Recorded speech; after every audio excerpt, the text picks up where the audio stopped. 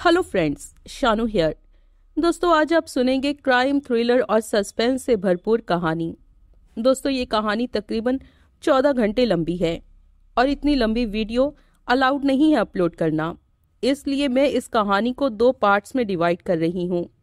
आज आप इसका फ़र्स्ट पार्ट सुनेंगे। बहुत ही जल्द इसका सेकेंड पार्ट अपलोड हो जाएगा। चलिए शुरू करते हैं आज की कहानी। सोमवार 19 जनवरी। जालानी बिग बॉस पहुँचा। बार में उल्लू बोल रहे थे। केवल बार से दूर एक कोने की टेबल पर एक लड़का लड़की अगल बगल यूँ बैठे थे, जैसे दांव लगता या हौसला ज़ोर मारता तो वही गुत्थम गुत्था हो जाते। दोनों के सामने बियर के गिलास थे, जिनकी तरफ़ उनकी कोई खास तवज्जो नहीं जान पड़ती थी। वो बार में पहुँचा और स्टूल पर जम गया। बारमैन उसके सामने पहुँचा। यस, सर, वो बोला। झालानी ने उत्तर नहीं दिया। उसने बार के पिछवाड़े में बाजू के बंद दरवाजे पर निगाह डाली। वो दरवाज़ा कैसा है? वो बोला। क्यों पूछते हैं साहब? भाई, ये एकदम बंद हॉल है। ऐसी जगह कस्टमर्स की सेफ्टी के लिए निकासी का कोई दूसरा दरवाज़ा होना चाहिए। इसलिए सोचा कि वैसा दरवाज़ा पीछे टॉयलेट्स के बाजू में है। ये ऑफ़िस का दरवाज़ा है। प्रोपराइटर के ऑफ़िस का? हाँ आप कल भी आए थे क्या? क्यों भाई? किसी बार में रोज आने पर कोई पाबंदी है क्या? मेरा मतलब है कल तो आपको ऐसे सवाल पूछने ना सूझे। इतवार छुट्टी का दिन होता है। पूरा हफ़्ता काम करने की वजह से दिमाग ठस हो जाता है। इसलिए नहीं सूझे। मज़ाक कर रहे हैं। हाँ ऑर्डर बोलिए। बाद में, पहले प्रोपराइटर से मिलने का है। प्रोपराइटर बिज़ी है। तेरे को क्या मालूम? वो बोला मेरे को, अभी? नहीं, थोड़ा टाइम पहले। फिर क्या वादा है? अभी फारिग हो गया होगा। पन देख भीड़ू जालानी तनिक कर्कश स्वर में बोला, तेरा काम ऑर्डर लेना है और ऑर्डर सर्व करना है। जाके बोल मैं झालानी एक्सप्रेस का रिपोर्टर इधर है और खाली दो मिनट उससे बात करना माँगता है। वो मिलने को नक्की बोलेगा तो मैं शिकायत नहीं करूँगा, समझा? बुन बुनाता हुआ बारमैन ऑफ़िस के दरवाजे पर पहुँचा और उसे खोलकर भीतर दाखिल हुआ। जब वो वापस बाहर निकला तो शेख मुनीर उसके साथ था। वो बार की अपनी तरफ़ जालानी के सामने पहुँचा। बारमैन परे ही ठिटक गया। फिर उधर ही ठहरा नैपकिन से गिलास चमकाने में मगन हो गया। अब क्या है? शेख मुनीर अप्रसन्न भाव से बोला, आपका सवाल बताता है कि आपने मुझे पहचाना है? जलानी शांति से बोला, यार, तुम तो पीछे ही पड़ गए हो। मैं खाली दो मिनट लूँगा। वो भी क्यों लोगे? क्योंकि कल की एक आध बात मुझे कंफ्यूजन में डाल रही है। मैं वो कंफ्यूजन क्लियर करना चाहता हूँ। करो। पुलिस का कहना है कि कत्ल बारह और साढ़े बारह के बीच में हुआ था। पोस्टमार्टम की रिपोर्ट से इस बात की तस्दीक हुई है। एक गवाह ने गोली चलने की आवाज़ बारह बीस पर सुनी थी। इसलिए कत्ल का वक्त और भी पिन पॉइंट हो जाता है कि वो बारह बीस पर हुआ था। तो आपने अपने बयान में, उस बयान में, जो कि अखबारों में भी छपा है, पुलिस को बताया था कि ये जगह, जो बार है, लेकिन जिसे आप संभ्रांत लोगों की प्राइवेट क्लब कहना पसंद करते हैं, बंद होने से जरा भी पहले, इतनी टोन हालत में केकी मिस्त्री यहाँ से रुखसत हुआ था, कि ठीक से चल भी नहीं पा रहा था। उस वक्त पीछे यहाँ एक ही ग्राहक मौजूद था, जो कि बोनी जाधव था, जो आपका जाना पहचाना था और जो बार बंद होने पर आपके साथ ही यहाँ से रुखसत हुआ था और आप दोनों ने केके मिस्त्री को बेहोशी की हालत में बाहर फुटपाथ पर लुटका पाया था। हाँ आपके बार का क्लोजिंग टाइम तो रात एक बजे है। केके मिस्त्री कत्ल होने के लिए कत्ल होने के लिए नहीं। शेख मुनीर ऐतराज भरे लहजे से बोला, अपनी बेवकूफ़ी से, बाई एक्सीडेंट जान से हाथ धोने के लिए, जान से जाने के लिए, मरने के लिए, बारह बीस पर यहाँ से थोड़ी दूर, बोनी जादव के फ्लैट पर मौजूद था। ऐसा क्यों कर हुआ? शेख तनिक हट बढ़ाया और फिर लापरवाही से बोला, ऐसा कोई रूल नहीं है। कि बार का क्लोजिंग टाइम से पहले बंद नहीं किया जा सकता। सरकारी रूल ये है कि क्लोजिंग टाइम के बाद बार ना खुला रहे। ये नहीं कि पहले बंद ना हो जाए। आप ये कहना चाहते हैं कि आपका ये बार शनिवार रात को क्लोजिंग टाइम से पहले बंद हो गया था? हाँ एक घंटा पहले। उस रोज धंधा बिल्कुल ठंडा था। इसलिए मैंने बार एक घंटा पहले बंद कर दिया था। बारह बजे? हाँ। कहते हैं मौत और ग्राहक का कोई भरोसा नहीं होता। कभी भी आ सकती है। नीचे वाला रूपसी नाम का बार भी अपना ही है। कोई एक आध आ भी जाता तो उधर चला जाता। लिहाजा एक दिन के लिए वो कॉम्प्रोमाइज कर लेता कि वो संभ्रांत लोग नहीं था। क्या मतलब? आप ही कहते हैं कि ये एक हाई क्लास प्राइवेट क्लब जैसा हाई क्लास लोगों का, संभ्रांत लोगों का बार है। यार, तुम तो बाल की खाल निकालते हो। शेख मुनीर चिड़कर बोला, इतनी बातें इसलिए कह रहे हो कि मैंने एक बार बार एक घंटा पहले बंद करा दिया। ये नहीं सोचते कि अच्छा किया बंद कर दिया। ना करता तो वो केकी मिस्त्री और पीता, और फिर जैसे बाहर बेहोश पड़ा मिला था।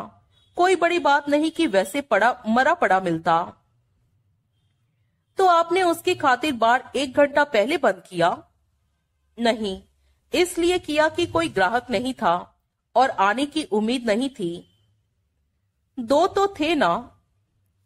बोनी जादव तब तक बिल चुकता कर चुका था और केकी को बोल गया था कि बार बंद हो रहा था। वो क्लोजिंग टाइम से पहले बार बंद किए जाने पर ऐतराज करता तो ऐसा कोई ऐतराज करने लायक होशो हवास में था कहा वो? आपने अपने बयान में यह भी कहा था कि आप मरने वाले के एम्प्लॉयर से, फुल हाउस के प्रोप्राइटर शाह नवाज़ खान से वाकिफ थे, इसलिए आपको केकी का लिहाज आया था। हाँ। कैसे वाकिफ हैं आप शाह नवाज़ खान से? क्योंकि वो आपका हम पेशा है और जात भाई है। दोस्त है, जिगरी है। गुड। अपने जिगरी की बात पर यकीन लाएँगे जनाब? किस बात पर? इस बात पर कि केकी पीकर बेहोश हो जाने जितनी पीने वाला शख्स नहीं था। नहीं होगा। इसका ये मतलब किधर है कि जो काम किसी ने पहले कभी नहीं किया, वो उसे अब भी नहीं करेगा? बजा फरमाया आपने। लेकिन ये हकीकत भी तो सामने आई है कि जो नशा उसे था, वो शराब का नहीं था। तो किस बात का था? ड्रग का। ड्रग का। कौन से ड्रग का? एसटीसी नाम के ड्रग का। ये क्या बला है? गोली होती है सफ़ेद रंग की। दो सौ रुपए की एक आती है। बहुत नशा करती है। शराब के साथ जुगलबंदी जुगलबंदी हो तो बहुत ही ज़्यादा नशा करती है। शेख मुनीर सन्नाटे में आ गया। तो ये वजह थी केकी की नशे में बदहाली की। जो सफ़ेद गोली बोनी जादव ने उसे केकी के ड्रिंक पे मिलाने के लिए दी थी, वो बेहोशी की दवा की गोली नहीं थी, किसी मॉडर्न नशे की गोली थी। बोनी जादव ने उसे धोखे में रखा। धोखा दे चुकने के बाद भी उसे हकीकत नहीं बताई। ऐसी हकीकत जिससे ये अखबार वाला वाकिफ था। तुम्हें कैसे मालूम? प्रत्यक्षता वो बोला, क्या? यही कि वो किसी ड्रग के नशे में था? है मालूम किसी तरीके से। किस तरीके से? छोड़िए जनाब, अखबार वाले न्यूज़ के अपने साधन किसी को नहीं बताते। था तो क्या हुआ? ड्रग्स का नशा करने लगा होगा? आपके जिगरी का यह भी दावा है कि ड्रग्स का नशा करने वाला कोई शख्स उसकी मुलाजमत में नहीं रह सकता और ना ही उससे छुपा रह सकता है। अब मैं इस बारे में क्या कह सकता हूँ? हो सकता है उसने हाल ही में वो सबक सीखा हो। हो सकता है वो पहला ही मौका हो, जबकि उसने ऐसा कोई ड्रग ट्राई किया हो। अच्छा। हाँ शायद इसीलिए उसका वो बुरा हाल हुआ, क्योंकि उसे खुद अंदाज़ा नहीं होगा कि ऐसे किसी नशे की गोली उसके पेट में जाकर, जहाँ पहले ही विस्की भरी थी, क्या गुल खिला सकती थी? हो तो सकता है। शेख मुनीर की जान में जान आई। तो परसों रात, आप लोग जब बोनी जादव के फ्लैट पर पहुँचे थे तो साथ में कोई लड़की नहीं थी क्या? कैसे होगी? क्यों कर होगी? मैं कल ही नहीं बोला कि फ्लैट से आती जनाना चीखों की आवाज़ें सुनी गई थी। ये भी मैं कल ही बोला कि वो आवाज़ें टीवी में से निकलकर आ रही थी। टीवी से क्यों निकल रही थी? कोई प्रोग्राम आ रहा था, कोई ड्रामा आ रहा था, उसमें कोई किरदार थी वो चीखने वाली लड़की। आपने वहाँ पहुँचते ही टीवी चालू क्यों किया था? ऐसे ही कोई खास वजह नहीं थी। बंद क्यों किया था? क्योंकि चीखती लड़की का जो प्रोग्राम आ रहा था वो मेरे को जचा नहीं था। चैनल क्यों नहीं बदली? क्योंकि बंद ही कर दिया। क्यों? क्योंकि तभी केकी कुन मुनाने लगा था और लगता था कि होश में आने लगा था। जब चलाया तो फुल वॉल्यूम पर क्यों चलाया? मैंने नहीं चलाया। वो पहले से ही फुल वॉल्यूम पर था। आपके पास हर बात का जवाब है। क्यों ना हो? जो जवाब सच्चा होता है, उसे कहीं ढूँढने जाना पड़ता है क्या? गोलियाँ कितनी चली थी? क्या वाहियात सवाल है? अरे, पुलिस ने स्टेटमेंट इशू की है। तुम लोगों ने छापे में छापा है। हर किसी को मालूम है कि दो गोलियाँ चली थी, जो कि लाश में धसी पाई गई थी। उस इमारत में रहते कुछ गवाहों का कहना है कि उन्होंने तीन गोलियाँ चलने की आवाज़ सुनी थी। पागल है साले। पीनक में होंगे। ज़रूर यही बात होगी। पीनक में नहीं होंगे तो रात की उस घड़ी नींद में होंगे, है ना? हाँ। आप कब तक मौकाए वारदात पर ठहरे थे? पुलिस के पहुँचने तक। पुलिस के ज़िक्र पर एक बात ध्यान में आई। पुलिस को फ़ोन, गोलियों और जनाना चीखों की आवाज़ सुनकर एक पड़ोसी ने किया। बोनी जाधव ने क्यों नहीं किया? जिसके साथ मरने वाले की कथित दीर्घा मुश्ती की वजह से वो हादसा हुआ था और जिसका की मौकाए वारदात पर फ्लैट में था। आपने फ़ोन क्यों नहीं किया? जो वारदात के चश्मदीद गवाह थे? हम घबरा गए थे। घबरा क्या गए थे? सकते में आ गए थे। अपने सामने मरे पड़े केकी को देखकर कितनी ही देर तो हमें लगा था कि हम भी सदमे से मरने वाले थे। फिर जब तक हम सदमे से उबरे तब तक पुलिस वहाँ पहुँच भी चुकी थी। पुलिस, यानी कि एक सब इंस्पेक्टर और एक हवलदार। हाँ इंस्पेक्टर का नाम तो मुझे याद है कि गोखले था। हवलदार का नाम मुझे नहीं मालूम। मुझे भी नहीं मालूम। उन लोगों ने आपको चले जाने दिया? चले नहीं जाने दिया। भेज दिया। कहा? थाने। तारदेव, इंस्पेक्टर गोविलकर की शरण में? हाँ।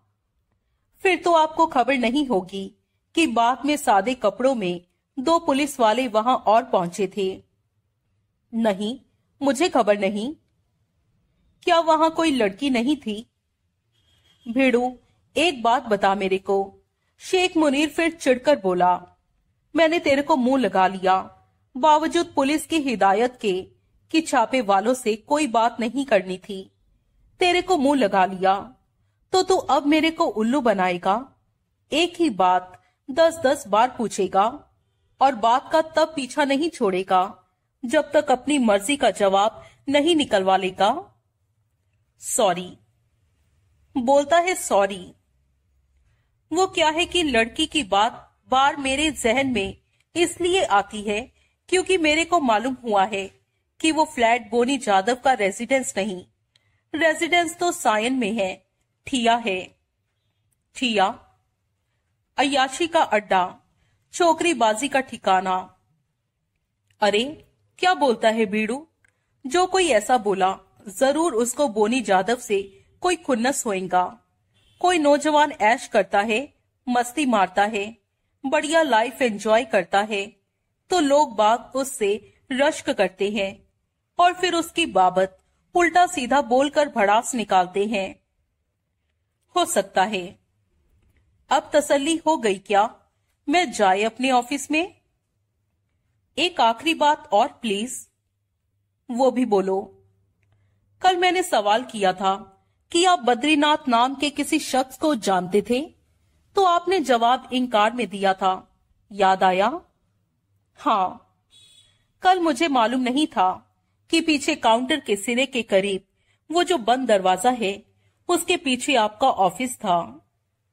तो जिस शख्स के साथ आप दस मिनट अपने ऑफ़िस में बंद रहे, क्या ये मुमकिन है कि आप उसको जानते ना हो? क्या मतलब? नौ दस से लेकर नौ बीस तक काले सूट वाला वो शख्स आपके साथ आपके ऑफ़िस में बंद रहा था। इतना अरसा तो उस शख्स को जान जाने के लिए भी काफ़ी होता, जिसे पहले कभी ना देखा जाना हो। फिर भी आपने कहा कि आप उसे नहीं जानते थे। ऐसा क्यों? शेख मुनीर गट बढ़ाया। उसके दिमाग की चरखी तेज़ी से घूमी। भेड़ू, तेरे भेजे में जाला, वो बोला। जी?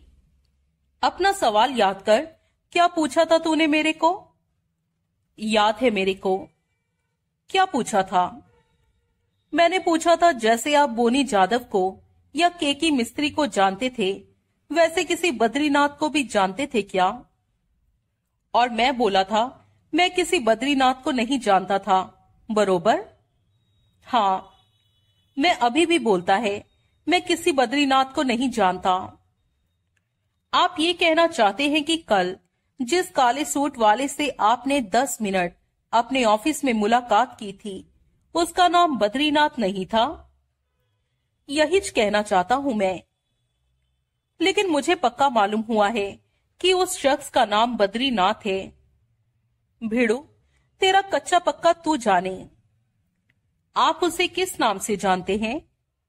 शेख मुनीर फिर गड़बड़ाया। क्या उसे जीत सिंह का नाम लेना चाहिए था? भाड़ में जाए जीत सिंह। उसकी अकल ने जवाब दिया। यहाँ अपनी जान पर बनी थी। जीत सिंह, वो बोला, कैसे जानते हैं? जानता नहीं हूँ। खाली कल ही जाना था। कैसे? क्या चाहता था वो? बार के धंधे के बारे में जानना चाहता था कि उधर उसकी क्या गुंजाइश थी? ओ वो भी बार खोलना चाहता था। वो नहीं, उसका कोई पैसे वाला वाकिफ कार जो बार खोलता तो उसे मैनेजर रखता। एक जीत सिंह तारदेव के सुपर स्टोर में पड़ी, डकैती का मुलजिम भी बताया जाता है। वो कोई और जीत सिंह होगा। जीत सिंह एक आम नाम है। दस भेड़ुओं का हो सकता है, बीस भेड़ुओं का हो सकता है। क्या आप शुरू से इस धंधे में हैं? अरे, मैंने कल ही बोला था कि मैंने ये नवा बार खोला है। धंधे में आप फिर भी हो सकते हैं। नहीं, धंधा भी नवा पकड़ा है। पहले क्या करते थे? पिज्जा पार्लर चलाता था। किधर? इधर मुंबई में ही। भाई और किधर? मेरा मतलब है मुंबई में किधर? माटुंगा में। वो क्यों बंद कर दिया? मेरे को ये धंधा पसंद। आपका मतलब है कि एका एक पसंद आने लगा था क्या? यही समझ ले। एक डिब्बा करके भेड़ू भी माटूँगा में पिज्जा पार्लर चलाता था, पर असल में फैंस था। फैंस क्या होता है? चोरी के माल की खरीद फरोख्त करने वाले को कहते हैं। तो मैं तेरे को चोरी के माल की खरीद फरोख्त करने वाला लगता है क्या? लगते तो नहीं। पर हो सकता है, गोद में बैठ के दाढ़ी मूंढता हूँ। सॉरी तो आप इधर के ऐसे किसी पिज्जा पार्लर से वाकिफ नहीं, जिसे कोई डिब्बा करके भीड़ू चलाता हो। कैसे होएगा? वो इतना बड़ा इलाका है। ऊपर से आजकल तो पिज्जा पार्लर साला घर घर गली गली चलता है। सही फरमाया। मैंने तो सही फरमाया भीड़ू। अभी तेरा फरमाना मुकम्मल हुआ या नहीं? हो गया। झालानी हंसा। नौकरी कर ली मैंने अपनी। अब बारमैन को भी नौकरी करने दे। ऑर्डर बोल। अभी नहीं। वजह? किधर जाने का है? लौट के आऊँगा। आना। पर सवाल पूछने ना आना। ताकीद है। मैं इससे ज़्यादा मुँह नहीं लगा सकता तेरे को। खास मेरे को, किसी छापे वाले को। मैं याद रखूँगा। स्टूल से उतरता झालानी बोला, शुक्रिया। वो वहाँ से रुखसत हो गया। डिब्बा अपने ऑफ़िस में आ बैठा। उसने कोहनिया मेज पर टिका ली, आँखें बंद कर ली और हाथों में माथा थाम लिया। वो मामला जो निपट भी चुका बताया जा रहा था, वही अब उसे खौफ जदा करने लगा था। झालानी के सवाल सुनने में आम और मामूली लगते थे। वो ऐसे थे तो उसकी मंशा उसे खास और गैर मामूली क्यों लगती थी? कैसी चालाकी से कमीना हिंट फेंक के गया कि वो माटूँगा के पिज्जा पार्लर वाला वो डिब्बा हो सकता था, जो कि असल में पिज्जा पार्लर की ओट में फैंस का धंधा चलाता था।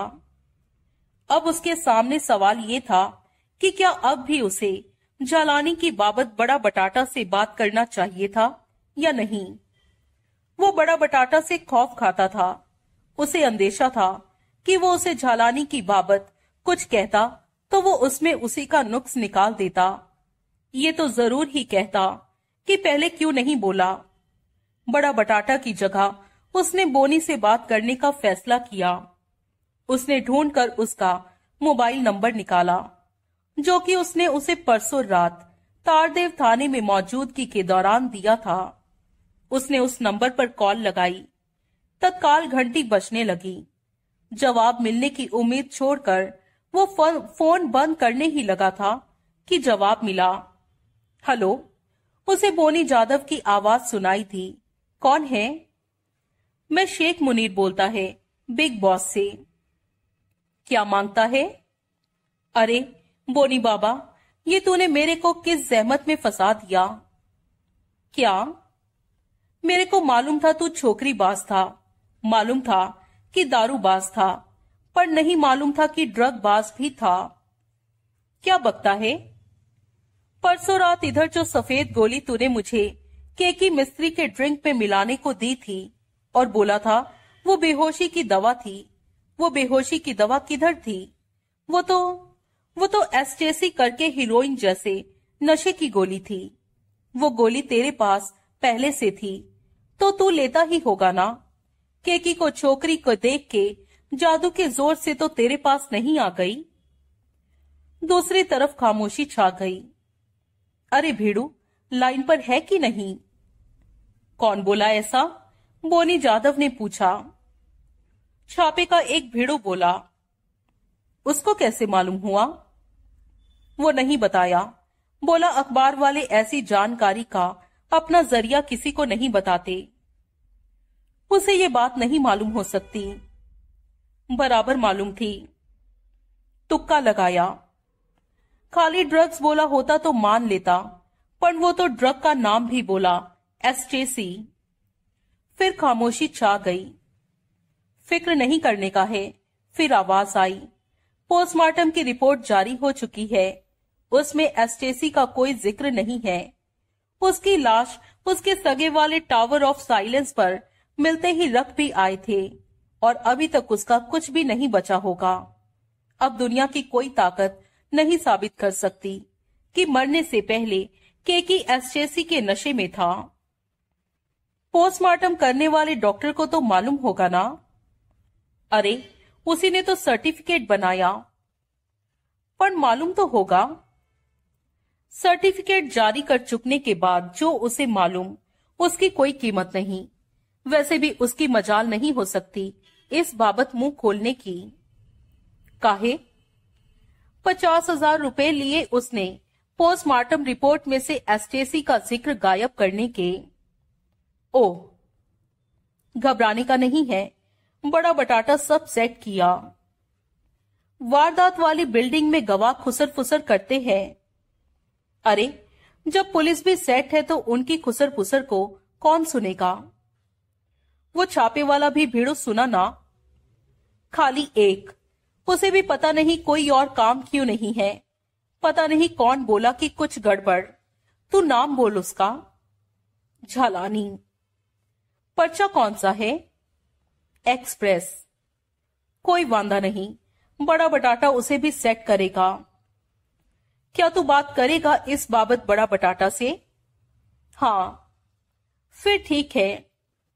कट कर डिब्बे ने रिसीवर क्रेडिट पर रखा और चैन की सांस ली। जो बात वो बड़ा बटाटा को बोलने से हिचक रहा था, वो अब उसे बोनी जादव के ज़रिए मालूम होती। बढ़िया। जलानी तारदेव थाने पहुँचा। इंस्पेक्टर गोविलकर अपने ऑफ़िस में मौजूद था। जालानी ने उसका अभिवादन किया। गोविलकर ने सिर उठाकर उसकी तरफ़ देखा और फिर अनमने भाव से अभिवादन का जवाब दिया और वैसे ही बैठने का इशारा किया। कैसे आए?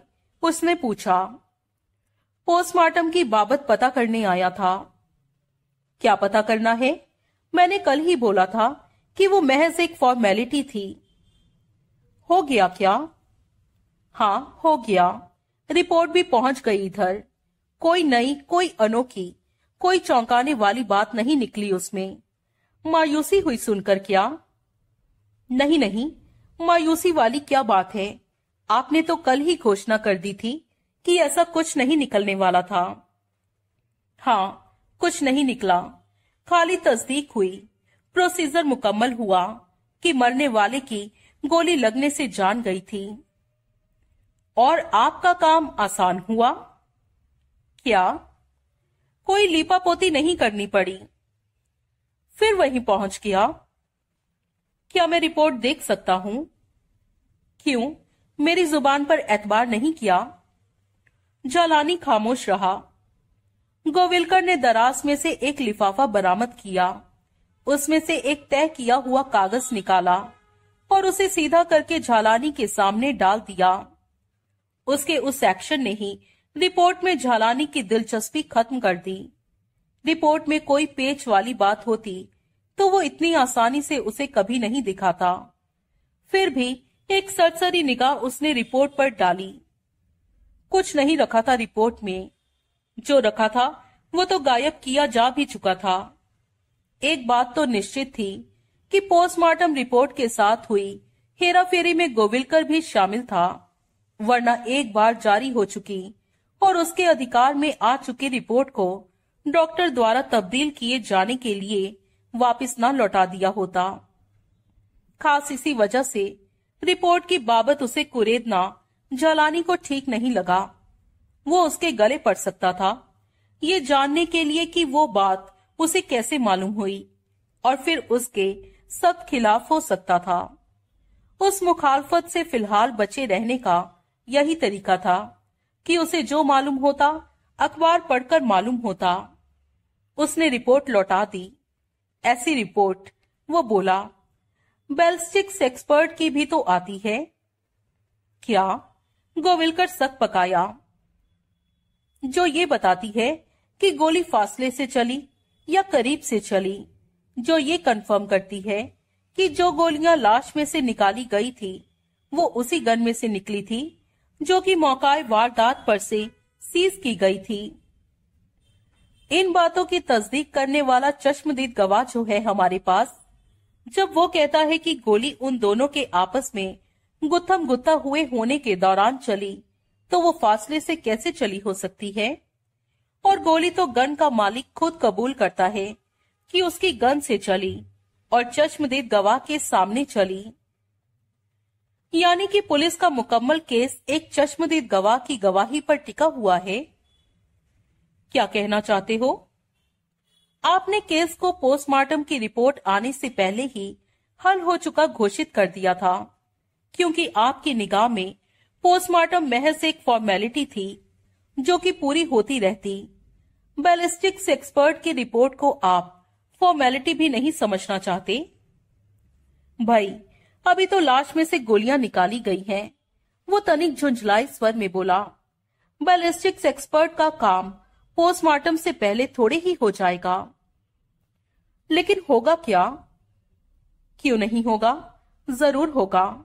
लेकिन एक्सपर्ट की रिपोर्ट में ऐसा कुछ नहीं होगा, जो हमें पहले से नहीं मालूम। जैसे पोस्टमार्टम की रिपोर्ट में ऐसा कुछ नहीं, जो आपको पहले से नहीं मालूम? हाँ। जैसे ये रिपोर्ट आपकी मन माफिक है, वैसे वो भी आपकी मन माफिक होगी क्या? क्यों नहीं होगी? धूप निकली हुई हो तो क्या मुझे वेदर ब्यूरो से रिपोर्ट मांगनी पड़ेगी कि आसमान में सूरज है, चाँद नहीं है? वाह, क्या बात कही है। गोविलकर खामोश रहा। कल हमारे बीच जालानी ने बात बदली।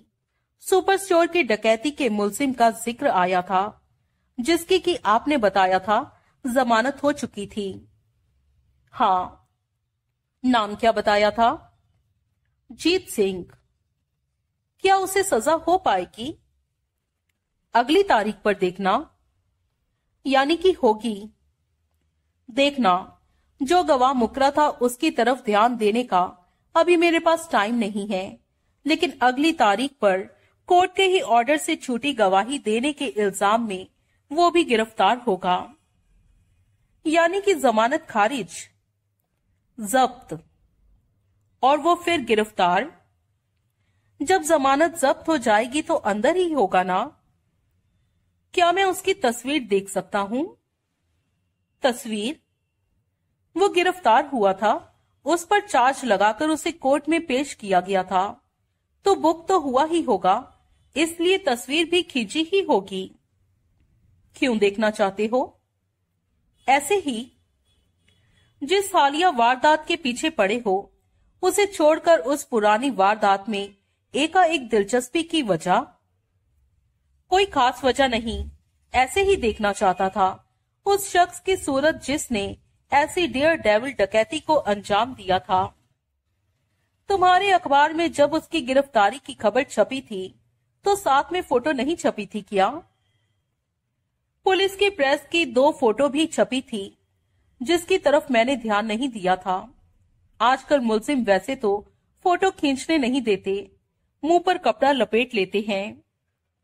गोविलकर उठकर एक फाइलिंग कैबिनेट के पास पहुँचा और वहाँ से एक फ़ाइल निकाल कर लाया। उसने फ़ाइल को एक स्थान से खोला और घुमाकर उसे झलानी के सामने कर दिया। फ़ाइल से फ्रंट पोज और राइट और लेफ़्ट प्रोफ़ाइल से जान, जानती सूरत को झलानी ने फ़ौरन पहचाना। वो वही शख्स था, जिसे उसने पिछली रात बिग बॉस में बार पर बैठे देखा था। काले सूट में फ़िल्म स्टार्स की माफिक सजा धजा, जो कम से कम दस मिनट बिग बॉस के प्रोप्राइटर शेख मुनीर के साथ उसके ऑफ़िस में बंद रहा था, जिसका नाम उसने जीत सिंह बताया था। लेकिन जो नागपाड़ा के राजदीप होटल के कमरा नंबर 204 में ठहरा बद्रीनाथ था, जिसने खुद को हिमाचल से आया बताया था, और जिसकी बाबत होटल के मैनेजर आलोक नायक का अंदाज़ा था कि फ़िल्म स्टार बनने की कोशिश में मुंबई पहुँचा था। ऐसे शख्स अगर एक डकैती में शामिल था तो वो फ़िल्म स्टार बनने की कोशिश में स्टूडियो दर स्टूडियो धक्के खाता कोई शख्स क्यों कर हो सकता था? ज़रूर वो बेगुना था और इंस्पेक्टर गोविलकर उस पर नाहक जुर्म ढा रहा था। मानवाधिकार आयोग वालों की दखल अंदाजी की वजह से ही हुई अपनी फजीहत की वजह से जो और उस नौजवान के खिलाफ हो गया था। और अब भड़का हुआ, वो कैसे भी उसका बेड़ा गर्क करने का तमन्नाई बना हुआ था। उसकी तफ्तीश से साबित हो चुका था कि केकी मिस्र के साथ हुई वारदात की उसे गुमनाम टिप देने वाला बद्रीनाथ नाम का वो शख्स था, जो कि होटल राजदीप के 204 नंबर कमरे में ठहरा हुआ था, जो धारा प्रवाह मुंबईया ज़ुबान बोलता था और ऐसे लहजे में बोलता था, जो सालों मुंबई में रहते रहने के बाद ही ज़ुबान पर चढ़ता है। ऐसा शख्स मुश्किल से दो हफ़्ते पहले हिमाचल से आया नहीं हो सकता था और अब फ़ाइल में लगी उसकी तस्वीर बता रही थी कि असल में वो सुपर स्टोर की डकैती का मुलजिम जीत सिंह था। वो बद्रीनाथ को संदेह लाभ भी देता कि उसकी शक्ल इत्तेफाक से जीत सिंह से मिलती थी तो भी बात नहीं बनती थी। जो गुमनाम टेलीफोन कॉल उसे आई थी, उससे हासिल कुछ संकेत उस बात की मुखालफत करते थे। मसलन, फ़ोन करने वाले ने अपनी हस्ती बहुत छोटी बताई थी। और साफ़ संकेत दिया था कि हाल ही में पुलिस से उसकी भारी डंडा परेड होकर हटी थी। वो इंस्पेक्टर गोविलकर को जानता मालूम होता था और साफ़ उसके खिलाफ जान पड़ता था। इससे लगता था कि उसकी डंडा परेड गोविलकर की वजह से हुई थी या उसने खुद की थी। वो खुद को खोटा सिक्का बोलता था। इससे साफ़ ज़ाहिर होता था कि वो ज़िंदगी से खता खाया शख्स था। उन तमाम बातों से उसने यही सामूहिक नतीजा निकाला कि बद्रीनाथ और जीत सिंह कोई दो शख्स नहीं थे। असल ज़िंदगी में ऐसा कोई डबल रोल मुमकिन नहीं था। वो एक ही शख्स के दो नाम थे और वो शख्स वो था जिसके आपराधिक रिकॉर्ड की फ़ाइल उस वक्त उसके सामने थी और वो के की मिस्त्री के अंजाम के मुकम्मल ड्रामे का नहीं तो किसी एक एपिसोड का बराबर चश्मदीद गवाह था। और के की मिस्त्री के अंजाम से वो इसलिए विचलित था क्योंकि उसकी बातों से साफ़ ज़ाहिर होता था कि के की मिस्त्री उसका परिचित था। वो खुद मजलूम था। ऐसा ही शख्स दूसरे पर होते जुल्म से आंदोलित होता है। इसी वजह से उसे ये अंदेशा था कि क्योंकि बोनी जाधव रसूख वाले लोगों का सगा वाला था, इसलिए साफ़ बच निकलने वाला था। इसी वजह से वो सामने आकर हकीकत बयान करने से डरता था। वो खुलेआम मिली भगत की, जो कि बराबर थी। अब उसकी तफ्तीश ही ज़ाहिर कर रही थी।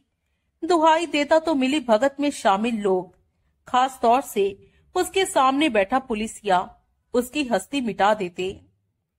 इतना मुकम्मल जुल्म उस पर ना भी ढाया जाता तो नकार खाने में तूती की आवाज़ कौन सुनता? एक जराइम पेशा शख्स का, जिसको अपनी जान के लाले पड़े थे, जो कभी भी जेल जा सकता था। कौन यकीन करता? वही विकल्प था उसके सामने, जो कि उसने आजमाया था। अखबार के दफ्तर में फ़ोन लगाने का। उसे अब यकीन था कि बद्रीनाथ ही जीत सिंह को रूबरू देख पाता तो वो यकीन गारंटी में बदल सकता था। रात को सोए नहीं किया अगर नींद यही पूरी करने का इरादा है तो ओ, सॉरी। लाश की सुबुर्दगी की कार्यवाही हो गई क्या? हाँ कब की? किसके सुपुर्द की उसकी बहन के साथ कुछ और रिश्तेदार भी थे, पड़ोसी भी थे। रहता कहाँ था मरने वाला? घाट कोपर में पूना वाला एस्टेट करके एक हाउसिंग सोसाइटी है। जिसमें तकरीबन सभी पारसी रहते हैं। वही रहता था अपनी बहन के साथ। हम्म सब इंस्पेक्टर गोखले थाने में है क्या? क्यों पूछ रहे हो? कुछ पूछूँगा उससे। क्या पूछोगे? जो पूछना है मेरे से पूछो। गोखले जब अपनी बीवी के साथ। हम बिस्तर होता है तो वन गो में एवरेज कितना टाइम लगाता है? गोविलकर की शक्ल पर ऐसे भाव आए, जैसे फट पड़ने लगा हो। फिर बड़े जब्त के साथ बोला, बाहर गलियारे के सिरे पर पहुंचो। उसके नाम का साइन बोर्ड दिखाई दे जाएगा। Thank you. वहाँ से निकलकर उसने बाहर गलियारे में कदम रखा। वो गलियारे के सिरे पर पहुँचा। वहाँ जिस दरवाजे पर गोखले की नेम प्लेट लटक रही थी, वो खुला था। भीतर दाखिल होने से पहले ही उसे गोखले दिखाई दे गया, जो कि चेहरे पर गंभीर भाव लिए, फ़ोन का रिसीवर कान से लगाए था। झालानी पर निगाह पड़ते ही उसने रिसीवर वापस क्रेडिल पर रख दिया। हिदायत मिल गई क्या? झालानी बोला, क्या? किससे? अपने साहब से, थानाध्यक्ष इंस्पेक्टर गोविलकर से। झालानी आ रहा है, उससे कोई बात नहीं करनी है। ऐसी कोई बात नहीं। फिर तो शुक्र है। क्या चाहते हो? क्या मैं बैठ जाऊँ? अरे बैठो भाई, किसने रोका है? मैं मामूली एस आई हूँ, कोई कमिश्नर हूँ, जिससे बैठने की इजाज़त मांग रहे हो? जालानी हंसा और एक कुर्सी पर ढेर हुआ। क्या कोई चाय वाय पियोगे? गोखले ने पूछा। नहीं, सिगरेट पीऊँगा। वो मेरे पास है। जालानी ने पैकेट निकालकर गोखले की तरफ़ बढ़ाया। उसने इंकार में सिर हिलाया तो उसने खुद एक सिगरेट सुलगा लिया। तो धुआँ उगलता वो बोला, ग्रांट रोड वाला केस खत्म, तफ्तीश खत्म। हाँ गोखले लापरवाही से बोला, कुछ रखा ही नहीं था उस केस में। An open and shut case था। इसलिए अभी ठीक से ओपन हुआ भी नहीं था कि शट हो गया। क्या? मरने वाले के किरदार की कोई तस्दीक तो की होगी? क्या मतलब? ये जानने की कोशिश तो की होगी कि वो वायलेंट आदमी था या हैवी ड्रिंकर था। वो सब तो वैसे ही ज़ाहिर था। हैवी ड्रिंकर था। तभी तो टोन होकर फुटपाथ पर लुढ़का पड़ा था। वायलेंट नेचर का था। तभी तो बोतल उठाकर बोनी जादव पर हमला कर दिया। उसकी नाक तोड़ दी। उसकी जेब से गन खींचकर उसे मार डालने में कसर नहीं छोड़ी। वो बोतल तो आप लोगों ने महफूज कर ली होगी ना? किस लिए? उसको हथियार साबित करने के लिए जिससे हमला करके केकी मिस्त्री ने बोनी जादव की नाक तोड़ी थी। उस पर से मरने वाले की उंगलियों के निशान उठाने के लिए ताकि स्थापित किया जा पाता। कि वो हमलावर था। वो तो वैसे ही स्थापित है। चश्मदीद गवाह बोला ना ऐसा। सब कुछ गवाह बोला। सब कुछ। जब है तो ऐसी तफ्तीश का पुलिस प्रोसीजर भी तो कुछ कहता है या नहीं कहता? कहता है, लेकिन इस मामले में प्रोसीजर फॉलो करने का हाल नहीं था। क्यों? बोतल टूट गई थी। हमें टुकड़े टुकड़े हुए पड़ी मिली थी। कैसे टूट गई? क्या पता कैसे टूट गई? टूटी बोतल का क्या किया? उसके टुकड़े में एक प्लास्टिक की थैली में भरकर थाने ले आया था। मैंने इंस्पेक्टर साहब को वो दिखाए थे तो वो बोले थे कि उनमें कुछ नहीं रखा था। फिर? फिर क्या? कचरे में डाल दिए? बोतल साबुत मिलती तो कहानी कुछ और होती। ज़ाहिर है। मरने वाले के एम्प्लॉयर का कहना है कि वो सोशल ड्रिंकर था और शरीफ जिम्मेदार सिंसियर और डिसेंट आदमी था। कभी कोई पंगे वाला काम नहीं करता था। एम्प्लॉयर को क्या पता? वो क्या हमेशा उसकी पूंछ से बंधा रहता था? ड्यूटी आवर्स के बाद कोई क्या करता है? कैसे बिहेव करता है? ये क्या किसी एम्प्लॉयर को मालूम पड़ता है? फिर भी कहने वाले कहते हैं कि हैवी ड्रिंकर ट्रबल मेकर और एकाएक वायलेंट हो उठने वाला शख्स वो था जो मरने से बच गया। कौन कहता है ऐसा? उसे मेरे सामने लाओ। मैं क्यों लाऊं? ये सब तो तुम्हें खुद करना चाहिए था। एक कत्ल के केस में, ये कत्ल का केस नहीं था। इन्वेस्टिगेटिंग ऑफिसर्स ये जानने की कोशिश तो करता ही है कि कातिल का किरदार क्या था? मकतूल का किरदार क्या था? अरे, मैं बोला ना था कि ये कत्ल का केस नहीं था? वायलेंट मीन्स से, गोली लगने से एक आदमी की जान गई। वो जुकाम से नहीं मरा। किसी के मारे भी नहीं मरा। अपनी बेहूदगी से मरा। खुदकुशी जैसा पंगा किया इसलिए मरा। फिर भी फिर भी जितनी पूछताछ ज़रूरी समझी गई थी, वो की गई थी। कहाँ से की गई थी? आजू बाजू से। क्या पता चला था? केकी मिस्त्री को उधर कोई जानता नहीं था। बोनी जादव ठीक आदमी था। क्या ठीक था उसमें? वो वुमेनाइजर था, हैवी ड्रिंकर था, ड्रग एडिक्ट भी था शायद। ग्रांड रोड का वो फ्लैट उसका अयाशी का अड्डा था। जहाँ संदिग्ध चरित्र की लड़कियाँ आती थी और जहाँ रात रात भर दारू की पार्टियाँ चलती थी। ऐसा आदि पंगेबाज था कि कोई टोके तो गन निकाल लेता था। कौन बोलता है ऐसा? जो पूछताछ आजू बाजू की बताते हो, उसकी रूह में तुम्हें मालूम होना चाहिए। मेरे को ऐसा कोई नहीं बोला। तुमने या तो ये बात खुद गढ़ ली है या किसी ऐसे शख्स की बकवास पर यकीन कर लिया है, जिसे बोनी जादव से कोई खुन्नस होगी। शायद, केकी मिस्त्री के उधर कोई जानता नहीं था तो उधर पता किया होता, जिधर उसे सब जानते थे, जैसे कि फुल हाउस से, जहाँ की वो काम करता था, या उस हाउसिंग सोसाइटी से, जहाँ की वो रहता था। ये टाइम खराब करने वाली बातें होती हैं, और पुलिस ने कोई एक ही केस की तफ्तीश नहीं करनी होती। मेरे को मालूम है, इसीलिए थाने पर कोई एक ही पुलिसिया तैनात नहीं होता। डेढ़ सौ आदमियों का स्टाफ होता है एक थाने में। इसीलिए होता है कि थाना किसी एक ही केस की तफ्तीश में ना उलझा रहे। अरे, जब एक चश्मदीद गवाह तमाम वाक्य बयान करने के लिए मौजूद है तो इन बातों की कोई अहमियत नहीं। हमारा सरोकार उसी, उसके वाक्य के वक्त की हरकतों से है। इस बात से हमें कोई लेना देना नहीं है कि वो सोशल ड्रिंकर था या हैवी ड्रिंकर था, शरीफ था या बदमाश था, जिम्मेदार था या गैर जिम्मेदार था सिंसियर था या इनसिंसियर था। क्योंकि तुम्हें चश्मदीद गवाह के बयान पर सौ फ़ीसदी एतबार है, बेएतबारी की कोई वजह ही नहीं, वहाँ के हालात अपने मुँह से बोल रहे थे। जो हालात के मुँह से बोला जा रहा था, वो तो सुना ही नहीं गया। अच्छा खाम खा। एक गवाह का कहना है कि गोलियाँ तीन चली थी। उसके कान बजते होंगे, या कोई बुढ़ऊ होगा, जिसके सुनने की ताकत भी कमज़ोर होगी, और भेजा भी उम्र के साथ पिलपिला हो गया होगा।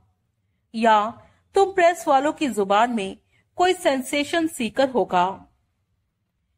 एक कदरन नौजवान गवाह ने भी शक ज़ाहिर किया है कि गोलियाँ तीन चली थी। शक ही ज़ाहिर किया है ना? दावा तो नहीं किया, यकीन से तो नहीं बोला। हो सकता है यही बात हो। हो सकता नहीं है। है, तुम खुद सोचो। अगर गोलियाँ तीन चली थी तो पोस्टमार्टम में मरने वाले के जिस्म से दो क्यों निकली?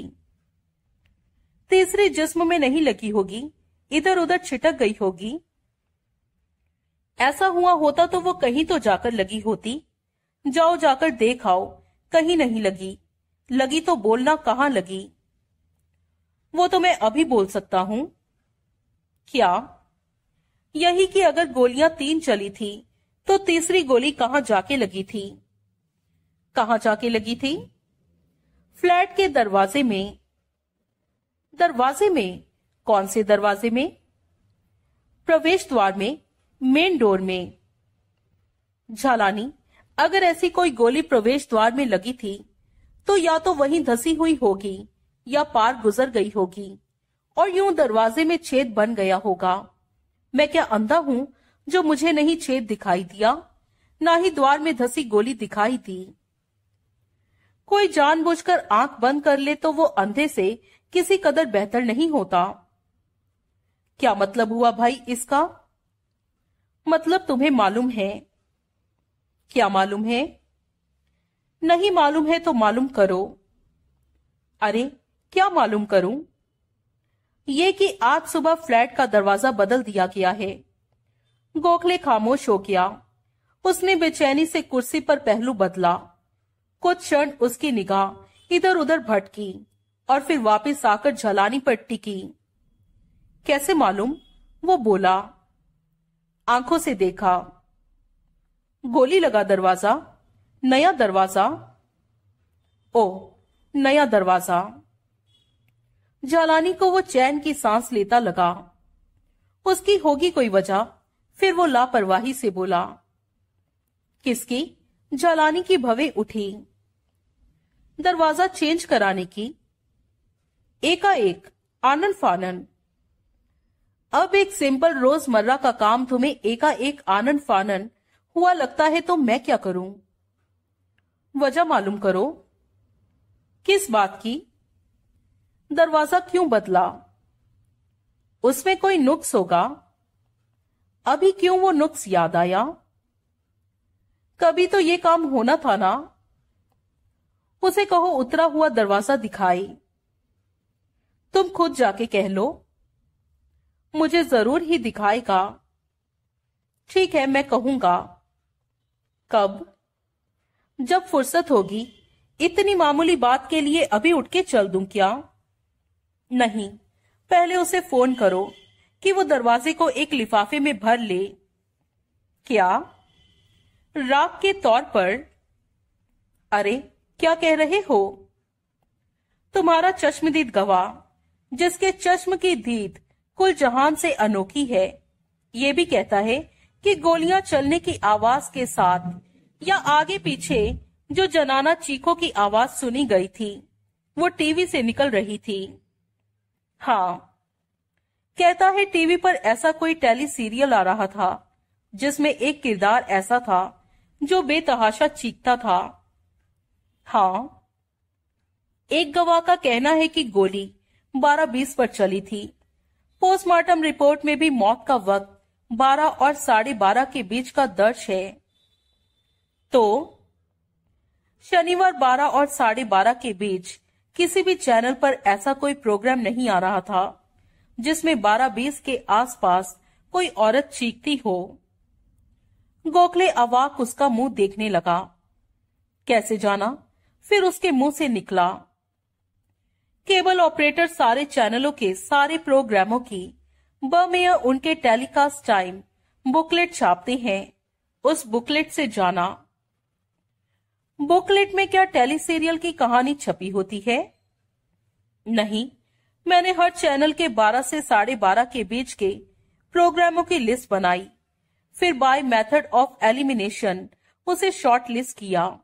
मसलन, न्यूज़ में चीखों का कोई मतलब नहीं। म्यूज़िक चैनल्स पर चीखों का कोई मतलब नहीं, वगैरह वगैरह।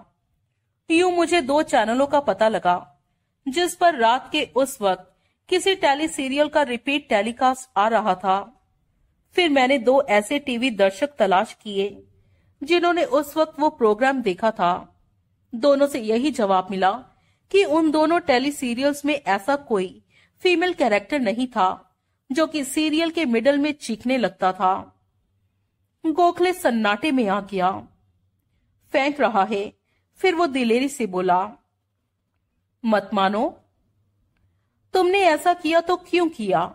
इसका मतलब ये हुआ कि पुलिस द्वारा पेश किए केस के हल पर तुम्हें शक है? जलानी खामोश रहा। उसने सिगरेट का आखिरी कश लगाकर उसे मेज पर पड़ी एस्ट्रे में डाल दिया।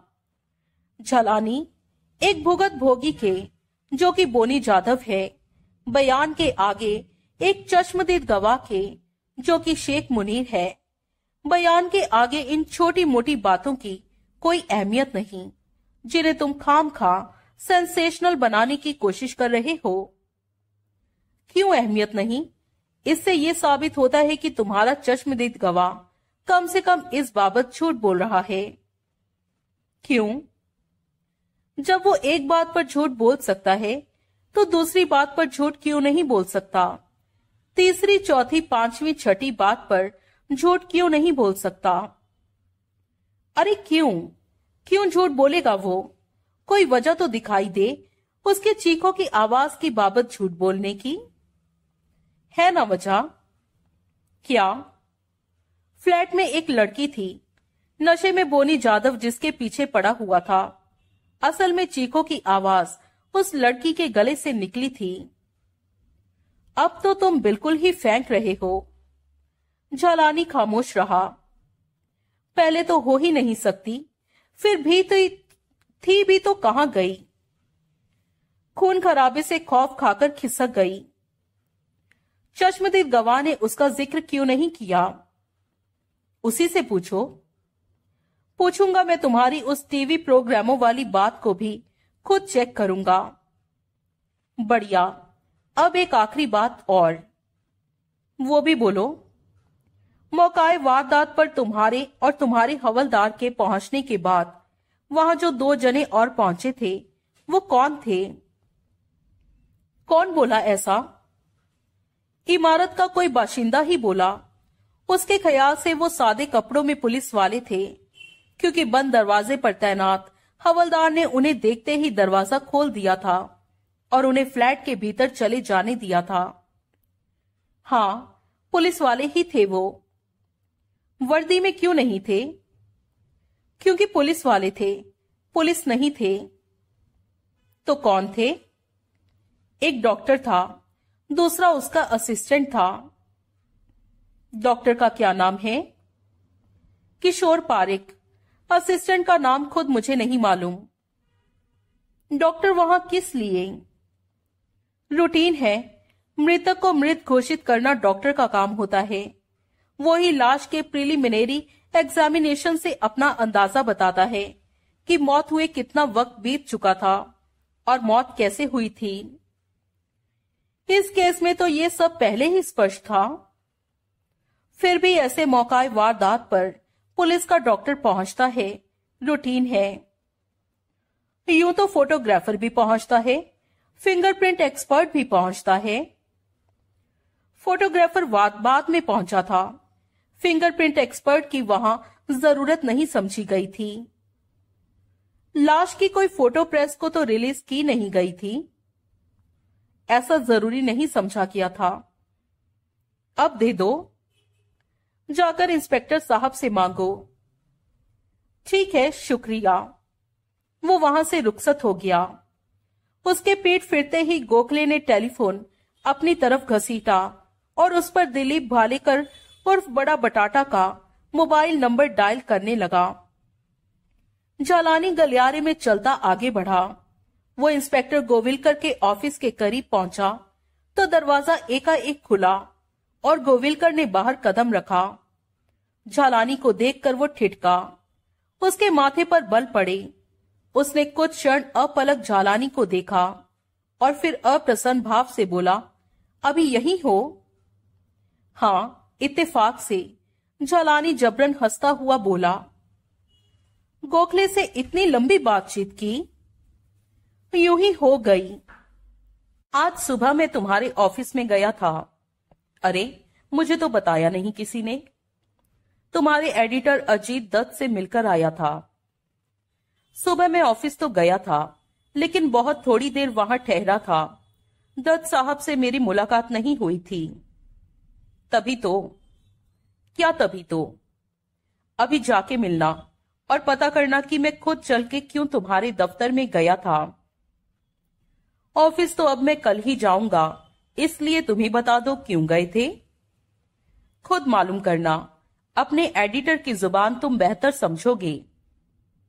मेरी कोई शिकायत तो नहीं कर रहा उसने उत्तर नहीं दिया। कुछ क्षण अनिश्चित सा वो झालानी को घूरता रहा और फिर बिना बोले गलियारे में आगे बढ़ गया। झालानी ने कंधे उचकाए और खुद भी आगे बढ़ चला। थाने की इमारत से बाहर आकर उसने मोबाइल पर अपने ऑफ़िस का नंबर डायल किया। ऑपरेटर लाइन पर आई तो वो बोला, दत्त साहब को देना। वो ऑफ़िस में नहीं है, जवाब मिला। कहा गए? पता नहीं, लेकिन ये बोल के गए हैं कि लौट के नहीं आएँगे। ठीक है। तुम्हारा एक फ़ोन आया था। किसका? मैंने नाम लिखा था कहीं, ठहरो जरा। हाँ शेखर नवलानी। बोलता था, तुम उसे जानते हो? हाँ प्राइवेट डिटेक्टिव है। फ़ोन करने की कोई वजह बताई क्या? कोई मैसेज दिया क्या? खाली इतना बोला कि रात आठ और नौ के बीच वो यॉट क्लब में होगा। अगर ये मैसेज है तो दिया। ठीक है थैंक यू ठीक छह बजे जीत सिंह बिग बॉस में पहुँच गया। उस बार उसने बार काउंटर पर पहुँचने का उपक्रम नहीं किया। वो एक कोने की टेबल पर जा बैठा। उसने एक सिगरेट सुलगा लिया और उसके कश लगाता प्रतीक्षा करने लगा। एक वेटर उसके करीब पहुँचा। दस मिनट रुक, वो बोला, अभी कोई फ्रेंड आने वाला है। आया तो ऑर्डर करता है। सहमति में सिर हिलाता वेटर वहाँ से हट गया। जीत सिंह ने बार की तरफ़ निगाह दौड़ाई। बारमैन के साथ डिब्बा भी बार पर मौजूद था। और विचित्र निगाहों से उसे देख रहा था। जीत सिंह ने उससे आँख नहीं मिलाई। उस घड़ी तीन चार टेबल भरी हुई थी और बार पर भी दो तीन व्यक्ति मौजूद थे। तभी एक व्यक्ति वहाँ पहुँचा। उसने दरवाजे पर से पहली बार, पहले बार पर मौजूद लोगों पर निगाह दौड़ाई, जो कि वृद्धावस्था की ओर तेज़ी से अग्रसर अधेर थे। फिर टेबलों की तरफ़ निगाह दौड़ाई। जीत सिंह के टेबल के अलावा जहाँ सब आपस में बतिया रहे थे। वो जीत सिंह की ओर बढ़ा। जीत सिंह करीब आकर वो बोला हाँ गाड़ी लाया है? मेरे वास्ते? हाँ बड़ा बटाटा भेजा। ओ बड़ा बटाटा भेजा? किधर जाने का है? बोलेंगा। ठीक है। जीत सिंह उसके साथ हो लिया। नीचे सड़क पर एक इंडिका खड़ी थी। जिसे जीत सिंह ने बड़ा बटाटा की गाड़ी के तौर पर साफ़ पहचाना, जिसका पिछला दरवाज़ा उस शख्स ने खोला। जीत सिंह पीछे सवार हो गया तो उसने दरवाज़ा बंद किया और खुद ड्राइविंग सीट पर बैठा। उसने गाड़ी को गियर में डाल के आगे बढ़ाया। दहशत जाने का है बाप, वो बोला। उधर क्या है? एक प्राइवेट गेस्ट हाउस है प्राइवेट पार्टी है। अखा पार्टी के लिए बुक है आज रात का वास्ते। ओ, वो दक्ष ड्राइवर था। शाम के ट्रैफ़िक के लिहाज से उसने असाधारण दक्षता और तेज़ी से गाड़ी चलाई। आखिरकार जब गाड़ी मंजिल पर पहुँची तो उसने उसे एक कदरन उजाड़ इलाके में स्थित एक दो मंजिला इमारत के कंपाउंड में ले जाकर रोका। जीत सिंह दरवाज़ा खोलकर बाहर निकला। भीतर बजते म्यूज़िक की आवाज़ बाहर ही पहुँच रही थी। ड्राइवर भी बाहर निकला। उसने जीत सिंह को साथ आने का इशारा किया। किस बात की पार्टी है? उसके साथ चलते जीत सिंह ने पूछा। किसी बात की नहीं ड्राइवर बोला। ऐसा ही छह।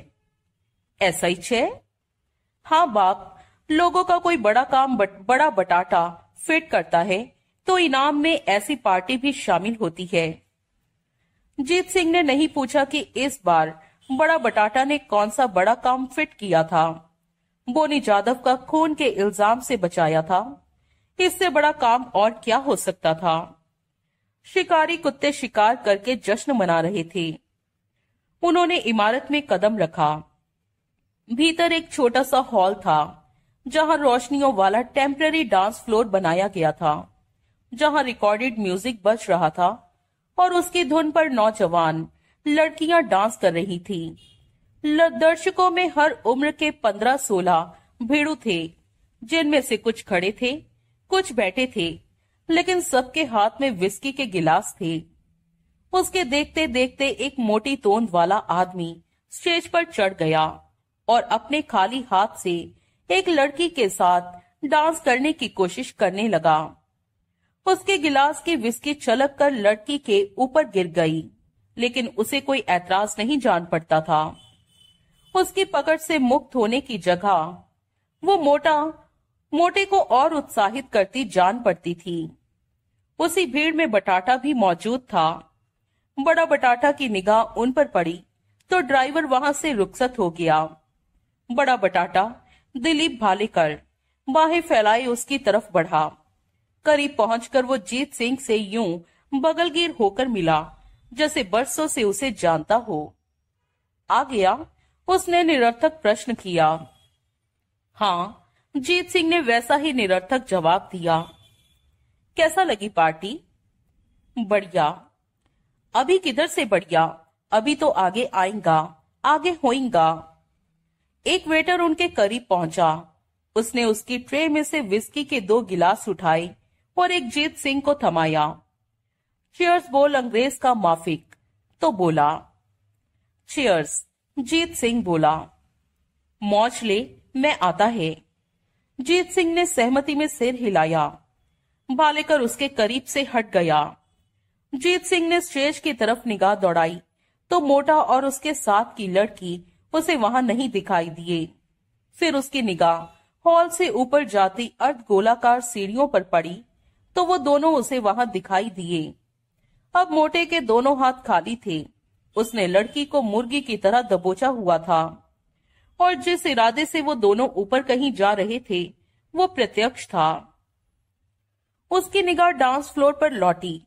थोड़ी ही देर में वहाँ टिकी और फिर हॉल में भटक गई। हॉल के पिछवाड़े के एक कद खुले दरवाजे पर उसे बड़ा बटाटा दिखाई दिया। वो एक नौजवान लड़की से बात कर रहा था। जिसके बाल बहुत छोटे कटे हुए थे। और मुश्किल से घुटनों तक पहुँचने वाली स्कर्ट पहने थी। बड़ा बटाटा के बोलने के अंदाज से ऐसा लग रहा था, जैसे वो उसे कुछ समझा रहा था। जीत सिंह ने उधर से निगाह हटा ली और डांस और ड्रिंक में दिलचस्पी लेने की कोशिश करने लगा।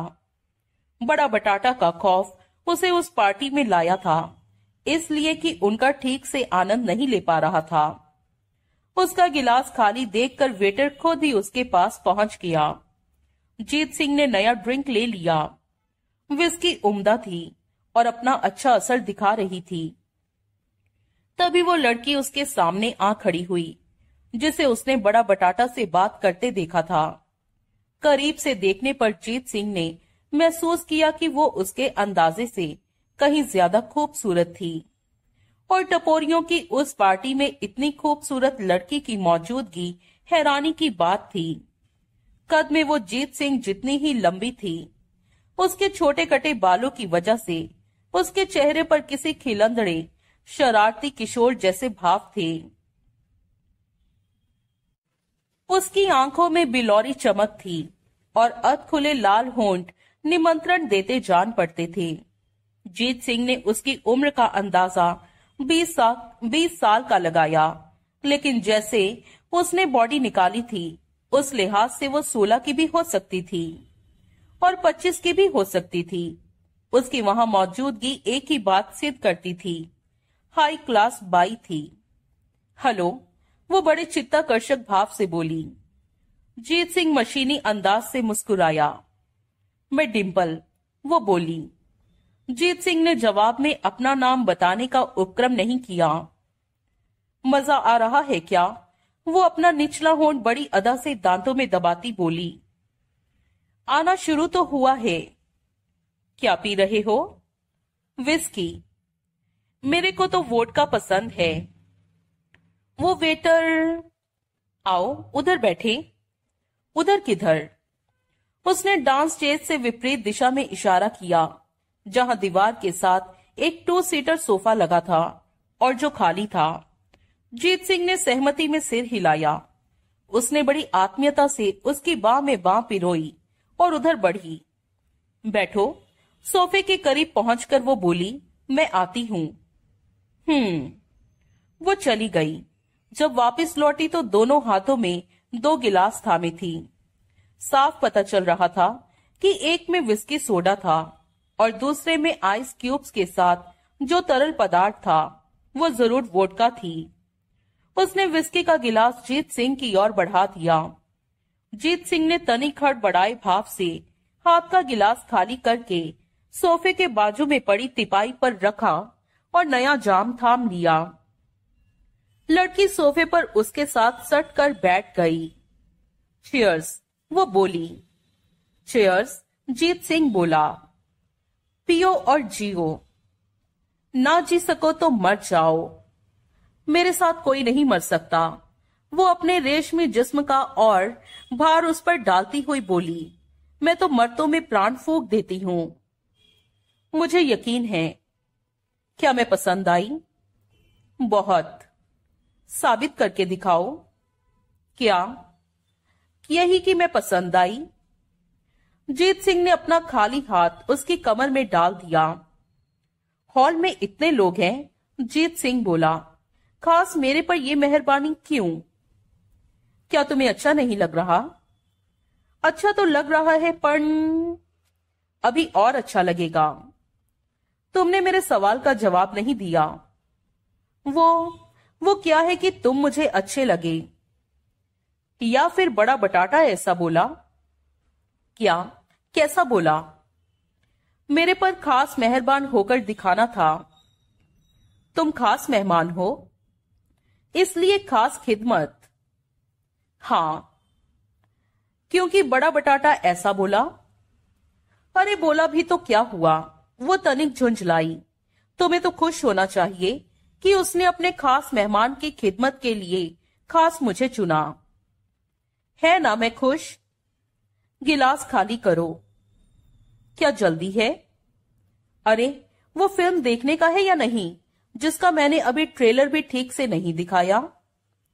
देखने का है। स्पेशल शो, खाली एक दर्शक। बढ़िया।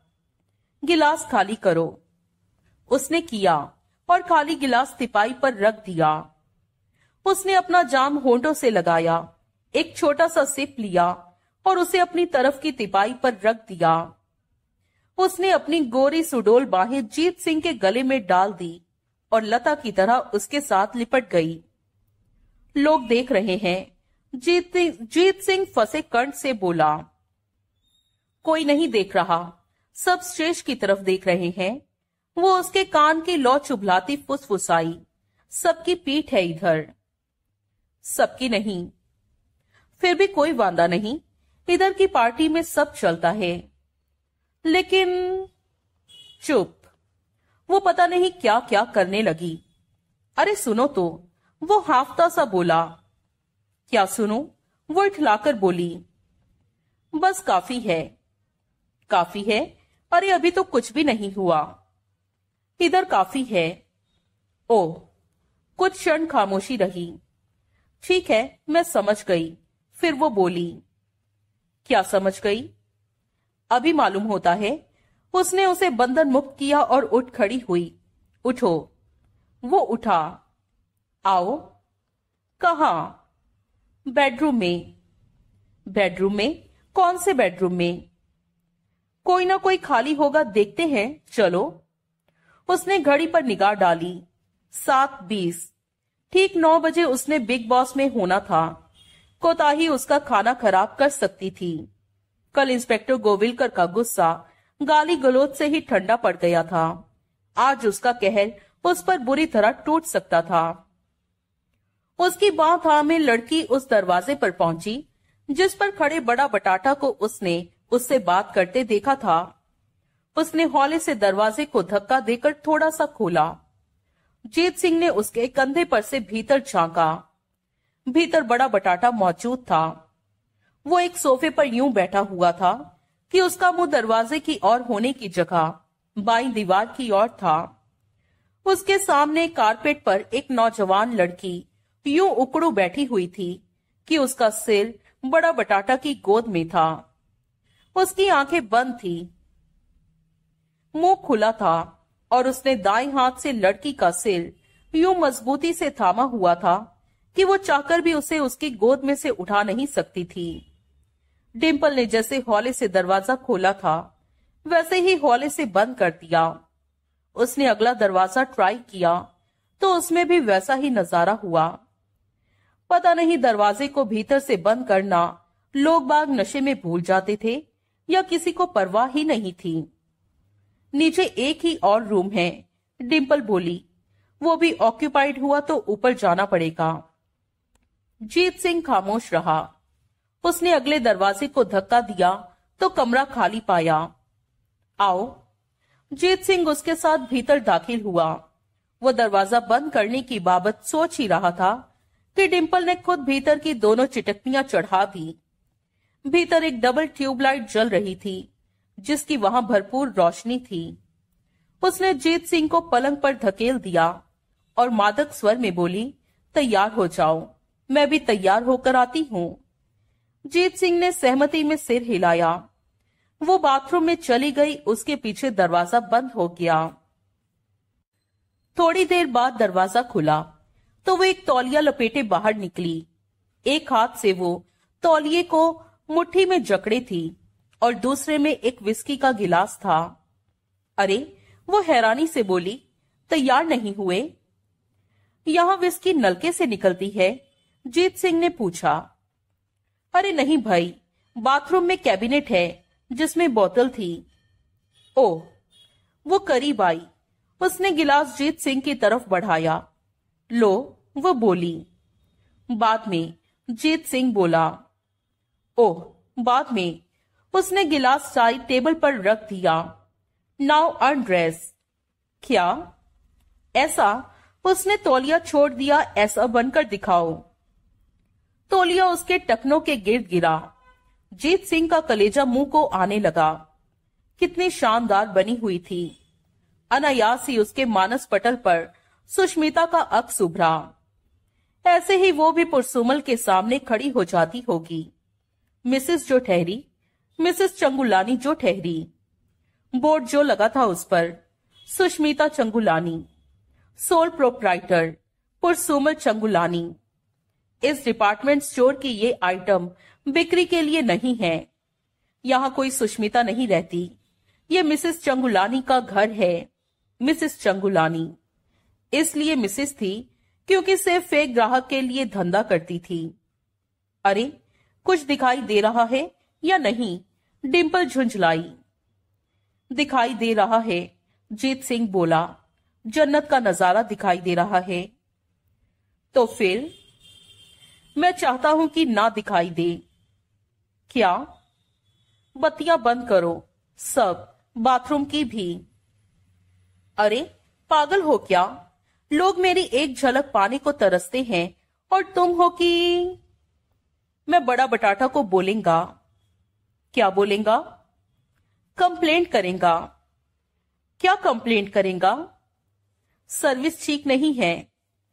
अरे अभी सर्विस हुई किधर है? मन माफिक नहीं, हुज्जत बहुत है।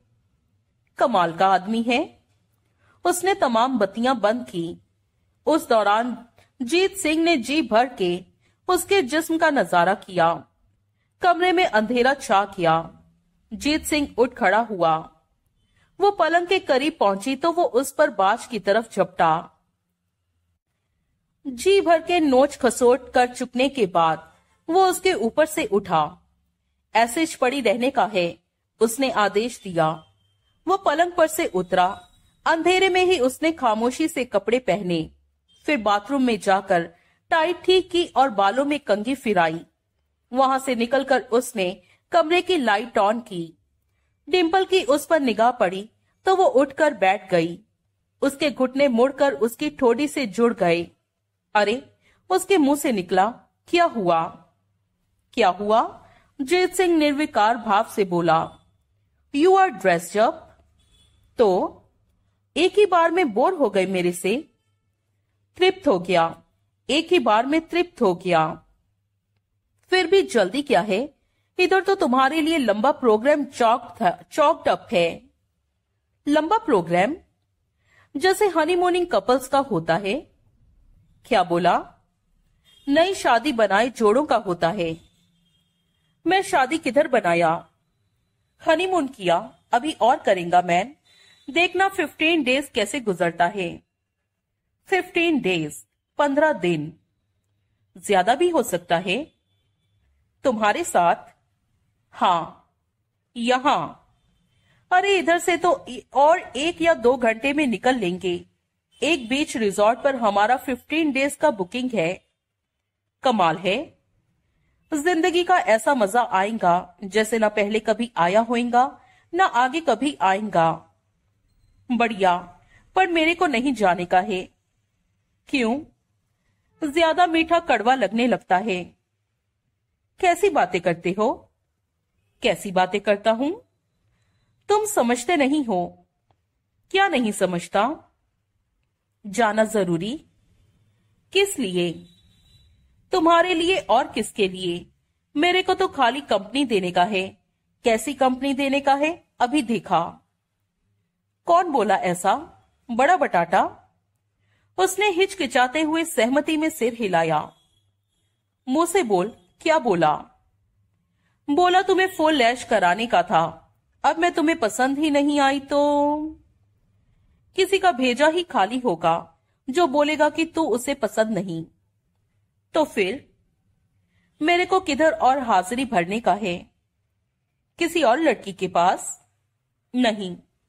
फिर क्या है? मत जाओ। नहीं हो सकता। क्यों नहीं हो सकता?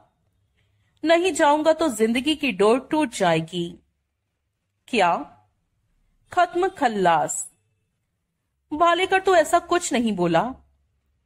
उसे मालूम होता तो ज़रूर बोलता। अभी ज़्यादा है। मैं भालेकर को क्या बोलूँगी? उसे मेरा शुक्रिया बोलना। बोलना मेरे को दावत बहुत पसंद। तृप्त हो गया मैं। वो भड़केगा। क्या वादा है? जो मेरे साथ किया उसके साथ करना ठंडा पड़ जाएगा।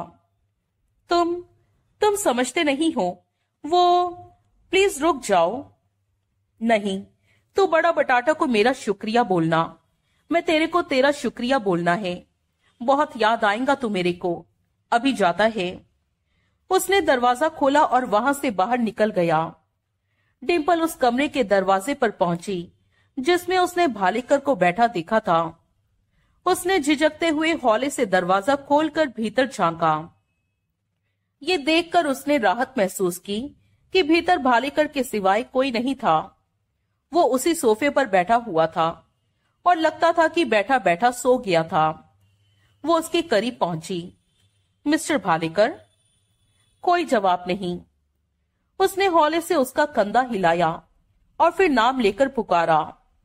भालेकर ने आँखें खोली। सिर उठाकर आगंतुक की तरफ़ देखा। उसके चेहरे पर सख्त पकाहट के भाव आए। यहाँ क्या कर रही है? फिर वो कर्कश स्वर में बोला। वो वो डिम्पल तनिक भयभीत भाव से बोली, चला गया। चला गया? कहा चला गया? इधर से चला गया। तेरा मतलब है पक्का ही चला गया? हाँ। तूने जाने दिया उसे? मैंने बहुत रोका ऑनेस्ट बहुत रोका, पर वो नहीं रुका। अरे क्यों? बोला किधर और जाने का था। तो भी रोका होता? तो तो कहती थी तेरे साथ जो होता था, वो दीन दुनिया को भूल जाता था। वो क्या है कि अभी क्या टाइम है? आठ बजे को है। एक घंटा भी नहीं रोक के रख सकी। वो वो वो की बच्ची बोलती थी, उसे पता भी नहीं चलेगा कि कब पंद्रह दिन गुजर गए और बीच रिजॉर्ट पर और रुकने को तड़पेगा। वो आदमी ही अजीब था। अजीब बातें करता था, अजीब हरकतें करता था। वन गो ही में ही मेरी हड्डी पसली एक कर दी उसने। इसलिए तूने उसे जाने दिया? बाय गॉड, नहीं। मैंने पूरी कोशिश की थी उसे रोकने की। पूरी कोशिश की होती तो चला कैसे गया होता? अब क्या मैं उसे बाँध के रखती? क्या वांदा था? तेरे जैसी औरतों को, मर्द लोगों को कहीं रस्सी से बाँध कर रखना पड़ता है? मैंने हर कोशिश कर देखी थी, लेकिन वो तो दफ़ा हो जा। मेरा रोकड़ा? कैसा रोकड़ा? काम तो हुआ नहीं, लेकिन पीछे भालेकर कितनी ही देर खामोश बैठा सोचता रहा। फिर उसने करीब पड़ा फ़ोन उठाया और उस पर एक नंबर डायल किया। लाइन लगी तो वो संभल कर बैठ गया और माउथ पीस में बोला, बड़ा जादव साहब भालेकर बोलता है, क्या माँगता है? छगन जाधव की आवाज़ आई। आपसे मिलना माँगता है। किस बाबत? बोनी बाबत, बाबा की बाबत। अभी क्या बाकी है उस बाबत मिलने को? अब तो सब फिट हो गया। लगता है। क्या बोला? बोला लगता है सब फिट हो गया। क्या मतलब? ऐसे मामलों में लिपापोती कभी एकदम परफेक्ट नहीं होती बाप। कहीं ना कहीं कोई ना कोई झोल रह जाता है। अभी ऐसा है क्या? लगता है, तभी तो मिलना माँगता है। अभी मुमकिन नहीं। अभी मुझे कहीं बहुत ज़रूरी काम से जाने का है। कब खाली होएगा? दो घंटे बाद। ग्यारह बजे नेताजी के पास पहुँचना, उधर मुलाकात होगी। बात क्या है? कोई हिंट तो दे। एक रिपोर्टर पीछा नहीं छोड़ रहा वारदात का। एक गवाह सेट नहीं हो सका, जो कि पुलिस की कहानी की पोल खोल सकता है और उनके चश्मदीद गवाह को झूठा साबित कर सकता है। खल्लास कर दोनों को। बाप, हर बात का हल खल्लास ही नहीं होता। ऐसे तो आधी मुंबई खत्म हो जाएगी। होता भी है तो टाइम लगता है ऐसे कामों में। फिर तो काहे का ट्रबल शूटर है? मैं करेंगा अपना काम। जैसे हमेशा करता है, करेंगा। जैसे हमेशा पास होके दिखाता है दिखाएँगा पर टाइम लगेगा। तब तक एक काम अभी ज़रूरी। क्या? कुछ टाइम के लिए बोनी बाबा को मुंबई से बाहर किधर भेजो? उसका नाक टूटेला है। पूछने पर बोलना, नाक जुड़ने तक रेस्ट करने गया। किधर जाए? किधर भी जाए। थोड़ा टाइम इधर से जाए, ताकि वो किसी को कुछ उल्टा सीधा ना बोल दे, ताकि कोई उससे कुछ कहलवा ना ले। मैं दादर पहुंचेगा, उधर बात करेंगे। पर ये ज़रूरी। हाँ हाँ ज़रूरी। कट कर। भालेकर ने लाइन काटी और एक नया नंबर डायल किया। डॉक्टर को दे। जवाब मिलने पर वो बोला। तत्काल डॉक्टर मेहता लाइन पर आया। अरे डॉक्टर भालेकर बोला, मैं भालेकर, कैसी है छोकरी? ठीक है, जवाब मिला। अरे, किस हालत में है? सोती है। उसको जगाने का है और बात करने लायक बनाने का है। मेरे से उससे बात करना माँगता है। क्या कोई नया लफड़ा? अभी हुआ नहीं है, पर हो सकता है। इस वास्ते छोकरी को जरा फास्ट गियर पर लगाना पड़ेगा। अभी भेजे में आया कुछ? आया। एक घंटे में आता है। Yacht club Apollo pier road पर थी, जहाँ की आठ बजे के बाद झालानी पहुँचा। उसने मोटरसाइकिल को पार्किंग में खड़ा किया और क्लब में कदम रखा। शेखर नवलानी उसे बार वाले हॉल में अकेला बैठा दिखाई दिया। झालानी उसके पास पहुँचा। नवलानी ने उठकर बहुत गर्म जोशी से उससे हाथ मिलाया। और फिर दोनों आमने सामने बैठ गए। कोई उनको ऐसे गर्म जोशी से मिलता देखता तो उसे मुगालता लगता कि उस गर्म जोशी की वजह दोस्ती नहीं थी। ये थी कि वो जात भाई थे, लेकिन वो बात गलत थी। झालानी राजस्थानी था, जबकि नवलानी सिंधी था। कैसा चल रहा है? नवलानी बोला। अरे ब्रदर झालानी बोला, नौकरी में कैसा चलना है? तुम धंधे वाले हो। तुम बताओ कैसे चल रहा है? ठीक चल रहा है, कोई शिकायत नहीं। और क्या चाहिए? कैसे याद किया? तुम्हें जल्दी है कहीं जाने की? नहीं तो नौकरी से फारिग होकर आया हूँ। क्यों पूछा? इसलिए कि जल्दी हो तो जल्दी बात करें, वरना आराम से बात करें। कोई जल्दी नहीं। तो पहले ड्रिंक्स मंगाएँ। वाह, नेकी और पूछ पूछ नवलानी ने ड्रिंक्स का ऑर्डर दिया। ऑर्डर सर्व होने के इंतज़ार में दोनों ने सिगरेट सुलगा लिए। ऑर्डर सर्व हुआ तो दोनों ने चेयर्स बोला। पंकज फिर नवलानी संजीदगी से बोला, मैं तेरे से ग्रांट रोड वाले केस की बाबत बात करना चाहता हूँ यार। क्यों? क्योंकि मैंने तकदीर की बेतहाशा मार खाई। एक शख्स की मदद करने का वादा किया है। क्या ऐसा कोई शख्स तुम्हारा क्लाइंट है? यही समझ लो, लेकिन उससे कोई फ़ीस चार्ज नहीं की है। क्या बाद में करोगे? नहीं। क्या गरीब आदमी है? फ़ीस नहीं भर सकता। मुँह मांगी फ़ीस भर सकता है। एडवांस में भरने को तैयार था। तुमने ले ली? नहीं। यकीन नहीं आता।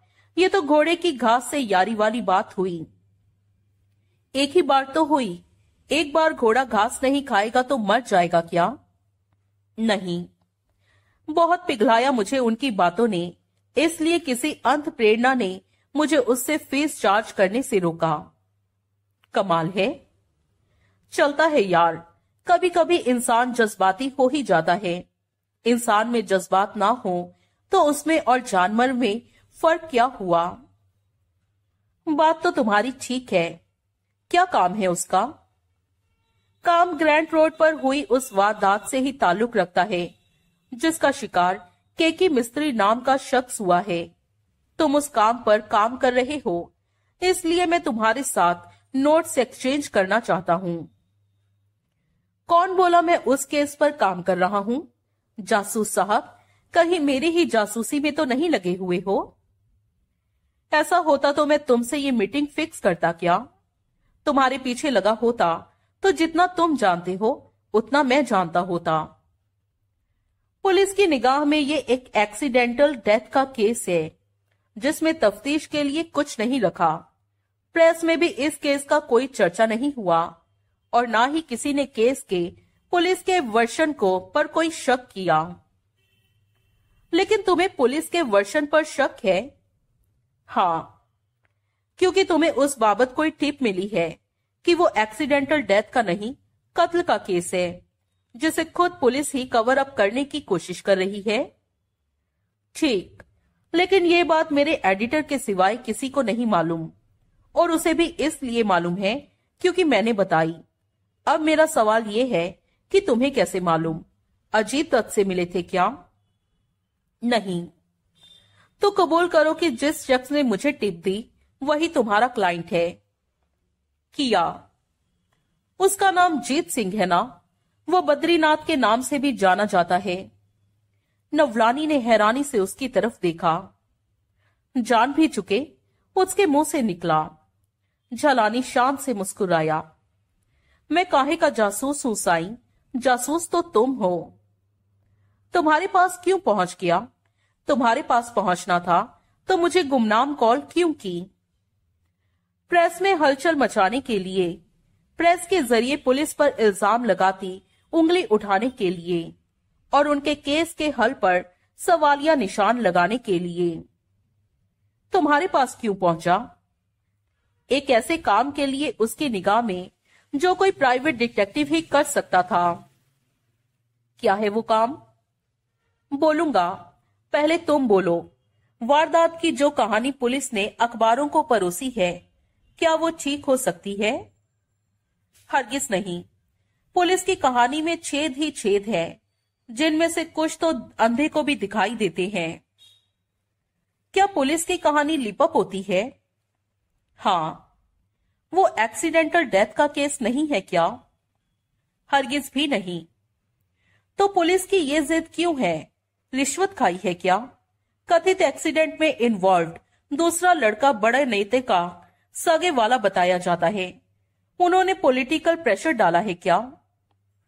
दोनों ही बातें हो सकती हैं, लेकिन मुझे पैसे का खेल ज़्यादा लगता है, क्योंकि मर्डर के कवर अप में कोई एक जन नहीं, कई जन मिले हुए हैं। खुला पैसा लुटाया गया जान पड़ता है। उस बोनी जादव नाम के लड़के को बचाने के लिए। क्या तुम साबित कर सकते हो कि ये कत्ल का केस है? अरे मेरे भाई केस तो खुद अपने आप को साबित कर रहा है। लेकिन कोई देखे तो कोई सुने तो कैसे कर रहा है? मैं सुन रहा हूँ। सुनो, पहले पुलिस का पहला कदम ही देखो। कैसे पुलिस की बदनियती की चुगली कर रहा है? गोलियाँ चलने और किसी औरत के चीखने की आवाज़ सुनी जाने की रिपोर्ट के जवाब में, पुलिस मौकाए वारदात पर यूँ पहुँचती है, जैसे कहीं चोर घुसता है।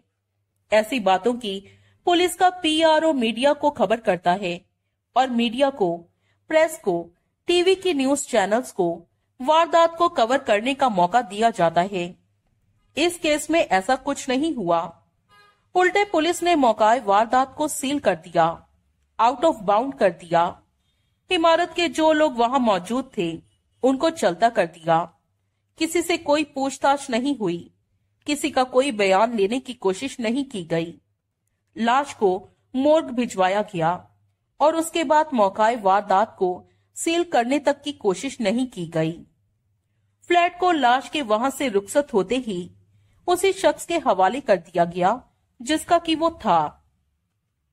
कमाल है, ऐसे आनंद फानंद तो पुलिस वाले सड़क पर लावारिस पड़ी लाश नहीं उठवाते। कहा उठवाते हैं?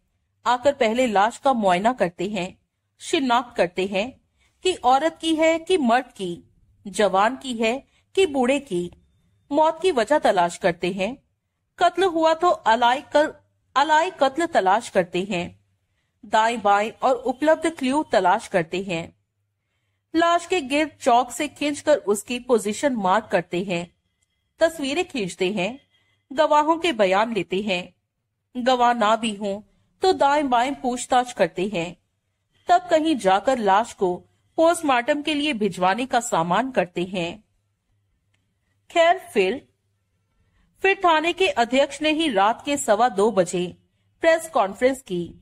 वारदात का फैब्रिकेटेड वर्जन पेश किया कि वो एक एक्सीडेंटल डेथ का केस था। वारदात का एक चश्मदीद गवाह पेश किया, जिसका बयान मरने वालों को ही मौत का जिम्मेदार ठहराता था और छुट्टी, जिसकी गन चली। जिसके फ्लैट में गन चली। वो हवा की तरह आज़ाद। Case closed. अगले रोज मैं थानाध्यक्ष से मिला तो वो भी बोला, केस क्लोज्ड। मैंने उसे याद दिलाया कि अभी पोस्टमार्टम की रिपोर्ट आना बाकी था। बैलिस्टिक्स एक्सपर्ट की रिपोर्ट आना बाकी था। बड़े इतमान से बोला, महज फॉर्मेलिटीज थी। वो एक open and shut, accidental death का केस था, जिसमें केके मिस्त्री का नाम नौजवान भरपूर नशे में वायलेंट हो उठा था और अपनी जहालत से मारा किया था। तो क्या ऐसा नहीं हो सकता? हो सकता है। क्यों नहीं हो सकता? लेकिन इस बात को स्थापित करने की कोशिश की जाती है कि मरने वाला वायलेंट नेचर का था और हैवी ड्रिंकर था। पुलिस ने ऐसी कोई कोशिश नहीं की। इसलिए नहीं की कि करते तो मरने वाले की बाबत जो जानकारी उन्हें हासिल होती। वो उनकी कहानी की पॉलिश उतार देती। वो पूछताछ मैंने की तो सुनो क्या पता चला। पता चला कि मरने वाला एक शरीफ, जिम्मेदार सिंसियर और डिसेंट बिहेवियर वाला आदमी था। सोशल ड्रिंकर था, जिसका मतलब है कि मर्यादा में पीता था और पीकर कभी आपे से बाहर नहीं होता था। लिहाजा वो इस बात पर बोनी जाधव और चश्मदीद गवाह, शेख मुनीर से नहीं झगड़ा हो सकता था। कि उन लोगों ने उसे लूटने की कोशिश की थी। आई सी। उसके विपरीत, अब सुनो, बोनी जादव का नया कैरेक्टर सामने आया है।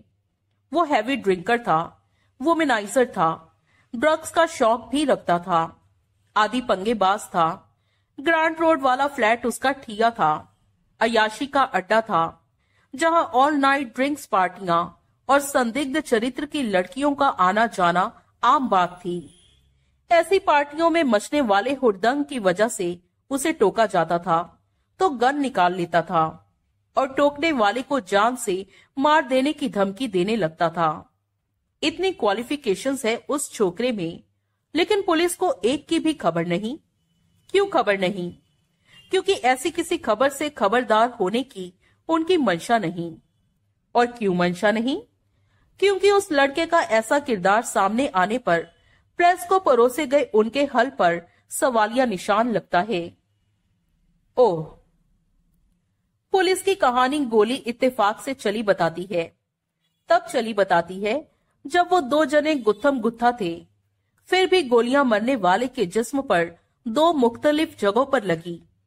पुलिस ने इस रूटीन को भी नजरअंदाज कर दिया कि बैलिस्टिक्स एक्सपर्ट ने यह स्थापित करना होता था कि गोली फासले से चली या क्लोज रेंज से चली। और तस्दीक इस बात की इसलिए नहीं हो सकेगी क्योंकि लाश का पारसी रीति रिवाज से संस्कार हो भी चुका है। गोली क्लोज रेंज से चली हो तो गोली खाने वाले के कपड़ों पर गन पाउडर के निशान बनते हैं। जितने क्लोज रेंज से चली बताई जाती है, दोनों की गुत्थम गुत्ता हाल में चली बताई जाती है। उसमें तो गन पाउडर के निशान बोने जादव के कपड़ों पर भी पाए जा सकते हैं। लेकिन पुलिस ने जादव के कपड़ों को काबू में करने की कोशिश नहीं की और के की मिस्त्री के कपड़ों की किसी को हवा भी मिल जाए तो बोलना। आई सी। ऊपर से गोविंद माने नाम का एक गवाह शंका ज़ाहिर करता है और दूसरा भीड़े दावे से कहता है कि गोलियाँ तीन चली। पुलिस का इन्वेस्टिगेटिंग ऑफिसर इस बात पर कान से मक्खी उड़ाता है। तीन चली तो तीसरी गोली कहाँ गई? फ्लैट के एंट्रेंस डोर में गई जिसे कि फ्लैट के मालिक ने आनंद फानन बदलवा दिया और गोली वाला दरवाज़ा गायब कर दिया। ये महज तुम्हारा अंदाज़ा है। कबूल। लेकिन किसी बुनियाद पर टिका हुआ अंदाज़ा है। क्यों खड़े पैर बोनी जाधव ने अपने फ्लैट का दरवाज़ा तब्दील कराया? कोई नुक्स होगा? होगा।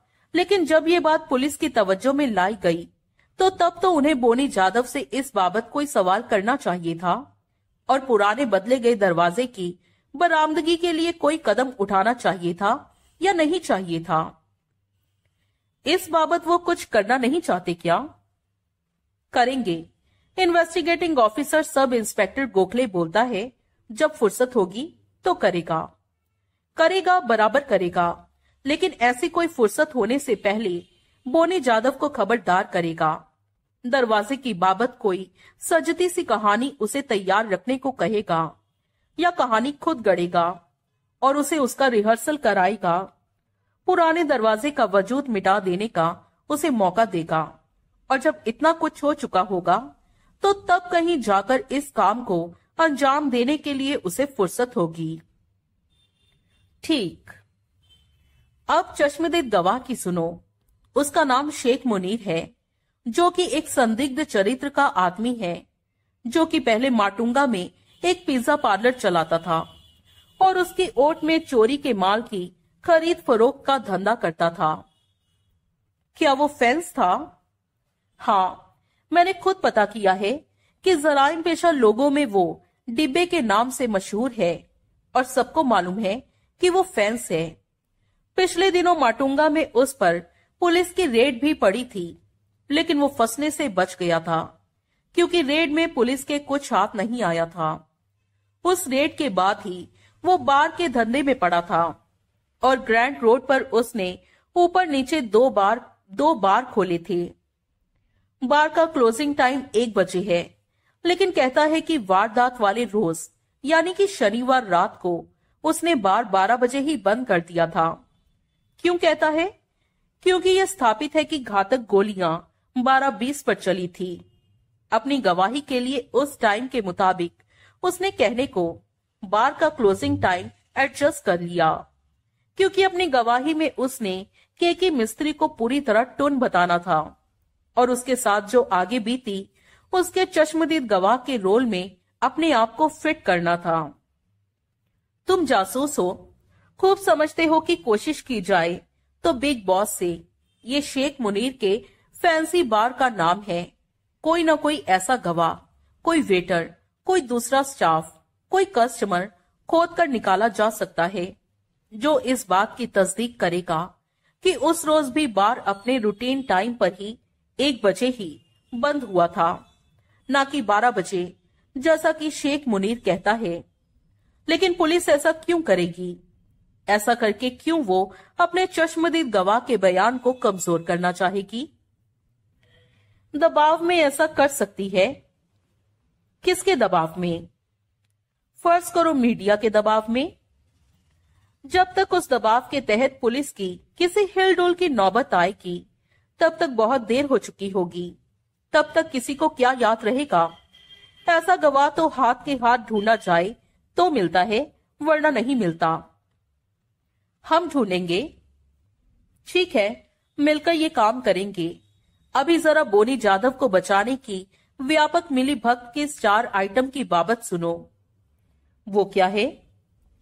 पोस्टमार्टम करने वाले डॉक्टर का नाम किशोर पारेख है, जिसने पहले करेक्ट रिपोर्ट जारी की और उसे पुलिस के पास भिजवाया। तभी दिलीप भालेकर नाम का एक मवाली उसके पास पहुँच गया। जो कि अंडरवर्ल्ड में बड़ा बटाटा के नाम से जाना जाता है।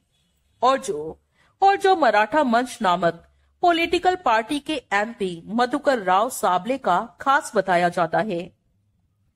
तुम्हें कैसे मालूम कि वो डॉक्टर के पास पहुँचा था? आँखों से देखा।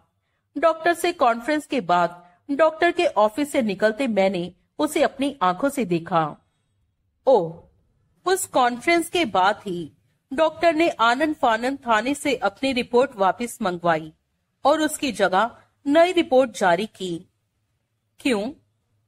क्योंकि पहली रिपोर्ट में, जो कि ईमानदारी से बनाई गई थी, दर्ज था कि मरने वाले के जिस्म में एस्टेसी नाम के ड्रग के अवशेष पाए गए थे। एस्टेसी हीरोइन जैसी, एलएसजी जैसी नशे की खतरनाक गोली है, जो कि इतनी महँगी है और दो सौ रुपए की एक, कि हर कोई उसे नहीं अफोर्ड कर सकता और ना हासिल कर सकता है। वो रिपोर्ट जारी होने का मतलब ये होता कि केकी मिस्त्री शनिवार रात को विस्की के नहीं एस्टेसी के नशे में था, जबकि पुलिस की कहानी में सारा ज़ोर इस बात पर है कि बिग बॉस बार में वो इतनी पी गया था कि होश खो बैठा और बार से बाहर आकर फुटपाथ पर बेहोश होकर गिर पड़ा। दूसरे, उसका एम्प्लॉयर शाह नवाज़ खान गारंटी करके कहता है कि केकी मिस्त्री ड्रग एडिक्ट नहीं था। लिहाजा पुलिस की कहानी में विश्वसनीयता बनाए रखने के लिए यह ज़रूरी था कि पोस्टमार्टम की रिपोर्ट में एसटीसी का ज़िक्र न आता। इसलिए डॉक्टर को रिश्वत देकर रिपोर्ट तब्दील कराई गई। इंस्पेक्टर ने हाथ आई ओरिजिनल रिपोर्ट लौटा दी। इससे साबित होता है कि रिश्वत के व्यापक माया जाल में वो भी शरीक है। तुम्हें ये बात कैसे पता चली? मेरे से हज़ार रुपए ऐंठने के तमन्नाई, मुझे जानते पहचाने, पहचानते मोर के एक कर्मचारी ने इस शर्ट पर मुझे बताई कि उसका नाम बीच में नहीं आएगा। उस मवाली को क्या नाम बोला? दिलीप भालेकर उर्फ़ बड़ा बटाटा। उसे एसटीसी की बाबत कुछ कैसे मालूम हुआ? एक ही तरीका मुमकिन है। क्या? ज़रूर बोनी जाधव ने बताया। ज़रूर वो ड्रग एडिक्ट है। ज़रूर वो गोली किसी तरीके से बार में उसी ने केकी मिस्त्री को खिलाई और और बाद में किसी वक्त ये बात बड़ा बटाटा को बताई। उसने ऐसा क्यों किया? ताकि केकी मिस्त्री गंभीर नशे की हालत में पहुँच जाए। और वो ऐसा क्यों चाहता था? ये मुझे नहीं मालूम। नहीं मालूम से मेरा मतलब है कि मुझे कोई फ़र्स्ट हैंड जानकारी नहीं। लेकिन था कोई लड़की का चक्कर ही। मुझे गुमनाम कॉल लगाने वाला, जो कि अब मुझे मालूम है कि कौन था। वो बोला कि केके मिस्त्री के साथ कोई लड़की थी। बोनी जादव नशे में जिसके पीछे पड़ा था। यही बात है। जीत सिंह ने उसी लड़की की तलाश के लिए मुझे एंगेज किया है। वो चाहता है कि केके मिस्त्री ने, जो कि उसका वाकिफ कार था, उसे खुद बताया था कि लड़की उसकी पुरानी वाकिफ थी, जो कि पणजी से इधर की किसी नाइट क्लब में, या नाइट क्लब जैसी किसी जगह पर, एक रात का, शुक्रवार रात का स्पेशल शो करने आई थी। वो लड़की गायब है। गायब है? खुद है या फिर उसने तो ऐसा नहीं कहा? कर दी गई है। दूसरी बात की संभावना इसलिए ज़्यादा है कि उसके खुद गायब होने की कोई वजह नहीं। गायब कर दी गई है। तो चाहकर भी वो केकी मिस्त्री के साथ हुए हादसे की बाबत अपना बयान देने के लिए सामने नहीं आ सकती। क्या पता अब तक खल्लास कर दी गई हो? हो सकता है। मैं कल से अपनी तफ्तीश शुरू करूँगा। फिर देखेंगे क्या हाथ आता है। झलानी, जीत सिंह कहता है कि केकी की मौत के रहस्य की कुंजी वो लड़की है। वो कहता है वो लड़की मिल जाएगी तो सब दूध का दूध और पानी का पानी हो जाएगा। हम्म उसका ऑर्डर, टॉल ऑर्डर, ये है कि हम दोनों मिलके केकी मिस्त्री के पीछे जो षड्यंत्र है उसे यूँ उजागर करें कि उसका नाम बीच में ना आए। ऐसा क्यों? क्योंकि तुम्हारा इंस्पेक्टर गोविलकर किसी और केस के सिलसिले में पहले ही उसका दुश्मन बन बैठा है। सुपर स्टोर की डकैती के केस के सिलसिले में? हाँ इंस्पेक्टर गोविलकर को खबर लग गई कि जीत सिंह की टांग के केकी मिस्त्री वाले केस में भी फंसी हुई है तो उसके साथ बहुत बुरी होगी। हम बात को और कर रहे थे। एसटेसी की। हाँ अब हम सेफली ये मान के चल सकते हैं कि बोनी जादव केकी मिस्त्री के साथ आई लड़की के पीछे पड़ा था और उसने केकी मिस्त्री को आउट ऑफ़ एक्शन करने के लिए ही धोखे से उसे एसटेसी की गोली खिला दी थी। हाँ लेकिन इस बात में फच्चर ये है कि शेख मुनीर कहता है कि उस रात बार में केकी मिस्त्री के साथ ऐसी कोई लड़की नहीं थी। वो तो ऐसा ही कहेगा, अगर वो सिखाया पढ़ाया गया गवाह है तो उससे ऐसा कहलवाया जाना ज़रूरी है, वरना केस का तो हुलिया ही बदल जाएगा। फिर तो लगेगा कि उस लड़की को हासिल करने की खातिर बोनी जादव ने केकी मिस्त्री के खून से अपने हाथ रंगे। बिल्कुल, इसी वजह से तो वो फ्लैट में गूंजी जनाना चीखों की आवाज़ को टीवी से निकली आवाज़ बताता है। झूठ बोलता है। लेकिन साबित करना मुहाल है। मैंने केस के investigating officer sub inspector Gokhale के साथ एक ब्लफ खेला था, जिसमें वो फंस भी गया था, घबरा गया था, घबरा क्या गया था, सन्नाटे में आ गया था। क्या ब्लफ खेला था? मैंने बोला था गोली चलने के टाइम के आसपास किसी चैनल पर भी ऐसा कोई प्रोग्राम नहीं आ रहा था, जिसमें कोई स्त्री पात्र हो जो कि प्रोग्राम के मिडल में एकाएक चीख पड़ने लगती हो। तुम्हारा मतलब है नवलानी हैरानी से बोला, यूँ ही फट्टा मार दिया? असल में ऐसी कोई वेरिफिकेशन नहीं की? हाँ लेकिन लाइन ऑफ़ एक्शन तो ये खराब नहीं, की तो जा सकती है। हाँ की तो जा सकती है। वक्त खाऊ काम है, लेकिन किया जा सकता है। करेंगे। करेंगे तो वो लोग स्टोरी में करेक्शन लगा लेंगे, कि आवाज़ टीवी से नहीं वीडियो से आ रही थी। नेता लोगों की तरह पुलिस वाले भी कह देंगे, कि प्रेस ने उनके चश्मदीद गवाह को मिस कोट किया था। उसने वीडियो ही कहा था, लेकिन समझा टीवी गया था। ये भी ठीक है। वो जिस भीड़े नाम के गवाह का मैंने ज़िक्र किया, वो कहता है कि शनिवार आधी रात को, जो तीन जने उसने बोनी जादव के फ्लैट के दरवाजे पर खड़े देखे थे, उनमें से एक कोई लड़की थी। क्या वो दावे से कहता है? कहता तो दावे से ही है, लेकिन पैंसठ साल का है बाईफोकल्स लगाता है, और उसकी दूर की निगाह ऐसी वैसी ही बताई जाती है। ऊपर से पता चला है कि रात को सीढ़ियों में ज़्यादा रोशनी नहीं होती। रोशनी वाली बात इतनी अहम नहीं, वो सूरत पहचानने के मामले में अहम होती है। औरत और आदमी में फ़र्क तो साय से भी किया जा सकता है। निगाह के बारे में क्या कहता है? खुद वो अपनी निगाह में कोई नुक्स नहीं मानता। बोलता है, नुक्स है तभी तो चश्मा लगाता है, जिससे कि नुक्स दूर हो जाता है। बात तो ठीक कहता है। ठीक। और खतरनाक। खतरनाक? अगर उसकी बात पर एतबार लाया जाए तो पुलिस का चश्मदीद गवाह तो अपने आप ही फर्जी साबित हो जाता है। कैसे? सुनो कैसे। ये तो स्थापित है कि वहाँ तीन जने पहुँचे थे। पुलिस की स्टोरी भी यही कहती है। लेकिन पुलिस की स्टोरी के मुताबिक, वो तीन जने केकी मिस्त्री, बोनी जादव और शेख मुनीर थे। अगर भीड़े की बात पर यकीन कर लिया जाए कि एक कोई लड़की थी तो तीन जने कौन हुए? भाई, एक लड़की थी तो बाकी दो एक मरने वाला और दूसरा मारने वाला तो हुए ही हुए। Exactly exactly. तो फिर चश्मदीद गवाह कहा आसमान से टपका क्या? नहीं टपका। कैसे टपकेगा? तो? तो ये कि वारदात का कोई चश्मदीद गवाह था ही नहीं। था ना भाई? वो लड़की थी ना। जिसको पुलिस चश्मदीद गवाह बताती है, वो नहीं था।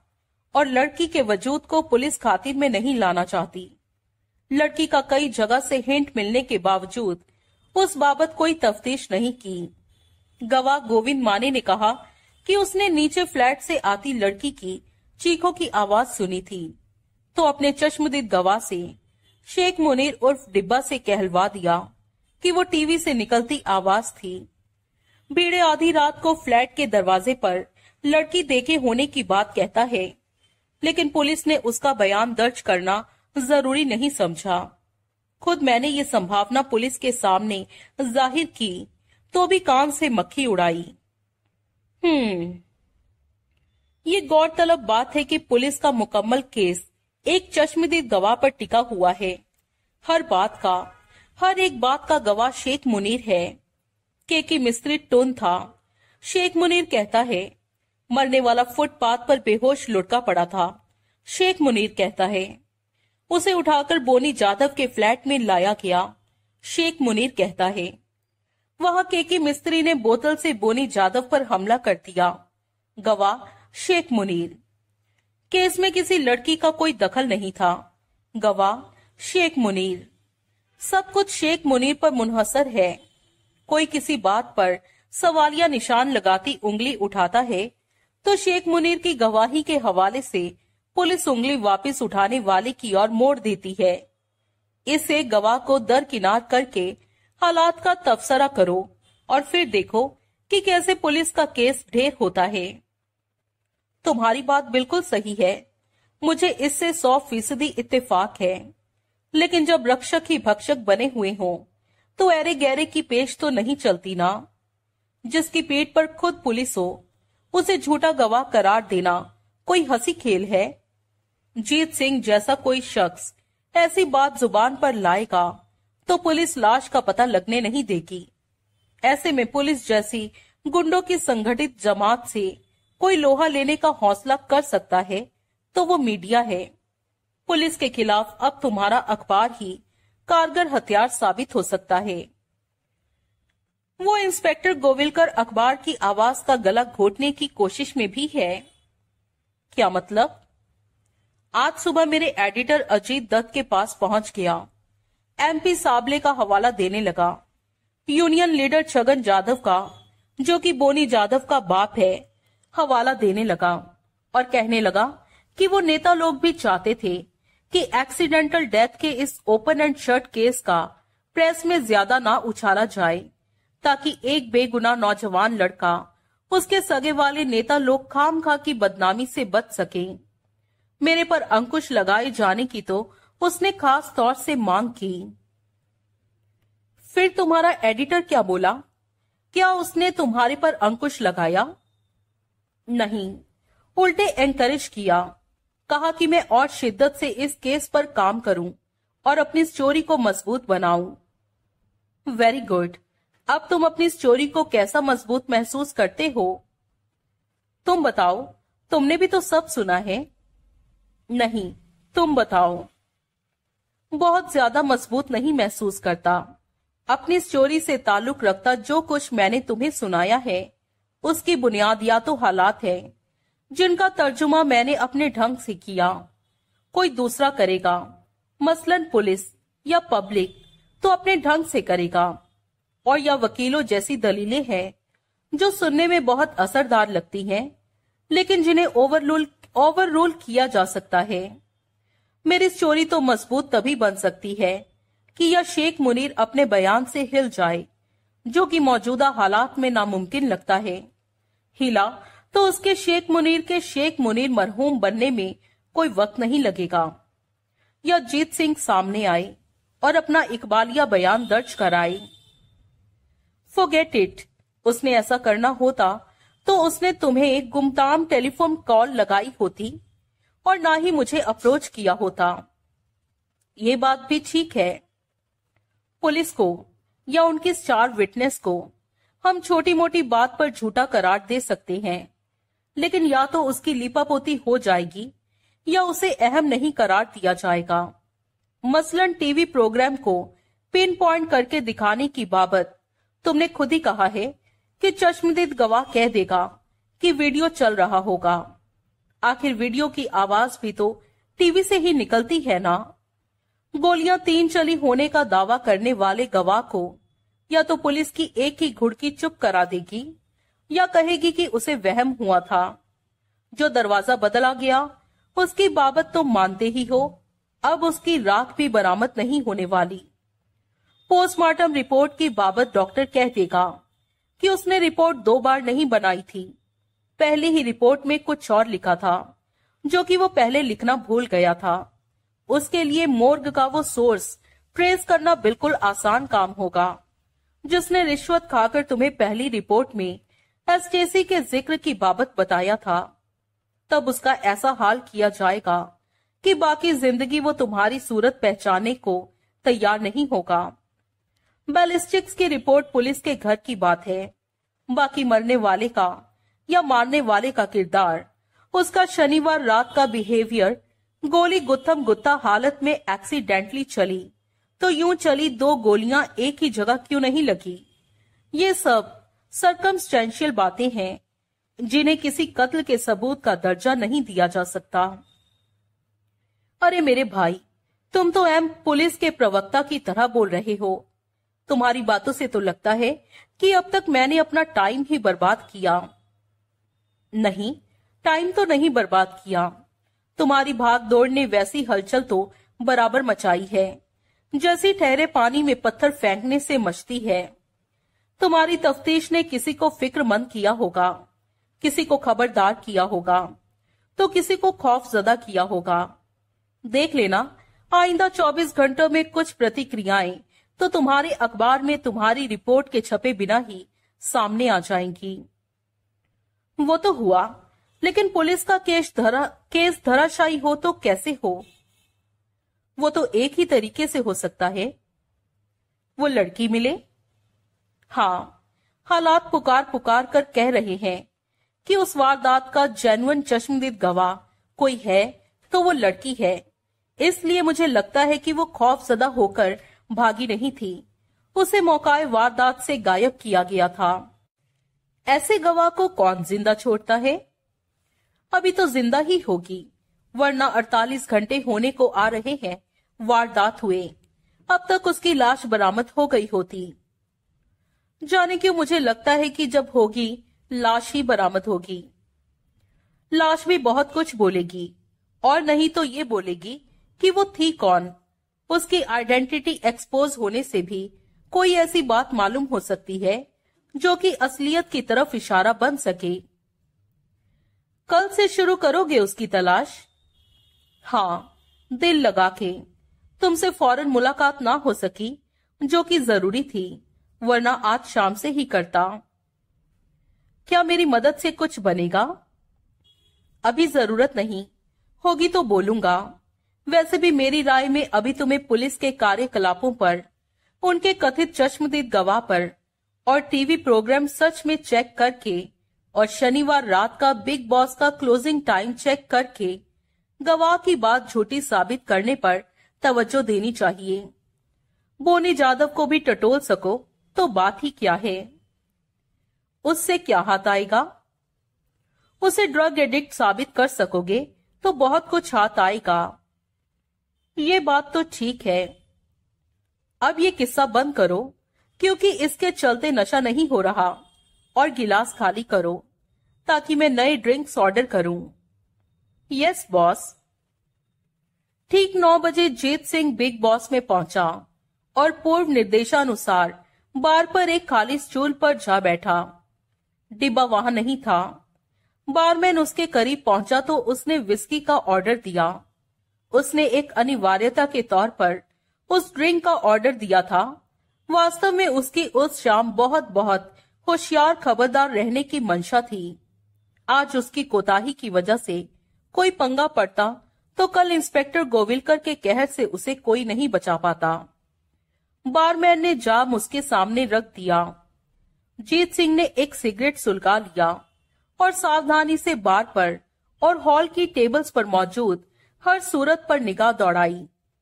कोई परिचित चेहरा उसे नहीं दिखाई दिया। कोई उसे खुद में दिलचस्पी लेता नहीं दिखाई दिया। पंद्रह मिनट गुजरे। उतने समय में उसने अपना गिलास जितना खाली किया था, उतना सोडे से वापस भर लिया था। ऑफ़िस का दरवाज़ा खुला और डिब्बा बाहर निकला। उसका रुख किसी और ही तरफ़ था, लेकिन जीत सिंह पर निगाह पड़ते ही वो ठिठका। फिर वो भीतर की तरफ़ से उसके करीब पहुँचा। जीत सिंह ने पेशानी से दाया हाथ लगाकर उसका अभिवादन किया। कब से बैठा है? वो भवों में बल डालता बोला। पंद्रह बीस मिनट हो गए। जीत सिंह ने सहज भाव से उत्तर दिया। क्या आज कोई सवाल नहीं मेरे से? तू मेरे को गलत समझता है। कल तो गले पड़ रहा था। अरे नहीं मिया। चल नहीं तो नहीं सही। एक बात मेरे को बता। पूछ। ये ठिया बहुत पसंद आने लगा है क्या? क्या मतलब? रोज आता है। तेरे को ऐतराज तो मैं आना बंद कर देता हूँ। अरे नहीं। कस्टमर से कौन एतराज़ करता है? तो ऐसे पूछा, शाम को किधर तो जाना ही होता है? ये मेरे दोस्त का ठिया इसलिए इधर आने को अपने आप मन करता है। आजकल उसकी धीमी आवाज़ हो गई, कामकाज कोई नहीं निगाह में अभी नहीं। सच बोले तो अभी काम की मर्ज़ी ही नहीं है। कैसे होगी? पूना वाले काम में मोटा माल जो हाथ लगा। यही समझ ले। तीस लाख। खुला खर्च करे तो भी टाइम बहुत लगेगा खल्लास होने में। ऐसा ही छह। ऐश कर भिड़ो। वो वहाँ से हट गया। साढ़े नौ बज गए उस दौरान बारमैन एक बार उसके सामने पहुँचा, लेकिन उसने पहले ही इंकार में सिर हिला दिया। तभी एक अकेले आदमी ने वहाँ कदम रखा। वो प्रवेश द्वार के करीब ही ठिठक गया। और उसकी निगाह पैन होती, सारे हॉल में घूमने लगी। आखिरकार वो जीत सिंह पर ठिठकी। जीत सिंह की निगाह भी उससे मिली। वो आदमी लंबे डग भरता जीत सिंह के करीब पहुँचा। जीत सिंह? वो बोला, जीत सिंह ने सहमति में सिर हिलाया। बड़ा बाप मिलना माँगता है। कौन बड़ा बाप? जिससे मुलाकात की खातिर इधर बैठेला है। जिससे कल मुलाकात नहीं हो सकी, क्योंकि नौ दस और नौ बीस के भीतर किधर खिसक गया। पिछले रात का वो, रोज का वो हवाला ये सिद्ध करने के लिए काफ़ी था कि इंस्पेक्टर गोविलकर द्वारा प्रस्तावित जो मुलाकात शनिवार और इतवार नहीं हो सकी थी, वो अब होने वाली थी। किधर है बड़ा बाप? प्रत्यक्षता जीत सिंह बोला। मालूम होएगा ना? वो आदमी बोला, मैं लेने को आया ना? कौन है? वो भी मालूम होएगा। इधर से नक्की कर, जल्दी। जीत सिंह ने अपना गिलास खाली किया। बारमैन को बिल चुकाया और उठकर उसके साथ हो लिया। वो इमारत से बाहर निकले। इधर, स्टेशन से विपरीत दिशा में सड़क पर इशारा करता वो बोला, सहमति में सिर हिलाता जीत सिंह। उसके साथ कदम से कदम मिलाता फुटपाथ पर चलने लगा। उसे 200 कदम से ज़्यादा नहीं चलना पड़ा। आगे फुटपाथ से लगकर एक सिल्वर कलर की फोर्ड आइकॉन खड़ी थी। एक कदम आगे निकलकर उसके जोड़ीदार ने पीछे का दरवाज़ा खोला और भीतर की तरफ़ इशारा किया। बैठने से पहले जीत सिंह ने झुककर भीतर झांका तो पाया कि भीतर जो व्यक्ति बैठा था, वो इतना मोटा था कि उस बड़ी गाड़ी में भी दो तिहाई सीट घेरे जान पड़ता था। वो सिगरेट पी रहा था जिसका वो कश लगाता था तो होंठों के इर्द गिर्द का हिस्सा थोड़ा रोशन हो जाता था। अन्यथा अंधेरे में उसकी सूरत देख पाना मुहाल था। वो भीतर बैठ गया। दूसरे व्यक्ति ने उस, उसके पीछे दरवाज़ा बंद कर दिया और आगे ड्राइविंग सीट के दरवाजे की ओर बढ़ा। घूम के आ। मोटा खर खराती आवाज़ में बोला हॉर्न बचे तो आना। उस व्यक्ति ने दरवाजे का हैंडल छोड़ दिया और सहमति में सिर हिलाता फुटपाथ पर आगे बढ़ चला। मोटा सिगरेट के कश लगाता खामोशी से उसे जाता देखता रहा। जब वो काफ़ी दूर निकल गया तो उसने सिगरेट खिड़की से बाहर फेंक दिया और पहलू बदला। जीत सिंह? वो बोला। हाँ जीत सिंह बोला। उसने अपना कोई परिचय देने की कोशिश नहीं की। जीत सिंह उसके दोबारा बोलने की प्रतीक्षा करता रहा। कल तो इधर नहीं था, वो बोला, चकोर पूरा दस मिनट ऊपर बार में तेरा वेट किया पर तो उसे कहीं दिखाई नहीं दिया। सॉरी बोलता है बाप, अपन उधर ही था पर एन उसी दस मिनट के वास्ते बार में नहीं था। मालूम क्यों नहीं था? बार का मालिक तेरा फ्रेंड उसके ऑफ़िस में उससे बात करता था। मिस्टेक हुआ बाप। अब उनको बार से उठ के जाने का नहीं था। अब जो हुआ, सो हुआ। आज इसी वास्ते टैम से थोड़ा पहले पहुँचा और पक्की करके बैठा कि बार से हिलने का नहीं था। ठीक किया। क्या अब मतलब की बात करें? करो ना बाप। गोविलकर कुछ बोला क्या? नको बोला जो बोलेगा, आप बोलेगा। हाँ। उसने पहलू बदला तो जीत सिंह ने खुद को दरवाजे और उसके बीच में फंसता महसूस किया। फिर थोड़ी विपरीत दिशा में हिलडुल हुई और उसके ठीक से बैठ पाने की गुंजाइश बनी। वो क्या है कि तेरे को एक भेड़ू को टपकाने का है? टपकाने का है? जीत सिंह को उसी बात की उम्मीद थी। फिर भी उसने हड़बड़ाकर दिखाया। नहीं समझा क्या? लुढ़काने का है, खल्लास करने का है। वो तो मैं समझा बाप, पण, क्या पण? मर्डर मतलब फांसी। अरे, पकड़ा जाएगा तो ना। सब इतना सेफ़ है कि तेरे पकड़े जाने का कोई चांस नहीं। जीत सिंह का जी चाह कि बोले, मोटे तो खुद खुद क्यों नहीं करता? अपने चकोर को क्यों नहीं बोलता? लेकिन वो खामोश रहा। है कौन वो? जीत सिंह बोला। क्या ज़रूरत है जानने की? बाप, जिसको टपकाना हो, उसके बारे में कुछ मालूम तो होना चाहिए। कुछ क्या? सब कुछ मालूम होना चाहिए। काहे? बाद में उसके घर में अफसोस करने जाएगा क्या? वो तो नहीं जाएगा, पर कुछ नहीं मालूम होना चाहिए। कुछ मालूम होना ज़रूरी नहीं। तेरे को एक भेड़ू दिखाने का है, और बोलने का है, उसे किधर टपकाने का है? फिर खाली तेरे को अपना काम करने का है। एक गोली सही ठिकाने पर और तू फ्री बाप, मेरे को उसको चिकोटी काट के आने का नहीं है, शूट करने का है। शूट करने का है तो मेरे को मालूम होना चाहिए कि किसे शूट करने का है और क्यों शूट करने का है। क्यों शूट करने का है? यानी कि तेरे को वजह भी बतानी पड़ेगी। हाँ वरना वरना क्या? वरना जाता है। उसने दरवाजे का हैंडल थामा। नतीजा मालूम क्या होगा? मोटा सख्ती से बोला, देखेगा बाप, मैं इंस्पेक्टर गोविलकर से एक सौदा किया। एक काम करने को बोला, जो कि अब मालूम पड़ता है कि तुम्हेरा है और डेंजर काम है। इतना डेंजर कि एक कदम गलत पड़ गया तो दूसरा जेल में और तीसरा फांसी के फंदे पर। खाम खा इंस्पेक्टर है ना? इंस्पेक्टर है, कोई कमिश्नर नहीं है, चीफ मिनिस्टर नहीं है, गवर्नर नहीं है, वो अपने थाने का शेर है, अक्की मुंबई का मालिक नहीं है। काफ़ी शाना है। शाना किधर है बाप? मजबूर है। शाना होता तो कत्ल की पेशकश सुनने को इधर तुम्हारे पास बैठा होता। तू क्या चाहता है? वही जो कुर्बानी का बकरा चाहता है, उसको मालूम तो हो वो क्यों कुर्बान हो रहा है?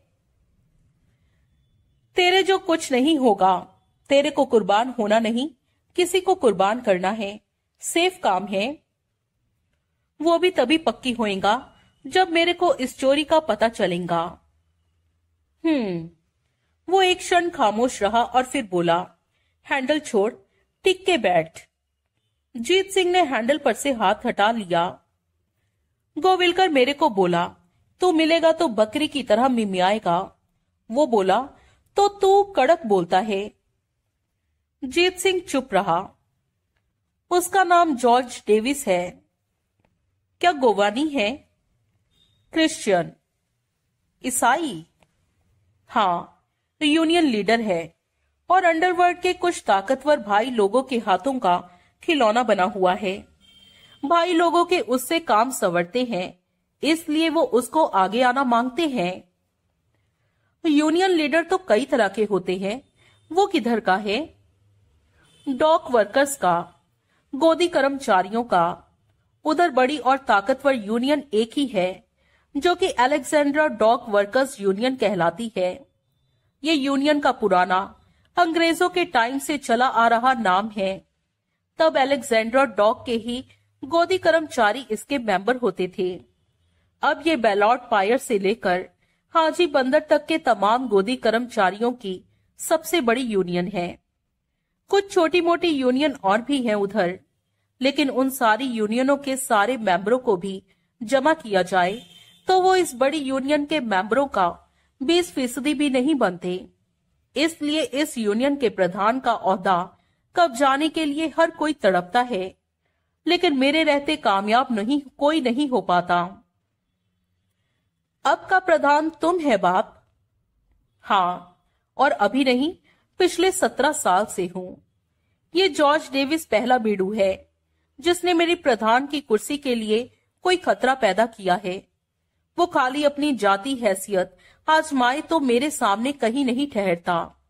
लेकिन मैंने बोला ही है कि उसे भाई लोगों की, मवालियों की, स्मगलरों की सपोर्ट है। क्यों है?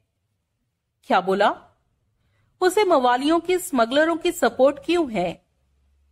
क्योंकि वो खुद भी ऐसा ही है मवाली है, स्मगलर है, भाई है। हाँ तभी। मैं क्या कह रहा था? हाँ असल किस्सा यह है कि बड़े भाई लोग, जो जॉर्ज डेविस की पीठ पर है, मुझे हटवाकर डॉग पर कहने को, जॉर्ज डेविस का, लेकिन असल में जॉर्ज डेविस का नहीं उसके ज़रिए अपना दबदबा बनाना चाहते हैं, ताकि उनके स्मगलिंग के कारोबार सहूलियत से चल सके। इस बड़ी यूनियन का प्रधान डॉग पर बहुत ताकत रखता है। उसके एक इशारे पर हज़ारों गोदी कर्मचारी काम बंद कर देते हैं।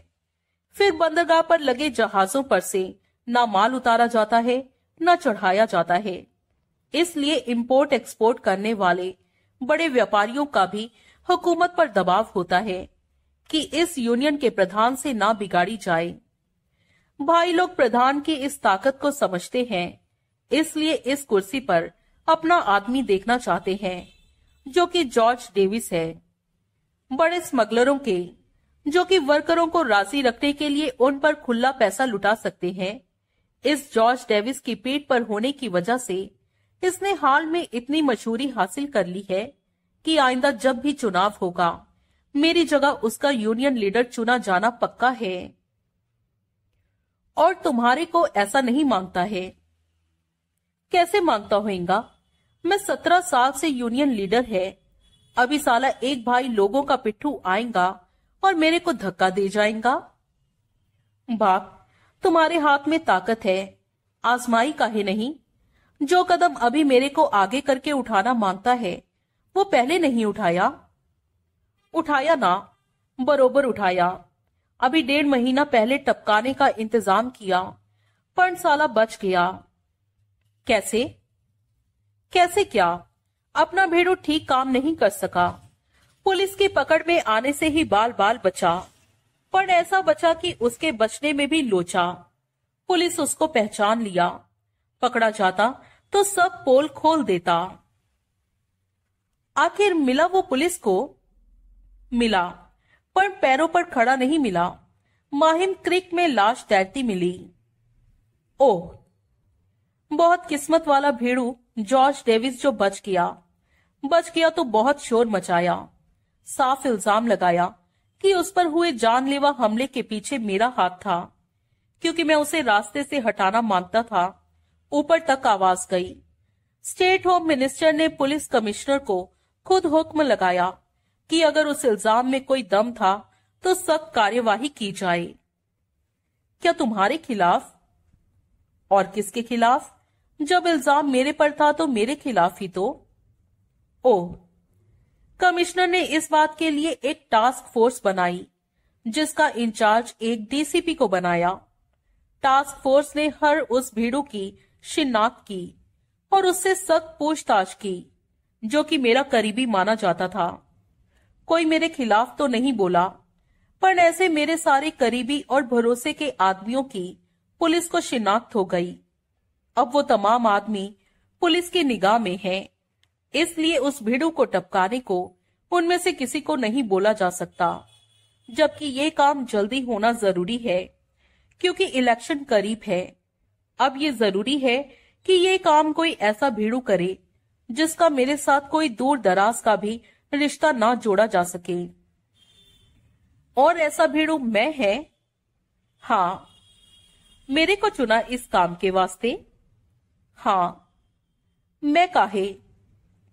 क्या तेरे को नहीं मालूम? क्या नहीं मालूम? गोविलकर क्या बोला तेरे को?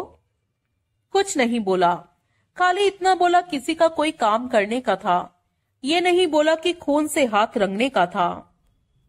अरे तेरे को बोला तो तेरे को खुद समझना चाहिए था या नहीं चाहिए था? क्या समझना चाहिए था?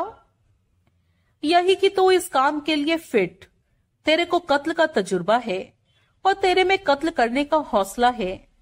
गोविलकर बोला तो पहले ही कई कत्ल कर चुका है। अभी हाल ही में धारावी में चार किए। नहीं किए। तेरे पर कत्ल का इल्ज़ाम है। इल्ज़ाम होना और कत्ल किया होने का सबूत नहीं होता। अरे, क्यों बोम मारता है? क्यों मेरे से ज़ुबान लड़ाता है? तू फंसा हुआ है, तू गोविलकर से बाहर नहीं जा सकता। अभी नहीं फंसा हुआ पण खून से हाथ रंगेगा तो फंसेगा। फिर मेरी लाश भी समंदर में तैरता होएगा। ऐसा नहीं होएगा। उस भेड़ों के साथ क्यों हुआ ऐसा? क्योंकि वो फेल हुआ। पास भी होता तो यही छोता। बाप, जो खतरा उसके फेल होके पकड़े जाने से तुम्हारे को था, वो पास होके पकड़े जाने से नहीं था क्या? वो चुप रहा। तुम बोला कि बच जाने पर वो जॉर्ज करके भेड़ू इतना शोर मचाया कि आवाज़ होम मिनिस्टर तक गई। होम मिनिस्टर ने खुद पुलिस कमिश्नर को इस बाबत हड़काया। तुम मेरे को बोलो बाप, जो भेड़ू बड़ा यूनियन लीडर है जो एक कातिलाना हमले से बाल बाल बचा। उसको पुलिस कोई प्रोटेक्शन नहीं दिया होगा क्या? वो तो दिया। उसके मुँह से निकला। अभी बोला ना अंदर की बात। क्या किया? एक हथियार बंद हवलदार दिया। बस। खाना पूरी की। उसको भी ऐसा ही लगा। इसलिए एक प्राइवेट सिक्योरिटी कंपनी से वो अपने वास्ते दो कमांडो स्टाइल गनमैन ठीक किया। जो जिधर भी वो जाता है, उसके साथ होते हैं। और पुलिस वाला रात को उसके घर पर ड्यूटी भरता है। ड्यूटी क्या भरता है? सोने आता है। एक तरह से उसकी ड्यूटी तभी शुरू होती है, जब जॉर्ज डेविस घर लौटता है और अगली सुबह उसके घर से निकलते ही खत्म हो जाती है, क्योंकि तब तक उसके प्राइवेट गनमैन आ जाते हैं। जो अखा टैम आजू बाजू उसके साथ होते होंगे मैं टपकाने के इरादे से उसके करीब भी फटकेगा तो वो मेरे को भून के रख देंगे। अखा टैम नहीं, हर जगह नहीं। क्या बोला बाप? तो मेरे को बोलने तो देता नहीं, बीच में टोक देता है। वही तो मैं बोलने लगा था, जब तू बात को किधर और ही ले उड़ा था। सॉरी बोलता है बाप। एक टैम एक जगह ऐसी है जिधर उसके गनमैन उसके साथ नहीं होते। कौन सा टैम कौन सी जगह? ईसाइयों का कब्रिस्तान, जिसे वो लोग सिमेट्री बोलते हैं। किधर? कांदीवली में, जहाँ वो हर शुक्रवार शाम को अपनी माँ की कब्र पर फूल चढ़ाने जाता है। हर हफ़्ते? अभी तीन महीना पहले मरी ना इसलिए अभी जज्बात ज़ोर मारते हैं। वहीं अंडरटेकर का फ्यूनरल पार्लर है, एक बाजू में, जिधर जलाने का वास्ते बिजली की भट्टी है और दफनाने के वास्ते ताबूत मिलते हैं। वो काफ़ी बड़ा कब्रिस्तान है और उसकी माँ की कब्र गेट से काफ़ी दूर है। वही एक जगह है, जहाँ वो किसी गनमैन को लेकर नहीं जाता, क्योंकि वो अपनी माँ के साथ अकेला होना माँगता है, इसलिए उन दोनों को गेट पर छोड़ के जाता है। सिमेट्री में फ्यूनरल पार्लर के रास्ते में दाखिल भी हुआ जा सकता है और फ्यूनरल पार्लर में दाखिले पर कोई पाबंदी नहीं है। शाम को, जबकि सूरज डूबने की तैयारी कर रहा होता है, वो उधर जाता है। अपनी माँ की कब्र के करीब आठ दस मिनट ठहरता है और उधर फूल चढ़ाकर लौट आता है। तुम्हारे लिए उसे उधर शूट कर देना इजी पर बाप, मैं कभी गन नहीं चलाया। बंडल मारेला है। कभी हाथ में नहीं थामा अरे, गोविलकर बोलता है कि चार में से दो खून तूने। मैं कोई खून नहीं किया बाप। अब बस कर। गोविलकर बोलता है तो किया तो किया। नखो। फिर भी कोई वादा नहीं। अभी बहुत टाइम है। अभी बीच में चार दिन है। गन थाम भी लेना और चलाना भी सीख लेना।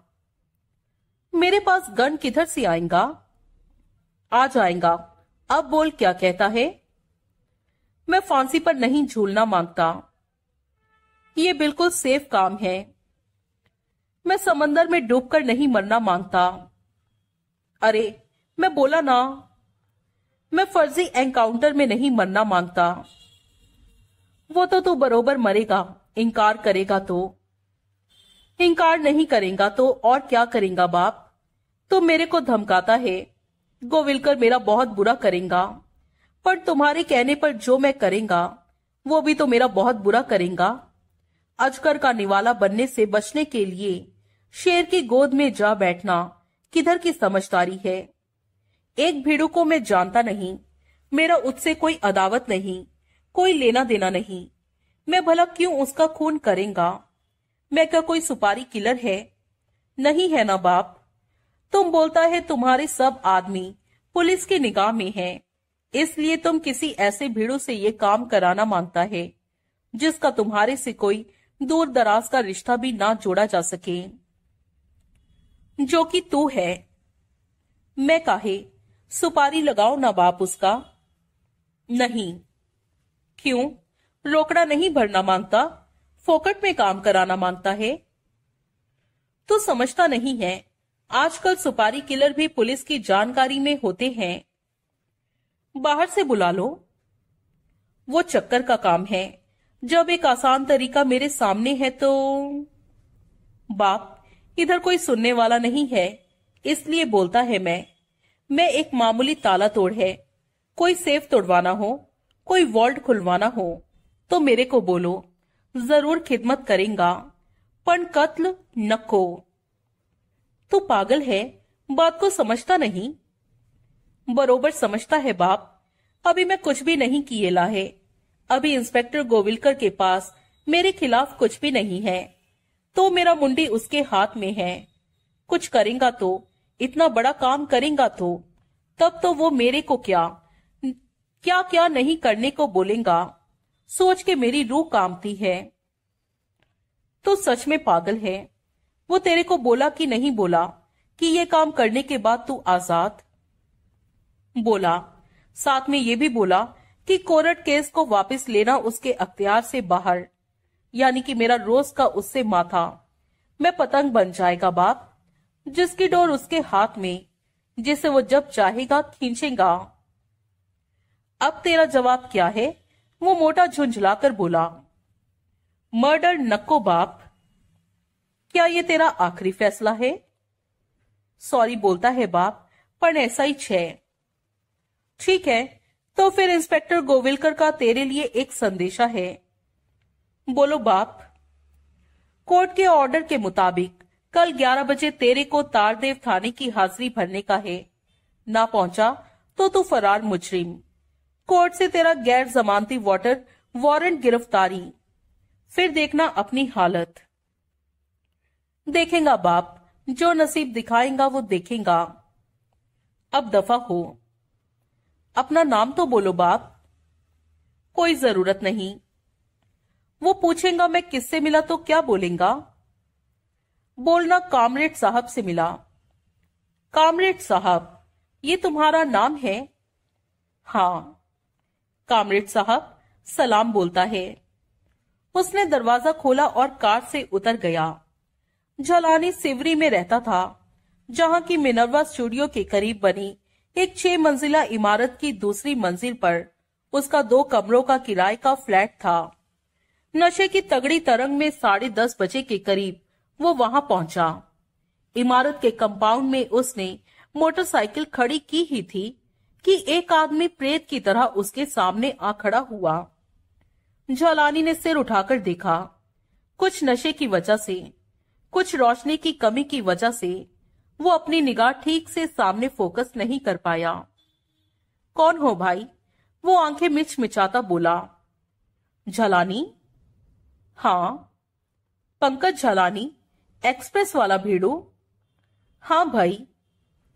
इधर कब से तुम्हारा इंतज़ार करता है बाप? फिर भी शुक्र है जल्दी आ गया। जैसा महक रहा है, आधी रात को आता। क्या वांदा था? और दो घंटे बाद आता। क्या वांदा था? तुम हो कौन भाई? मेरे को दिलीप भालेकर बोलते हैं। दिलीप भालेकर, बड़ा बटाटा। मधुकर राव साबले एमपी का खास। उसका इंतज़ार करता था। बड़ी मुश्किल से तुम्हारे ऑफ़िस से तुम्हारा इधर का पता निकाला। क्या माँगता है? माँगता नहीं, देता है। क्या? अकल, तेरे को। अकल है मेरे पास, मेरी ज़रूरत के लायक। नहीं है, अगर है तो उसमें लोचा। कैसा लोचा? वो तेरे को खाली पीली ऐसे रास्तों पर दौड़ाती है, जिधर तेरे को नहीं दौड़ना माँगता क्या मतलब? ग्रांड रोड के एक फ्लैट में एक भिड़ू जान से गया। तेरा अक्की बिरादरी का भिड़ू लोग अपना काम करता है। तू खाली उसके पीछे पड़ा है। जिधर चोरी हो, कोई इस चोरी नहीं है उधर। है भी तो भूल जा। क्या तुम्हारे बोलने से? और तेरे को कोई बोलता दिखाई दे रहा है क्या? धमका रहे हो मुझे? मैं ऐसे नहीं धमकाता भीड़ू। धमकाने का मेरा स्टाइल जुदा है। देखना माँगता है क्या? दिखाओ। पलक झपकते एक कमानीदार चाकू उसके हाथ में प्रकट हुआ। एक खटाक की आवाज़ के साथ खुला और उसकी पसलियों में चुभने लगा। अभी ज़मीन पर से आंते समेटता होगा। भालेकर सांप की तरफ़ फुंकारा। जलानी का नशा उड़ गया। कका क्या करते हो? अभी मालूम नहीं पड़ा क्या? चाकू का दबाव बढ़ा। कक क्या? अपनी अकल से लोचा निकाल वरना मैं तेरी आंते निकालता है। उससे क्या होगा? जलानी हिम्मत करके बोला। ते, तेरा थोबड़ा बंद होगा।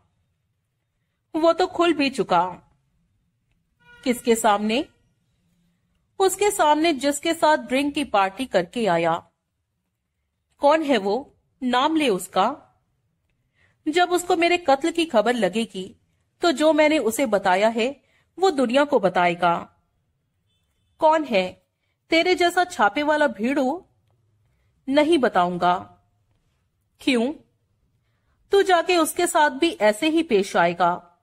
अब मेरे को अपनी भलाई इसी में दिखाई देती है कि दूसरे शख्स की बाबत तू सस्पेंस में रहे। है नहीं कोई दूसरा भीड़ू। तो मार मुझे। काम खत्म कर अपना। भालेकर अनिश्चित सा सोचने लगा। तू बोला तू पार्टी से आया? आखिरकार वो बोला, हाँ, काफ़ी पियला है। कोई दूसरा पिलाए तो मैं जी भर के पीता हूँ। इसका मतलब है छापे में नहीं गया। जालानी सक पकाया। इसका मतलब अभी कल कुछ नहीं छपने वाला। अभी खाना खा के प्रेस में जाऊँगा। जालानी बोला, बंडल मारेला है। मोटरसाइकिल ठीक से कड़ी, खड़ी की नहीं जा रही थी, प्रेस में जाएगा। जालानी खामोश रहा। अपनी कीमत बोल भालेकर बोला, किस बात की? जान बख्शी की? भालेकर ने चाकू पसलियों पर से हटा लिया। जलानी की जान में जान आई, थोबड़ा बंद रखने की। भालेकर बोला अब खाली मेरा थोबड़ा बंद रखने की बात नहीं है। है। जो भेड़ू जी भर के विस्की पिलाता है तेरे को, वो तेरा करीबी ही होएगा। तो बोलेगा, थोबड़ा बंद रखने का है तो वो क्यों तेरी बात नहीं मानेगा? क्यों नहीं मानेगा? अरे तू बोल। मानेगा। तो फिर क्या वादा है? जालानी खामोश रहा। मेरा बॉस लोग बड़ा लोग। सोसाइटी में बड़ा इज़्ज़त वाला पब्लिक का लीडर, वो पिरेस के साथ पंगा नहीं माँगता। वरना इतनी बातें किधर ज़रूरी? मैं तेरे आते ही तेरे को टपका देता, फिर ढूंढता दूसरे को भी, अगर है कोई दूसरा। है ना? है तो तेरी मौत की खबर सुनकर वो क्या करेगा? दौड़ा आएगा। खुद मुँह से बोलेगा कि अभी शाम को तो तो उसके साथ दारू की पार्टी करता था। वो बोलेगा, और मेरा कोई भेड़ो सुनेगा। फिर वो भी शमशान घाट तेरे साथ ही पहुंचेगा। कहना आसान है। हुल मत दे मेरे को। मेरा माथा फिर गया तो जैसा कहना आसान, वैसा करना आसान। बोले तो नहीं।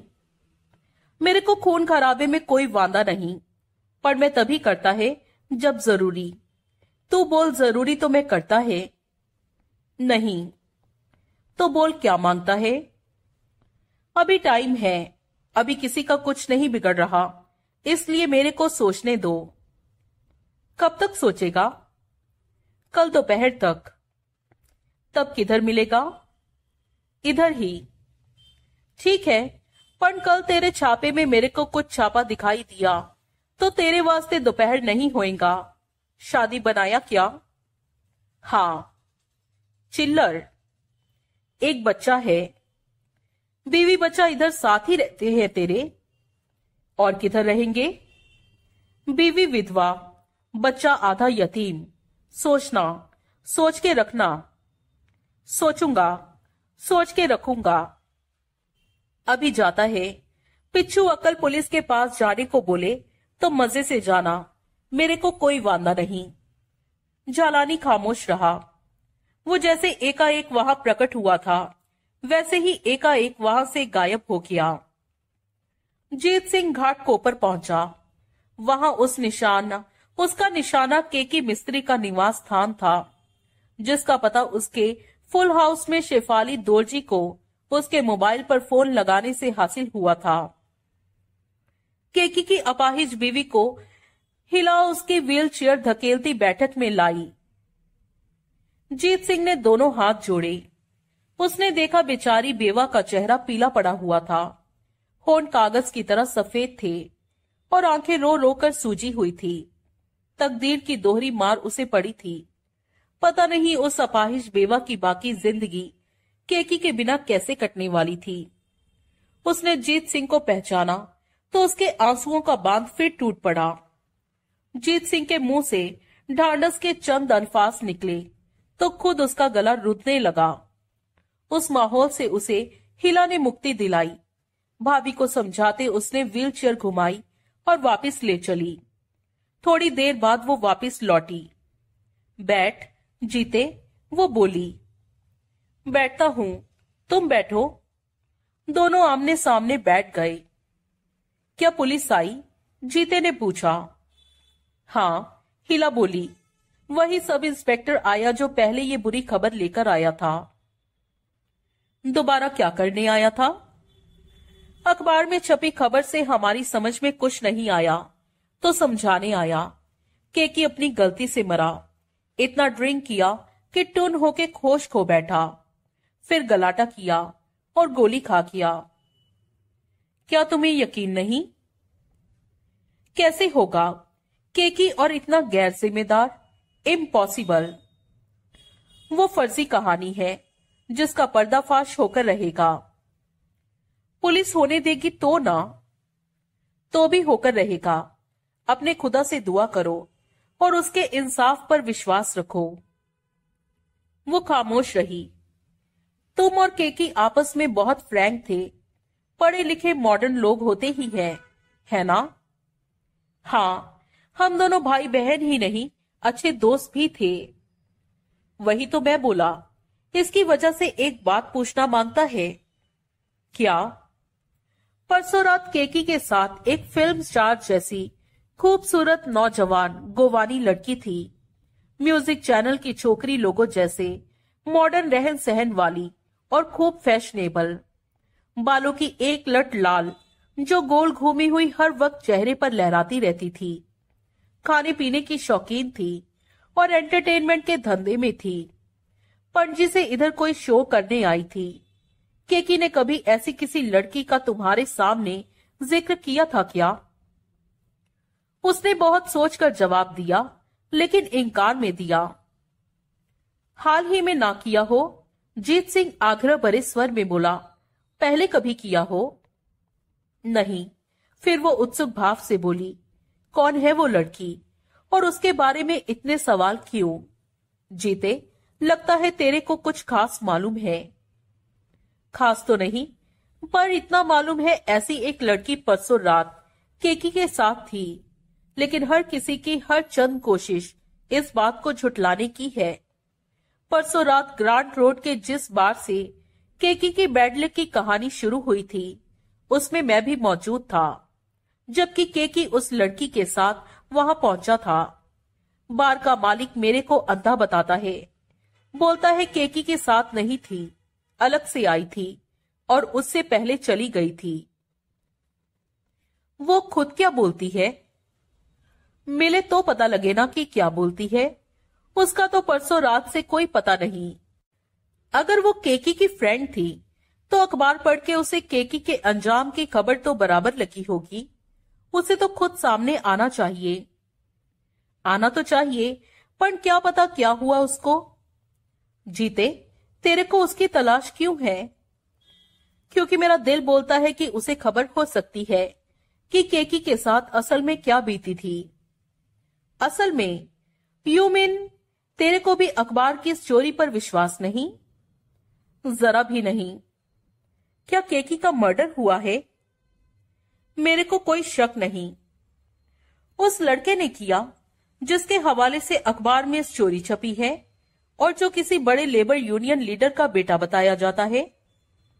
और कौन करेगा? और तो कोई उधर था ही नहीं। उस छोकरे ने जानबूझकर केकी को शूट कर दिया, और ऐसी चोरी गढ़ ली की सारी गलती केकी की लगे। इस चोरी को ताकत देने के लिए एक चश्मदीद गवाह खड़ा कर लिया।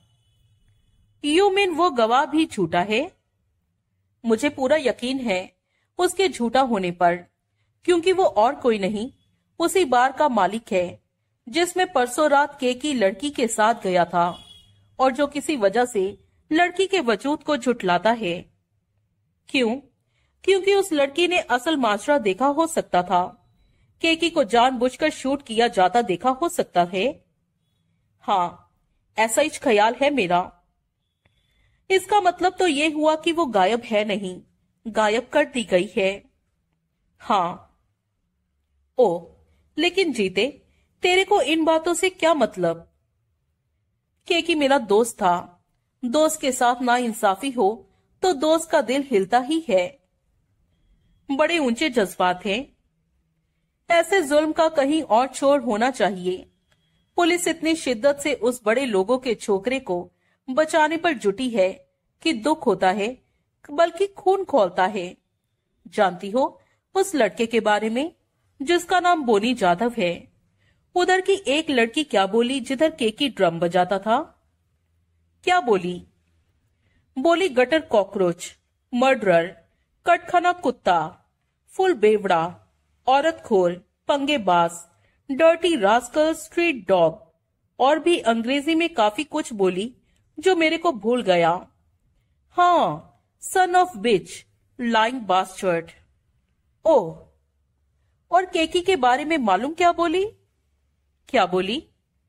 जेंटलमैन कभी किसी से पंगा नहीं, कभी काबू से बाहर ड्रिंक नहीं। नाइस मैन बोली डिसेंट मैन बोली। बोली, कभी मक्खी नहीं मारा, आदमी कैसे मारेगा? उसकी कोई नहीं सुनता क्या? किसी की कोई नहीं सुनता। खाली उस लड़के की सुनते हैं, क्योंकि वो रसूख वाले लोगों की औलाद है। ये तो पेपर में छपा है। छपा है किसी यूनियन लीडर का बेटा है और किसी एमपी का भांजा है, लेकिन नाम तो नहीं छपे। नाम मेरे को मालूम।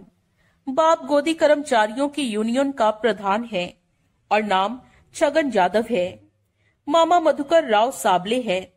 जो कि मराठा मंच पार्टी का एमपी है, वो चौंकी।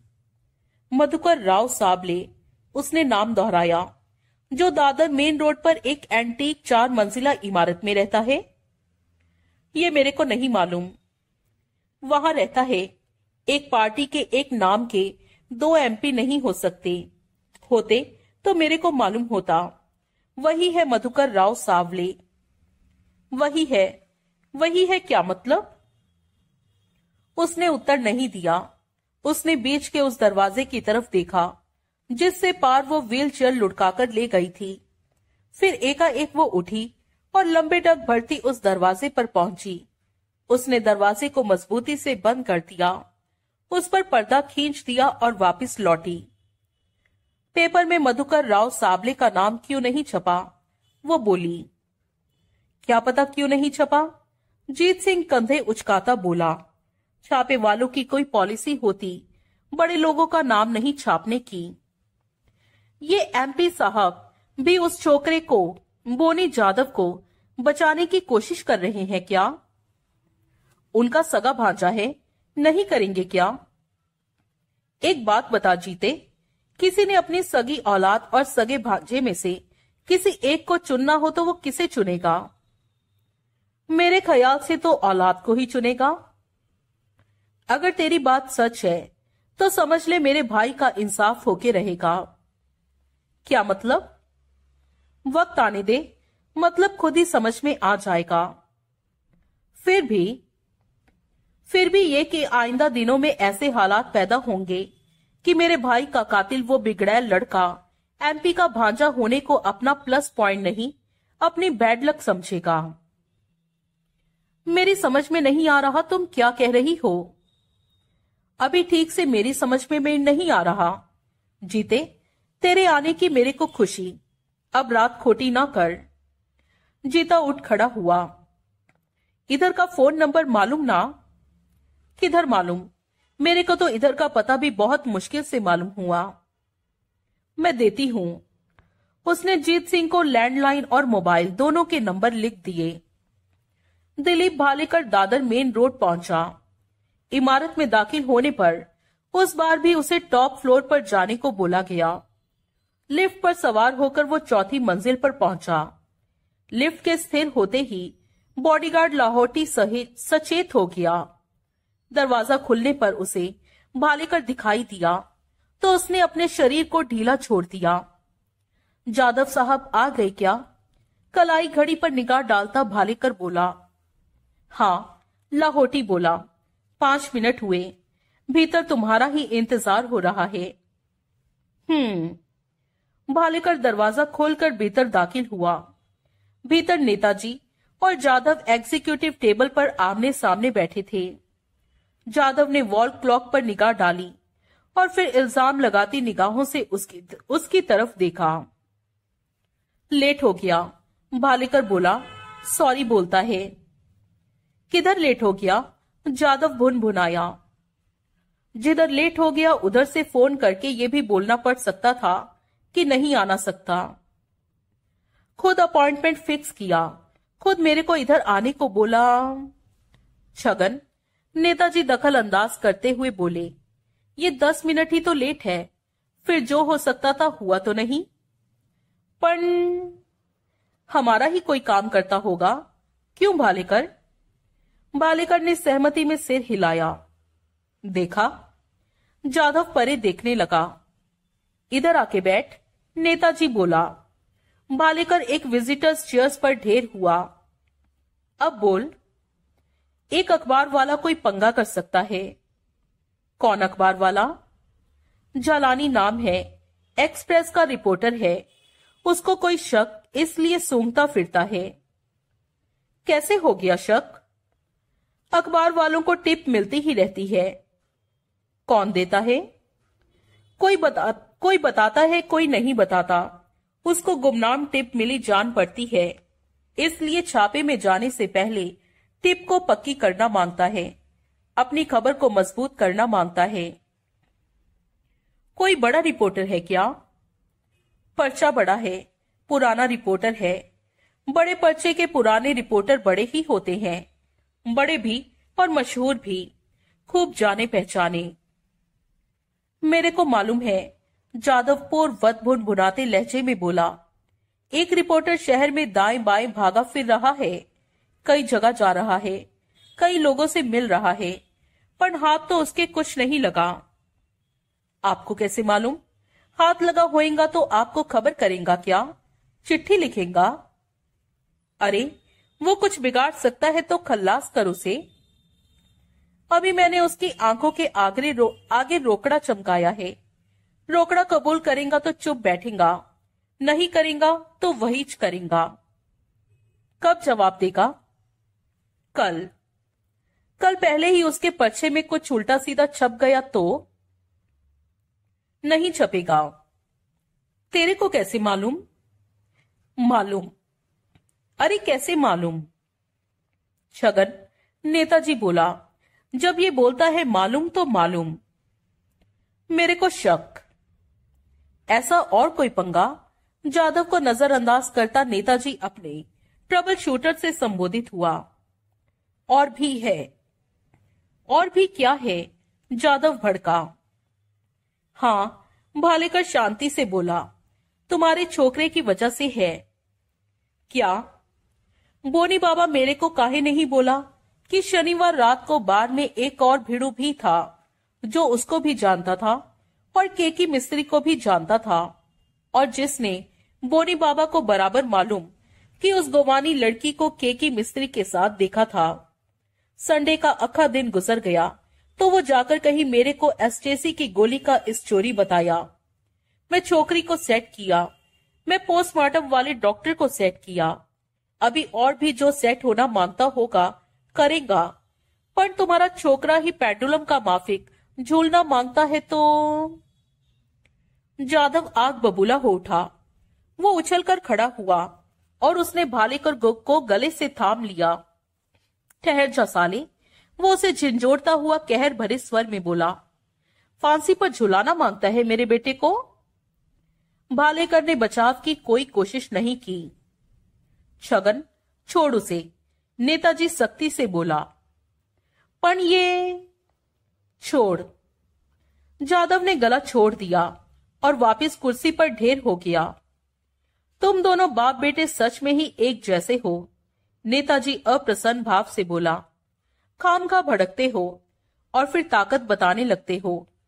पहले बिगाड़ते हो, बिगड़ा सवार नहीं सकते हो तो इधर आते हो। फरियाद लेकर आते हो, फिर भी ताकत बताते हो। अब फिर कभी मेरे सामने भालेकर को ऐसे हैंडल करने का नहीं है। अपने पर काबू नहीं रख सकते तो किधर और जाके अपना प्रॉब्लम हल करो। कर सकता हूँ जादव जबरन जब्त करता बोला। इतना कमज़ोर नहीं मैं। तो करता क्यों नहीं? करूँगा। मेरे को अपना बेटा सेफ़ नहीं दिखाई देता तो अपने तरीके से करूँगा। वो जब करेगा तो करेगा। अभी क्या बोलता है? अभी देखता हूँ ये क्या करता है। अब की अक्ल की बात। पर इसको बोलो, ये भड़काऊ बातें ना करे। मेरे को, भालेकर बोला, कोई लिस्ट मिला कि बाप कौन कौन सी बात से भड़कता है? लो देखो जादव फिर भड़का। देखो। भालेकर, नेताजी सख्ती से बोला, सॉरी, बोलता है बाप। बदजुबानी नहीं करने का। बिल्कुल नहीं करने का बाप। आगे बोल। आगे भी वही बोलने का है, जो शायद बाप को बुरा लगे। ठीक से बोल। बोलता है बाप बाप ये नाजुक मामला है, जिसमें कमज़ोर कड़ी बाहर नहीं भीतर है, और वो कमज़ोर कड़ी अपना बोनी बाबा है। इसी वास्ते में इतना एक्सप्रेस ज़ोर दिया कि कुछ वक्त के लिए बोनी बाबा को फ़ौरन मुंबई से बाहर किधर भेजने का था।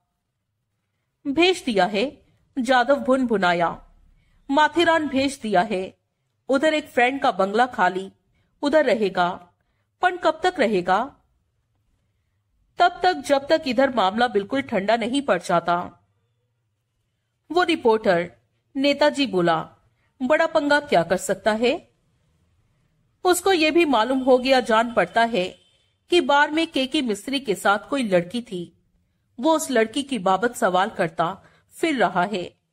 उसकी हर चंद कोशिश उस लड़की को तलाश करने की जान पड़ती है। वो कर लेगा क्या? किधर से कर लेगा? वो लड़की तो मेरे कब्जे में है। किसको खबर है? खाली पुलिस को। पुलिस फुल सेट है। फिर खबर कैसे कर लेगा? नहीं कर लेगा। तो फिर क्या वांदा है? अभी कोई वांदा नहीं। तभी तो फ़ौरन नहीं टपकाया। टपकाने की जगह उसके आगे रोकड़ा चमकाया। ठीक किया। नाम क्या है लड़की का? लारा। लारा रेबेलो। ये बोनी बाबा को कमज़ोर कड़ी बोला। जाधव बोला, असल कमज़ोर कड़ी वो लड़की है, क्योंकि वो असलियत की चश्मदीद गवाह है। वो कड़ी गायब होनी चाहिए। तभी गारंटी होगी कि खतरा टल गया। क्या खल्लास करने को बोल रहे हो बाप? हाँ उसमें लोचा है। क्या? अभी मालूम नहीं वो कौन है। उसके कोई बड़े कांटेक्ट निकल आए, या किसी बड़े आदमी की सगी वाली निकल आई तो हंगामा। यूँ के थाने से निकलकर किधर ऊपर पहुँच गया तो हमारे काबू से बाहर हो जाएगा। ये ठीक कहता है नेताजी बोला, ऐसा हो जाने पर यह कवर अप के लिए कमिश्नर को रिश्वत ऑफ़र करने नहीं पहुँच सकता। या पहुँच सकता है छगन? नहीं जादव बोला, लेकिन उसका गायब होना भी तो हंगामा खड़ा कर सकता है। उसका मेरे पास हल है। क्या हल है? वो शुक्रवार गोवा से इधर आई थी और काम से इधर आई थी। अभी सोमवार रात ही हुई है। इतने में उसके सगे वाले उसे गायब नहीं मान सकते। मैंने मालूम किया है कि उसके सगे वालों में खाली उसकी माँ है, जो कि पैरनेम में रहती है। वो खुद पणजी में काम करती है, इसलिए उसका घर से बाहर रहना कोई बड़ी बात नहीं। मेरे पास वास्को डिगामा के करीब एक सेफ़ जगह है। अगले हफ़्ते मैं उसे वहाँ पहुँचा दूँगा। वहाँ मैं ऐसा इंतज़ाम कर दूँगा कि वो माँ से चिट्ठी पत्री भी करती रहेगी। और टेलीफोन पर बात भी करती रहेगी। माँ की तसल्ली हो जाएगी कि बेटी को अब वास्को डिगामा में जॉब मिल गई थी और वो निश्चिंत हो जाएगी। माँ बेटी का हैंडराइटिंग पहचानती होगी, आवाज़ पहचानती होगी। लड़की को चिट्ठी लिखने को कैसे तैयार करेगा? फ़ोन करने को कैसे तैयार करेगा? मेरा काम है ना, करेगा। ऐसा कब तक चलेगा? चलने का तो सालों साल चल सकता है, पर मेरे को छह या सात महीने चलाने का होगा। इससे बहुत बहुत पहले लोग इस वारदात को पूरी तरह भूल चुके होंगे, और लड़की का कोई तार मार मरने वाले से जोड़ पाना मुमकिन नहीं रहा जाएगा। लड़की का तब क्या होगा? तब तक वो हवाओं के हिंडोलों पर झूलने की पूरी तरह से आदि हो चुकी होगी। क्या वो ड्रग एडिक्ट है? मैं बनाएगा ना? बनाना चालू कर भी दिया हुआ है। ओ, फिर एक रोज कहीं किसी कार या ट्रक व्रक से कुचली जाएगी और पोस्टमार्टम पर पता लगेगा कि हेरोइन के फुल नशे में थी। ये इंतज़ाम भी तू करेगा क्या? तो और कौन करेगा? अभी क्यों नहीं करता? कार से हिट का इंतज़ाम। छह महीने बाद कर सकता है तो अभी क्यों नहीं कर सकता? कर सकता है। पर अभी लाश पहचानी जाएगी। मालूम पड़ जाएगा कि वो वही लड़की थी, जो एक रात को शो करने गोवा से मुंबई आई थी, और शनिवार शाम को केकी मिस्त्री के साथ थी। जलानी चुटकियों में सब माजरा भाप जाएगा। फिर प्रेस पुलिस के सिखाई नहीं सीखेगी कि उन्होंने क्या छापना है। एक बार ये बात तूल पकड़ गई कि वो वही लड़की थी, जो बोरी बाबा की असल करतूत की पोल खोल सकती थी और उसकी ज़ुबान हमेशा के लिए, बंद करने के लिए उसका एक्सीडेंट स्टेज किया गया था। तो मेरे संभाले भी कुछ नहीं संभलेगा। मैं जालानी का मुँह बंद कर सकता है। पूरे मीडिया का मुँह बंद नहीं कर सकता। तुम्हारे को यह खतरा मोल लेने का है तो बोलो। खतरा यह भी तो है कि वो छापे वाला कहीं लड़की को ढूंढना निकाले। ऐसा नहीं होगा बाप। मैं गारंटी करता है किसी को उसकी हवा भी नहीं मिल सकती। है कहा वो लड़की? बाप गुस्ताखी माफ़, तुम्हारे को भी नहीं बताने का है। क्या? बात ज़ुबान से निकल जाती है। तेरे मुँह से नहीं निकल सकती क्या? नहीं। तू क्या समझता है अपने आप को? और क्या समझता है मेरे को? बाप, फिर शुरू हो गए। जब तू छगन चुप कर नेताजी बोला, जरा मेरे को बोलने दे। जादव खामोश हो गया। भालेकर, इधर मेरी तरफ़ देख। बोलो बाप, तेरी बातों से लगता है वो अभी इधर मुंबई में या मुंबई के आसपास ही कहीं है? ऐसा ही छह बाप। तू बोला तो अगले हफ़्ते उसको इधर से निकालेगा और गोवा पहुंचाएगा? बरोबर बाप। अगले हफ़्ते क्यों? अभी क्यों नहीं? अभी मेरे को मालूम नहीं जालानी लड़की की तलाश के लिए क्या क्या किएला है। इस काम के लिए वो अकेला ही तो गली गली नहीं भटक रहा होगा। क्या पता उसके जोड़ीदार कितने भीड़ू उस लड़की का कोई अता पता सूंघने की कोशिश करते मुंबई में भटक रहे हैं। अभी लड़की को इधर से नक्की करना खतरे से खाली नहीं। ओह, कल मेरे को झालानी की बाबत बहुत कुछ पता लगेगा। हो सकता है वो चुप बैठने की कोई फ़ीस कबूल कर ले। हो सकता है वो परसों का सूरज ना देखे। कल शाम तक इस बात को नक्की करो बाप। अगर मेरे को लगेगा कि हफ़्ते से पहले उसे इधर से निकालना सेफ़ तो मैं ऐसा ही करेंगा। उसे हफ़्ते बाद भी इधर से निकालने की मेरी कोई कसम नहीं है। फिर क्या वादा है? ठीक है ना, छगन? छगन ने हिचकिचाते हुए सहमति में सिर हिलाया। मंगलवार 20 जनवरी, झालानी ऑफ़िस पहुँचा। दत्त साहब मिलना माँगता है चपरासी ने बताया। बोल के रखा आते ही तुम्हारे को बोलने का है। झालानी ने सहमति में सिर हिलाया और अपने कैबिन में कदम रखने की जगह सिटी एडिटर अजीत दत्त के ऑफ़िस में पहुँचा। अभिवादनों का आदान प्रदान हुआ। क्या प्रोग्रेस है? अजीत दत्त ने पूछा। जालानी ने सविस्तार प्रोग्रेस बयान की। वेरी गुड अजीत दत्त संतोष भाव से बोला you have done a great job तो मैं रिपोर्ट तैयार करूँ क्या? वो तो ज़रूर करो, लेकिन रखना उसे अभी होल्ड पर होगा। क्यों? दो वजह है।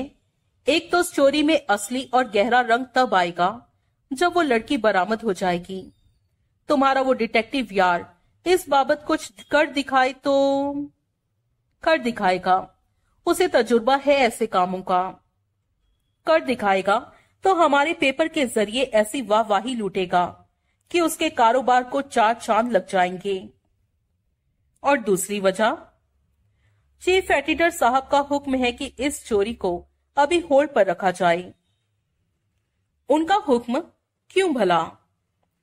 क्योंकि उनके पास मधुकर राव साबले एमपी का और उसके party president Bahram ji Contractor दोनों का अलग अलग फ़ोन आ चुका है कि इस मामले को पेपर में ज़्यादा ना उछाला जाए।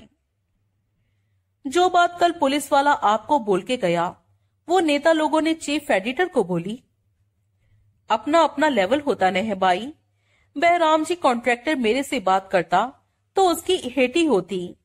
इंस्पेक्टर गोविलकर चीफ एडिटर से बात करना चाहता तो बिग बॉस शायद उसे मुँह ना लगाता।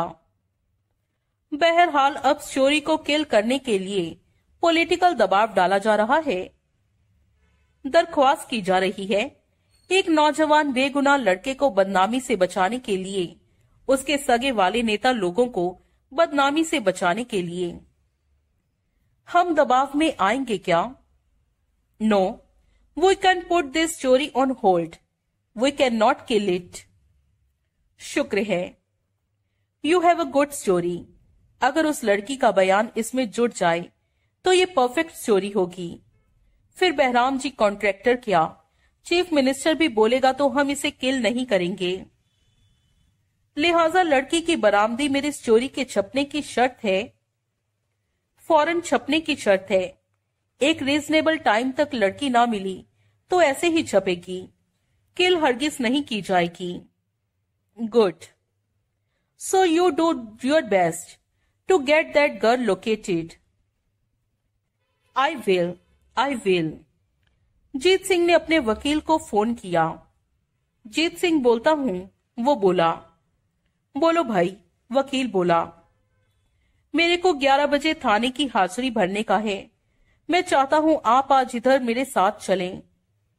वजह ज्यादती होने का अंदेशा है, गरीब मार होने का अंदेशा है, कोई भारी जुल्म होने का अंदेशा है। कैसे मुमकिन है? जब सात तारीख से अब तक कुछ नहीं हुआ तो बाप, मैं खाली सात तारीख को ही उधर हाजिरी भरने गया। उसके बाद आज जाने का है। क्या तुम रोज़ाना हाजिरी नहीं भर रहे हो? नहीं। आज बीस तारीख हो गई। खाली एक बार गए क्या? हाँ पहली बार सात को। वजह? फ़ोन पर बोलने की नहीं है। हम्म टालना नहीं बाप, मैं फ़ीस भरेगा।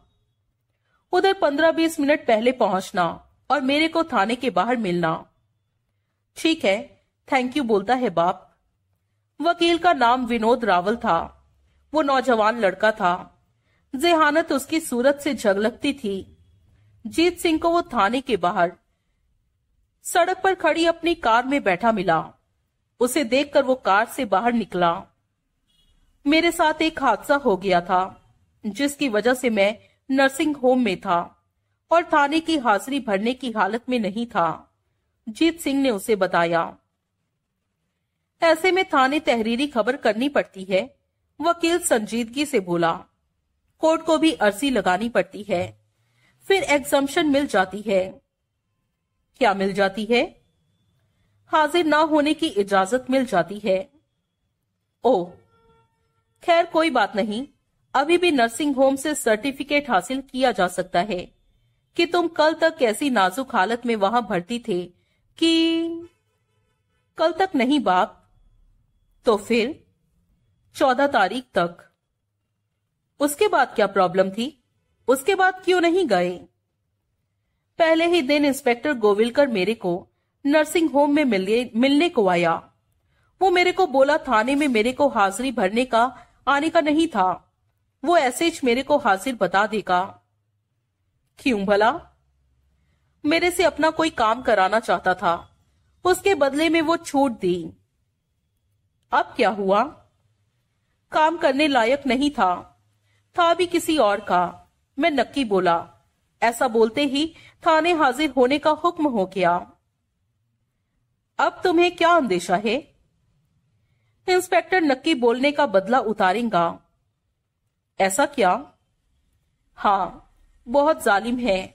पहले भी कई बार बहुत मार लगाया। कोई सोशल वर्कर एकाएक थाने में आ गए। इत्तेफाक से उन्होंने उस इंस्पेक्टर के हाथों मेरा बहुत बुरा हाल देख लिया। तो ऊपर तक ऐतराज पहुँचाया, तब कहीं जान छूटी। वो ऐतराज अब खत्म हो गया क्या? मेरे को नहीं मालूम, पर मेरा दिल बोलता है कि इंस्पेक्टर को रोका ना गया तो आज वो मेरी बहुत बुरी गत बनाएगा। ऐसा ना हो इसके लिए कोर्ट में एक अर्जी लगानी पड़ती है, फिर मुलजिम का मेडिकल एग्जामिनेशन होता है। उससे क्या होता है? उससे पता चल जाता है कि उस एग्जामिनेशन के बाद मुलजिम के साथ कोई डंडा परेड हुई या नहीं। उसे कोई शारीरिक यातना पहुंचाई गई या नहीं। ऐसा कब होगा? मैं बहुत जल्दी करूँ तो भी शाम तक होगा। कोर्ट में अर्जी लगेगी, सुनवाई की बारी आएगी। कोर्ट कोई डॉक्टर मुकर्र करेगा, वो अपना टाइम लेगा, अपनी जहमत की कोई उजरत भी मांगेगा। इतने में तो गोविलकर मेरा फुल काम कर देगा। तुम्हारा ख्याल है ऐसा, अंदेशा है ऐसा तुम्हें। शायद वो तुम्हें कुछ भी ना कहे। खा जाएगा वो मुझे। टाइम हो गया है। आओ चलकर देखते हैं उसका मिजाज क्या कहता है। जीत सिंह वकील के साथ हो लिया। दोनों थाने की इमारत में दाखिल हुए और इंस्पेक्टर गोविलकर के कमरे में पहुँचे। गोविलकर ने जीत सिंह पर निगाह डाली। फिर वकील के साथ आया, देखकर सक पकाया। तुम्हारा इधर क्या काम है भाई? वो भुन भुनाता सा वकील से बोला। ये मेरा क्लाइंट है, वकील शांति से बोला। मेरा इसके साथ आया होने से आपको कोई ऐतराज है क्या? सवाल ऐतराज का नहीं, ज़रूरत का है। तुम्हारी इधर कोई ज़रूरत नहीं। ये हाजिरी भरने नहीं आया। हाजिरी लगाइए और इसे इजाज़त दीजिए। ये हाजिरी नहीं भरने आया है गुना बख्शवाने आया है, जो कि नहीं बख्शा जा सकता। कैसा गुना ये बारह दिन से गैर हाजिर है। आपको मालूम है क्यों गैर हाजिर है? मेरे को नहीं मालूम। मेरे को वही मालूम है जो मेरा रिकॉर्ड बोलता है। सात तारीख के बाद ये आज इधर आया है। इसने रोज इधर आकर कोर्ट के ऑर्डर की, तामील नहीं की। नहीं की तो आपने कोर्ट में शिकायत क्यों नहीं दर्ज कराई? मेरे को अखा थाना चलाने का काम है, खाली इसी का काम नहीं है, और इसको कोर्ट का ऑर्डर मेरी नहीं, थाने की हाजिरी भरने का है। मेरा एक माथत मेरे को कल ही बोला कि ये इधर नहीं पहुँच रहा था। इसलिए आपने इसे बुला भेजा? बुला नहीं भेजा, खुद ही पहुँच गया। ये एक हादसे का शिकार अपने मौत से जूझता नर्सिंग होम में पड़ा था। मैं बोले तो टून होकर किसी बेवड़े के अड्डे पर पड़ा था। ये किधर भी था। कोर्ट के ऑर्डर के मुताबिक इधर नहीं था। अब है। अब आप क्या चाहते हैं? अब ये गिरफ़्तार है, इसलिए तुम जा सकते हो। क्यों गिरफ़्तार है? तुम्हें मालूम है क्यों गिरफ़्तार है? ये फरार होने की कोशिश में था। इसलिए इसकी बेल कैंसिलेशन की अर्जी के साथ इसे कोर्ट में पेश किया जाएगा। तुम्हें मालूम है, मौजूदा हालात में कोर्ट से भी इसकी गिरफ्तारी का ही ऑर्डर होगा। आप तो इसे अभी गिरफ़्तार करने पर आमादा है। ये फरार हो सकता है। जो शख्स अपनी राज़ी से चलकर आपकी हाजिरी भरने आया हो, वो फरार क्यों होगा भला? मालूम करेंगे। खामोशी छा गई। I am sorry Jeet Singh. फिर वो जीत सिंह का कंधा थप थपाता बोला, मैं कोर्ट में इमीडिएट अर्जी लगाता हूँ। इमीडिएट ना लगाना। गोविलकर चेतावनी भरे स्वर में बोला, एक घंटा इंतज़ार करना। किस बात का? इसके कोर्ट में तुम्हारे पास पहुँचने या ना पहुँचने का? क्या मतलब? ना पहुँचा तो जो मुनासिब समझना करना। पहुँच गया तो ये बोलेगा कि कोई अर्जी लगाने का नहीं था। वकील ने जीत सिंह की तरफ़ देखा। हाँ, बोल इसको, गोविलकर सख्ती से बोला। जीत सिंह ने हिचकते हुए सहमति में सिर हिला दिया। उसे हालात बहुत दहशतनाक जान पड़ रहे थे। वकील चला गया। गोविलकर कुर्सी से उठा। और जीत सिंह के सामने आ खड़ा हुआ। वो कुछ क्षण खा जाने वाली निगाहों से उसे घूरता रहा। फिर एकाएक उसने इतनी ज़ोर का झापड़ जीत सिंह के चेहरे पर रसीद किया कि उसकी गर्दन फिरकनी की तरह घूम गई। बहुत चढ़ चढ़ गई है साले। दांत पीसता वो हिंसक भाव से बोला, सब सेट हो गया, सब बात हो गई, टैम आया तो मुकर गया। साहब जीत सिंह ने आर्तनाद किया। मर्डर की बात किधर हुई थी? उल्लू बनाता है। साफ़ नहीं बोला मैं तेरे को कि तेरे को वही काम करने का था जिसका तू एक्सपर्ट था, जो तू पहले कई मर्तबा कर चुका था। इससे तो मैं समझा था कि कोई वॉल्ट खोलना था। यही काम नहीं है जो तू पहले कई बार कर चुका है। कत्ल भी पहले कई बार कर चुका है। बाप, कत्ल नहीं। बकवास मत कर। अब मर्ज़ी बोल अपनी। बाप, कत्ल नहीं, वो भी बड़े आदमी का। मैं बेमौत मारा जाएगा। तब नहीं मारा जाएगा। जो कहा जा रहा है, वो नहीं करेगा तो मारा जाएगा। बाप, ये काम नहीं। मैं अपनी सजा भुगत लूँगा। तेरे को अंदाज़ा नहीं है अपनी सजा का। बाप, कोरट जो सजा। साले तेरी सारी दिलेरी इसी बात में है। जो शानपंथी तू दिखा चुका है, उसी ने तुझे दिलेर बनाया है। तू समझता है, कोर्ट में ना तू कातिल साबित हो पाएगा, ना डकैत। साहब, जब मैं कुछ किया ही नहीं तो? सुपर स्टोर की डकैती में शरीक नहीं था क्या? नहीं। इसलिए ताकत से बोलता है क्योंकि गवाह मुकर गया, क्योंकि गवाह की गवाही के बिना। तेरे को डकैत साबित करना मुश्किल। वो दूसरा गवाह तागड़े, पुलिस के काबू में नहीं आ रहा। इसलिए उसकी गवाही के बिना तेरे को कातिल साबित करना मुश्किल। पुलिस की कमज़ोरी तेरी ताकत। यही बात है ना? नहीं साहब। मन ही मन वो संतुष्टि का अनुभव कर रहा था कि वक्त रहते उसने गायलो और तागड़े को उस जालिम हाकिम की पहुँच से दूर, बहुत दूर खिसका दिया था। बैठ, तशरीफ़ रख कुर्सी पर। आज तू मेरे थाने का मेहमान है। जीत सिंह हिचकिचाता हुआ एक कुर्सी पर यूँ बैठा, जैसे अंदेशा हो कि कुर्सी एकाएक उसके नीचे से खींच ली जाने वाली थी। गोविलकर भी मेज का घेरा काट कर उसके पीछे पहुँचा और अपनी कुर्सी पर बैठ गया। उसने घंटी बजाई, जिसके जवाब में एक हवलदार भीतर पहुँचा। लेके आ। गोविलकर ने हुक्म दिया। हवलदार लौट गया। सिगरेट पिएगा क्या? पीछे गोविलकर बोला। जीत सिंह ने इंकार में सिर हिलाया। पी ले पी ले फिर पता नहीं कब मौका मिलेगा। पास रखता है या मैं मंगा के दू? कौन सा ब्रांड पीता है? जीत सिंह ने उत्तर नहीं दिया। अच्छा भाई, मर्ज़ी तेरी। कुछ क्षण खामोशी में गुजरे। फिर दरवाज़ा खुला। दो जनों के साथ हवलदार ने भीतर कदम रखा, जिन पर निगाह पड़ते ही जीत सिंह के होश उड़ गए। वो उछलकर खड़ा हुआ। बैठा रहे बैठा रहे, गोविलकर बोला। बैठा रह पाना नामुमकिन था, क्योंकि उसका दिल बैठा जा रहा था। वो गायलों और तागड़े थे। हवलदार ने दोनों को मेज के करीब लाकर खड़ा कर दिया और स्वयं दो कदम पीछे हट गया।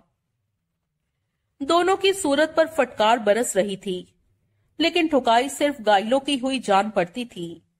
उसने कातर भाव से उसकी तरफ़ देखा। तागड़े ने उससे आँख भी नहीं मिलाई। यही है ना वो दोनों? गोविलकर बोला। जीत सिंह को उसकी आवाज़ बहुत दूर से आती लगी। जिनको खिसका कर तेरी मुकरने की मजाल हुई? अब बोल, क्या बोलता है? जीत सिंह ने एकाएक अपने सूख आए होंठों पर ज़ुबान फेरी। अबे बोल, गोविलकर कड़क कर बोला, क्या बोलू साहब? जीत सिंह कंपित स्वर में बोला, ये भी मैं तेरे को बताए क्या? एक बात बता दो साहब। पूछ, तागड़े खुद आया या इसे भी पकड़ा? पकड़ा। दोनों निगाह में थे क्या? तीनों, तू भी। मैं भी। साले मैं बोला नहीं था तेरे को? पुलिस के हज़ारों हाथ और लाखों निगाहें होती हैं। ब, बोला था, अब देख लिया ना? हाँ। अब अपने टॉप के हिमायती से पूछ, अगली बार ये अदालत में तेरी बाबत क्या बयान देगा? क्या पूछेगा साहब? मेरे को मालूम। तागड़े से तो पूछने की भी ज़रूरत नहीं है। ये तो वैसे ही तड़प रहा है बयान देने को। ताकि डंडा परेड से बच सके। मालूम है बाप, अब क्या बोलता है? इन्हें छोड़ दो। ये तेरी शर्त है बोलने की। छोड़ दो साहब, जो बोलेगा करेगा। वो भी जिससे कल नक्की किया। हाँ करेगा मैं कामरेड साहब का काम, पर इन्हें छोड़ दो। फिर मुकर गया तो? मुकरा नहीं था साहब। मुकरा मेरे को तब बोलते जब मेरे को पहले से कोई आइडिया होता कि मेरे को क्या करने का था। तो और क्या किया? खाली अपना बुरा बुला सोचा। अभी क्या सोचा? अभी भी बुरा भला ही सोचा। तभी तो बोला, कामरेड साहब का काम करेगा। हम्म तो तू चाहता है मैं तेरे पर एक बार और यकीन करूँ? तुझे एक मौका और दूँ? हाँ। जो मजाल तेरी हुई, बिना उसकी तुझे कोई सजा दिए। साहब, अब क्यों आप, ठीक है तो भी क्या याद करेगा? क्या ठीक है साहब? गोविलकर ने घंटी बजाई। हवलदार भीतर आया तो वो बोला, छोड़ दो इन दोनों को। हवलदार के चेहरे पर विस्मय के भाव आए। आज़ाद कर दो, जहाँ चाहे जाने दो। हवलदार ने सहमति में सिर हिलाया। और फिर गायलो और तागड़े से संबोधित हुआ, चलो। दोनों वहाँ से रुखसत हुए। गायलो बार बार जिबा होती बकरी की तरह जीत सिंह को देखता। जो बात जीत सिंह ने उसके आते बार नहीं देखी थी, जाते बार देखी थी, वो ये थी कि गायलो ठीक से चल भी नहीं पा रहा था। दोहरी मार झेलनी पड़ी थी बेचारे को। पहले बड़ा बटाटा की, फिर पुलिस की। अपने कज़न एंजो के दोस्त की, एक अनजान शख्स की मदद की बहुत बड़ी कीमत चुकानी पड़ी थी उसे। बैठ गोविलकर बोला, जीत सिंह वापस कुर्सी पर ढेर हुआ। चाय पिएगा क्या? साहब, मीठी मार ना मारो, मेरे को उलझन होती है। वो हंसा। अच्छा जाने दे। वो बोला, चाय भी कोई चीज़ है पीने की? जीत सिंह चुप रहा। कामरेड साहब को फट्टा मार दिया कि तूने कभी गन नहीं चलाया, कभी हाथ में भी नहीं थामा। अब क्या बोलेगा बाप? बोलना ज़रूरी नहीं चलाया, जो कि झूठ है। तो मेरे को इंतज़ाम करना पड़ेगा तेरे को चलाना सिखाने का। नहीं माँगता साहब। उसने मेज का एक दराज खोला और एक ऐसी गन निकाली, जिससे मिलती जुलती सूरत भी जीते ने कभी नहीं देखी थी। ये चेकोस्लोवाकिया की बनी गन है। बहुत पुराना मॉडल है। कहते हैं दूसरे महायुद्ध में बहुत पसंद की जाती थी। जर्मन फौजी इस्तेमाल करते थे। आठ फायर करती है। भरी हुई ही बरामद हुई थी। इसलिए इस वक्त भरी हुई है। गोलियाँ भी अनोखे कैलिबर की हैं और शायद ही मिले। लेकिन और की ज़रूरत भी किधर है? यही ज़रूरत से ज़्यादा है। निशाने पर ठीक लगे तो एक ही गोली, चीथड़े उड़ा देने को काफ़ी है। इतनी पुरानी गन आपके पास कहाँ से आई साहब? किसी मुजरिम से बरामद की थी। माल खाने में जमा करानी थी, पर नहीं कराई। पास रख ली, अब काम आएगी। क्या चलती है? चलती ही होगी, वरना कोई पास क्यों रखता? नाल बहुत अजीब है साहब। क्योंकि साइलेंसर चढ़ा है। वो क्या होता है? ये नलकी होती है। उसने नाल पर की चूड़ियाँ उमेठी, जो कि नाल पर चढ़ी होती हैं। इसकी वजह से गोली चलने पर आवाज़ नहीं होती। उसने साइलेंसर को नाल पर से उतार कर और दोबारा चढ़ाकर दिखाया। ओ अब भेजे में घुसा की कितना आसान काम है। जीत सिंह ने हिचकिचाते हुए सहमति में सिर हिलाया। ठीक चला लेगा तो एक ही गोली काम कर देगी, और किसी को खबर भी नहीं होगी कि जॉर्ज डेविस गॉड के पास पहुँच गया था। जब तक उसके किसी गनमैन की उसकी तरफ़ तवज्जो जाएगी, तब तक तो मुंबई के दूसरे सिरे पर होगा। गन तुम्हारे को लाके देने का है क्या? हरगिज नहीं। काम खत्म हो जाने पर उधर ही फेंक के आने का है। वो काम हो जाने पर ये गन मेरे किसी काम की नहीं। उधर ही फेंक के आना का है। बरामद होने पर कोई वादा नहीं। इसका ना नंबर है, ना रजिस्ट्रेशन है, ना कोई मालिक है। एन सेफ़ गन है तेरे वास्ते। मेरे वास्ते? हाँ तेरे वास्ते। खाली इतना ख्याल रखना अपनी सेफ्टी की खातिर। कि इस पर उंगलियों के निशान ना छोड़ना। मैं मेंटल है क्या? मेंटल किधर से होएगा? तू तो बहुत तजुर्बेकार। फिर भी बोला, गायलों की निगरानी अभी भी चलेगी क्या? अब काहे? अब क्या करेगा मैं उसको झूठा गवाह साबित करके? और मेरी? शानपंथी निकाल तो तेरी भी नहीं। जाके चिंच पोकली में रह। उधर नहीं बाप। मेरा कोई पंगा है, जिसकी वजह से उधर मेरी जान को खतरा है। और क्या पंगा है? क्या बोलेगा बाप, जब लाइफ स्ट्रेट नहीं तो एक क्या दस पंगे हो सकते हैं। ठीक है, जिधर मर्ज़ी रह, पर मेरे को मालूम होना माँगता है कि तू किधर है। बोलेगा बाप, ठिया बदलेगा तो बोलेगा, अभी का तो तुम्हारे को मालूम, खुद बोला। हाँ तूने तागड़े का नहीं पूछा? अब क्या पूछना?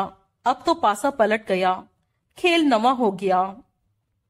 शाना है, पर जो पंगा किया तो किया तो अपनी ज़ुबान से पलटी खाया। उसका मज़ा मेरे को मिल गया, साहब। साहब का इतना ज़ोर का झांपड़ पड़ा कि अभी भी गाल तपता है। शुक्र मना, ऐसा ही चक्का बाडी तपता हो सकता था। साहब, मैं गलत, मैं जलील, मैं खतावार। पर आप तो अपनी बात से पलटी नहीं खाएँगा ना। नहीं खाऊँगा। ये काम ठीक से कर, फिर याद करेगा कि कोई मिला था। मेरी हाजिरी चौकस करो साहब। क्या? पहले खुद बोला मेरे को बिना थाने आए, हाजिर माना जाएगा। अभी गैर हाजिर बोलकर ही गैर हाजिरी पर गिरफ्तारी की और जमानत जब्ती की धमकी दी। अभी अपने वकील के पास जा। तेरे को उधर कोर्ट में एक घंटे में पहुँचना है, और उधर तेरी तरफ़ से कोर्ट में कोई अर्जी लगाने से उसे रोक। वापिस आकर मेरे को खबर दे, तब मैं करेंगा तेरा काम। कैसे? कैसे क्या? हाजिरी कैसे चौकस करोगे साहब? जैसे सात तारीख की पहली बार हाजिरी भरने आया था तो की थी। कैसे की थी? अरे रोज नामचे में लिखा था कि तू बुधवार, सात जनवरी को सुबह ग्यारह बजे, कोर्ट के ऑर्डर के मुताबिक थाने में हाजिर था। ऐसा रोज नामचे में तो तब से आज, मंगलवार 20 जनवरी तक, रोज़ाना इधर हाजिर। सर्टिफिकेट माँगता है साहब। क्या? मेरे को इस बाबत आपका तस्दीक शुदा सर्टिफिकेट माँगता है। क्या बकता है? मामूली बात है साहब। पर मामूली बात है, तेरे को मेरे पर एतबार नहीं किया। आपको मेरे पर एतबार है क्या? मैं फंसा हुआ हूँ, इसलिए आपको मालूम कि मैं आपसे बाहर नहीं जा सकता। ये बात ना हो तो बोलो साहब, एतबार है क्या? गोविलकर खामोश हो गया। कितनी ही देर वो अपलक जीत सिंह की तरफ़ देखता रहा। जीत सिंह ने उससे निगाह मिलाने की कोशिश नहीं की। वो सिर झुकाए बैठा रहा। मैं इंकार करूँ? गोविलकर आखिरकार बोला तो तू मेरे काम से इंकार कर देगा क्या? इतनी मामूली सी बात के लिए क्यों इनकार करोगे साहब? सवाल मत कर, जवाब दे। जीत सिंह खामोश रहा। तू कहीं ये तो नहीं समझता कि गायलो और तागड़े आज़ाद हो गए हैं, इसलिए तू नहीं समझता साहब। आप उन्हें कभी भी फिर पकड़ मंगवा सकते हैं। मैं क्या जानता नहीं? फिर भी शर्तें लगाता है। साहब, शर्तें नहीं लगाता, फरियाद करता है। अबे हलकट, उस सर्टिफिकेट से तेरा कोई भला नहीं होने वाला। फिर तो ज़रूर ही दे दो साहब। ये समझकर दे दो कि बच्चा बहलाया। गोविलकर ने गहरी सांस ली। ठीक है, फिर वो बोला। मिल जाएगा वो सर्टिफिकेट तुझे। कब साहब? शुक्रवार को, जब तू गन के लिए थाने आएगा, मैं तैयार रखूँगा तेरा सर्टिफिकेट सात से तेईस तक की हाजिरी का ना साहब? हाँ और चौबीस जनवरी से सत्रह फरवरी तक की हाजिरी का? क्या? अठारह फरवरी को मेरी कोर्ट में पेशी है, मेरे को सत्रह फरवरी तक की इधर हाजिरी का सर्टिफिकेट माँगता है?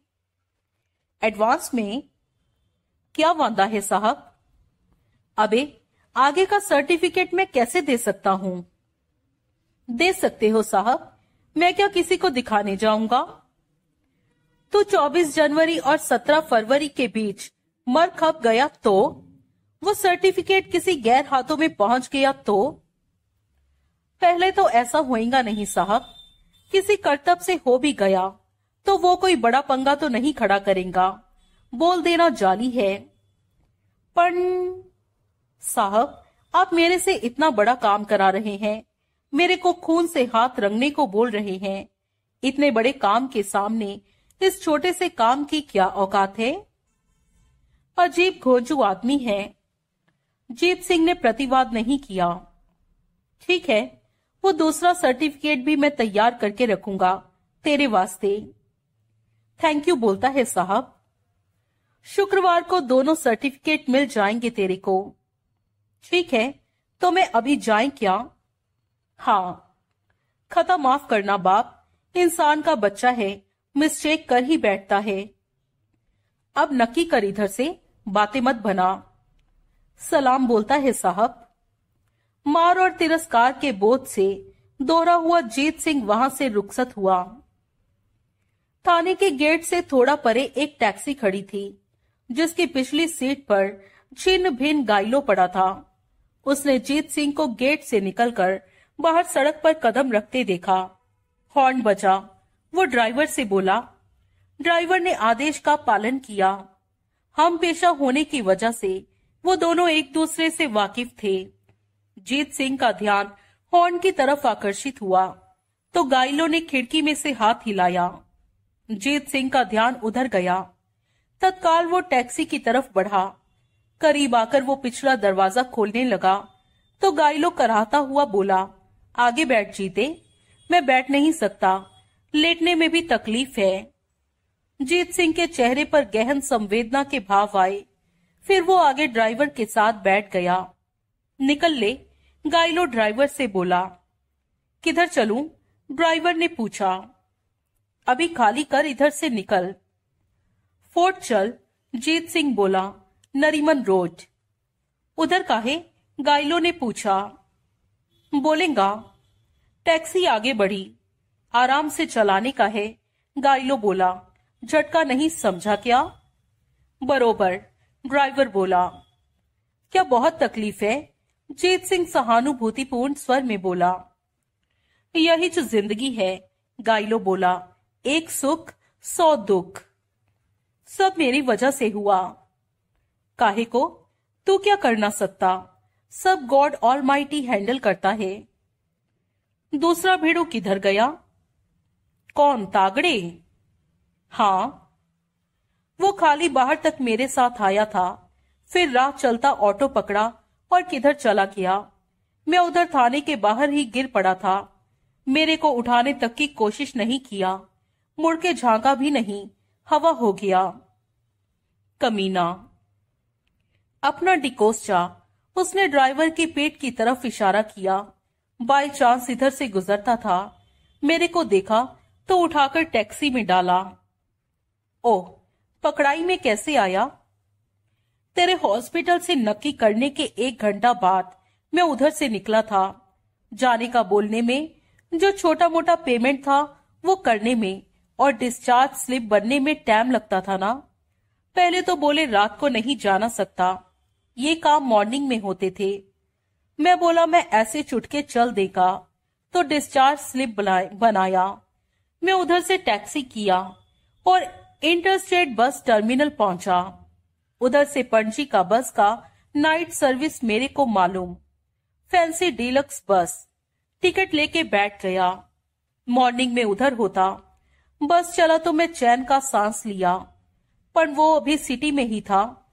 हाईवे पकड़ा भी नहीं था कि पिछू से पुलिस का एक जीप आया। बस को रुकवाया और मेरे को बस से जबरन उतार लिया। फिर फिर मैं तारदेव थाने में वह रियल डेविल इनकॉर्नेशन ने उस इंस्पेक्टर के हवाले शैतान के माफिक पेश आया। पहले ठोका, फिर बोला, क्यों ठोकता था? ज़रूर मार ही डालता, पर उसको मेरा ज़रूरत इसलिए जीने दिया। वो दूसरा भेड़ू तागड़े उसको नहीं ठोका क्या? खाली एक आध डंडा जमाया। वो बोला तो उसको फोर्स किया मुंबई छोड़ने को, मार डालने का धमकी देके बोला, जान बचाने का वास्ते हाँ बोलना पड़ा। साला, कमीना, अब तेरा क्या होगा जीते? अरे, मेरे को गोली मार। अभी सोच तेरा अपना क्या होगा? काम का मुसीबत में फंस गया। कोई वादा नहीं जीते। वो तेरा कोई नवा बयान लिया है क्या? लिया ना, तभी तो ठोकना छोड़ा। क्या बोला तू?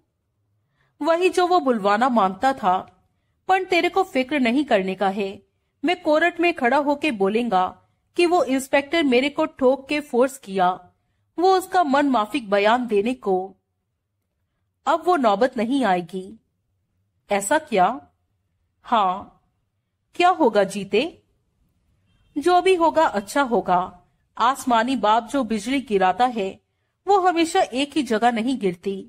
अभी तेरे पर गिरी अभी कहीं और गिरेगी, तेरा फिर कुछ बाकी बचा। कहीं और गिरेगी तो कुछ बाकी नहीं बचेगा। मैं समझा नहीं जीते। अभी तो खस्ता हाल है। ठीक हो जाएगा तो समझेगा। बहुत कुछ समझेगा। अभी हम फोर्ट क्यों जा रहे हैं? उधर एक नर्सिंग होम है, प्राइवेट और बढ़िया वाला, नानावटी मेडिकल सेंटर करके। तेरे को उधर भर्ती कराने का है। पर डेविड परदेसी किधर बाहर गया है? शाम तक लौट आएगा। शाम को वो तेरे पास सोएगा और तब तक तेरे साथ उधर ही रहेगा, जब तक तू एड फिट नहीं हो जाएगा। पर तू मेरी बात तो सुन जीते। क्या सुनाना माँगता है? वो फिफ्टी थाउज़ेंड रुपीज़ जो तू मेरे को दिया, वो तो पुलिस ले लिया। क्या? जामा तलाशी में बरामद हुआ ना, फिर वापस किधर किया? हड़प लिया? हाँ ऐसा ही किया। साले, गोश्त नोचने वाले कुत्ते। गाइलो चुप रहा। कोई वादा नहीं, फिर जीत सिंह आश्वासनपूर्ण स्वर में बोला, अभी लाइफ में प्रॉब्लम ही प्रॉब्लम है, पर रोकड़े का कोई प्रॉब्लम नहीं। इस वास्ते जो हुआ, उसे भूल जा। भूलना ही पड़ेगा। भूलेगा नहीं तो और क्या करेगा? मैं कल तेरे सामने बड़ा बोल बोला और बोल के भूल गया। बोला, तेरे वास्ते दुआ करने मंदिर जाएगा, चर्च जाएगा, किधर भी नहीं गया। उसी की तेरे को सजा मिली। गायलो मैं तेरा गुनेगार। अब नक्की कर जीते, क्योंकि मेरा वास्ते ज्यास्ती बोलना भी मुश्किल। बाकी का रास्ता खामोशी में कटा।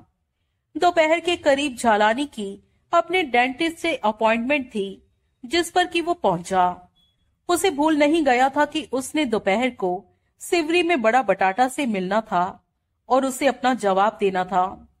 उसका मन माफिक जवाब देने का क्योंकि उसका इरादा नहीं था, इसलिए दोपहर से पहले उसने अपने घर का रुख करने की कोशिश नहीं की थी।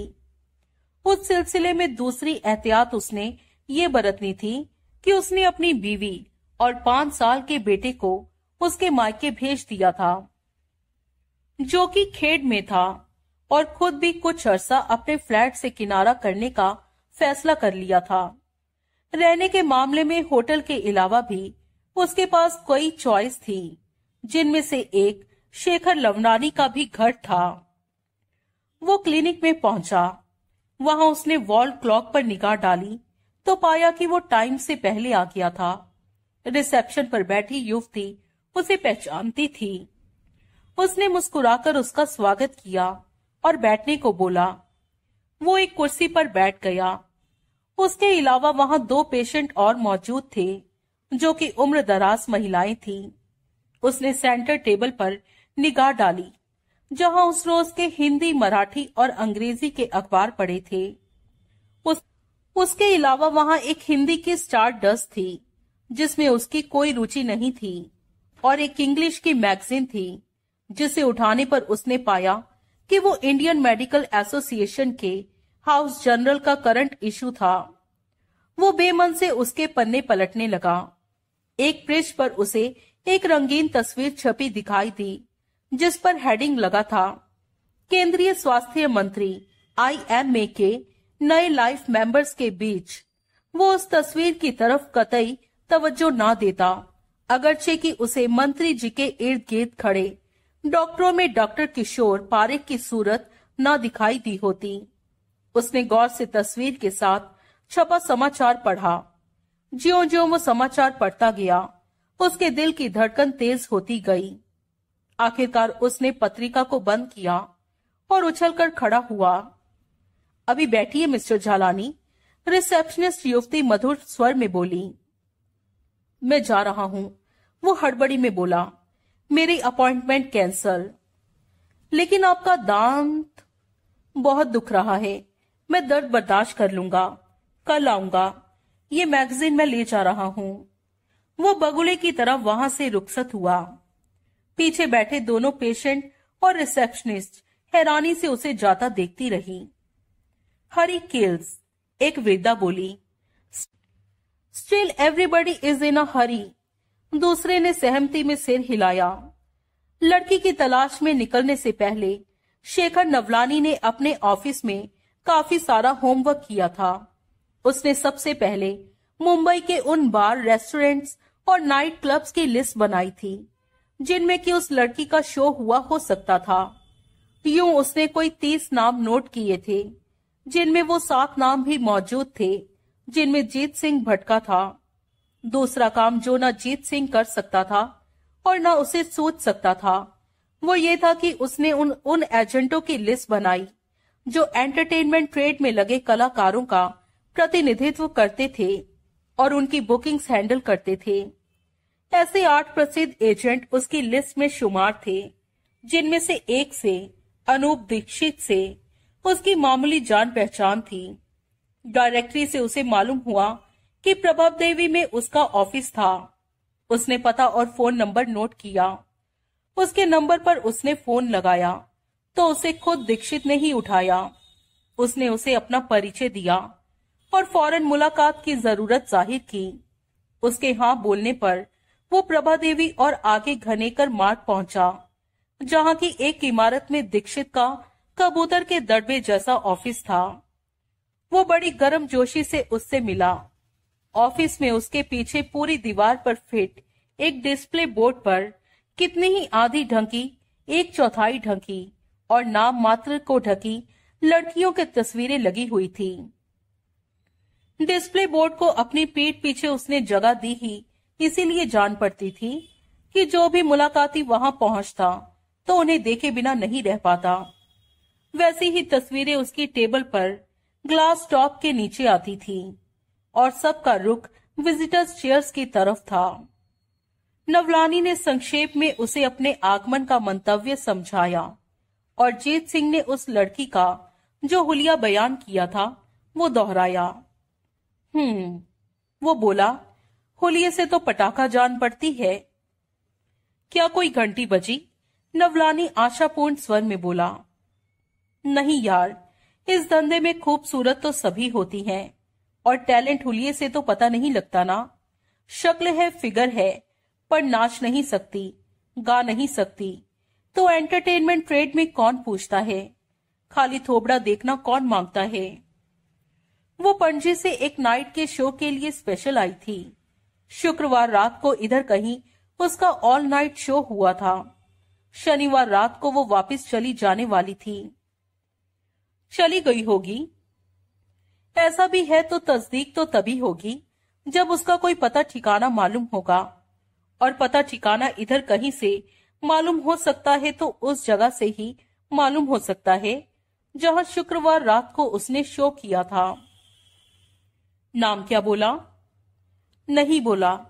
नाम नहीं मालूम। फिर कैसे मालूम होगा कोई तो तरीका होगा। हम्म। और क्या मालूम है? कुछ नहीं। जो मालूम है वो ये है कि वो पणजी से आई थी, गोवानी थी, शो करने आई थी। एक ही शो करने आई थी, जो शुक्रवार रात को ऑल नाइट सेशन के तौर पर हुआ था। और अगले रोज रात की ट्रेन पकड़कर वो वापस लौट जाने वाली थी? हाँ। फिर तो एक बढ़िया क्ल्यू तुम्हारे सामने है। कैसे जासूस? हो जो उसकी तरफ़ तवज्जो नहीं दे रहे हो? कैसा क्लू अरे जाकर शनिवार रात का उस रेल रिजर्वेशन चार्ट देखो, जो तुम कहते हो कि चार घंटे लेट थी। रात का सफ़र वो बिना रिजर्वेशन तो कर नहीं रही होगी। जिसके लिए शो करने आई थी, उसने उसकी आने जाने की रिजर्वेशन का इंतज़ाम बराबर किया होगा। रिजर्वेशन लिस्ट में नाम, उम्र और जर्नी डेस्टिनेशन दर्ज होता है। उस लिस्ट में तो सैकड़ों नाम होंगे। होंगे, लेकिन उनमें फैमिली होंगी, दोस्तों के ग्रुप होंगे, जोड़े होंगे, बच्चे बूढ़े होंगे। नाइट ट्रेन में अकेली सफ़र करने वाली नौजवान लड़कियाँ भी क्या सैकड़ों में दर्ज होंगी? नहीं। हो सकता है ऐसी आठ दस ही हो, चार पाँच ही हो, और उनमें गोवानी नाम वाली एक ही हो।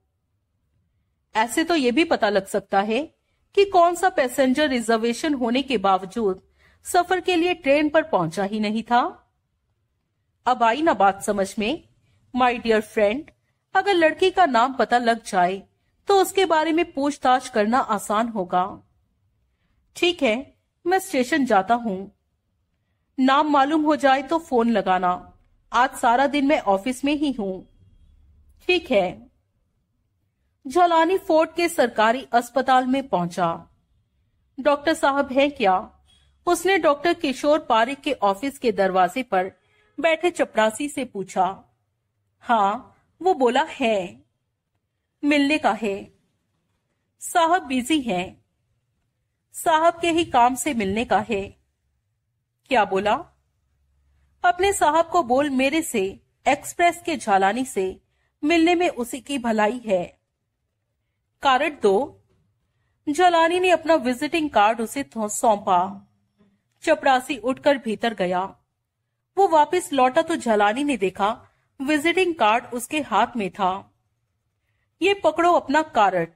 साहब की बेरुखी का इजहार जैसे उसने किया। साहब तुम्हेरे से नहीं मिलना माँगता। क्या बोला? बाद में आने को बोला क्या? बोला, मिलना है इच नहीं तुम्हारे से। अच्छी बात है। उसने अपनी जेब से अपना स्क्रैच पैड और बॉल पेन निकाला। स्क्रैच पैड पर उसने लिखा, ऊँचे घोड़े पर सवार डॉक्टर साहब, सत्रह जनवरी शनिवार रात को आप पूना में थे। इस बात पर विचार करना और अपना कलेजा भून के खाना। झालानी एक्सप्रेस। उसने स्क्रैच पैड से वो कागज़ फाड़ा और उसे चपरासी को थमाया। ये रुक्का साहब को देना। वो बोला, चपरासी की ज़ुबान खोल पाने से पहले वो वहाँ से रुखसत हो गया। वो अपनी मोटरसाइकिल पर सवार हुआ और तारदेव पहुँचा। थाने में सब इंस्पेक्टर गोखले अपने कमरे में मौजूद था। झालानी बड़े इत्मीनान से उसके सामने कुर्सी पर ढेर हुआ। गोखले ने उसे घूर कर देखा। लगता है वो बोला, आजकल कोई और काम है ही नहीं। ठीक लगता है गोखले बोला, अब क्या है? मैं एक बात की तस्दीक करने आया था। कौन सी बात की? तुम्हारे और एक हवलदार के मौकाए वारदात पर पहुँचने के बाद वहाँ दो जने और पहुँचे थे, जिनकी बाबत कल तुमने कहा था कि वो डॉक्टर किशोर पारिक और उसका एक असिस्टेंट थे। याद आया? हाँ इसमें भूलने वाली क्या बात है? ये डॉक्टर किशोर पारिक वही हैं, जिसने लाश का पोस्टमार्टम किया था, जो फोर्ट के सरकारी अस्पताल में बैठता है। हाँ वही है। मौकाए वारदात पर कितने बजे पहुँचा था? कितने बजे पहुँचा था? शनिवार को। शनिवार रात को अपने असिस्टेंट के साथ। अरे, मैं याद करने की कोशिश कर रहा हूँ। अच्छा सवा एक के करीब पहुँचा था। अच्छी तरह से याद है ये कोई भूलने की बात है क्या? याद करने की कोशिश कर रहे थे ना? इसीलिए बोला। रिकलेक्ट करने की कोशिश कर रहा था। और जो रिकलेक्ट किया, वो ये है कि डॉक्टर पारिक अपने एक असिस्टेंट के साथ रात सवा एक बजे के करीब मौकाए वारदात पर पहुँचा था। हाँ खुद तुम कितने बजे पहुँचे थे? साढ़े बारह बजे। डॉक्टर पारे कितना लेट क्यों पहुँचा? अरे, रात को आना था। सोते से उठ के आना था। तैयार होके आना था। फासले से आना था। पौने घंटे में पहुँच गया। समझो, जल्दी पहुँच गया। गुड। अब ये देखो क्या है। जालानी ने उसे डेंटिस्ट के रिसेप्शन पर से उठाई, मैगजीन दिखाई। क्या है? ये इंडियन मेडिकल एसोसिएशन के हाउस जनरल का ताज़ा तरीन अंक है। तो इसमें छपी ये खबर देखो, ये तस्वीर देखो। खबर के मुताबिक पिछले शनिवार रात को इंडियन मेडिकल एसोसिएशन ने पूना के होटल ब्लू डायमंड में एक डिनर का आयोजन किया था, जिसमें केंद्रीय स्वास्थ्य मंत्री भी आमंत्रित थे। मंत्री के साथ खिंची डॉक्टरों की ये उसी मौके की तस्वीर है। अरे तो फिर, इसमें तुम्हें कोई पहचानी सूरत नहीं दिखाई दे रही क्या? मंत्री जी है ना? उनके अलावा, गोखले ने फिर तस्वीर पर निगाह डाली। नहीं, वो बोला, इसका मतलब है किशोर पारे के नाम से ही वाकिफ हो, उससे कभी रूबरू नहीं मिले। पागल हो क्या? तो फिर तुम्हें तस्वीर में डॉक्टर पारिक क्यों नहीं दिखाई दे रहा? उसने फिर तस्वीर पर निगाह डाली और फिर बोला, ये है ना डॉक्टर पारिक, बाएँ से चौथा। नीचे सबके नाम छपे हैं। हाँ डॉक्टर किरोश, किशोर पारिक एमडी पैथोलॉजी। ठीक से पहचाना ना? हाँ पहले क्यों नहीं पहचाना? पहले मैंने यूँ ही सरसरी निगाह तस्वीर पर डाली थी। इसलिए इसमें डॉक्टर पारिक को मिस कर गया। अब तो कोई शक नहीं है ना? नहीं भाई, लेकिन तुम कहना क्या चाहते हो? खबर में साफ़ लिखा है कि ये डिनर 17 जनवरी शनिवार रात को हुआ था और ये तस्वीर डिनर के बाद की है। तस्वीर की पृष्ठभूमि पर दीवार पर टंगी एक घड़ी दिखाई दे रही है, जो कि पौने बारह बजा रही है। घड़ी दिखाई दी क्या? हाँ पौने बारह ही बजा रही है ना? हाँ। ऐसा ही साहब। अब तो मुझे ये बताओ कि जो डॉक्टर शनिवार रात पौने बारह बजे यहाँ से 200 किलोमीटर दूर पूना में था, वो सवा एक बजे, यानी कि डेढ़ घंटे बाद ही यहाँ मुंबई में ग्रांट रोड पर कैसे पहुँच गया? गोखले चौंका। उसने तस्वीर पर निगाह डाली, सिर उठाकर झालानी को देखा और फिर तस्वीर को देखा। घड़ी दिन के पौने बारह बजा रही होगी। वो लापरवाही से बोला, डिनर दिन में होता है क्या? रुकी हुई होगी। हर वक्त ही पौने बारह बजाती होगी। या काफ़ी आगे होगी? ये भी हो सकता है। या डॉक्टर सवा एक बजे से काफ़ी बाद आया होगा। मसलन सवा दो बजे। या तुमने घड़ी ठीक से नहीं देखी होगी, और सवा दो को सवा एक समझ लिया होगा। या वो कोई और डॉक्टर होगा, जिसे तुमने डॉक्टर पारिक समझ लिया था? या डॉक्टर पारिक का नाम बेध्यानी में मुँह से निकल गया था? क्योंकि इस काम के लिए अक्सर तो वही हाजिरी भरता था। या क्या मतलब है तुम्हारा? मैं तुम्हें वो सारे जवाब सुझा रहा हूँ, जो बिगड़ी बात को संवारने में तुम्हारे काम आ सकते हैं। कोई बिगड़ी बात नहीं है। गोखले घड़ी रुकी हुई है या टाइम गलत दे रही है? इसकी तस्दीक अभी भी हो सकती है। वैसे ये बात नामुमकिन है कि फाइव स्टार होटल के किसी हॉल में रुकी हुई या गलत टाइम देने वाली घड़ी लगी हो। ऊपर से जब डॉक्टर की वहाँ मौजूदगी के दर्जनों गवाह मौजूद है तो घड़ी की वैसे ही कोई अहमियत नहीं है। मैं आज ही पूना जाता हूँ और डिनर में शामिल ज़्यादा से ज़्यादा लोगों को लॉकेट करके उनसे मिलता हूँ। होटल स्टाफ में भी डॉक्टर पारिक की वहाँ मौजूदगी के कई गवाह होंगे। इस मैगजीन में एक तस्वीर छपी है। असल में दर्जनों खींची होंगी। मैं सब बरामद करके लाऊँगा।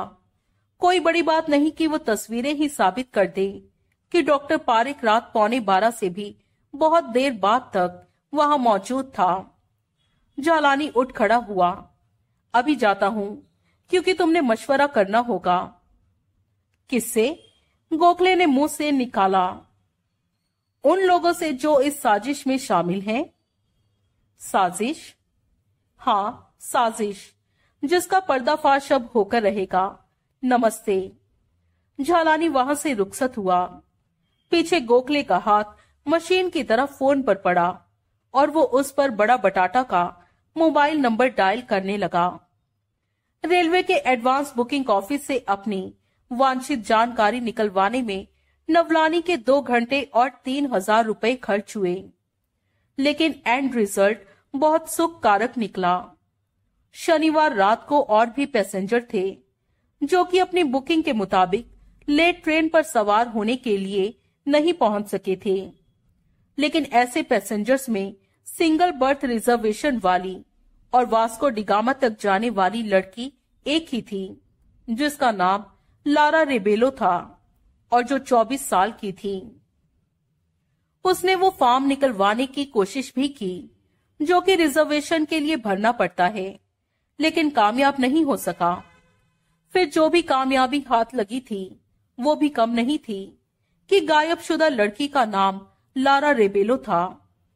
उसे ये सोच के बड़ी कोफ्त हो रही थी कि जो बात उसे एक एक्सपीरियंस्ड डिटेक्टिव को सूझनी चाहिए थी वो एक एंटरटेनमेंट एजेंट को सूझी थी।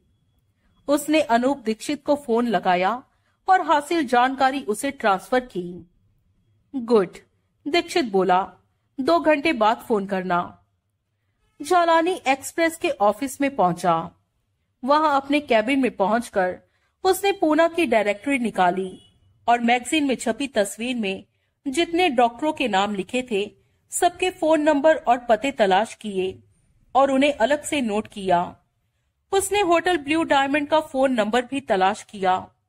फिर सबके पहले उसने होटल में ही फ़ोन करने का इरादा बनाया। उसने फ़ोन की तरफ़ हाथ बढ़ाया तो वो पहले ही बच पड़ा। उसने कॉल रिसीव की। झालानी साहब, दूसरी तरफ़ से किसी ने पूछा। हाँ। बदरुल हसन बोलता है, बाप। बदरुल हसन पुलिस का खबरी था। उसे खबरें सूंघने का ही नहीं, उनको कैश करने का भी तजुर्बा था। वो वाह कभी कोई इनाम इकराम भी पुलिस से हासिल करता था और मोटा शुक्राना अखबार वालों से ऐंठता था। बतौर मुखबिर, वो दोनों जगह नापसंद किया जाता था, लेकिन उसकी मुखबिरी की अहमियत दोनों जगह कायम थी। हाँ भाई बोलो, जालानी माउथ पीस में बोला, कैसे याद किया? करारी खबर है बाप। सो टांग करारी। सुनोगे तो फड़क जाओगे। ऐसा क्या? बरोबर ऐसा। बाप, देखना इस बार खुद ही शुक्राना डबल कर दोगे। क्या खबर है? बाप, शनिवार रात ग्रांट रोड पर जो वाकया हुआ ना, जो बोलते हैं कि उधर के बार बिग बॉस से शुरू हुआ, उसको लेकर इलाके में खुसर फुसर है कि कोई छोकरी बार में या कत्ल की जगह पर, या दोनों जगह पर थी। पर गायब हो गई। ऐसा है ना बाप? तेरे को कैसे पता चला? बाप, लोग बाग आपस में बतियाते हैं। बदरुल हसन सुनता है। यही तो काम है मेरा। क्या सुना? कोई टपोरी सा भीड़ू बार में चौकड़ी का बाबत पूछता था। कोई प्राइवेट करके डिटेक्टिव भी ऐसा ही पूछताछ करता था। अब कुछ तो घूम फिर के कान में पड़ेगा ना? क्या पड़ा? बाप, बहुत सीक्रेट के साथ बोलता है। किसी को बोलने का नहीं है कि मैं बोला। नहीं बोलेगा। पहले कभी बोला क्या? इस बार खास करके बोलता है बाप, क्योंकि किसी को मेरा पता चल गया तो मैं गया काम से। अब कुछ कहेगा भी।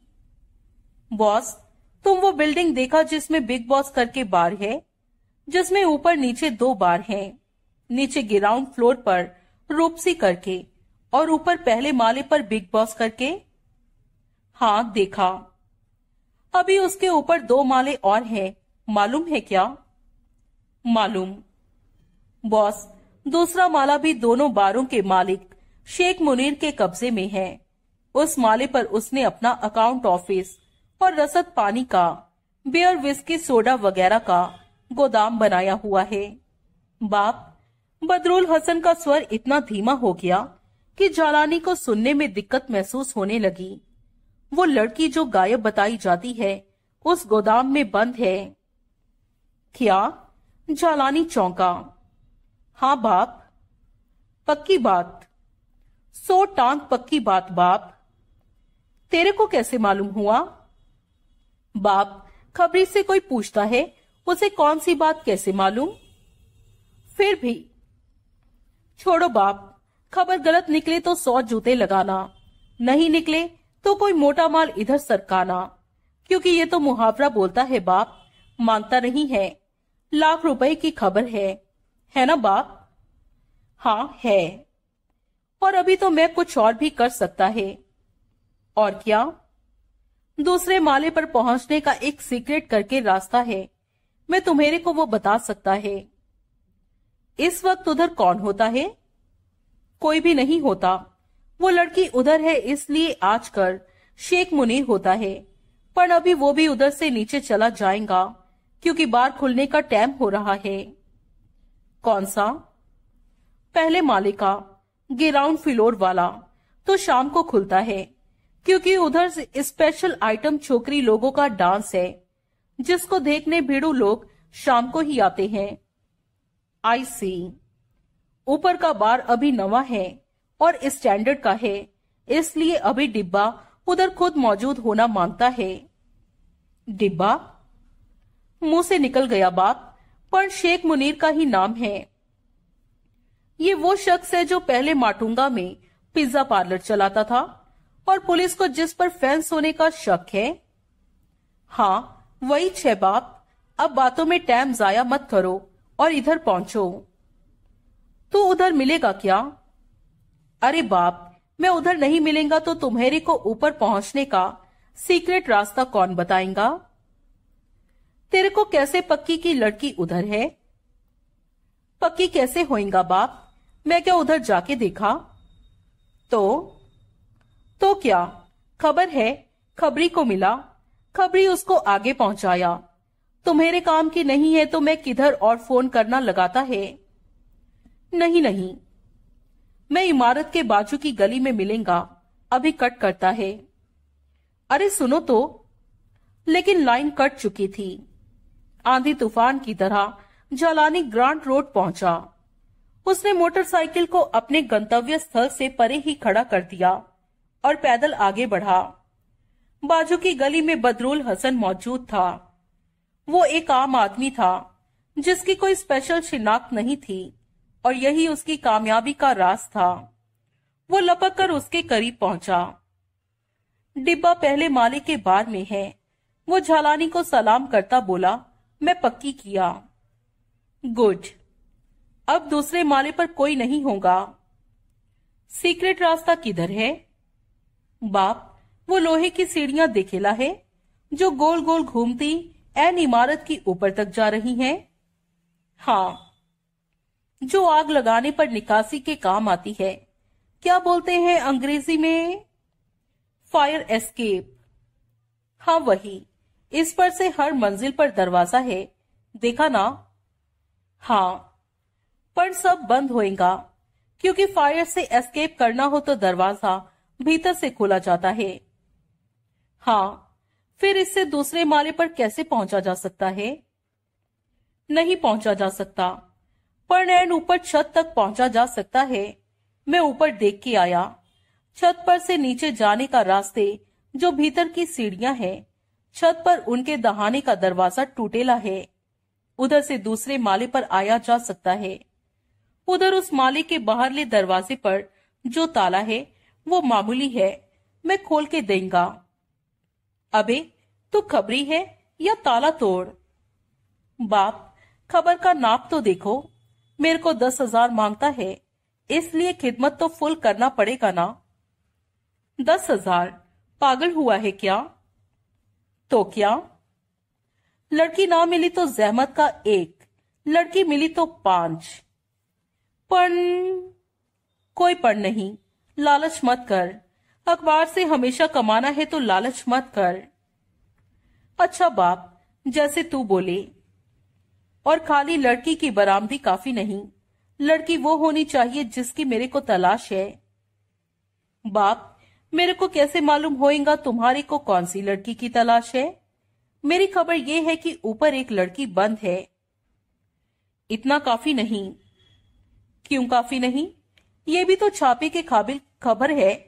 न्यूज़ है कि डिब्बा किसी लड़की को जबरन गिरफ़्तार करके रखेला है। बात तो तेरी ठीक है। ओके, लड़की कोई हो, तेरे पाँच पक्के। बाप, कमती है। अब छोड़ वो किस्सा। रोकड़ा तुम्हारे छापे वाले ने देना है तो मेरे को कोई जेब से तो नहीं देने का है जो। अब हिल भी यहाँ से। दोनों फायर एस्केप के करीब पहुँचे। पहले तुम पहुंचो। बाप में वॉच करता है। तुम छत पर पहुँच जाएगा तो मैं आता है। जालानी ने सहमति में सिर हिलाया और फिर फायर एस्केप पर कदम डाला। वो निर्विघ्न ऊपर छत पर पहुँच गया। दो मिनट बाद बदरुल हसन भी उसके बाजू में आ खड़ा हुआ। इधर वो हाफता सा बोला, दोनों भीतरी सीढ़ियों के दरवाजे के दहाने पर पहुँचे। बदरुल हसन ने उसे भीतर को धक्का दिया तो वो तनिक चर मराता सा खुल गया। वो रस्सी देखी बाप, वो पहली सीढ़ी की तरफ़ इशारा करता बोला हाँ झालानी बोला, क्यों दिखाता है? इससे चौखट के साथ बंधा हुआ था दरवाज़ा। मैं रस्सी खोला, दरवाज़ा खुल गया। ओ अब चलो। दोनों निशब्द सीढ़ियाँ उतरते, दो मंजिल नीचे पहुँचे। वहाँ उस मंजिल पर एक लंबा गलियारा था, जिसमें एक ही साइड में कई दरवाजे थे और सब बंद थे। जो दरवाज़ा सीढ़ियों के एन सामने था, उसके आगे बदरुल हसन ठिटका जालानी ने देखा, उस दरवाजे में बिल्ट इन लॉक फिट था। बदरुल हसन ने दरवाजे का हैंडल पकड़कर घुमाया और भीतल को धक्का दिया। बंद है, वो फुसफुसाया।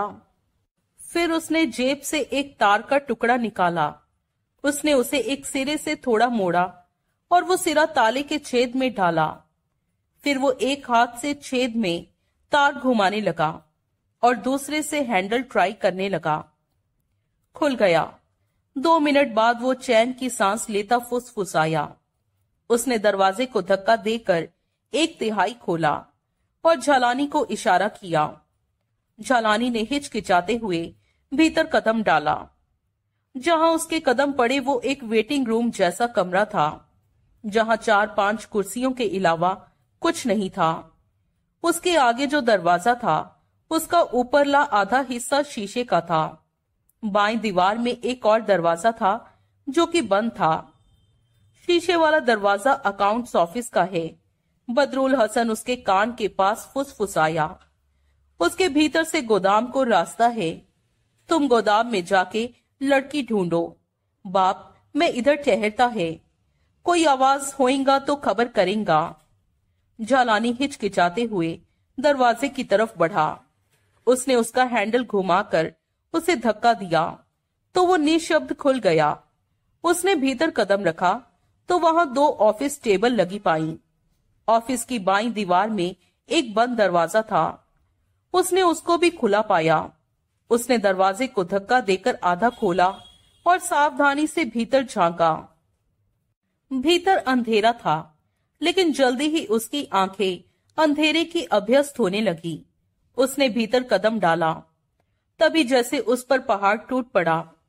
किसी का हथौड़े जैसा हाथ उसके चेहरे से टकराया। बड़ी मुश्किल से उसने स्वयं को संभाला और धराशायी होने से बचाया। उसने सिर उठाकर देखा तो सामने एक राक्षस जैसे आदमी को पाया, जिसने फिर घूसा चलाया। तो झालानी ने झुककर वार बचाया और पूरी शक्ति से अपना वार किया। उसका घूसा उसकी कनपटी से टकराया, लेकिन वो अपने स्थान से हिला भी नहीं। झालानी दीवानों की तरह दोनों हाथों से उस पर घूसे बरसाने लगा, लेकिन वो आदमी तो जैसे लोहे का बना हुआ था। किसी ने पीठ पीछे से उस पर किसी भारी चीज़ का वार किया। वार इतना प्रचंड था कि झालानी की आँखों के आगे सितारे नाच गए और उसके घुटने मुड़ गए। फिर यूँ उसकी चेतना लुप्त हुई, जैसे कोई बल्ब फ्यूज होता है।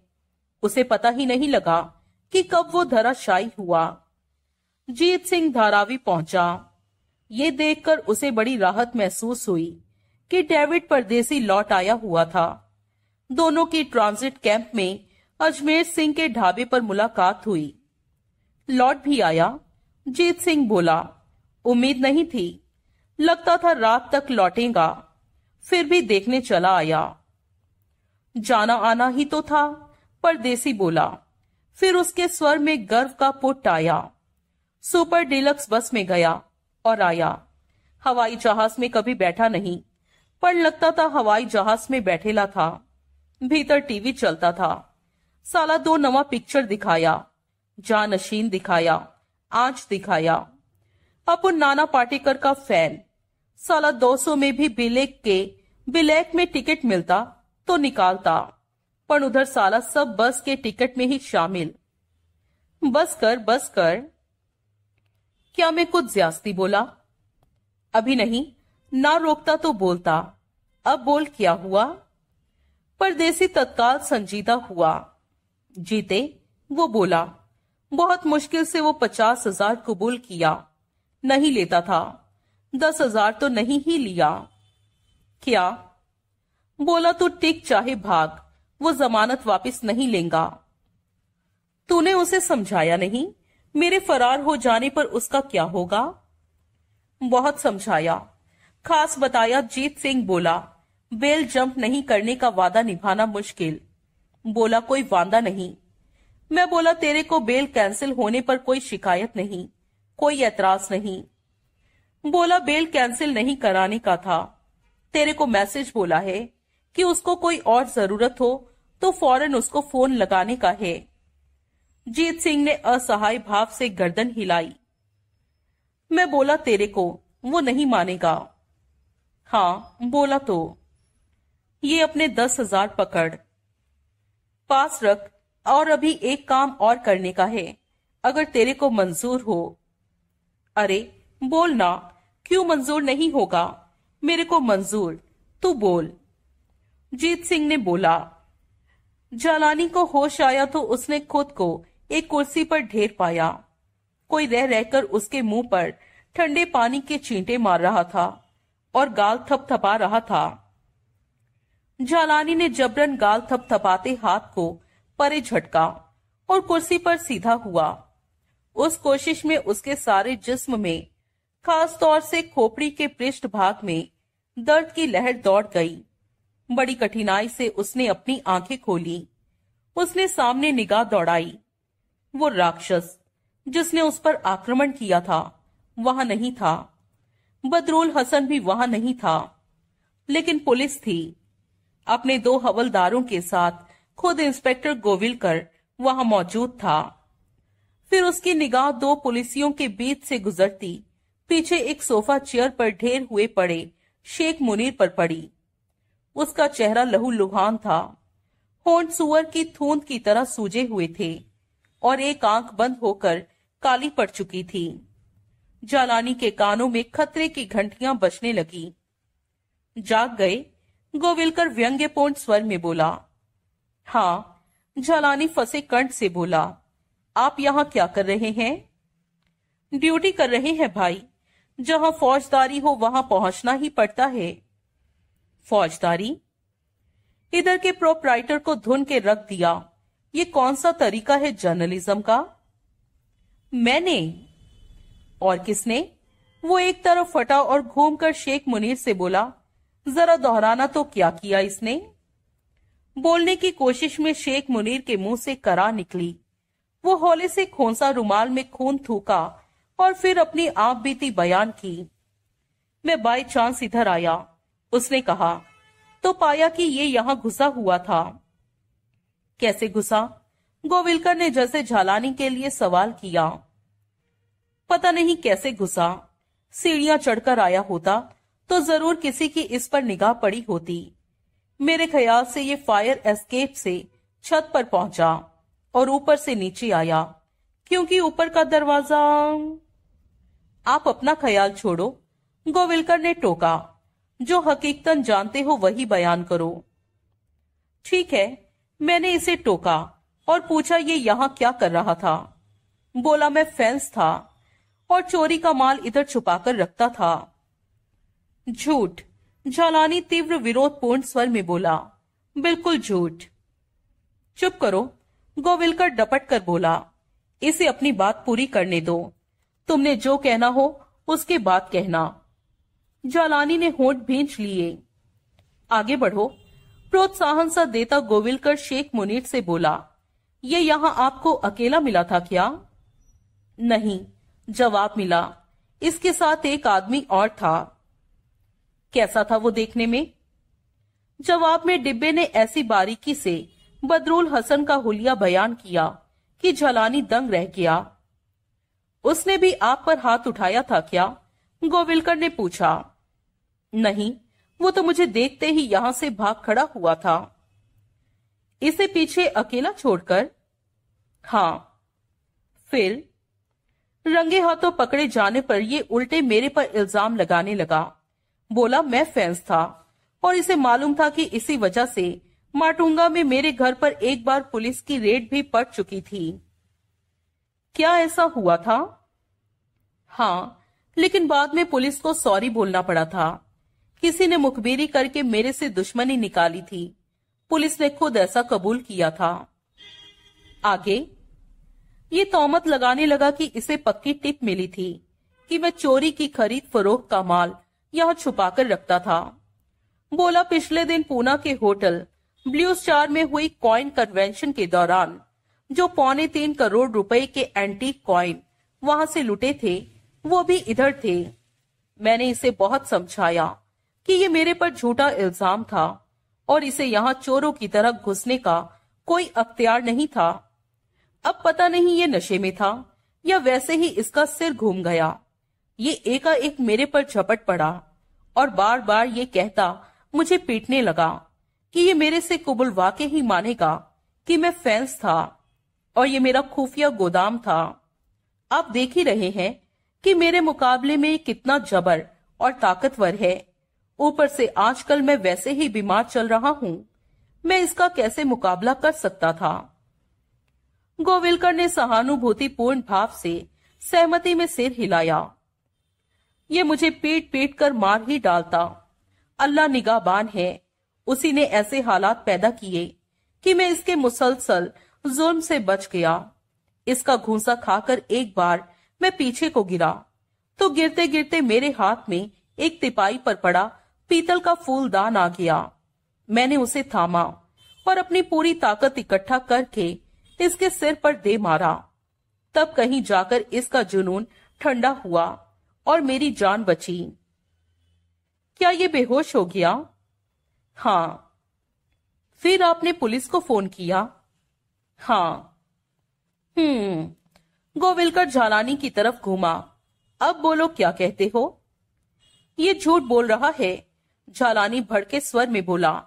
सरासर झूठ बोल रहा है। क्या तुमने इस पर हमला नहीं किया? नहीं। तो फिर तुम्हारी उंगलियों के जोड़ क्यों छिले हुए हैं? इन पर खून क्यों लगा हुआ है?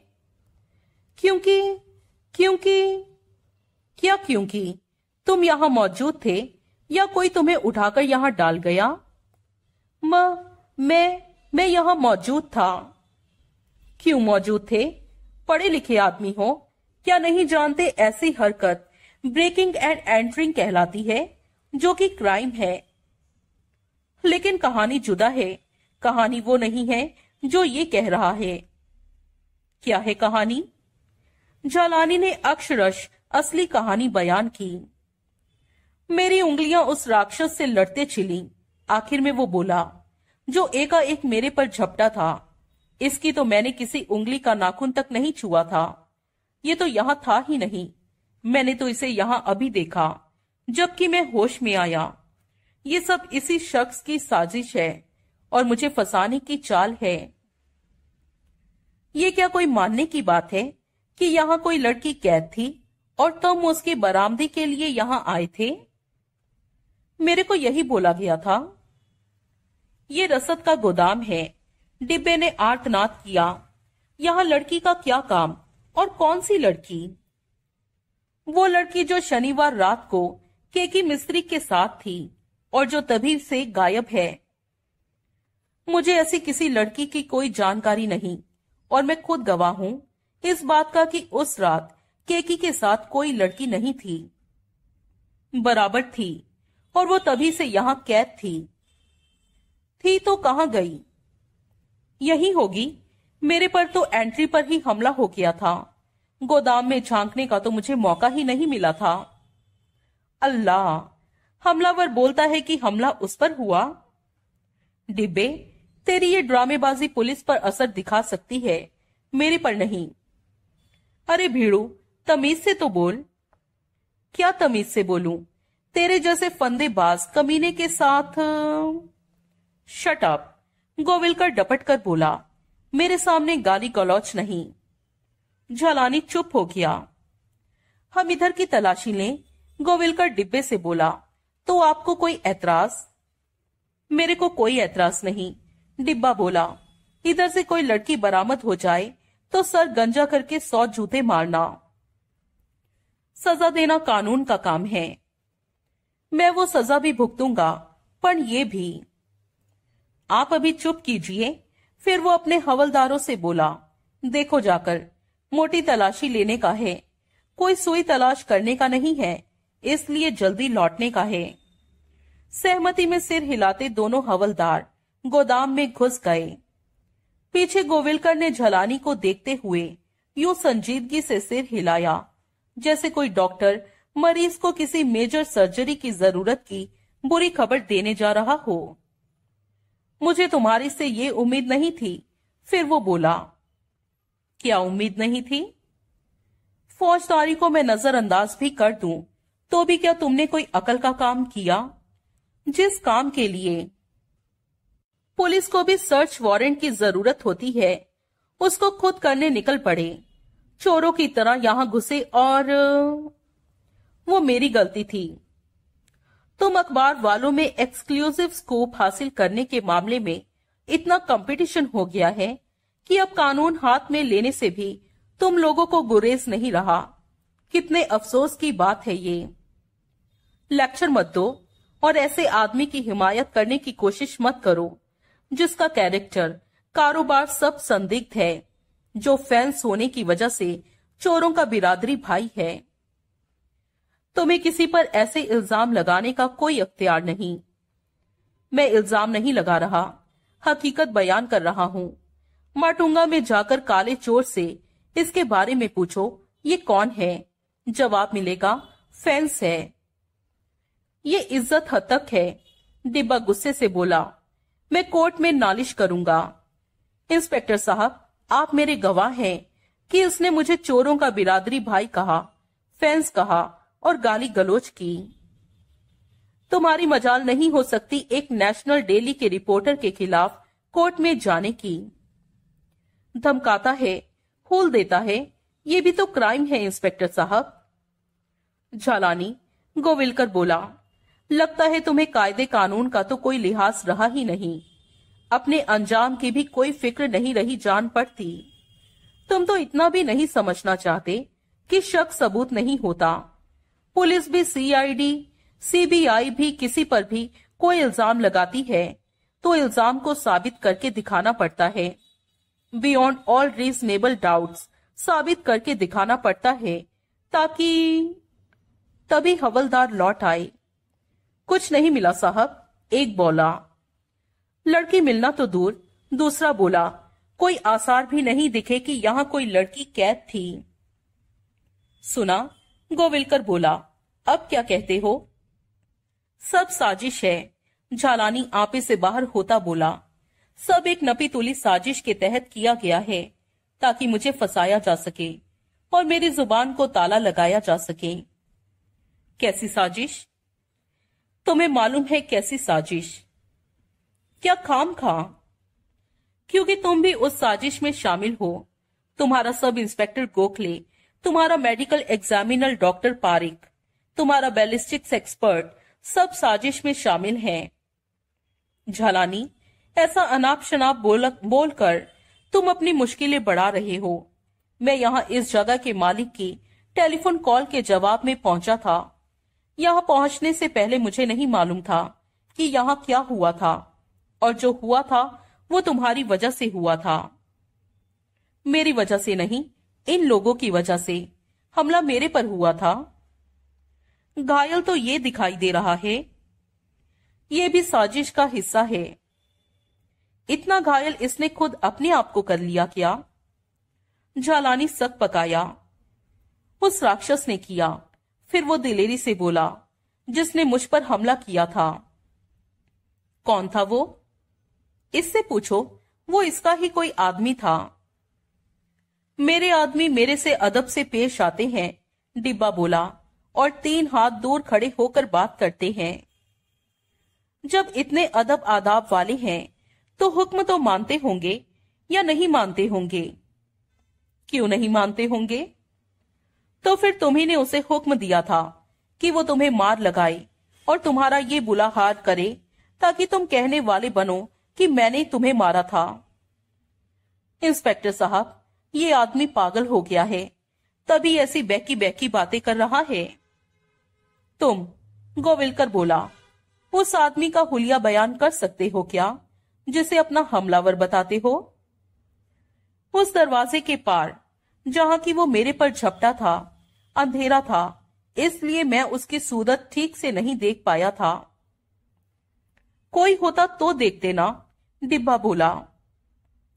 फिर भी मैंने इतना देखा था कि उसकी ठोड़ी पर कट का निशान था और दाई आँख के नीचे मस्सा था। बॉडी बिल्डर्स जैसे मसल्स थे और कद में खासा लंबा था। ऐसा कोई आदमी मेरी मुलाजमत में निकल आए। तो मेरे मुँह पर थूक देना। इंस्पेक्टर साहब, आप चाहें तो खुद नीचे जाकर दोनों बारों में खिसका दिया होगा या बुलाया ही बाहर से होगा, खास इस काम के लिए। क्या? ये भी साजिश का हिस्सा है। शुरू से आखिर तक गहरी साजिश हुई है मेरे खिलाफ। इंस्पेक्टर साहब, अगर तुम इंसाफ करना चाहते हो तो बदरुल हसन को बुलाओ और मेरे सामने उसका बयान लो।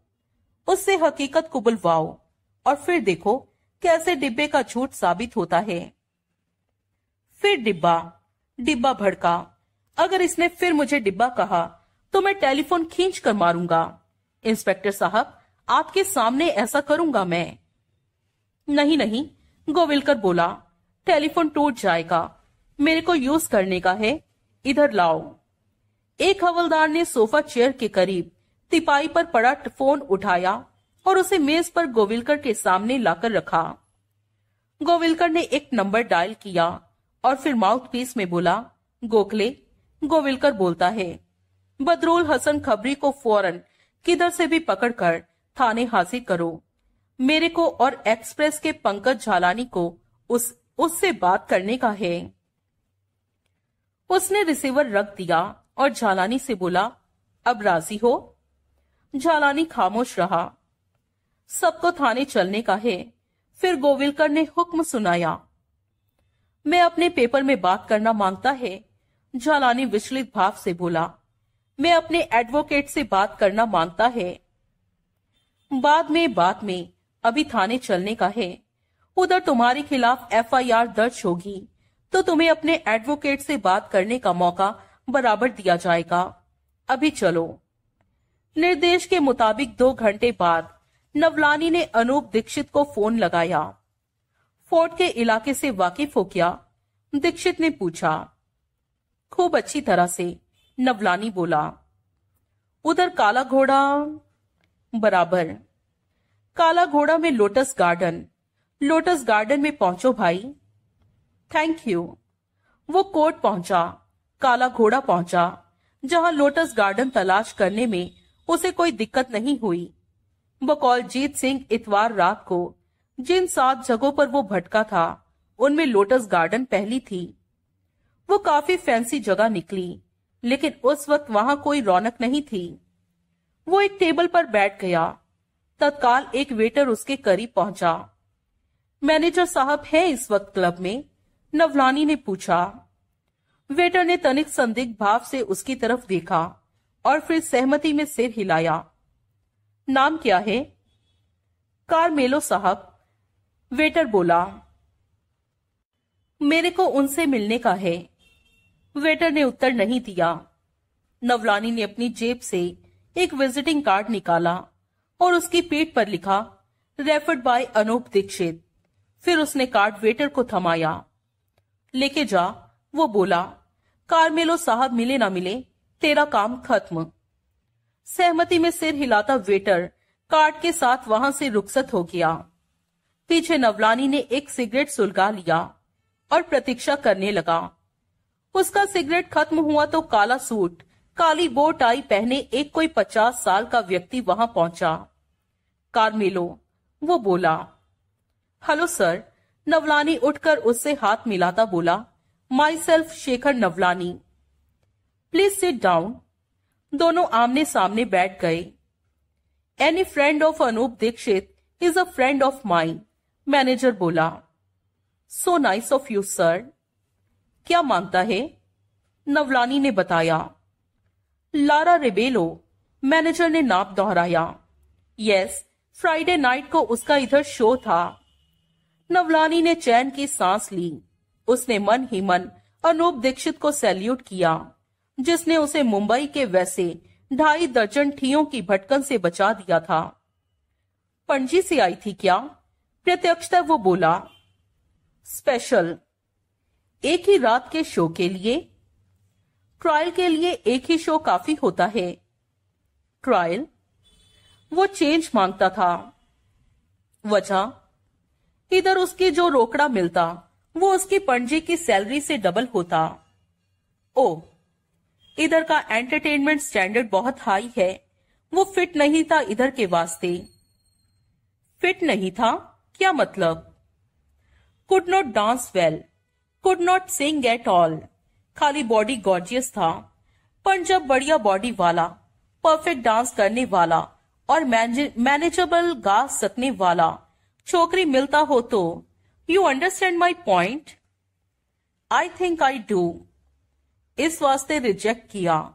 वापसी का ट्रेन टिकट पकड़ाया और गुड बाय बोला। लेकिन कार मेलो सर मैंने सुना कि इधर फ्राइडे को कोई प्राइवेट पार्टी थी, जिसके लिए पार्टी वालों ने ही उसको एक रात के शो के लिए स्पेशल पणजी से बुलाया था। Nothing like that private party को किधर से मालूम होएगा कि बढ़िया एंटरटेनर किधर से मिलता है? कभी किसी दूसरी पार्टी में देखा होगा? नथिंग लाइक दैट तो मेरी ये जानकारी गलत है कि शुक्रवार रात को इधर एक प्राइवेट पार्टी थी और उस रात आपकी क्लब कैजुअल कस्टमर्स के लिए बंद थी। ठीक सुना। पर प्राइवेट पार्टी का टोटल अरेंजमेंट हम किया। लारा के मामले में मैं टू इन वन काम किया। उसको इधर शो करने दिया। उस शो से ही हम, मेरा ट्रायल हो गया। आपने उसे यहाँ के लिए अनफिट पाया। और रिजेक्ट कर दिया? यस सर मुझे अंदेशा है कि हम दो जुदा लड़कियों की बाबत बात ना कर रहे हो।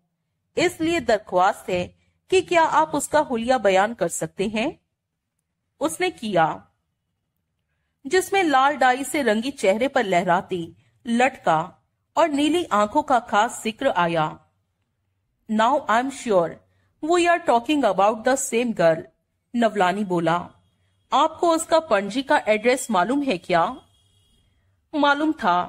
वो इधर ही अपना बायोडाटा भेजा था, जिसमें कुछ तस्वीरें, एड्रेस कॉन्टेक्ट नंबर वगैरह सब कुछ था।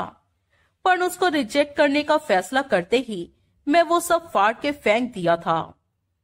ओ दैट्स टू बैड अब आपको जुबानी कुछ भी याद नहीं किया? उसने इंकार में सिर हिलाया। याद करने की कोशिश करें तो कुछ याद नहीं आएगा। इधर तो रोज कोई ना कोई छोकरी या तो खुद आता है या बायोडाटा भेजता है। किस किस को याद रखेगा?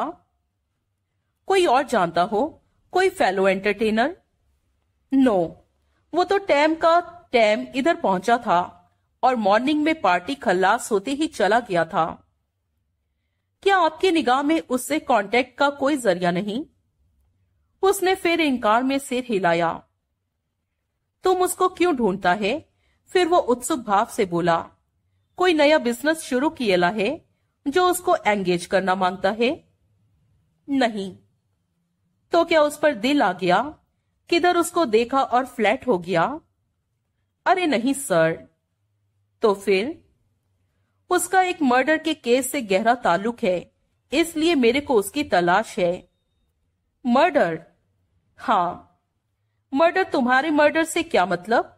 You are a talent scout no no sir पर जब दीक्षित तुम्हारे को इधर भेजा तो वो खामोश हो गया। उसने कोट की जेब में से नवलानी का विजिटिंग कार्ड निकाला और उसे उल्टा पलटा सांता मारिया, फिर उसके मुँह से निकला। तुम तो प्राइवेट डिटेक्टिव है। पहले नहीं जाना क्या सर किधर जाना?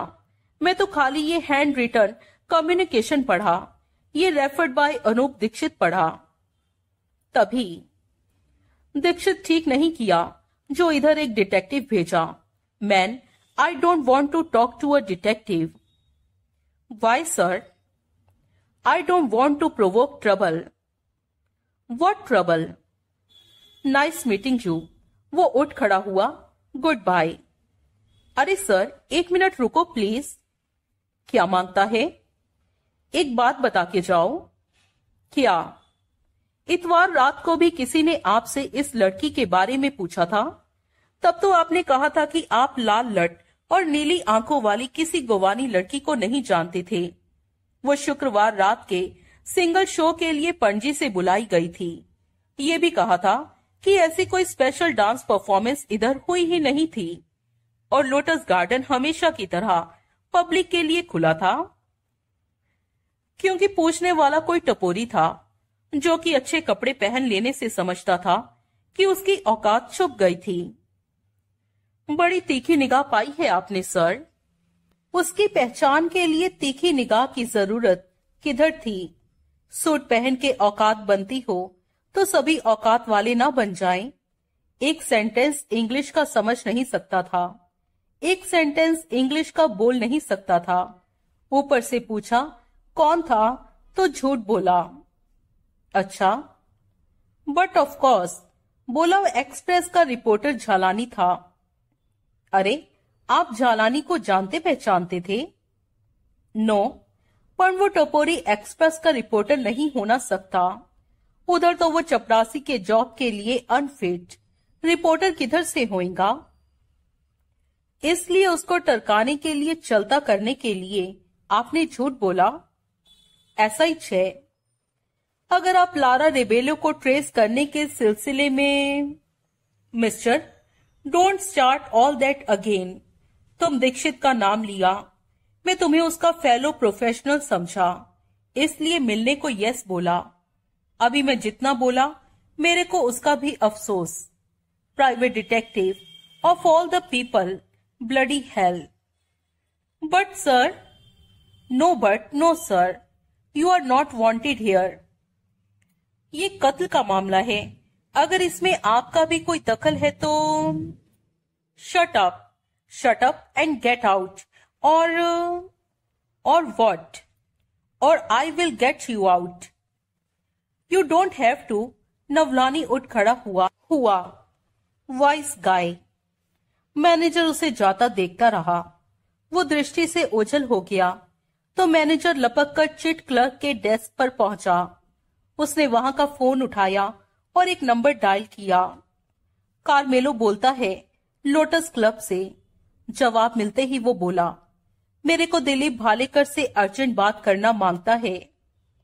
जालानी थाने में थानाध्यक्ष के कमरे में अकेला बैठा था।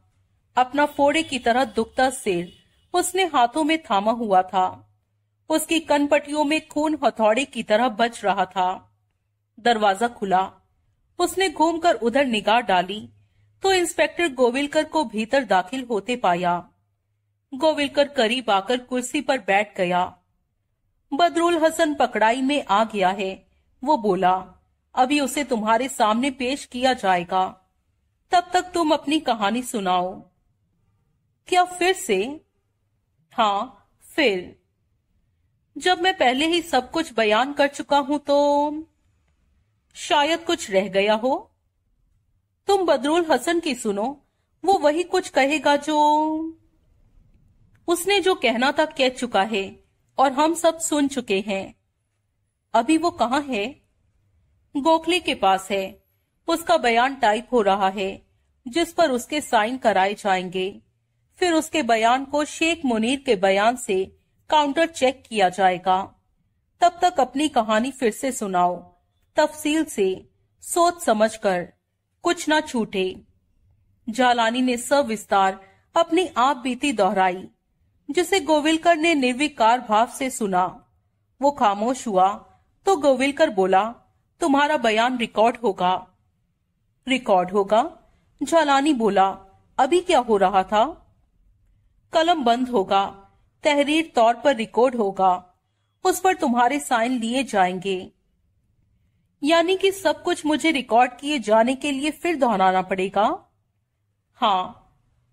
हे भगवान, अरे तुम जानते हो, तुम ऐसे किससे पेश आ रहे हो? एक क्रिमिनल से, जिसके खिलाफ इरादाई कत्ल और फोर्स एंड इलीगल एंट्री का केस दर्ज किया जाएगा। यानी कि तुम्हें मेरे बयान पर कतई यकीन नहीं? तुम्हारा बयान बदरुल हसन के बयान से मेल नहीं खाता। अव्वल तो ऐसे हो नहीं सकता। है। है तो तुम्हारी निगाह में वो, जो कि एक पुलिस इन्फॉर्मर है, मेरे से ज़्यादा भरोसे के काबिल आदमी है। मैं ये सब नहीं जानता। मैं सिर्फ़ इतना जानता हूँ कि उसके बयान से तुम्हारे नहीं, शेख मुनीर के बयान की तस्दीक होती है। वो झूठ बोलता है। जब दो जनों की बात आपस में टैली करती हो तो उस पर यकीन करना पड़ता है। मिली भगत है। तुम्हारा क्या है?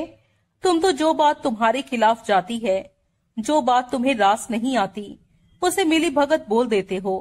लगता है आजकल घूंट ज़्यादा लगाने लगे हो, इसलिए दिमाग ठिकाने नहीं रहता। Inspector, don't comment upon my personal life. अच्छा भाई सॉरी बदरुल हसन क्या कहता है? वो कहता है, उसे खबर लगी थी कि पूना की क्वाइन कन्वेंशन की डकैती का माल शेख मुनीर के कब्जे में था और वो उसे अपने बार के ऊपर की मंजिल पर अपने रसद के गोदाम में छुपाए था। बतौर खबरी, उसने ये खबर तुम तक पहुंचाई और पाँच हज़ार रुपए कमाए। कमा भी लिए। दिखाए पाँच पाँच सौ के दस नोट। पाँच क्यों? पचास दिखने चाहिए थे। इतना बड़ा काम किया। डबल गेम खेला। डबल मुखबेरी की। बल्कि ट्रिपल की। पुलिस का भी पिट्ठू बन के दिखाया। तुम्हारी जानकारी के लिए शेख मुनीर के गोदाम की लड़की की तलाश में तुम्हारे सामने हुई मोटी तलाशी के बाद। वहाँ की बारीक तलाशी भी हो चुकी है। वहाँ से सिंगल एंटीक कॉइन बरामद नहीं हुआ है। कैसे होता? जब सब कहानी ही सेट की हुई है तो? अब कुछ सुनोगे भी? झालानी खामोश हो गया। बदरुल हसन कहता है कि तुम्हारे इसरार पर वो तुम्हें ग्रांट रोड पर मिला था और तुम्हारे इसरार पर ही उसने आगे भी तुम्हारा साथ दिया था। कहता है, तुमने उसे कहा था कि फायर एस्केप के ज़रिए इमारत की छत पर पहुँचा जा सकता था। मैंने कहा था, अरे उधर से सीढ़ियाँ उतरकर नीचे आया जा सकता था। दूसरी मंजिल पर पहुँचने पर ऑफ़िस के सामने का दरवाज़ा इत्तेफाक से तुम्हें अनलॉक्ड मिला था। अनलॉक्ड इसलिए मिला था क्योंकि शेख मुनीर थोड़ी ही देर के लिए वहाँ से गया था। इसलिए तुम अभी भीतर पहुँचे ही थे कि वो लौट आया था। बदरुल हसन तो उसकी शक्ल देखते ही वहाँ से भाग खड़ा हुआ, लेकिन तुम्हारी बदकिस्मती कि तुम ऐसा नहीं कर सके। शेख मुनीर ने शोर मचाने की कोशिश की तो तुमने उस पर हमला कर दिया और उसे शोर मचाने से रोका। फिर डकैत के माल की बाबत तुमने उससे ज़बरदस्ती हामी भरवाने की कोशिश की और इस कोशिश में उसे इतना मारा कि बेचारा लहू लुहान हो गया। ये सब झूठ है। अब एक ही रट लगाना बंद भी करो गोविलकर गुस्से से बोला ये झूठ है कि तुम चोरों की तरह उसके गोदाम में घुसे? ये झूठ है कि तुम्हारी उंगलियों के जोड़ छिले हुए हैं? जो इस बात का अपने आप में सबूत है कि तुमने किसी को खूब धुना था? क्या ये झूठ है कि शेख मुनीर लहू लुहान था और उसको उस हालत में किसी और ने पहुँचाया नहीं हो सकता था, क्योंकि वहाँ कोई और था ही नहीं? एक्सक्लूसिव स्टोरी हासिल करने के लिए मीडिया के लोग कानून का छोटा मोटा उल्लंघन करते हैं तो उसे हम मीडिया से बनाकर रखने की कोशिश में नजरअंदाज कर देते हैं। लेकिन ऐसी फौजदारी तो तुम्हारे से पहले किसी ने नहीं की। मैंने भी नहीं की है। क्यों नहीं? सब जादू के ज़ोर से हो गया क्या? पाँच साल के लिए नपोगे रिपोर्टर साहब? सब साजिश है मेरे खिलाफ। किसने की साजिश? शेख मुनीर की तुम्हारे से क्या दुश्मनी है, जो वो साजिश करेगा? वो किसी के हाथ का खिलौना है, उसने किसी का हुक्म बनाया है। किसका? नाम लो किसी का। उस छोकरे के बाप का नाम लेता हूँ, जिसने कत्ल किया है, लेकिन जिसकी तरफ़ तुम उंगली तक नहीं उठाना चाहते। मेरे साथ जो गुजर रही है, वो लेबर लीडर छगन यादव के इशारे पर गुजर रही है। वो नेता मुझे आउट ऑफ़ पिक्चर करना चाहता है, ताकि मैं साबित ना कर सकूँ कि उसके फसादी नौनी हाल ने केकी मिस्त्री का कत्ल किया है। ये एक बड़ी साजिश है, जिसमें अफसोस है मुझे कहते कि पुलिस भी शामिल है। तुम फंसे हुए हो इसलिए इस वक्त कुछ भी कह सकते हो। हकीकत यही है कि केकी मिस्त्री की मौत की तफ्तीश हमने पूरी ईमानदारी से की थी। और जो सच सामने आया था, उसी को मीडिया के सामने पेश किया था। मीडिया को हमारी तफ्तीश के नतीजे से इत्तेफाक था। तभी तो उसे पब्लिश किया था। तुम्हें किसी साजिश का शक था तो तब क्यों नहीं ज़ाहिर किया? तब क्यों अखबार में खाली पुलिस का वर्षन छापा? उसके साथ अपना साजिश का शक नहीं छापा? जलानी, मेरी राय मानो तो इन पछड़ों की तरफ़ तवज्जो देने की जगह अपनी तरफ़ तवज्जो दो। इस वक्त अपनी खैर मनाओ, क्योंकि तुम जानते हो कि तुम बुरी तरह से फंसे हुए हो। ये पुलिस का जिम्मेदार ऑफिसर नहीं बोल रहा। झालानी गुस्से से लगभग चिल्ला पड़ा। एक नेता के हाथों पूरी तरह से बिका हुआ क्रूक्ड कॉप बोल रहा है, तुम सब मिले हुए हो, और पूरी बेशर्मी से बोनी जादव के हाथों हुए कत्ल पर पर्दा डालने की कोशिश कर रहे हो। और जो इस घड़ी मेरे साथ बीत रही है, वो भी उसी नापाक कोशिश का नतीजा है। गोविलकर उछलकर अपनी कुर्सी से खड़ा हुआ। झालानी, वो हिंसक भाव से बोला, तूने मेरे को क्रुग्ड कॉप बोला? बराबर बोला और ठीक बोला। गोविलकर का चेहरा लाल हो गया।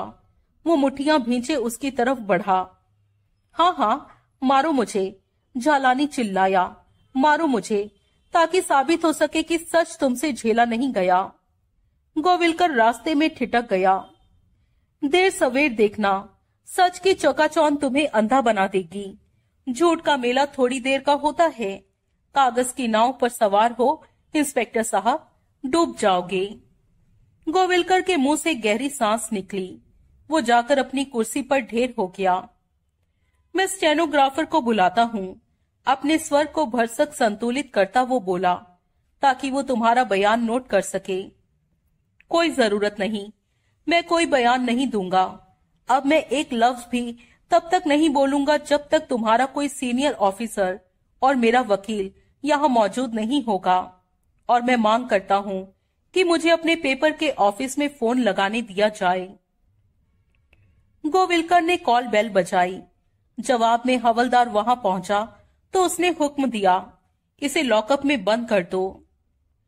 लोटस गार्डन से बाहर आकर नवलानी ने अनूप दीक्षित को फ़ोन लगाया। नवलानी बोलता हूँ, वो बोला, लोटस गार्डन हो आए क्या? दीक्षित ने पूछा, कार मेलो मिला क्या? हाँ मिला। कुछ काम बना? कुछ ही बना, मुकम्मल नहीं बना। क्या मतलब? ये जान के भड़क गया कि मैं कोई टैलेंट स्काउट नहीं, प्राइवेट डिटेक्टिव था। भड़कने से पहले खाली इस बात की तस्दीक की कि शुक्रवार रात को लारा रोबेलो की परफॉर्मेंस लोटस गार्डन में थी। बाकी उसे कुछ याद नहीं था। आई सी। लारा रेबेलो के नाम से तुम्हारे जहन में अभी भी कोई घंटी नहीं बची क्या? भाई सच पूछो तो जब से तुमने वो नाम लिया है जाने अनजाने में उसी के बारे में सोच रहा हूँ। लेकिन सूझा कुछ नहीं ना। सूझा, क्या? नाम सुना सुना सा लगा। क्यों लगा? वजह तो कोई नहीं सूझी। ऐसा तो नहीं, कभी तुम उसके एजेंट रहे हो?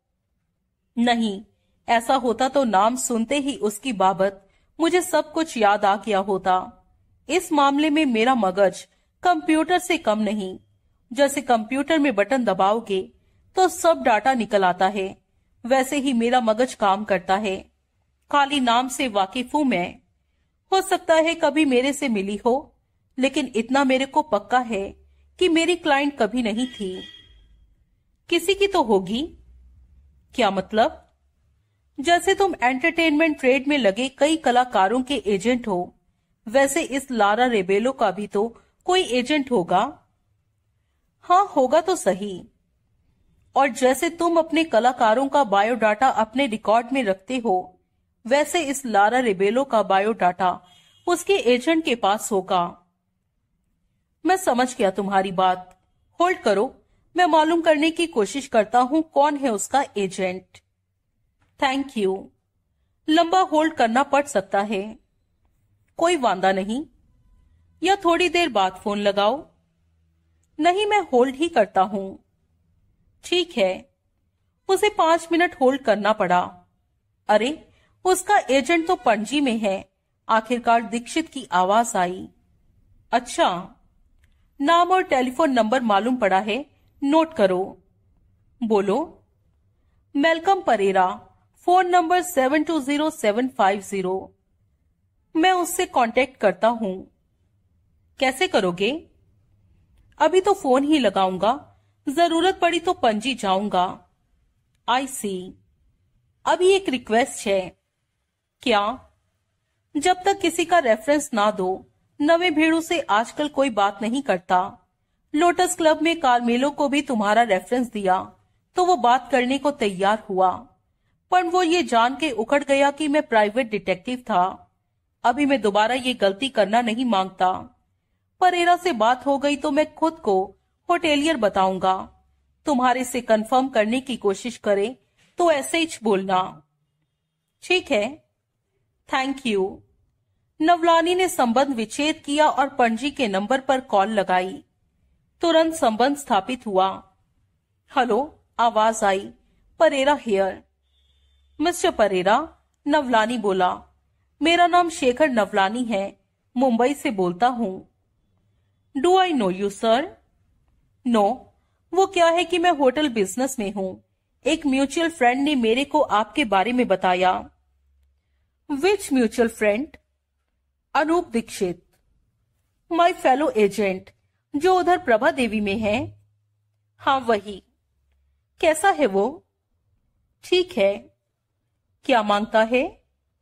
वो कुछ नहीं माँगता। अरे मैन तुम क्या माँगता है? वो माँगता होता तो वो फ़ोन लगाता। तुम माँगता है तुम फ़ोन लगाया ना? Yes it's as simple as that अब बोलो, क्या माँगता है? मिस्टर परेरा आप लारा रेबेलो नाम की एक गोवानी डांसर के एजेंट हैं। था। जी। था। पास चेंस अब वो मेरा क्लाइंट नहीं है। ऐसा क्या? यस संडे तक था, अब नहीं है। अब क्या हुआ? टेलीग्राम भेजकर मेरे को डिसमिस किया। क्या टेलीग्राम भेजकर? यस उधर से टेलीग्राम भेजा जिधर से तुम बोलता है। मुंबई से। यस लिखा इन फ्यूचर उसको मेरा सर्विस मेरा रिप्रेजेंटेशन नहीं माँगता था। एजेंट चेंज किया क्या? क्या मालूम क्या किया? जो वो मेरे को इन्फॉर्म किया, वो मैं ऑनवर्ड तुमको बोलता है। ओ, तुम क्या माँगता है उससे? मैं बोला ना मैं होटल बिज़नेस में हूँ। वो तो बोला, पर माँगता क्या है? अपना होटल बिज़नेस एक्सटेंड करना माँगता है। एक नवा बार खोला है, उधर बैंद्रा में। उधर एंटरटेनमेंट प्रोग्राम के लिए मैं लारा से कॉन्ट्रैक्ट करना माँगता है। I see but but she is not much of an artist lousy singer average dancer but beautiful body bar में कस्टमर लोग बॉडी ही ज़्यादा देखते हैं। दीक्षित मेरे को वो बोला वो बहुत बढ़िया बनी हुई है। वो तो ठीक बोला। Tall slim hourglass figure 35, 24, 35. Very easy on eyes मेरा कस्टमर्स यही माँगता है। आई सी तो अभी वो मुंबई में है क्या? जब टेलीग्राम उधर से भेजा तो उधर ही होएगा। मुंबई में कहा? ये कैसे मालूम होएगा? टेलीग्राम में उसका कोई पता नहीं था क्या? नहीं था। खाली भेजने वाले का उसका नाम था। वो पणजी से है। उसका कोई लोकल एड्रेस तो होगा आपके पास? मैन तुम खाली उसको क्यों माँगता है? मेरा क्लाइंटल में उससे ज़्यादा ब्यूटीफुल और ज़्यादा एफिशिएंट छोकरी लोग हैं। बोले तो बाद में बाद में देखेगा। अभी मेरे को खाली लारा माँगता है। वो पणजी में क्लब कोकीरो के कॉन्ट्रैक्ट में था। क्लब उसको रहने को रूम भी प्रोवाइड करके रखा था। वही उसका पता था। परमानेंट रेजिडेंशियल एड्रेस कोई नहीं है क्या? पक्का पता कोई नहीं? मामा है ना? Mama, uncle no man mama, mother, oh, माँ।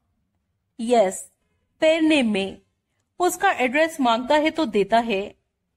माँगता है।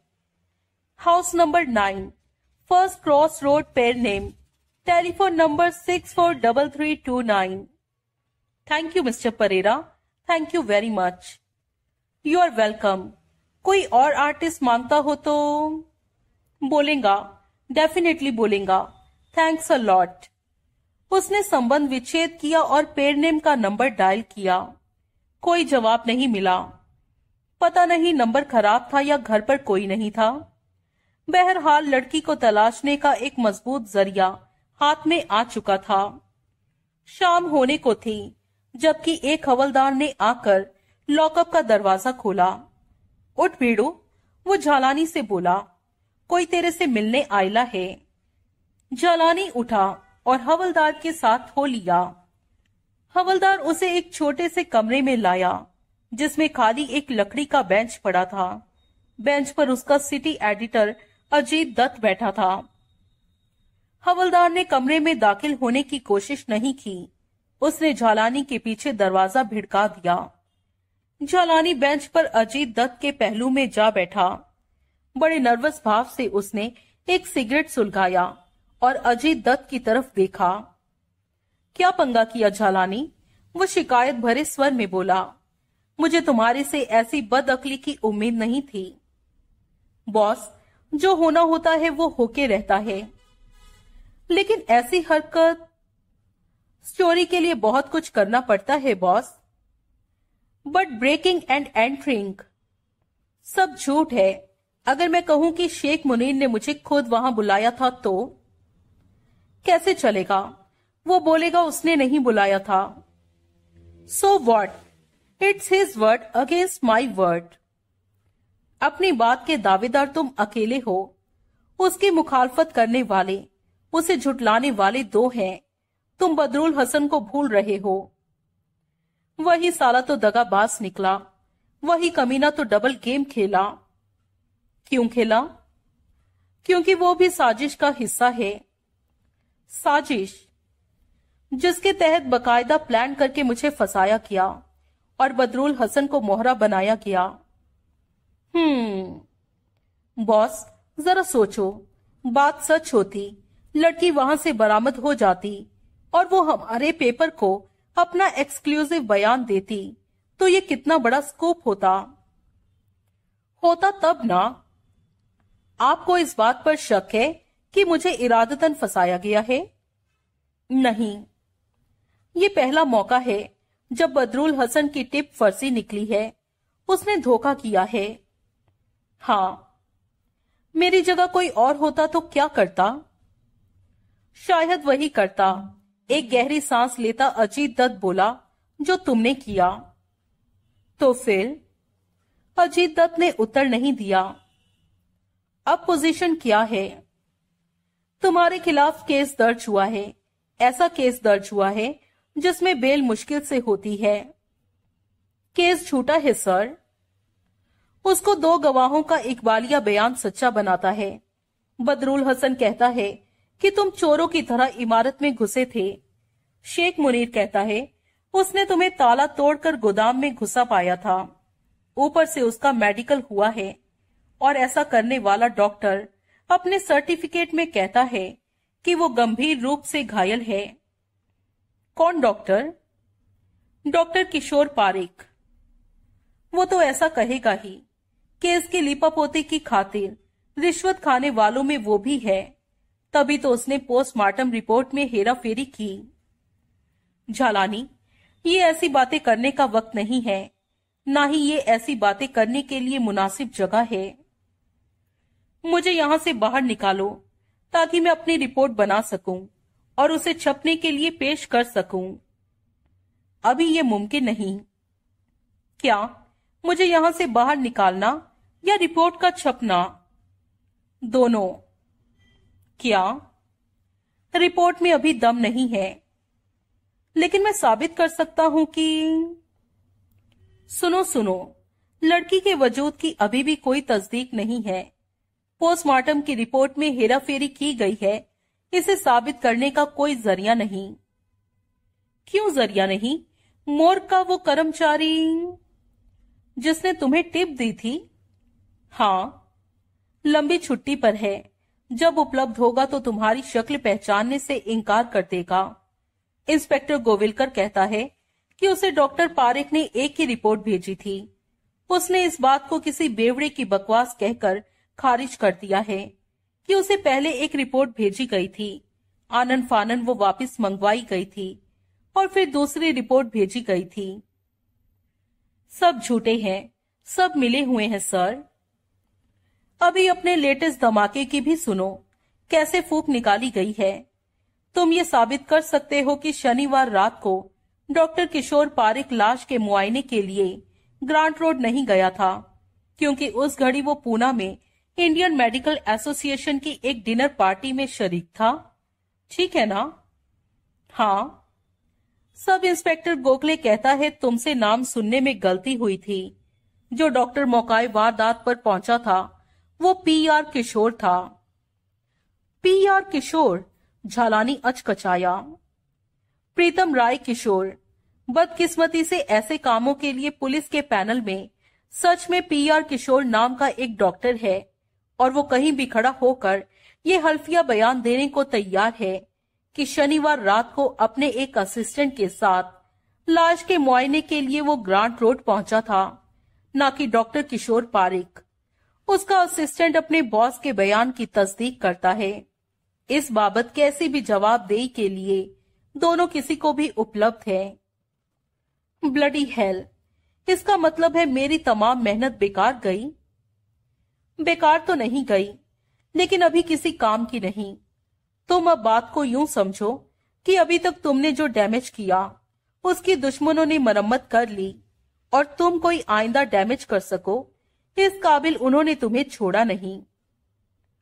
लिहाजा आप तो ये मानते हैं कि मैं एक व्यापक षड्यंत्र का शिकार हुआ हूँ? मानता हूँ। लेकिन तुम्हारी बदकिस्मती से, तुम्हारी क्या एक्सप्रेस की बदकिस्मती से उस षड्यंत्र का ताना बाना इतनी मजबूती से बुना गया है कि उसमें फंसे हुए अब तुम फड़फड़ा ही सकते हो और कुछ नहीं कर सकते। मैं नहीं कर सकता तो मेरी जगह कोई दूसरा तो ले सकता है? एक्सप्रेस में मैं इकलौता रिपोर्टर तो नहीं। मेरे काम को कोई दूसरा भी तो आगे बढ़ा सकता है? अपना काम तुम ही करोगे। ऐसा क्या? हाँ तुम्हारी जानकारी के लिए एक्सप्रेस ने मुंबई का सबसे बड़ा वकील तुम्हारे लिए किया है। और इस वक्त जैसे मैं यहाँ बैठा तुमसे बात कर रहा हूँ, वैसे हमारा चीफ एडिटर पुलिस हेडक्वार्टर में बैठा पुलिस कमिश्नर से बात कर रहा है। चीफ क्या करेगा? चीफ ये सुनिश्चित करेगा कि कल जब कोर्ट में तुम्हारी बेल की अर्जी लगे तो इस थाने के लोग उसमें कोई अड़ंगा ना लगाएँ। कल कल बोला क्या? हाँ। तब तक मेरा क्या होगा? झालानी रात तो तुम्हें लॉकअप में ही काटनी पड़ेगी। Oh no. मेरे भाई, इसे तुम अपनी डिटेंशन का मिनिमम पीरियड समझो। अच्छा झालानी मुझे तुम्हारी बात से पूरा इत्तेफाक है कि जो साजिश हो रही है, वो लेबर लीडर छगन जादव के इशारे पर हो रही है, जो कि अपने बेटे को किसी भी कीमत पर बचाना चाहता है। लेकिन मेरे इत्तेफाक ज़ाहिर करने से ही बात नहीं बनती। क्या मतलब?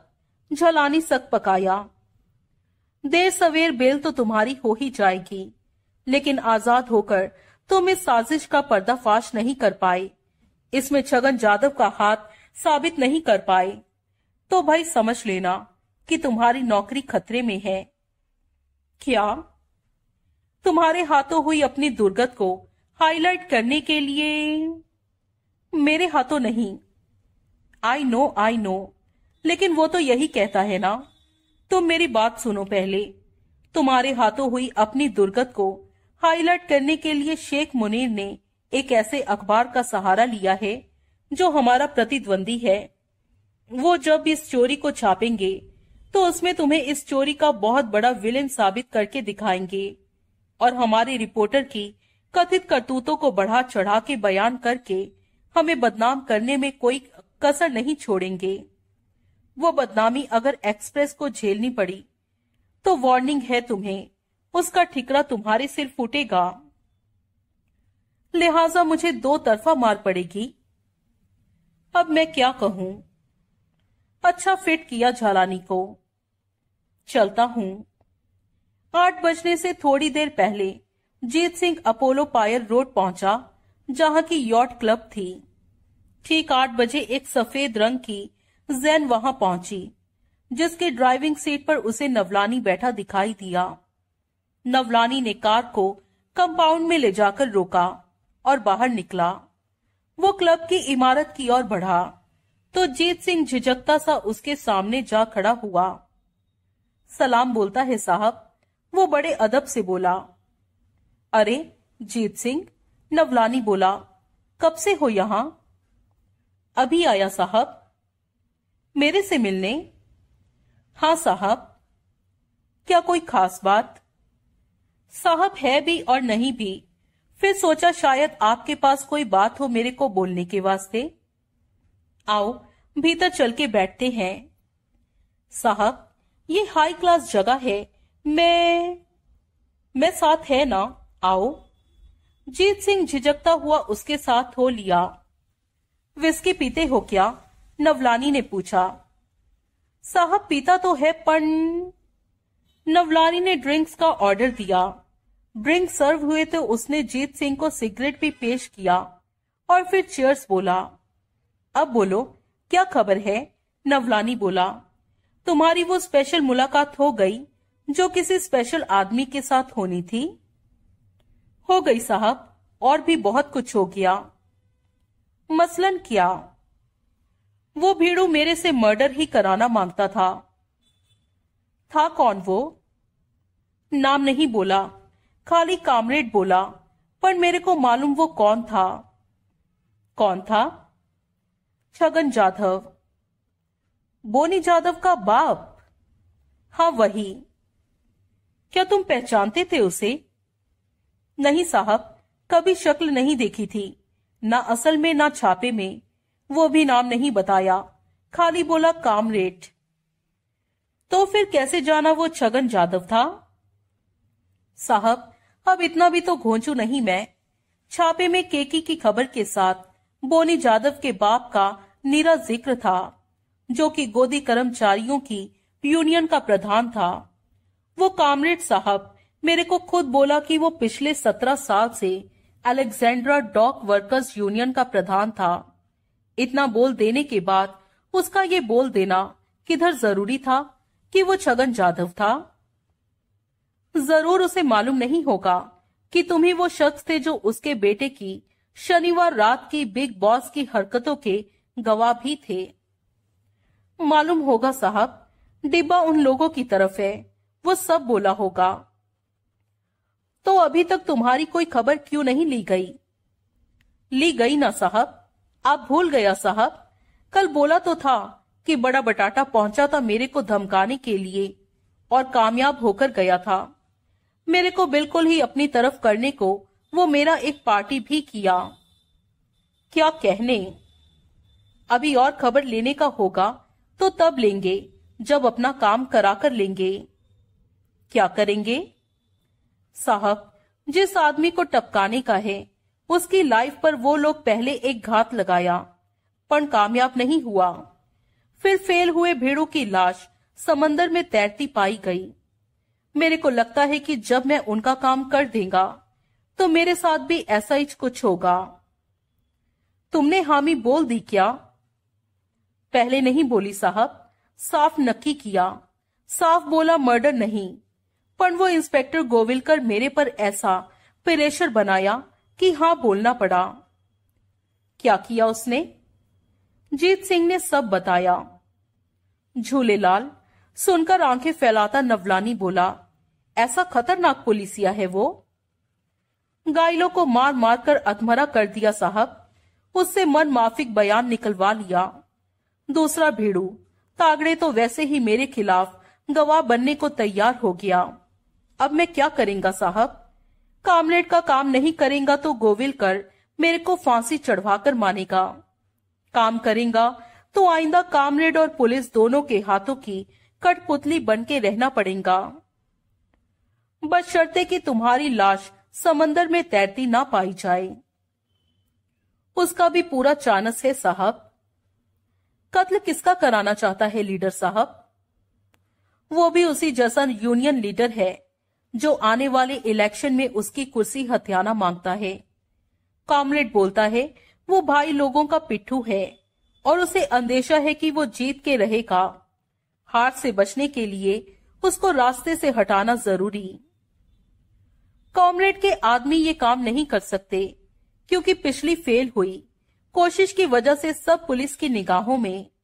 सुपारी लगाना नहीं माँगता क्योंकि जीत सिंह नाम का पुलिस की डुगडुगी पर नाश्ता बंदर काम फ्री में करके देगा। क्या सांप छचुंदर जैसी हालत की है साहब तकदीर ने? सब ठीक हो जाएगा। क्या ठीक होएगा साहब? नाम क्या है उस शख्स का? George Davis. अगर उसे खबरदार कर दिया जाए, अगर उसको गुमनाम टिप दे दी जाए कि कैसे शुक्रवार शाम को उसका खून होने वाला था तो? तो गोविलकर एक सेकंड में समझ जाएगा कि ऐसा मेरे सिवाय कोई नहीं कर सकता था। फिर वो जो गायलों को तो अधमरा करके बख्श दिया, मेरे को तो पूरा मार डालेगा। ठीक कह रहे हो, गिलास खाली करो और मंगाए। बस साहब। अरे, किधर बस? एक से क्या बनता है? जीत सिंह ने गिलास खाली किया। वेटर ने ड्रिंक्स रिपीट किए। अब आप कुछ बोलो साहब। कल शाम इसी वक्त यहीं झालानी से मेरी लंबी बातचीत हुई थी। उसकी अब तक की तफ्तीश तुम्हारी बात की तस्दीक करती है कि केकी मिस्त्री का कत्ल हुआ था। तो कातिल गिरफ़्तार कब होएगा साहब? अभी तो मुश्किल है। काहे साहब? दुश्मन भारी पड़ रहा है। जो बात भी उन लोगों को अपने खिलाफ जाती दिखाई देती है, वो हाथ के हाथ उसकी मरम्मत कर लेते हैं। ऊपर से अखबार पर सियासी दबाव आ रहा है। फिर तो केकी का इंसाफ मत हुआ। ऐसी कोई बात नहीं, मुश्किल काम में अड़चने बराबर आती हैं, लेकिन ये नहीं कि वो होता ही नहीं है। साहब, वो गुमशुदा लड़की वही तुरुप का पत्ता है, जो दुश्मनों के खिलाफ खेला जाएगा। तो उनके तमाम पत्ते पिट जाएँगे। और गुड न्यूज़ ये है कि उस लड़की का कुछ सुराग मैंने निकाला है। अच्छा साहब, मेरी तफ्तीश से मुझे लगता है कि वो मरी नहीं है। वो ज़िंदा है, लेकिन दुश्मनों के कब्जे में है। कैसे लगता है साहब? पणजी में लड़की का मेलकम परेरा नाम का एजेंट है। वो बोलता है, इतवार को उसे लड़की की टेलीग्राम मिली थी, जिसके ज़रिए उसने उसे खबर की थी कि अब वो उसकी क्लाइंट नहीं थी। इसका क्या मतलब हुआ साहब? एजेंट को नक्की किया? हाँ। क्यों? ताकि वो उसका तलाश करने की, उससे कांटेक्ट बनाने की कोशिश ना करे। क्या दुश्मनों ने उससे ऐसी टेलीग्राम भिजवाई? उसके नाम से खुद भेजी। टेलीग्राम पाने वाले के पास ये जानने का कोई ज़रिया नहीं होता कि टेलीग्राम उसी ने भेजी थी। भेजने वाले की जगह जिसका नाम लिखा था या उसके नाम से किसी दूसरे ने भेजी थी। ओ, ऐसी तलाश की कोई कोशिश जो दूसरा शख्स कर सकता है, वो लड़की की माँ है, जो कि पेड़नेम में रहती है। मैंने उसका पता भी मालूम किया है। पता है हाउस नंबर नौ, फ़र्स्ट क्रॉस रोड, पेड़नेम। और telephone number six four double three two nine है। यहाँ आने से पहले कई बार मैंने माँ का फ़ोन ट्राई किया था, लेकिन बात नहीं हो सकी थी। पता नहीं फ़ोन खराब था या कोई घर पर नहीं था। कल तक बात ना हो सकी तो मेरा इरादा उधर जाने का है। आपका तो बहुत टाइम वेस्ट होगा साहब। अरे, क्या टाइम वेस्ट होगा? प्लेन से सुबह जाके रात को लौट के भी आया जा सकता है। बहुत रोकड़ा खर्च होएगा, साहब। एक तो आप फ़ीस नहीं लिया ऊपर से। ऐसे जो खर्चे होंगे वो मैं चार्ज कर लूँगा। फिर ठीक है। लड़की का नाम नहीं पता लगा, साहब। लगा ना। लारा रेबेलो नाम है उसका। पणजी में जिस क्लब में वो काम करती है, उसका नाम क्लब कोकीरा है। एजेंट की तरह माँ को क्या बोला गया होगा, साहब? कहना मुश्किल है। बात होने पर ही पता चलेगा। क्या माँ को भी टेलीग्राम ज़रूरी नहीं?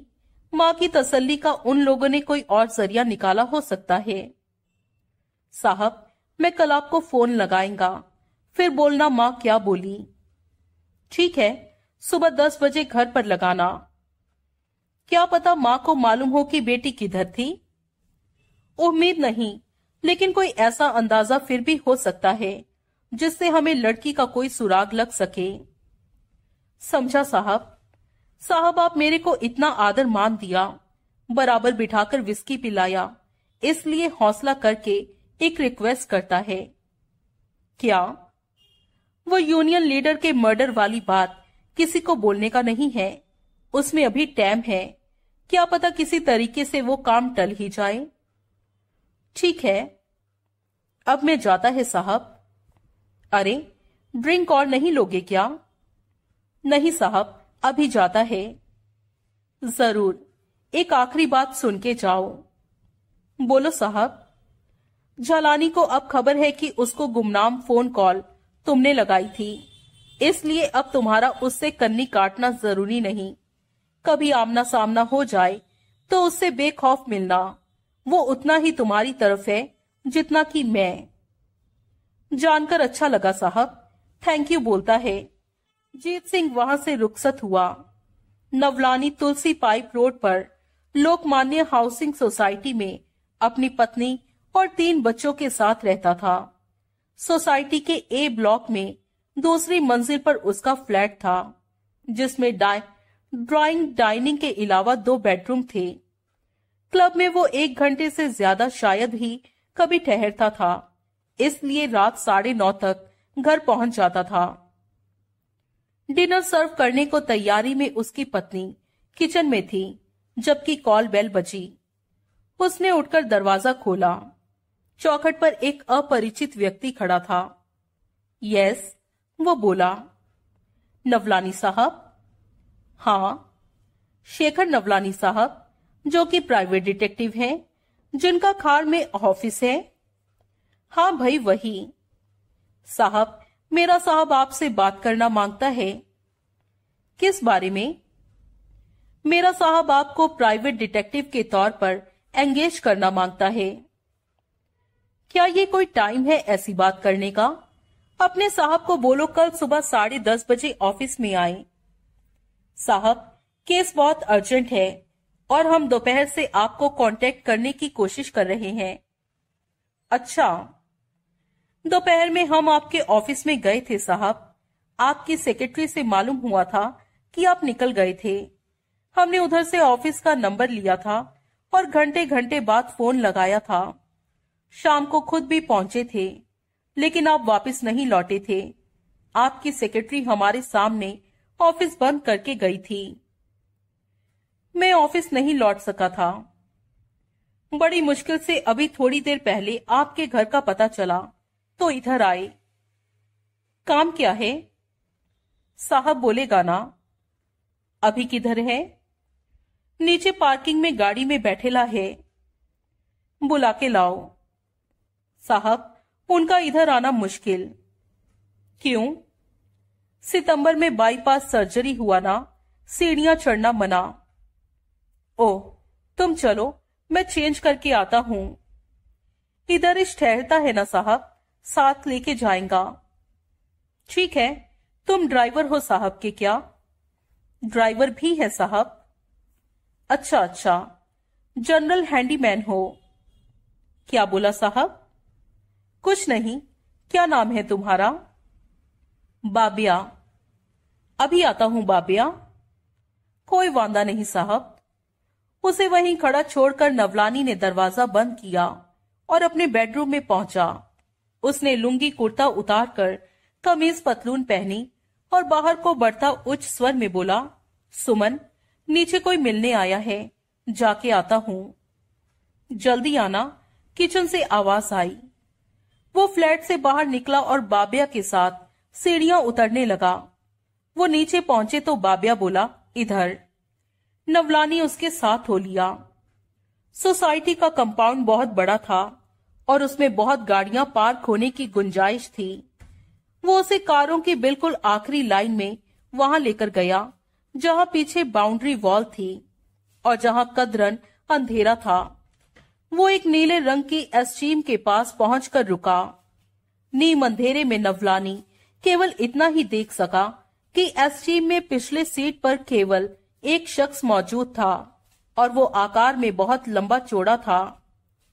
बाबिया ने नवलानी को अपने से आगे निकल जाने दिया और फिर पीछे से बोला, डिटेक्टिव साहब, आ गया साहब। एस्टीम का पिछला दरवाज़ा खुला और उसके इकलौते पैसेंजर ने बाहर कदम रखा। नवलानी ने नीम अंधेरे में भी नोट किया कि वो रोज़ाना घंटों की आयरन पंपिंग से बनी बॉडी का स्वामी था। उसकी ठोडी पर कट का निशान था और दाई आँख के नीचे मोटा मस्सा था। हैरानी थी। उसने मन ही मन सोचा कि ऐसी चौकस तंदुरुस्ती वाले शख्स को भी बाईपास सर्जरी करानी पड़ी थी। नवलानी साहब, वो मीठे स्वर में बोला एट योर सर्विस सिर को तनिक कम देता नवलानी बोला। सर्विस तो मैं करेंगा ना साहब। फ़ीस की बात बाद में कर लेंगे, पहले केस बोलिए। नहीं फ़ीस की बात पहले, अभी देता है। एका एक बाबिया ने नवलानी की दोनों बाहें जकड़ ली और उन्हें मोड़कर पीठ पीछे लगा दिया। तीव्र विरोध में नवलानी का मुँह खुला तो बॉडी बिल्डर ने उसके मुँह में कपड़ा ठूस दिया और ऊपर से सर्जिकल टेप की पट्टी जड़ दी। फिर दोनों ने खामोशी से बड़े, सुनियोजित और नियंत्रित ढंग से नवलानी की धुनाई शुरू कर दी। बुधवार 21 जनवरी, फोर्ट एरिया में जनरल पोस्ट ऑफ़िस के करीब के अपने नए होटल एल्फिंस्टन में जीत सिंह नौ बजे सोकर उठा। चाय पीते हुए उसने हिंदी के अखबार पर निगाह डाली। मुख्य पृष्ठ पर एक्सप्रेस के रिपोर्टर पंकज झालानी की गिरफ्तारी की खबर थी। खबर के साथ दो तस्वीरें भी छपी थी, जिसमें से एक डिब्बे की जख्मी और बुरी हालत में पहुँची शक्ल की थी और दूसरी बदरुल हसन नाम के किसी शख्स की थी जिसे वो नहीं पहचानता था। लेकिन खबर की सुर्खियाँ पढ़कर उसे मालूम हुआ कि वो कोई जराइम पेशा व्यक्ति था, जिसे पुलिस ने झालानी के खिलाफ केस में वादा माफ़ गवाह बनाया था। उसने तेज़ी से तमाम खबर को पढ़ा। उसे कहानी पर जरा यकीन नहीं आया। यकीन न आने की प्रमुख वजह डिब्बा था, जिसकी जात औकात से वो पहले से वाकिफ ना होता तो शायद उसे कहानी पर यकीन आ भी जाता। उसके दिल ने यही गवाही दी कि जलानी पर वो विपत्ति का पहाड़ इसलिए टूटा था क्योंकि वो उसकी गुमनाम टेलीफोन कॉल पर काम करता, केकी मिस्त्री के कत्ल के केस को टटोल रहा था। ज़ाहिर था कि दुश्मनों ने उसकी निरंतर आगे बढ़ती खोजबीन पर अंकुश लगाने के लिए ही वो चाल चली थी। तौबा, पढ़े लिखे संभ्रांत लोगों के साथ ऐसी बीत सकती थी तो उसके साथ तो जो ना गुजरती वो कम थी। अखबार में खबर को खूब मसालेदार बनाकर छपा था, और जालानी को कहानी का विलेन साबित करने में कोई कसर नहीं छोड़ी गई थी। उसने एक्सप्रेस मंगाया। वो खबर उसमें भी मुख्य पृष्ठ पर छपी थी, लेकिन साथ में डिब्बे और बदरुल हसन की तस्वीरों की जगह जालानी की तस्वीर छपी थी, जो थोड़ी बहुत अंग्रेज़ों अंग्रेज़ी वो समझ सका। उससे उसने यही जाना कि एक्सप्रेस ने अपने रिपोर्टर का एक गहरी साजिश का शिकार बताया था। उसमें यह भी दर्ज था कि उस रोज पुलिस ने रिमांड के लिए झालानी को डिप्टी चीफ मेट्रोपोलियन मैजिस्ट्रेट के कोर्ट में पेश करना था। वो नहा धोकर तैयार हुआ। तब तक दस बज गए। उसने नवलानी के घर पर फ़ोन लगाया। फ़ोन उसकी बीवी सुमन ने रिसीव किया। सारी रात नर्सिंग होम से पति के सिरहाने बैठी रही वो उसी क्षण घर लौटी थी और लगभग उल्टे पाँव ही वापस लौट जाने वाली थी। तब जीत सिंह को और भी दहशतनाक खबर सुनने को मिली, जो अखबारों तक नहीं पहुँच पाई थी। पिछली रात उसी सोसाइटी की पार्किंग में, जिसमें कि वो लोग रहते थे, कुछ अनजान लोगों ने नवलानी को इतनी मार लगाई थी कि उसकी तीन पसलियाँ चटक गई थी। और बाई भां की दो जगह से हड्डी टूट गई थी। उसके अलावा तमाम जिस्म पर बनी खरोचों, जख्मों का तो कोई हिसाब ही नहीं था। कोई बुलाने आया था। सुमन ने बताया, किसी से मिलने वो नीचे गए थे। काफ़ी देर तक न लौटे तो मैं उनकी तलाश में नीचे गई। मुझे तो पता भी नहीं चलता कि वो पार्किंग में बेहोश पड़े थे। अगरचे कि कोई और रेजिडेंट अपनी कार निकालने उधर ना गया होता, और उसे वो ज़मीन पर गिरे पड़े न दिखाई गए होते। अब कैसी हालत है? जीत सिंह ने दहशतनाक लहजे में पूछा। बहुत खराब। डॉक्टर कहते हैं हफ़्ता दस दिन तो नर्सिंग होम में ही रहना पड़ेगा। उसके बाद भी उठकर चलने फिरने लायक बनने में महीना लग जाएगा। हे भगवान, है कहा? शिवाजी पार्क में Vilas Rao memorial nursing home में क्या मैं मिल सकता हूँ? अभी नहीं। अभी वो एक्सटेंसिव केयर यूनिट में है। वहाँ से उन्हें कमरे में शिफ्ट किया जाएगा तो तब मिल सकते हो। ऐसा कब होगा? शायद कल। मेरे लायक कोई सेवा हो तो बताइए। जीत सिंह, बताया ना तुमने अपना नाम? जी हाँ। उनकी जुबानी मैंने कभी सुना नहीं तुम्हारा नाम। मैं निहायत मामूली आदमी हूँ। और उनका कोई पुराना वाकिफकार नहीं हूँ। ये साहब का बड़प्पन है कि वो मुझे मुँह लगाते हैं। होश में आएँगे तो मैं बोलूँगी, जीत सिंह ने फ़ोन किया था। मैं उनके जल्दी ठीक होने के लिए दुआ करूँगा। शुक्रिया। जालानी को कोर्ट में मैजिस्ट्रेट के सामने पेश किया गया। कोर्ट में अजीत दत्त और बड़ा वकील, सातारा वाला, पहले से मौजूद थे। केस की सुनवाई शुरू हुई। मैजिस्ट्रेट ने सरकारी वकील का बयान सुना। पुलिस के वादा माफ़ गवाह, बदरुल हसन का बयान सुना और शेख मुनीर का बयान कम सुना। उसका चेहरा ज़्यादा देखा, जो पिछले रोज से ज़्यादा बुरे हाल में पहुँच चुका था। अपनी हालत को और ड्रामाई बनाने के लिए उसने अपनी एक बांह को स्लिंग में लटकाया हुआ था और जानबूझकर लंगड़ा के चल रहा था। पुलिस के वकील ने उसके डॉक्टरी मुआयने का सर्टिफिकेट भी पेश किया, जो कि उसे बुरी तरह से घायल बताता था। मैजिस्ट्रेट पुराने ख्यालों का आदमी था और वो वैसे ही अपने मिजाज से ही मीडिया की नई सौगात खोजी पत्रकारिता के खिलाफ था। उसने निसंकोच झालानी की जमानत की अर्जी रद्द कर दी और पुलिस की रिमांड की अर्जी कबूल करते हुए उसे चार दिन के रिमांड पर वापस पुलिस के हवाले कर दिया। झालानी का चेहरा उतर गया। डोंट वरी अजीत दत्त ने गंभीरता से उसको कंधा थपथपाया। मिस्टर सतारा वाला कुछ करे, करेंगे। हम आज ही हाई कोर्ट में अर्जी लगाएँगे सतारा वाला बोला। ठीक है गहरी सांस लेता झालानी बोला। We will do our best I am sure you will हवलदार ने उसके कंधे पर दस्तक दी। झालानी पुलिस वालों के साथ हो लिया। जीत सिंह ग्रांट रोड पहुँचा। बिग बॉस से मालूम हुआ कि प्रोप्राइटर बीमार था। अपने घर पर रेस्ट करता था और पता नहीं कब तक उधर नहीं आने वाला था। वो माटुंगा पहुँचा। बड़े अनिच्छापूर्ण भाव से डिब्बे ने जीत सिंह से मिलना कबूल किया। वो बेडरूम में तकियों के सहारे लेटा हुआ था, जहाँ की उसके एक नौकर ने जीत सिंह को पहुँचाया। कैसे आया? डिब्बा भुन भुनाता सा बोला, छापे में पढ़ा। नकली हमदर्दी दिखाता जीत सिंह बोला, अफसोस करने आया। अरे, मैं क्या मर गया है जो अफसोस करने आया? मरे तुम्हारे दुश्मन पर थोबड़े का तो कीमा कोट दिया। सब हिसाब बराबर हो जाएगा। सरकारी वकील बोलता था, पाँच से सात साल तक नपेगा। बढ़िया भाई लोग तो बहुत खुश होंगे तुम्हारे से। भाई लोग? कौन भाई लोग? जिनकी इतनी खिदमत की। अरे, कैसी खिदमत? किसकी खिदमत? जिनके दम पर इतना उम्दा ड्रामा सेट किया और छापे वाले भेड़ों को फुल फिट किया। ड्रामा?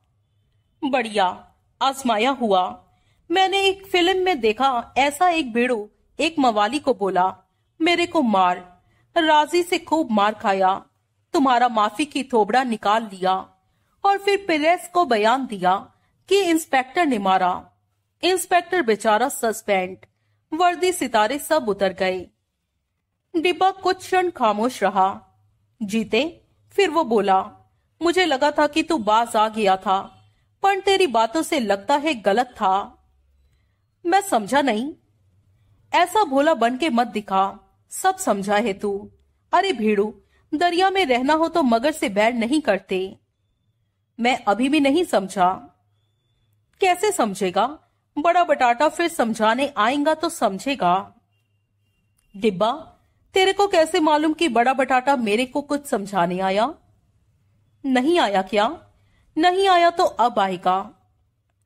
फिर मेरा हाल झलानी जैसा करेगा या नवलानी जैसा? कौन नवलानी? जो नर्सिंग होम में पड़ा अपनी मौत से जूझ रहा है। मैं किसी नवलानी को नहीं जानता। जानता नहीं या जीते, अब इशारों में बात करने का वक्त चला गया है। अब मैं तेरे को साफ़ बोलता हूँ बाज आ जा वरना मारा जाएगा। किस बात से बाज आ जाऊँ तेरे को मालूम। अरे किधर मालूम? तू कुछ बोलेगा तो मालूम होगा ना? मेरे बोलने से तो कुछ नहीं समझने वाला। अब कोई और ही बोलेगा। और कौन? बड़ा बटाटा, जिसका आजकल तू मैला चाटता है। बाज नहीं आएगा तो तू भी चाटेगा। अब निकल ले। क्या? निकाल निकाल रहा है घर से? मेरे को आराम करने का है। कोई चा पानी के बिना ही निकाल रहा है घर से? जीते, अक्लमंद को इशारा काफ़ी होता है। अरे, मैं अनपढ़ टपोरी, मैं किधर का अक्लमंद? है नहीं तो बन, हमेशा के लिए नहीं बन सकता तो वक्ती तौर पर तो बन। वक्त का इशारा तो समझ। क्या है वक्त का इशारा? अपनी औकात पहचान और चुप करके बैठ, गड़े मुर्दे ना उखाड़। किधर उखाड़े मैंने? लारा रिबेलो के बारे में एक लफ्ज भी बोला मैं क्या? कौन लारा रिबेलो? जिसके बारे में तूने साफ़ झूठ बोल दिया कि वो के की मिस्त्री के साथ नहीं थी। नाम कैसे जान गया तू? तब कहीं जाकर जीत सिंह को अपनी गलती का एहसास हुआ। कोई बोला, वो लापरवाही जताता बोला, शायद तू ही बोला। हरगिज नहीं, मेरे को तो नाम मालूम ही नहीं था, कैसे होता? तो बड़ा बटाटा बोला होगा। हम्म ठीक है, जाता है। बोले तो वापसी में हाजी अली, जाऊँ तेरी फौरी शफा की दुआ मांगने? कोई ज़रूरत नहीं, मैं खुद चला जाऊँगा। ठीक है। दोपहर बाद ढाई बजे के करीब दिलीप भालेकर थाने पहुँचा। उसकी दरख्वास्त पर झालानी से उसकी मुलाकात इंस्पेक्टर गोविलकर ने उसी छोटे से कमरे में अरेंज करवाई, जिसमें खाली एक बेंच पड़ा था। कैसा है? भालेकर बोला, जालानी ने सहमति में सिर हिलाया। क्या मेरे को पहचाना? जालानी ने फिर सहमति में सिर हिलाया। मुँह में कोई तकलीफ़ है क्या? बोलने में मुश्किल? जालानी ने जवाब नहीं दिया। वादा खिलाफी का मज़ा मिला ना? मेरे को कुछ नहीं होने वाला, जलानी गुस्से से बोला। कौन बोला तेरे को कुछ होने वाला है? होने वाला होता तो अब तक हो गया ना होता। जहाँ चोरों की तरह घुसा था, वहाँ मरा पड़ा ना होता।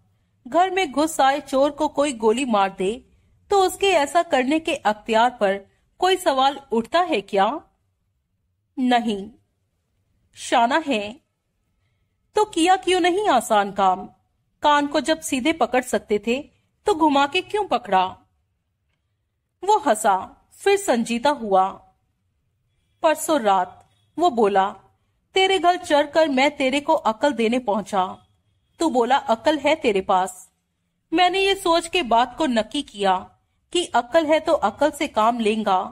पर अगली दोपहर जब तू उधर ना मिला तो मेरे को पक्की हो गया कि तेरी अकल में लोचा, जो कि मेरे को ही निकालने का था। घर से किधर खिसक गया? बीवी बच्चे को किधर खिसका दिया? तो समझा सेफ़ कुछ नहीं होने वाला था। सोचा होगा तेरे को, तेरे बीवी बच्चों का ढूंढना बहुत मुश्किल। खेड में है ना ससुराल तेरा? इतनी सी जगह है खेड। बालेकर ने दाएँ हाथ की उंगली और अंगूठे में एक फासला बनाकर उसे दिखाया। घर घर जाके भी पूछना पड़े तो क्या टाइम लगेगा मालूम करने में कि तेरी बीवी किधर रहती है? झालानी सक पकाया। मेरा काम है वही खबर निकालना जो ना मिलती हो। अभी और नमूना है मेरे पास। क्या? तू मेरे को बोला तो सब कुछ किसी फ्रेंड को आगे बोल के रखा। उस फ्रेंड को जिसके साथ परसों रात तू कहीं बाटली मारेला था। तू बोला उसको तेरे कत्ल की खबर लगेगी। तो जो तू उसको बोला, वो सारी दुनिया को बताएगा। ठीक बोला ना मैं? हाँ तो? उसके हाथ में एक अखबार था। जिसको एक जगह से मोड़कर उसने झालानी के सामने किया। यही है ना वो भीड़ू? वो बोला झालानी की अखबार में छपी तस्वीर पर निगाह पड़ी तो वो सन रह गया। वो तस्वीर शेखर नवलानी की थी। उसने अखबार भाले कर हाथ से झपट लिया। वो डेली नाम का अखबार था, जो मुंबई का मिड डे पेपर था। दोपहर में छपता था। जो खबर इसमें छपी है, भालेकर बोला वो तेरे अखबार जैसे अखबारों में नहीं छपी, क्योंकि वक्त पर ना पहुँची। खाली इस पर्चे में छपी जिसकी कॉपी में खास तेरे वास्ते लाया। पढ़ खबर? जालानी ने खबर पढ़ी, फिर उसने अखबार पर से सिर उठाया। तुम्हारा कारनामा है, उसने पूछा। पहले हाँ बोल, यही वो भीड़ू है ना, जिसकी परसों रात तू मेरे को हूल देता था? नहीं है। बंडल मारेला है परसों शाम यॉट क्लब में तू इसी के साथ बाटली मारता था। तेरा इसके साथ पहले से उधर का अपॉइंटमेंट फिक्स था। झालानी खामोश रहा। मैं बोला था, तुम दोनों एक साथ शमशान घाट पहुंचेगा। पर तू ज़िंदा है, ये भी ज़िंदा है। मेरे को माँगता होता तो ये अस्पताल की जगह शमशान घाट पहुँचता और तू इधर हवालात की जगह शमशान घाट पहुँचता। तो फिर ऐसा क्यों नहीं किया? क्योंकि बहुत नर्म दिल मवाली हो। मस्करी नहीं मारने का है। नहीं है मैं ऐसा। पर मैं पहले भी तेरे को बोला, खून खराबा में तभी करता है, जब ज़रूरी। तू बोला, ज़रूरी, मैं यही थाने में तेरे को टपकाता है। कहना आसान है। लॉकअप में पंखे से टंगा होएगा। गोविलकर एफआईआर में लिखेगा, खुद खुशी कर ली। जलानी के जिस्म में सिरन दौड़ गई। अब केस कोर्ट में लग चुका है। जलानी दबे स्वर में बोला, मैं वो बोलूँ जो तुम चाहते हो तो अब तुम क्या सवार सकोगे? पहले बोल, फिर देख। क्या बोलूँ? केस पर काम करने को तेरे को किधर से टिप मिला? हाँ किधर से? गुमनाम फ़ोन कॉल आई। ऐसी फ़ोन कॉल अखबारों के दफ्तरों में आम आती है। पता लगाने की कोशिश नहीं की कि कॉल करने वाला कौन था? की, लेकिन पता लग नहीं सका। कोई हिंट भी नहीं मिला क्या? जालानी जीत सिंह उर्फ़ बद्रीनाथ का नाम ज़ुबान पर नहीं लाना चाहता था, लेकिन जानता था उस मवाली की तसल्ली के लिए कुछ ना कुछ बोलना ज़रूरी था। खाली इतना पता लगा कि कॉल जिस नंबर से आई थी, वो नागपाड़ा के राजदीप होटल में चलता था। पर यह पता नहीं लगा कि उधर कॉल लगाई किसने थी। राजदीप होटल, जो उधर अलेक्जेंड्रा सिनेमा के पास है क्या? हाँ। ये तेरा जोड़ीदार, बाटली फिरेंट, शेखर नवलानी, जिसका छापे में फ़ोटो छपा। ये भी तो किसी गोवानी लड़की की तलाश में जगह जगह पूछताछ करता फिर रहा था। ये ऐसा क्यों कर रहा था? इसे भी टिप मिला था क्या? नवलानी टिप पर काम क्यों करेगा? वो तो प्रोफेशनल प्राइवेट डिटेक्टिव है। फ़ीस लेकर काम करता है। कोई फ़ीस भरा क्या? मैं बोला, तेरा पर्चा फ़ीस भरा क्या? किसी ने फ़ीस नहीं भरी उसकी। वो मेरा दोस्त है, मेरी मदद करता है। दोस्ती में मदद करता है? हाँ। फ़ीस को नक्की बोलकर, खाली होता है तो। आजकल खाली है, इसलिए दोस्ती में मदद करता था, तेरी खातिर पूछताछ करता था। हाँ मैंने मान ली तेरी बात, अब अपना इरादा बोल। मैं क्या बोलूँ?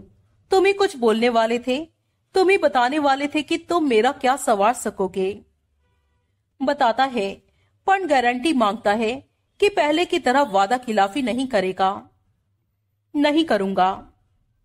तेरे को दूसरा चानस इसलिए है, क्योंकि पेरेस वाला है। मैं उसूल बना के रखा कि पुलिस और पिरेस से पंगा नहीं लेना माँगता। कभी कोई पुलिस वाला नहीं टपकाया। कभी कोई पेरेस वाला भी नहीं टपकाया। बोले तो तेरे से शुरू करे क्या? नहीं। तो मैं पक्की समझू कि तू वादा खिलाफी नहीं करेगा? हाँ। चिल्लाकी भी नहीं करेगा। चालाकी। कोई शानपंती नहीं करेगा। कैसे शानपंती?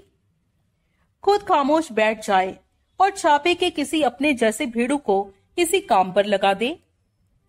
मैं ऐसा नहीं करूँगा। ऐसा मैं कर भी नहीं सकता। ये एडिटर का काम होता है। तू एडिटर को बोलेगा क्या? नहीं। जो बोल चुका उसका क्या होगा? अभी तक नहीं हुआ तो अब क्या होगा? अब कोई छोटी मोटी बात छप भी गई तो वो कोई ज़्यादा हलचल नहीं मचा पाएगी। हम्म तू हाथ खड़े कर। क्या? एडिटर को बोल आगे केस में कुछ नहीं रखा। अच्छा वो। हाँ वो। ठीक है। तेरा चार दिन का रिमांड है। उसके बाद जब तेरे को कोर्ट में पेश किया जाएगा तो सरकारी वकील और रिमांड की मांग नहीं करेगा। इसलिए बेल में कोई प्रॉब्लम नहीं होगा लेकिन चार दिन, अभी आगे सुन, पूरी बात सुन। बोलो, तेरा वकील हाई कोर्ट में आज अर्जी लगा लेगा तो उस पर सुनवाई कल होगी। हाई कोर्ट में बेल मंजूर हो गई तो तू कल छूट जाएगा, वरना उसके और दो दिन बाद लोअर कोर्ट से ही छूट जाएगा। ये मैं तेरे को पक्की करता है। बेल हो जाने से केस तो नहीं खत्म हो जाता। केस भी खत्म हो जाएगा। कैसे? डिब्बा अपनी शिकायत वापस ले लेगा। बोल देगा कि वो जो कैंप्रोकर के माइस होता है, वो कोरट से बाहर हो गया। कॉम्प्रोमाइज, आपसी समझौता? हाँ वही वही। अब ऐसे ही क्लास में नवलानी की भी जाके ले, या उसे तू ही समझा लेगा? मैं समझा लूँगा। फिर क्या वादा है? फिर समझ सब ठीक हो गया। अभी कहा हो गया? वो तो इधर से निकलूँगा तो जानूँगा। उसके लिए कोर्ट का ऑर्डर ज़रूरी। पर तो समझ तो थाने का मेहमान, जो खिदमत बोलेगा, होएगा। अभी जाता है। झालानी ने सहमति में सिर हिलाया। वो दरवाजे की तरफ़ बढ़ा, ठिठका, घूमा और फिर बोला एक बात और। वो भी बोलो झालानी बोला, बदरुल हसन जो किया इस वास्ते किया क्योंकि मैं बोला। वो तो अब ज़ाहिर है, बाहर निकलकर उसके गले ना पड़ जाना।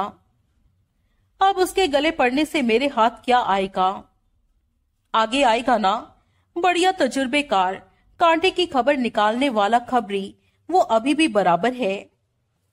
ठीक है डिब्बे के भी। मौजूद हालात में तुम्हारे किसी भी तोते, किसी भी चमचे के पीछे पड़ना वादा खिलाफी होगी। अभी समझा। वो चला गया। जीत सिंह घाट कोपर पहुँचा। हिला घर में मौजूद थी। ऐसे चला आया। वो बोला, उम्मीद नहीं थी मुलाकात होगी। आज लाइव प्रोग्राम नहीं था। खाली रिकॉर्डिंग थी। वो बोली, अभी लौट की आई। मैडम कैसी है? कैसी होगी? सबसे ज़्यादा विपत्ति तो उसी पर टूटी। बहुत जिद करके कल रत्नागिरी भेजा तो आज मैं स्टूडियो जा पाई। यहाँ तो उस बेचारी अपाहिज के लिए प्रॉब्लम ही प्रॉब्लम है। रत्नागिरी में फैमिली के साथ रहेगी तो कुछ तो चैन पाएगी। यहाँ तो जैसा हाल था, मेरे को यही अंदेशा लगा रहता था कि कहीं सुसाइड ना कर ले। ओह, कैसे आया? ऐसे ही मिलने चला आया। नया कुछ नहीं मालूम हुआ क्या? हुआ तो सही कुछ मालूम। मसलन क्या? पहले तो यही गारंटी हुई कि नेता लोग जी जान से अपने छोकरे को बचाने में लगे हैं। ऐसी ऐसी चाले चल रहे हैं, जैसी कोई ताकत वाले लोग ही चल सकते हैं। ऊपर से उनकी हर करतूत में पुलिस उनकी मदद कर रही है। अब क्या हुआ? आज का अखबार देखा क्या? नहीं देखा टाइम नहीं लगा। सुबह का कोई अखबार देखना डेली करके वो अखबार भी देखना जो दोपहर में छपता है। देखूँगी, लेकिन है क्या उसमें? जीत सिंह ने उसे झालानी की गिरफ्तारी और शेखर नवलानी की धुनाई की बाबत बताया। ओ माई गॉड हीला आतंकित भाव से बोली ओ my good god Jhalani Keki के कत्ल की साजिश का पर्दाफाश करने में लगा था। और शेखर नवलानी, जो कि प्राइवेट डिटेक्टिव है, उस गोवानी लड़की की तलाशी की जी तोड़ कोशिश कर रहा था, जो शनिवार रात को केकी के साथ थी और जो तभी से गायब थी। दोनों को ऐसा फिट किया गया कि कुछ करने के काबिल नहीं छोड़ा। जालानी हवालात में बंद है और नवलानी एक नर्सिंग होम में अभी भी बेहोश पड़ा है। यानी कि किस्सा खत्म। खत्म तो नहीं। अभी क्या उम्मीद है? नवलानी ने अपनी कोशिशों से गोवानी लड़की की बाबत कुछ जानकारी निकाली है। उसने पणजी की उस क्लब का पता निकाला है, जिसमें उधर वो काम करती थी। उसकी पैरने में रहती माँ का पता निकाला है और उसके एजेंट का पता निकाला है। उधर जाने से लड़की की बाबत कुछ मालूम पड़ सकता है। कि वो कहाँ गायब हो गई और अब कहाँ पाई जा सकती है। एक बार वो लड़की बरामद हो जाए और वो अपना बयान देने को तैयार हो जाए तो बहुत तहलका मचेगा तो नेता लोगों की भी नहीं चलेगी। ये बात क्या उन्हें नहीं मालूम होगी? होगी, क्यों नहीं होगी? तो फिर वो बरामद होने देंगे तब ना? हाँ वो तो है। हम्म लगता है अभी मेरे को भी कुछ करना पड़ेगा। जीत सिंह ने हैरानी से उसकी तरफ़ देखा। तुम क्या करोगी? अभी तो मेरे को खुद नहीं मालूम, लेकिन केकी की खातिर अब एक ऐसा काम करूँगी, जिससे मैंने हमेशा परहेज किया है। क्या करोगी? एक फरियादी है, जो सालों से फरियाद कर रहा है। उसकी फरियाद कबूल करूँगी केकी की खातिर। मैं समझा नहीं दुश्मन के घर में सेंध लगाऊँगी। हिला, मैं अभी भी नहीं समझा। आइंदा दिनों में हो सकता है कि यहाँ पक्का ही ताला पड़ जाए। इसलिए जब आने का हो तो पहले फ़ोन लगाना। तुम पहेलियाँ बुझा रही हो। है तो ऐसा ही कुछ। जीते, आज मैं एक बेहद खुफिया राज तेरे सामने खोलने जा रही हूँ। वादा कर कि तू उस बाबत फ़िलहाल किसी से कुछ नहीं कहेगा। नहीं कहूँगा। वादा करता है। हाँ क्यों कहूँगा? वादा कर दिया तो कर दिया। तो सुन, मधुकर राव साबले मेंबर पार्लियामेंट, मेरा बाप है। जीता जैसे आसमान से गिरा। मैं उसकी नाजायज औलाद हूँ। क, क्या? मैं सच कह रही हूँ। हिला, तू केकी की बहन नहीं? हूँ मेरा कोई सच में सगा भाई होता तो मेरे को उससे उतना लगाव नहीं होता, जितना कि केकी से था। लेकिन मैं उसकी माँ जाई बहन नहीं हूँ। मैं मधुकर राव साबले और अपनी माँ मारिया कौशैलो की नाजायज औलाद हूँ। तेरी माँ गोवानी है? थी, कब की मर गई? पारसी नहीं? नहीं। मधुकर राव साबले मुझे हिला साबले बनाना चाहता है। लेकिन मैं हिला मिस्त्री हूँ और रहूँगी। क्योंकि मेरा भाई था और रहेगा। मैं उसकी याद को कलंकित नहीं कर सकती। लेकिन एक मिशन की खातिर आइंदा दिनों में एक बड़ा कदम उठाऊँगी। भले ही वो मेरे को नागवार गुजरे। किस्सा क्या है हिला? अभी बोल तो दिया। बोल तो दिया कि मैं मधुकर राव साबले की और मारिया कौशैलो की नाजायज औलाद हूँ। क्या किस्सा है? उल्लुओं की तरह पलके झपकाते जीत सिंह ने फिर अपना सवाल दोहराया। ये एक घिनौनी कहानी है, जो कि मुझे ज़ुबान पर नहीं लानी चाहिए, लेकिन इससे मेरी माँ के कैरेक्टर पर लांछन आता है। लेकिन तू भी मेरे भाई जैसा है, और केकी की खातिर इतना कुछ कर रहा है, इसलिए तेरे को बोलती हूँ। सुन, नेताजी ने नौजवानी में शादी के वक्त शादी की थी। लेकिन शादी के छह साल बाद भी औलाद का मुँह देखना नसीब नहीं हुआ था। एक बार बीवी प्रेग्नेंट हुई थी तो केस बिगड़ गया था और आठवें महीने में जच्चा बच्चा दोनों मर गए थे। और तब चालीस से ऊपर की उम्र में पहुँचा नेताजी बे औलाद विधुर बन गया था। तब चाहता तो शादी कर सकता था, मेरी माँ से ही कर सकता था, लेकिन बीवी की जगह माशूक उसे सहूलियत का सिलसिला जान पड़ता था। मेरी माँ को उसने हमेशा इसी झांसे में रखा कि वो देर सवेर उससे शादी कर लेगा। मेरी माँ तब खाली उन्नीस साल की थी और वो उम्र ना समझी की होती है और खाम खा जज्बाती होने की होती है। इसी वजह से वो प्रेग्नेंट हो गई। उसने नेताजी को बताया और शादी के लिए इसरार किया। नेताजी ने शादी की हामी तो भरी नहीं उल्टे प्रेगनेंसी के लिए भी उसे ही जिम्मेदार ठहराया कि क्यों उसने प्रेग्नेंट होने की लापरवाही की थी।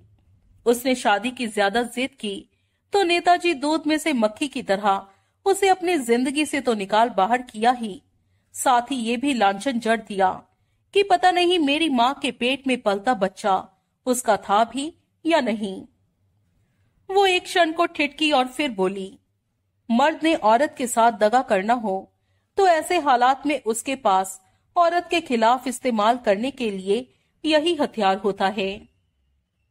फिर फिर मैं पैदा हुई। ये तब की बात है जब मेरी माँ चौबीस साल की थी और नेताजी पचास के पेटे में पहुँच रहा था। मेरी माँ ने उसे मेरे जन्म की खबर भिजवाई तो उसने आकर मेरी सूरत पर निगाह डालने की भी जहमत नहीं की। तब नेताजी का पॉलिटिकल तरक्की का नया नया सफ़र शुरू हुआ था और नेतागिरी के ही सदके, वो काफ़ी पैसा भी पीट चुका था। ऐसी हैसियत बना चुके शख्स के पास, ऐसे कामों के लिए टाइम किधर था? मेरी माँ चाहती तो उस पर मेरा बाप होने का इल्ज़ाम लगाकर उसके पॉलिटिकल करियर को तबाह कर सकती थी। लेकिन उसने ऐसा नहीं किया, क्योंकि जिसे दिल से चाहा हो, उसका बुरा नहीं चाहा जाता। क्या इस बात का नेताजी पर कोई असर नहीं हुआ? थोड़ा सा हुआ। मेरी माशूक की औलाद की परवरिश के लिए एक महाना रकम मेरी माँ को भिजवाने लगा। दोबारा शादी नहीं की क्या? पहले की नहीं, फिर हुई नहीं। पचास के पेटे में पहुँचा आदमी। हम उम्र से शादी करने का तो ख्याल भी नहीं करता। वर्जिन छोकरी माँगता है जो नहीं मिली। फिर फिर ऐसी उम्र में पहुँच गया कि औलाद की कमी खलने लगी। किसी वारिस का ना होना सताने लगा। आगे खड़ा बुढ़ापा डराने लगा। तब तक मेरे को केकी की माँ के हवाले करके मेरी माँ मर चुकी थी। इसलिए पहले तो मेरी तलाश ही नहीं कर पाया। मेरी माँ ज़िंदा होती तो तलाश जल्दी कामयाब होती। उसके मरते ही उस रकम की हाजिरी लगनी भी बंद हो गई थी, जो कि वो एहसान करने के लिए या अपना गुनाह बख्शवाने के लिए भिजवाया करता था। आखिरकार, जब मैं बारहवीं क्लास में पढ़ती थी तो किसी तरह से उसकी तलाश कामयाब हुई और पहुँच गया मेरे पर अपना क्लेम लगाने। जवाब में मैंने उसको ऐसा जलील किया कि दोबारा मेरे पास फटकने की मजाल नहीं हुई। मैं साफ़ बोली कि जो शख्स पेड़ का दावेदार ना बना, वो फल का दावेदार बनने क्यों पहुँच गया? जो कि उस पेड़ को लगा था। बोला, जिस शख्स ने माँ के साथ इंसाफ नहीं किया, उसकी क्या गारंटी थी कि वो बेटी के साथ इंसाफ करेगा? तो क्या वो चला गया? चला तो गया, लेकिन मेरा ख्याल मेरी चाह दिल से नहीं निकाल सका, क्योंकि मेरी शक्ल पर पहली निगाह पड़ते ही मैं उसके माथे पर लिखा पढ़ सकती थी कि उसका अपना खून उसे अपनी आँखों के आगे दिखाई दे रहा था। कभी नेताजी से मिला है क्या? मेरे ऐसे भाग कहा? मेरे को तो इतने बड़े आदमी के कोई पास भी ना फटकने दे, जीत सिंह बोला। कभी मिले तो देखना मेरी कितनी शक्ल, नेताजी से मिलती है। इसी वजह से केके से नहीं मिलती? हाँ। फिर क्या हुआ? क्या होना था? नेताजी दोबारा तो मेरे करीब नहीं फटका। लेकिन उसके पैगाम हमेशा मेरे पास आते रहे कि मैं जब चाहे उसके पास आ सकती थी और उसकी मसान जैसी वीरान ज़िंदगी में रौनक ला सकती थी। तो सोच जीते, मेरा नेताजी की पेशकश कबूल करना मेरी कितनी बड़ी दगाबाजी और एहसान फरामोशी होती मिसेस मिस्त्री नाम की उस औरत के साथ, जिसने हर किसी को हमेशा बोला कि उसके दो बच्चे थे, एक लड़का, एक लड़की थी। एक केकी था, एक हिला थी। खुद केकी ने कभी मेरे को एहसास नहीं होने दिया कि मैं उसकी सगी बहन नहीं थी। उसकी मौत पर मेरी आँख उतना नहीं रोती जितना दिल रोता है। अपना चला गया, पराया रह गया। वो भी छोड़ के चल दे तो ये अंधेर नहीं तो क्या है? लेकिन तुम्हारा ऐसा इरादा है क्या? खाली मतलब हल करने के लिए मैं नेताजी के घर में रहूँगी तो मेरे को बहुत कुछ सुनने को, बहुत कुछ देखने को मिलेगा, और मेरे देखे सुने में से ज़रूर ऐसा भी कुछ निकलेगा, जो केकी की मौत के लिए जिम्मेदार उस छोकरे बोनी जादव को जेल की सलाखों के पीछे पहुंचाएगा, जहाँ की उसका असल मुकाम है, जो केकी के खिलाफ साजिश करने वालों का पर्दाफाश करेगा। ऐसा एक शख्स तुम्हारा बाप है मेरे को ऐसे बाप की कोई परवाह नहीं।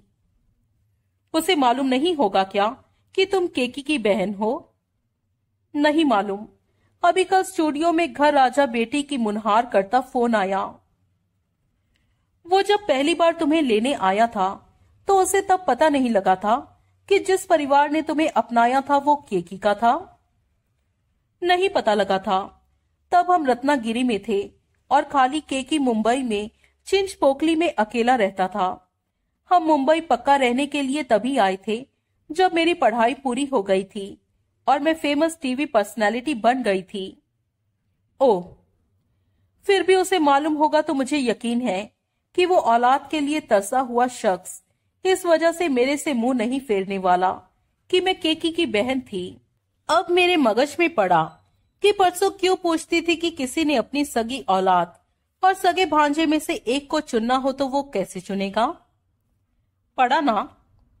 तभी से सोचे बैठी थी कि नेताजी की मनुहार कबूल करेगी और जाकर उसकी बेटी बन के रहेगी।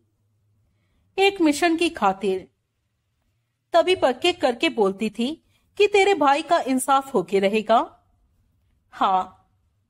उधर से कुछ हाथ नहीं आया तो? तो वापिस। किसी को उम्मीद बंधाकर उसे ना उम्मीद करना तो ठीक नहीं। डेलिब्रेट कोल्ड ब्लडेड मर्डर करना ठीक है क्या?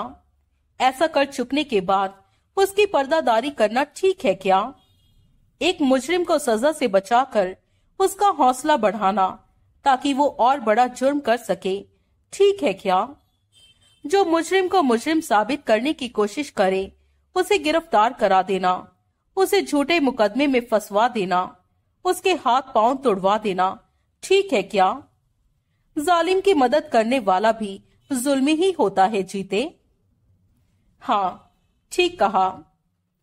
अब मैंने तेरे को जो इतना कुछ बोला है, उसे सीक्रेट रखना।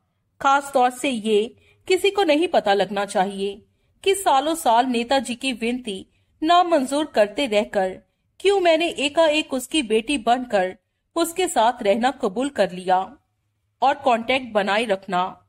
मोबाइल नंबर पहले ही दिया मैं तेरे को। हाँ नोट करके रखना, काम आएगा। ठीक है, एक आखिरी सवाल। क्या उधर तेरे को कोई खतरा तो नहीं होगा? कैसा खतरा? नेता लोग चमचों से घिरे रहते हैं। एक बड़ा बटाटा करके ही भीड़ू है। जो ऐसा खतरनाक है कि क्या बोलूँ? नेताजी के लिए सब वही सेट करता है।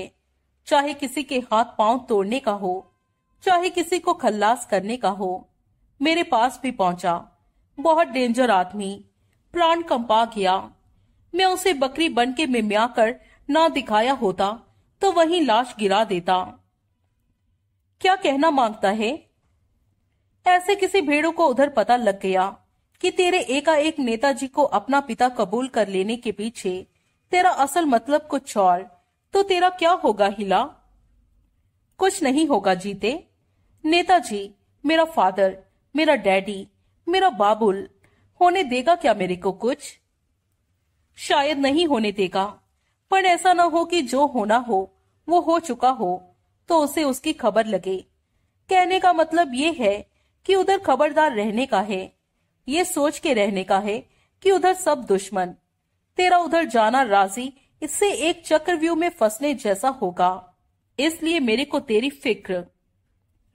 तो फ़िक्र मत कर जीते, मैं सब संभाल लूँगी। ठीक है फिर। गुरुवार 22 जनवरी, सुबह 11 बजे झालानी का केस हाई कोर्ट में लगा।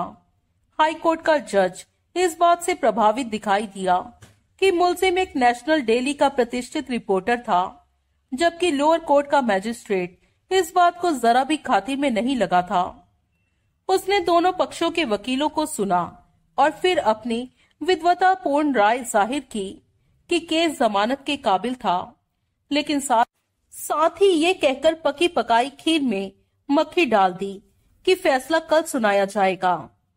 नतीजतन मुलजिम को हवालात में बंद किए जाने के लिए फिर हवालाई पुलिस कर दिया गया।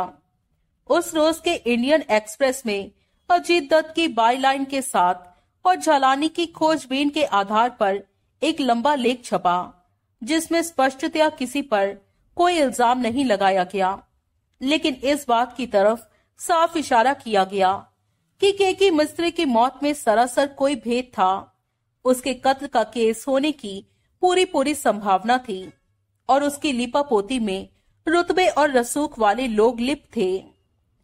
लेख में उस रहस्यमयी गोवानी लड़की का भी ज़िक्र था, जिसके केस में कहीं ना कहीं फिट होने का कई जगह से इशारा मिलता था, लेकिन जिसके वजूद की हामी कोई नहीं भरता था। लेख के अंत में एक चैलेंज की तरह लिखा गया कि यदि ऐसी लड़की का अस्तित्व था तो एक्सप्रेस की खोजी टीम उसकी तलाश में ज़मीन आसमान एक कर देगी।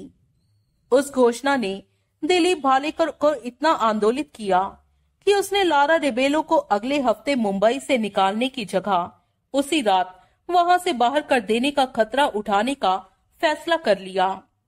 उसके अलावा अखबार की हाल दुहाई ने उस पर कोई असर नहीं डाला, क्योंकि वो जानता था कि अखबार की इशारों की ज़ुबान को पब्लिक में कोई नहीं समझता था और झालानी के सेट हो जाने के बाद अपनी किसी बात को सिद्ध करना एक्सप्रेस के बस का नहीं था। झालानी के और नवलानी के भी कसबल पूरी तरह से निकल चुके थे। इस बात का उसे पूरा यकीन था। उस तरफ़ से आश्वस्त होकर अब उसने झालानी के गुमनाम टेलीफोन कॉलर की तरफ़ तवज्जो देने का फैसला किया था, जिसके संदर्भ में उसका ध्यान इसलिए बार बार जीत सिंह की तरफ़ जाता था कि वो भी नागपाड़ा के उसी होटल में ठहरा हुआ था, जिससे कॉल आई झालानी बताता था। जीत सिंह का दहशर की पार्टी में एकाएक हिस्सा आना उसे तब भी खटक रहा था और वो उससे एक और मुलाकात का मन बनाए बैठा था। लेकिन ये बात अभी उसके दिमाग में पूरी तरह से घर नहीं कर सकी थी कि जीत सिंह ही एक्सप्रेस का गुमनाम कॉलर हो सकता था। एक मामूली ताला तोड़ उसकी अक्ल कहती थी, इतना बड़ा पंगा नहीं ले सकता था। टैक्सी दादर मेन रोड पर पहुँची। यहाँ रोकना। सामने मल्टी स्टोरी फ्लैटों के बीच खड़ी चार मंजिला एंटीक इमारत दिखाई दी तो हिला बोली, ड्राइवर ने टैक्सी रोकी। हिला ने भाड़ा चुकाया। टैक्सी में से निकली और कंधे से लटकता अपना बैग झुलाती इमारत के आयरन गेट पर पहुँची। वहाँ बैठे दरबार ने उसका ऐसा रोप खाया कि उसके मुँह खोलने से पहले ही उसने आयरन गेट खोल दिया। वो भीतर दाखिल हुई। और चंद कदम आगे की दो सीढ़ियाँ चढ़ के इमारत के बंद मेन डोर पर पहुँची। उसने कॉल बेल बजाई और प्रतीक्षा करने लगी। हाउसकीपर कोटर ने दरवाज़ा खोला।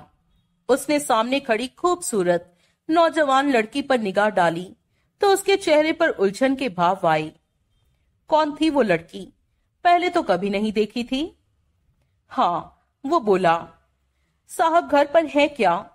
हीला ने अधिकार पूर्ण स्वर में पूछा, कौन साहब? यहाँ कोई सौ पचास साहब रहते हैं क्या? एमपी साहब और कौन साहब? क्या काम है? मेरे को उनसे नहीं, उनको मेरे से काम है। ऐसा क्या? हाँ जाके बोलो हिला आई है। अभी, उसे दरवाजे पर खड़ा छोड़कर कोटक, भीतर हॉल में एक ऊँचे स्टैंड पर रखे, फ़ोन पर पहुँचा। उसने कहीं फ़ोन किया। दबे स्वर में माउथ पीस में कुछ बोला और फिर फ़ोन रखकर वापस लौटा। आओ, वो बोला। हिला भीतर दाखिल हुई। वो सामने लिफ्ट है, कोटक बोला। टॉप फ्लोर पर जाने का है। ठीक है। लिफ्ट द्वारा वो टॉप फ्लोर पर पहुँची। लाहौटी लिफ्ट का दरवाज़ा खुलने का इंतज़ार में पहले ही उसने सामने मौजूद था। दरवाज़ा खुला तो उसने हिला का सादर अभिवादन किया और संकेत से अपने साथ आने को बोला। हिला उसके साथ हो ली। लाहौटी उसे स्टडी के बंद दरवाजे पर लाया।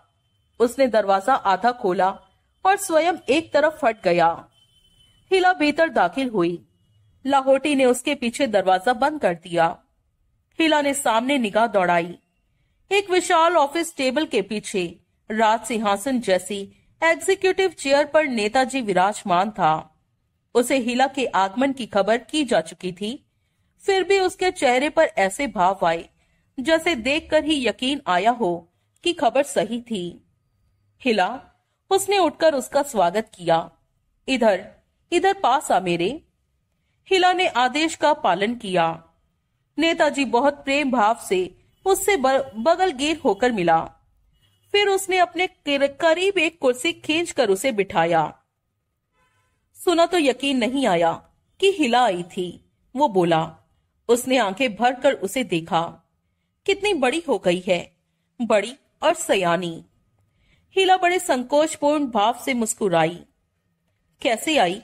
नेताजी बोला, सोचिए। मैं क्या सोचूं? मेरा सोचा ठीक ना निकला तो मुझे दुख होगा। तू ही बता। आपने अभी बोला ना कि मैं बड़ी हो गई हूँ, सयानी हो गई हूँ? हाँ। उम्र के साथ साथ बहुत तब्दीलियाँ आती हैं खास तौर से ख्यालात में। वो तो है। तो समझ लीजिए पिछली बार, आखिरी बार, आपसे मिलने के बाद से मेरे ख्यालात में भी बहुत तब्दीलियाँ आई हैं। ऐसा क्या? हाँ। कभी आपने मुझे अपनी बेटी बनाने की ऑफ़र की थी। अगर वो ऑफ़र अभी भी स्टैंड करती तो अरे बेटी, कैसी बातें करती है? तू तो है ही मेरी बेटी। मुझे नहीं मालूम, आपको नहीं मालूम, जिसे मालूम था वो मर गई। मुझे मालूम है, जमाने को यकीन दिलाना मुश्किल होगा। मुझे जमाने की परवाह नहीं, लेकिन मुझे है।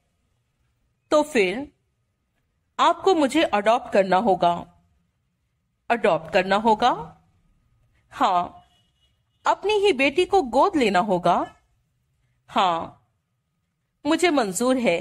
इससे तुझे खुशी होती है तो मुझे खुशी होती है। तो फिर मुझे मंजूर है। Hello, daddy. Hello, my dear. Hello, my honey child. शुक्रवार तेईस जनवरी। अगले रोज सुबह जालानी की जमानत हो गई। वकील सतारा वाला उस रोज बहस के लिए भरपूर तैयारी करके आया था और उस प्रकार के जमानत के कई पुराने मुकदमों के हवाले नोट करके लाया था। लेकिन उस रोज उसकी तैयारी किसी काम नहीं आई। जज ने उस बाबत पहले ही हुक्म सुना दिया। ये सुनिश्चित कर लिया गया है कि पुलिस को जमानत से कोई एतराज़ नहीं है, जज बोला। और मुलजिम एक प्रतिष्ठित अखबार का प्रतिष्ठित प्रतिनिधि है। इसलिए पुलिस की राज़ी को मद्देनजर रखते हुए ये अदालत उसे निजी मुचलके पर रिहा किए जाने का हुक्म देती है। पुलिस के रवैये में आई वो अप्रत्याशित तब्दीली सतारा वाला को हैरान करने वाली थी। उसकी कोई वजह कोई जानता तो जानता था तो खुद जालानी जानता था। भालेकर ने अपने करार पर खरा उतर कर दिखाया था, कैसा आज़ाद मुल्क था वो, जिसका निज़ाम मवालियों के हाथ में था। ग्यारह बजे जीत सिंह तारदेव थाने पहुँचा और इंस्पेक्टर गोविलकर के हुजूर में पेश हुआ। मैं तेरा ही इंतज़ार कर रहा था, गोविलकर बोला। बैठ। शुक्रिया बाप। जीत सिंह उसके सामने एक कुर्सी पर बैठ गया। उसने दराज से गन निकाली। मैंने इसे पूरी तरह से चेक कर लिया है। जो तेल वेल देना था वो देकर इसे चौकस कर दिया है। चौकस करने में दो गोलियाँ चलानी पड़ी। अब इसमें आठ की जगह छह गोलियाँ हैं और छह भी कोई कम नहीं। ठीक से ज़िम्मेदारी से चौकसी से काम करेगा तो एक ही गोली चलानी पड़ेगी। पर तेरे को दो चलाने का है, ताकि पूरी गारंटी हो कि भिड़ू मर गया। गन पर फिंगरप्रिंट्स नहीं छोड़ने का है और उसे उधर इच फेंक देने का है। सब याद मेरे को, साहब। वो भी याद जो कॉमरेड साहब बोला? हाँ। फिर भी बोलता हूँ, ताकि कोई बात भूल गई हो तो याद आ जाए। उसको वॉच करके देखा गया है कि कांदीवली के कब्रिस्तान में अपनी माँ की कब्र पर वो हमेशा शाम पाँच बजे पहुँचता है। तेरे को शाम पाँच बजे से पहले उधर होने का है और कहीं चुप कर वेट करने का है। वो आठ दस मिनट कब्र पर ठहरता है पाँच मिनट से कम तो हरगिज नहीं। इसलिए अपना निशाना वगैरह सेट करने के लिए तेरे पास भरपूर टाइम होगा। ठीक है ना? ठीक है साहब। इतने बड़े कब्रिस्तान में तेरे को कैसे मालूम होगा कि वो कहाँ पहुंचेगा और तूने किधर उसका इंतज़ार करना है? मैं पूछने ही वाला था। तो पूछा क्यों नहीं? अभी तो तेरे को यही नहीं मालूम होगा कि कांदीवली में कब्रिस्तान किधर है। वो तो मालूम है। उधर एक ही चर्च है, जो कि कब्रिस्तान से दस मिनट के पैदल के फासले पर है। चार बजे उधर पहुँच जाना। वहाँ तुझे कोई मिलेगा, जो तुझे फ्यूनरल पार्लर के रास्ते चुपचाप कब्रिस्तान में दाखिल होना भी बताएगा, और जॉर्ज डेविस की माँ की कब्र भी बताएगा किधर है। मैं उसे पहचानूँगा कैसे, साहब? वो तेरे को पहचानेगा, पहले से पहचानता है। कोई हवलदार है क्या? पागल है।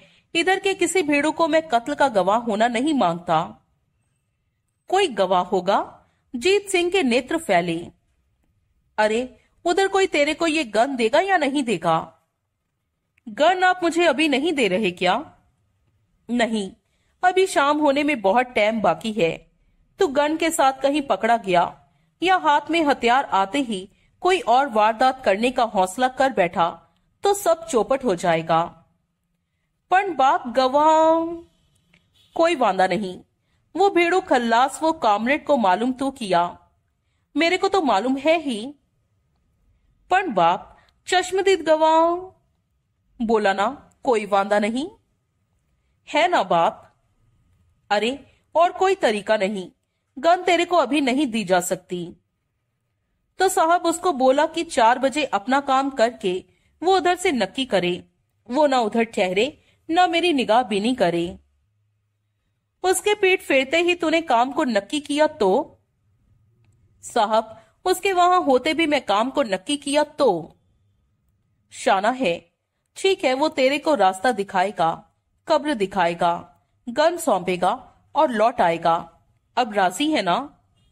हाँ और कुछ पूछना माँगता है? मैं उस भेड़ू को पहचानता तो होएगा नहीं। अगर उस वजह से कोई लोचा नहीं होगा, वो सूरज डूबने का वक्त होता है, तब कब्रिस्तान में कोई नहीं जाता। कोई नया मुर्दा दिन में दफनाया जाता है। फिर भी फिर भी ऐसा कुछ होगा तो कब्रिस्तान के खाली हिस्से में होगा, ना कि वहाँ होगा जहाँ कब्रें पहले ही बनी हुई हैं। साहब, कामरेड साहब बोले, माँ तीन महीना पहले मरी, इस लिहाजा से ताज़ा कब्र तो किसी खाली हिस्से में ही होगी? नहीं होगी। जॉर्ज डेवस घटिया आदमी निकला, पर उसके पूर्वज खानदानी थे। उधर उसका फैमिली वॉल्ट है, और फैमिली वॉल्ट है जो कि कहते हैं, डेढ़ सौ साल से चला आ रहा है। उसकी माँ की कब्र वहाँ है, इसलिए उधर किसी के आने जाने का कोई मतलब नहीं। मेरे को खाली यही शिनाख्त की, जो उस खास कब्र पर पहुँचे। उसी को टपकाने का है क्या? हाँ इतनी शिनाख्त काफ़ी है। साहब प्रॉब्लम होएगा। कोई प्रॉब्लम नहीं होगी। सब पहले ही सोचा विचारा जा चुका है। फिर भी कोई प्रॉब्लम होगी तो तभी होगी, जब तू अपना काम ठीक से नहीं करेगा। ऐसा नहीं होगा, साहब। तो फिर बहस मत कर। ये सोच के काम को ठीक करके दिखा कि यूँ तूने अपनी आज़ादी खरीदी। वादा नहीं साहब, मैं अपना काम एंड ठीक करेंगा। अब निकल ले। ही ही ही। क्या है? दांत क्यों निकालता है? साहब, कुछ बोल रहे हो? क्या? गन के साथ आज आप मेरे को कुछ और भी देने का था। अबे क्या? साहब, वो दो सर्टिफिकेट ओ हाँ सच में ही भूल गया था। सर्टिफिकेट तैयार है तेरे। उसने मेज का एक दराज खोलकर उसमें से एक लंबा लिफाफा बरामद किया और उसे जीत सिंह के सामने डालता बोला, चौकस कर। जीत सिंह ने लिफाफा उठा लिया। उसने देखा, उसका मुँह खुला था। उसने भीतर मौजूद दो तयशुदा फुल स्केप कागज़ बाहर खींचे और उन्हें खोलकर बड़ी बारीकी से बारी बारी उनका मुआयना किया। दोनों कागजों पर उसकी हाजिरी की तस्दीक एन वैसी ही थी, जैसी कि वो चाहता था। दोनों सर्टिफिकेट की तहरीर जामुनी रंगत वाली काली सिहाई से हस्तलिखित थे और नीचे गोविलकर के हस्ताक्षर, पद और थाने के पते की मोहर लगी हुई थी। उसने दोनों कागज़ तय किए और वापस उन्हें लिफाफे में रख लिया। राज़ी, गोविलकर बोला हाँ साहब, शुक्रिया साहब। अब फूट यहाँ से। सलाम साहब, जीत सिंह शिवाजी पार्क पहुँचा। वहाँ बड़ी सहूलियत से उसने विलासराव मेमोरियल नर्सिंग होम तलाश कर लिया। वहाँ पहुँचने से पहले उसने तारदेव से नवलानी के घर का फ़ोन लगाया था तो कोई जवाब नहीं मिला था। हिचकिचाते हुए उसने मोबाइल बजाया था। तो बीवी बोली थी जिसने बताया था कि पिछली रात को नवलानी को आईसीयू से निकालकर कमरे में पहुँचा दिया गया था और कमरे का नंबर 307 था। झिझकते हुए उसने कमरे में कदम रखा तो दरवाजे पर ही थमक कर खड़ा हो गया। नवलानी के पास एक स्टूल पर एक्सप्रेस वाला झालानी बैठा, नवलानी से बात कर रहा था। नवलानी तकियों के सहारे अध लेटा सा पड़ा था। उसके जेत सिंह पर निगाह पड़ी तो वो क्षीण स्वर में बोला, आओ भाई जेत सिंह झिझकता सा आगे बढ़ा। बैठो। ऐसे ठीक है साहब, जेत सिंह बोला। अरे बैठो। बैठता है साहब। खबर लग गई। साहब छापे से भी लगी, घर पर फ़ोन लगाने से भी लगी। ओ, अभी पता चला कि आप अब रूम में हैं तो इधर आया। हम्म ये मेरा दोस्त झलानी है, एक्सप्रेस का रिपोर्टर। मेरे को मालूम, साहब। कैसे मालूम? झालानी बोला। छापे में फ़ोटो छपा ना आपकी खबर के साथ, और बिग बॉस में भी देखा इतवार को। आप बार मैन को बोला, आप एक्सप्रेस का रिपोर्टर झालानी मैं सुना। क्योंकि तुम उधर बार पर मौजूद थे, काला सूट पहने, लाल टाई लगाए। हाँ साहब। Jeet Singh also known as Badrinath. साहब, घबराने की कोई बात नहीं, जीत सिंह। नवलानी आश्वासन भरे स्वर में बोला, समझो हम तीनों एक हैं। ऐसा क्या? हाँ जालानी से अब छुपा नहीं है कुछ, कि उसे गुमनाम कॉल लगाने वाले तुम थे। ओ, साहब, कुछ मालूम हुआ, आप पर कौन हमला किया? अब ना मालूम हुए भी सब मालूम है भाई। जलानी की गिरफ्तारी और मेरी ये हालत। एक ही षड्यंत्र का हिस्सा है। कोई नहीं चाहता कि केकी मिस्त्री के कत्ल के केस को कुरेदा जाए, या उस गोवानी लड़की की तलाश की कोशिश की जाए, जो शनिवार रात को केकी के साथ थी। और ऐसा कौन नहीं चाहता? ये हम तीनों जानते हैं। जीत सिंह ने सहमति में सिर हिलाया। दीदा दिलेरी देखो उन लोगों की, जिन्होंने मेरी ये गत बनाई। एक बकायदा घंटी बजाकर मुझे फ्लैट से बुलाने आया और दूसरा सोसाइटी की एक एस्टीम कार को, जो कि पार्किंग में बिल्कुल पीछे बाउंड्री वॉल के साथ नीम अंधेरे में खड़ी थी, खोलकर भीतर बैठा हुआ था।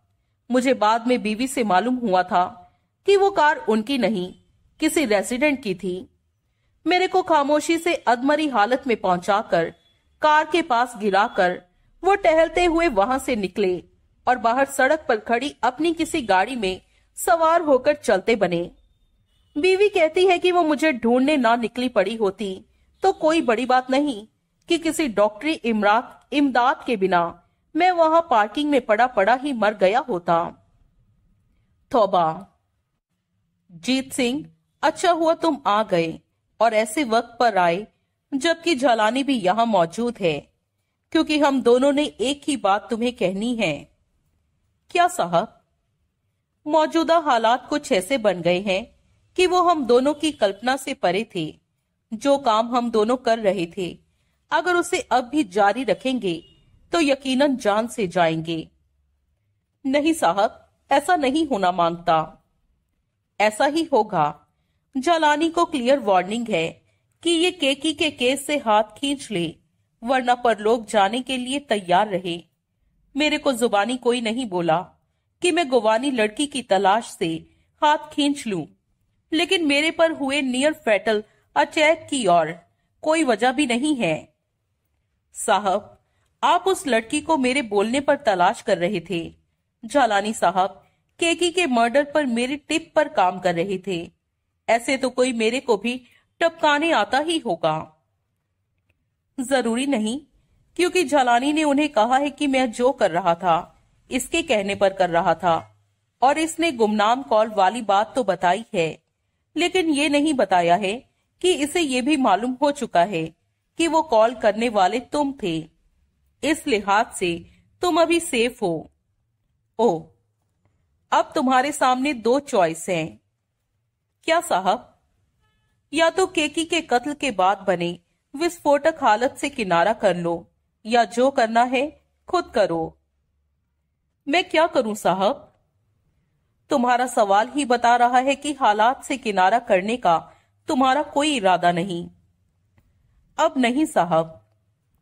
तो तुम ये करो कि लारा रेबेलो नाम की गोवानी लड़की की तलाश में खुद निकलो। क्या मैं तलाश कर पाऊँगा साहब? हो सकता है कर लो। लड़की की माँ एक बड़ा ज़रिया है उसकी तलाश का। हो सकता है वो ज़रिया तुम्हारी मिशन की कामयाबी का ज़रिया बन जाए। निकलकर कहा जाऊँ साहब? गोवा। आगे वहाँ के डिस्ट्रिक्ट पैरनेम, जहाँ की लड़की की माँ रहती है। मैंने तुम्हें मंगलवार शाम को यॉट क्लब में इतना कुछ बताया तो था। बताया था साहब। जीत सिंह खेत पूर्ण स्वर में बोला पर जो करना था आपने करना था, इसलिए याद रखने की कोशिश नहीं की। कोई प्रॉब्लम नहीं। मैं सब तुम्हें एक कागज़ पर लिख के दे देता हूँ। तुम चाहो तो प्लेन से आज ही पणजी पहुँच सकते हो और आगे पेरनेम का रुख कर सकते हो। आज कैसे होएगा साहब? आज तो स्पेशल डे है। स्पेशल डे है? एक कुर्बानी के बकरे की कुर्बानी का, साहब। शुक्रवार है ना आज, साहब? ओ तुम्हारे उस फंदे को तो मैं भूल ही गया था। कैसा फंदा? जालानी उत्सुक भाव से बोला। बोलूँगा, नवलानी बोला, और फिर जीत सिंह से संबोधित हुआ तो फिर? आज तो इम्तिहान का दिन है साहब। फेल हो गया तो मैं नहीं। पास भी हो गया तो पता नहीं आगे क्या होगा। तो आप मेरे को जो लिखना है लिख के दो, जो समझाना है समझाओ। आगे जैसे हालात बनेंगे, मैं वैसा कदम उठाऊँगा। ठीक है, तुम्हें हम दोनों से कोई गिला तो नहीं? नहीं साहब। तुम हमारी मजबूरी समझते हो ना? हाँ। मैं तो डॉक्टर कहता है कि एक महीने के बाद कहीं जाकर चलने फिरने के काबिल बनूँगा। लेकिन जलानी मेरे से ज़्यादा फंसा होने के बावजूद तुम्हारे काम आ सकता है। वो कैसे? बताओ भाई मुझे मेरी जाति हैसियत में मजबूर किया गया है। झालानी बोला कि मैं के की मिस्त्री के केस पर काम करना बंद कर दूँ, लेकिन एक मुँह बंद करने से तमाम मुँह बंद नहीं हो जाते। अगर तुम उस गोवानी लड़की का कोई सुराग निकाल पाए तो एक झालानी नहीं एक हज़ार झालानी तुम्हारे साथ होंगे। खौफ ने बीवी बच्चे की सलामती की ख्वाहिश ने मेरी ज़ुबान को ताला लगाया है। ऐसा ताला एक्सप्रेस पर मुंबई के सारे मवाली मिलकर नहीं लगा सकते। सारे हिंदुस्तान के मवाली मिलकर नहीं लगा सकते। लड़की का सुराग निकालो। फिर जो काम एक झालानी ने करना था, वो पूरा मीडिया करेगा। और फिर देखेंगे फिर देखेंगे कि जोश कितना बाजुए कातिल में है। झालानी की आवाज़ भर्रा गई। ज़िंदगी भर मुझे ये गम सताता रहेगा। वो बड़ी कठिनाई से बोल पाया कि मैं उस राह से भटक गया जो एक निष्ठावान पत्रकार की राह होती है। मैंने खौफ खाकर अपने फ़र्ज़ से मुँह मोड़ा। मैंने अपने बीवी बच्चे की सलामती को अपने फ़र्ज़ पर तरजीह दी। मैं तुमसे नहीं, अपने अखबार से नहीं, अपने आप से शर्मिंदा हूँ। उसकी आँखें डबडबा आई। Don't worry don't worry my dear friend Navlani सांत्वना पूर्ण स्वर में बोला। ये एक फ़ेज़ है जो गुजर जाएगा। सूरज के सामने बादलों की क्या मजाल होती है। लेकिन जब वो घुमटते हैं तो उसके तेज को धूमिल कर देते हैं। लेकिन बादल क्षण जाते हैं। सूरज फिर निकल आता है। Justice will prevail truth will इन बड़े लोगों की बड़ी बातें हैं। वहाँ से रुखसत होता जीत सिंह सोच रहा था। उसकी समझ में कहा आने वाली थी। शाम होने से पहले जीत सिंह ने जो छिटपुट काम किए, वो थे फ़िल्म वालों को कॉस्ट्यूम सप्लाई करने वाले, एक डीलर से पादरी का लिबास हासिल किया। ये उसकी खुद की सोच का नतीजा था कि फ्यूनरल पार्लर में या ईसाई कब्रिस्तान में वो पादरी के लिबास में देखा जाता तो किसी की उसकी तरफ़ तवज्जो तक न जाती। बमय टोपी गाइलो की एक वर्दी हासिल की और उसकी टैक्सी हासिल की। साथ में नर्सिंग होम में अभी भी खस्ता हाल पड़े गाइलो को समझाया कि दो घंटे शाम और दो घंटे अगली सुबह परदेसी उसके पास नहीं होने वाला था। अगले रोज सुबह सात बजे की सहारा एयरलाइंस की फ़्लाइट का पंजी का टिकट हासिल किया। फिर वो कमाठीपुरा पहुँचा। मिश्री अपने घर पर मौजूद थी। वो उसे आया देखकर बहुत हैरान हुई। उम्मीद नहीं थी कभी आएगा, वो बोली। बोला था कभी मिलने आऊँगा, जीत सिंह बोला। क्योंकि मैं तेरे को पसंद आई। हाँ अभी इसीलिए आया। सच बोलूँ क्या? ना भी बोले तो सच मेरे को मालूम। भीतर कौन है? कोई नहीं। तो मेरे को भीतर आने देना। वो दरवाजे पर से हटी। जीत सिंह भीतर दाखिल हुआ तो उसने उसके पीछे दरवाज़ा बंद कर दिया। बैठ, वो बोली, मेरे को जाने का है। तो आया क्यों? लौट के आने का है। पहेली करता है? मिश्री, मैं गरज से आया। मालूम। तभी तो बोला सच ना भी बोले तो मेरे को मालूम। बोल अपनी गरज। मैं रात को इधर तेरे पास रहना माँगता है। उसके चेहरे पर हैरानी के भाव आए।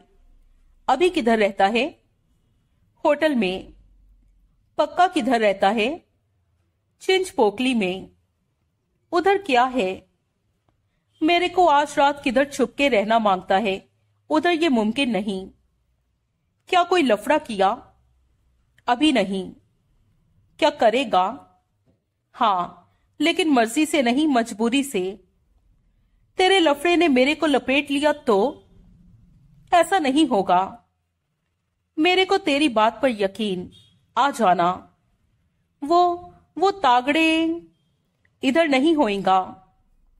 ऊपर से आ गया तो दरवाजे से नक्की करेगा। वो ना हुआ तो होगा होगा। मैं बोली होगा तो होगा। ठीक है। अभी जाता हूँ, शुक्रिया बोल के। चार बजे से थोड़ा पहले गायलो की टैक्सी पर, जिसे कि ड्राइवर की वर्दी पहन के डेविड परदेसी चला रहा था, जीत सिंह कांदीवली पहुँचा। वहाँ चर्च कहाँ थी परदेसी पहले से जानता था। जीत सिंह चर्च से परे ही उतर गया और पैदल उसकी तरफ़ बढ़ा। चर्च के बाहर फुटपाथ पर टहलता जो शख्स उसे दिखाई दिया, वो चकोर था। चकोर कामरेड का ड्राइवर, जो सोमवार रात को उसे बिग बॉस से बुलाने आया था। जीत सिंह करीब पहुँचा तो वो दांत निकालकर हंसा। काफ़ी पाखंडी है तेरा साहब, जीत सिंह प्रसन्न भाव से बोला। जब तू इतना भरोसे का है तो उधर ग्रांड रोड पर तेरे को सैर करने क्यों भेजा?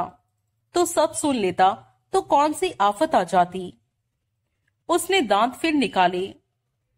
अब काम पर कर अपना, जीत सिंह डपट कर बोला। पहले ये देख, चकोर बोला, उसने अखबार में से निकाली एक कतरन, जीत सिंह की तरफ़ बढ़ाई। ये क्या है? देख, जीत सिंह ने कतरन लेकर उस पर निगाह डाली तो उस पर एक तस्वीर छपी पाई, जिसमें माइक्रोफोन पर भाषण देते एक व्यक्ति का छाती से ऊपर का हिस्सा छपा था। कौन है ये? मुझे क्यों दिखा रहा है? वही है, इसीलिए दिखा रहा हूँ। George Davis? हाँ तो बोला ना किसी को तेरे को इसको पहचानने का कोई ज़रिया माँगता था? ये है ज़रिया, थोबड़ा अच्छी तरह से याद कर और तस्वीर फाड़ के फेंक। जीत सिंह ने वैसा ही किया। फिर उसने एक काले कपड़े में लिपटी, गन उसे थमाई। अब चल, तुझे कब्र दिखा के आऊँ। ये काम एक दिन पहले करने का था। अब सूझा क्या, जीत सिंह खामोश रहा। तो बोला, काहे को नहीं साहब को? चल।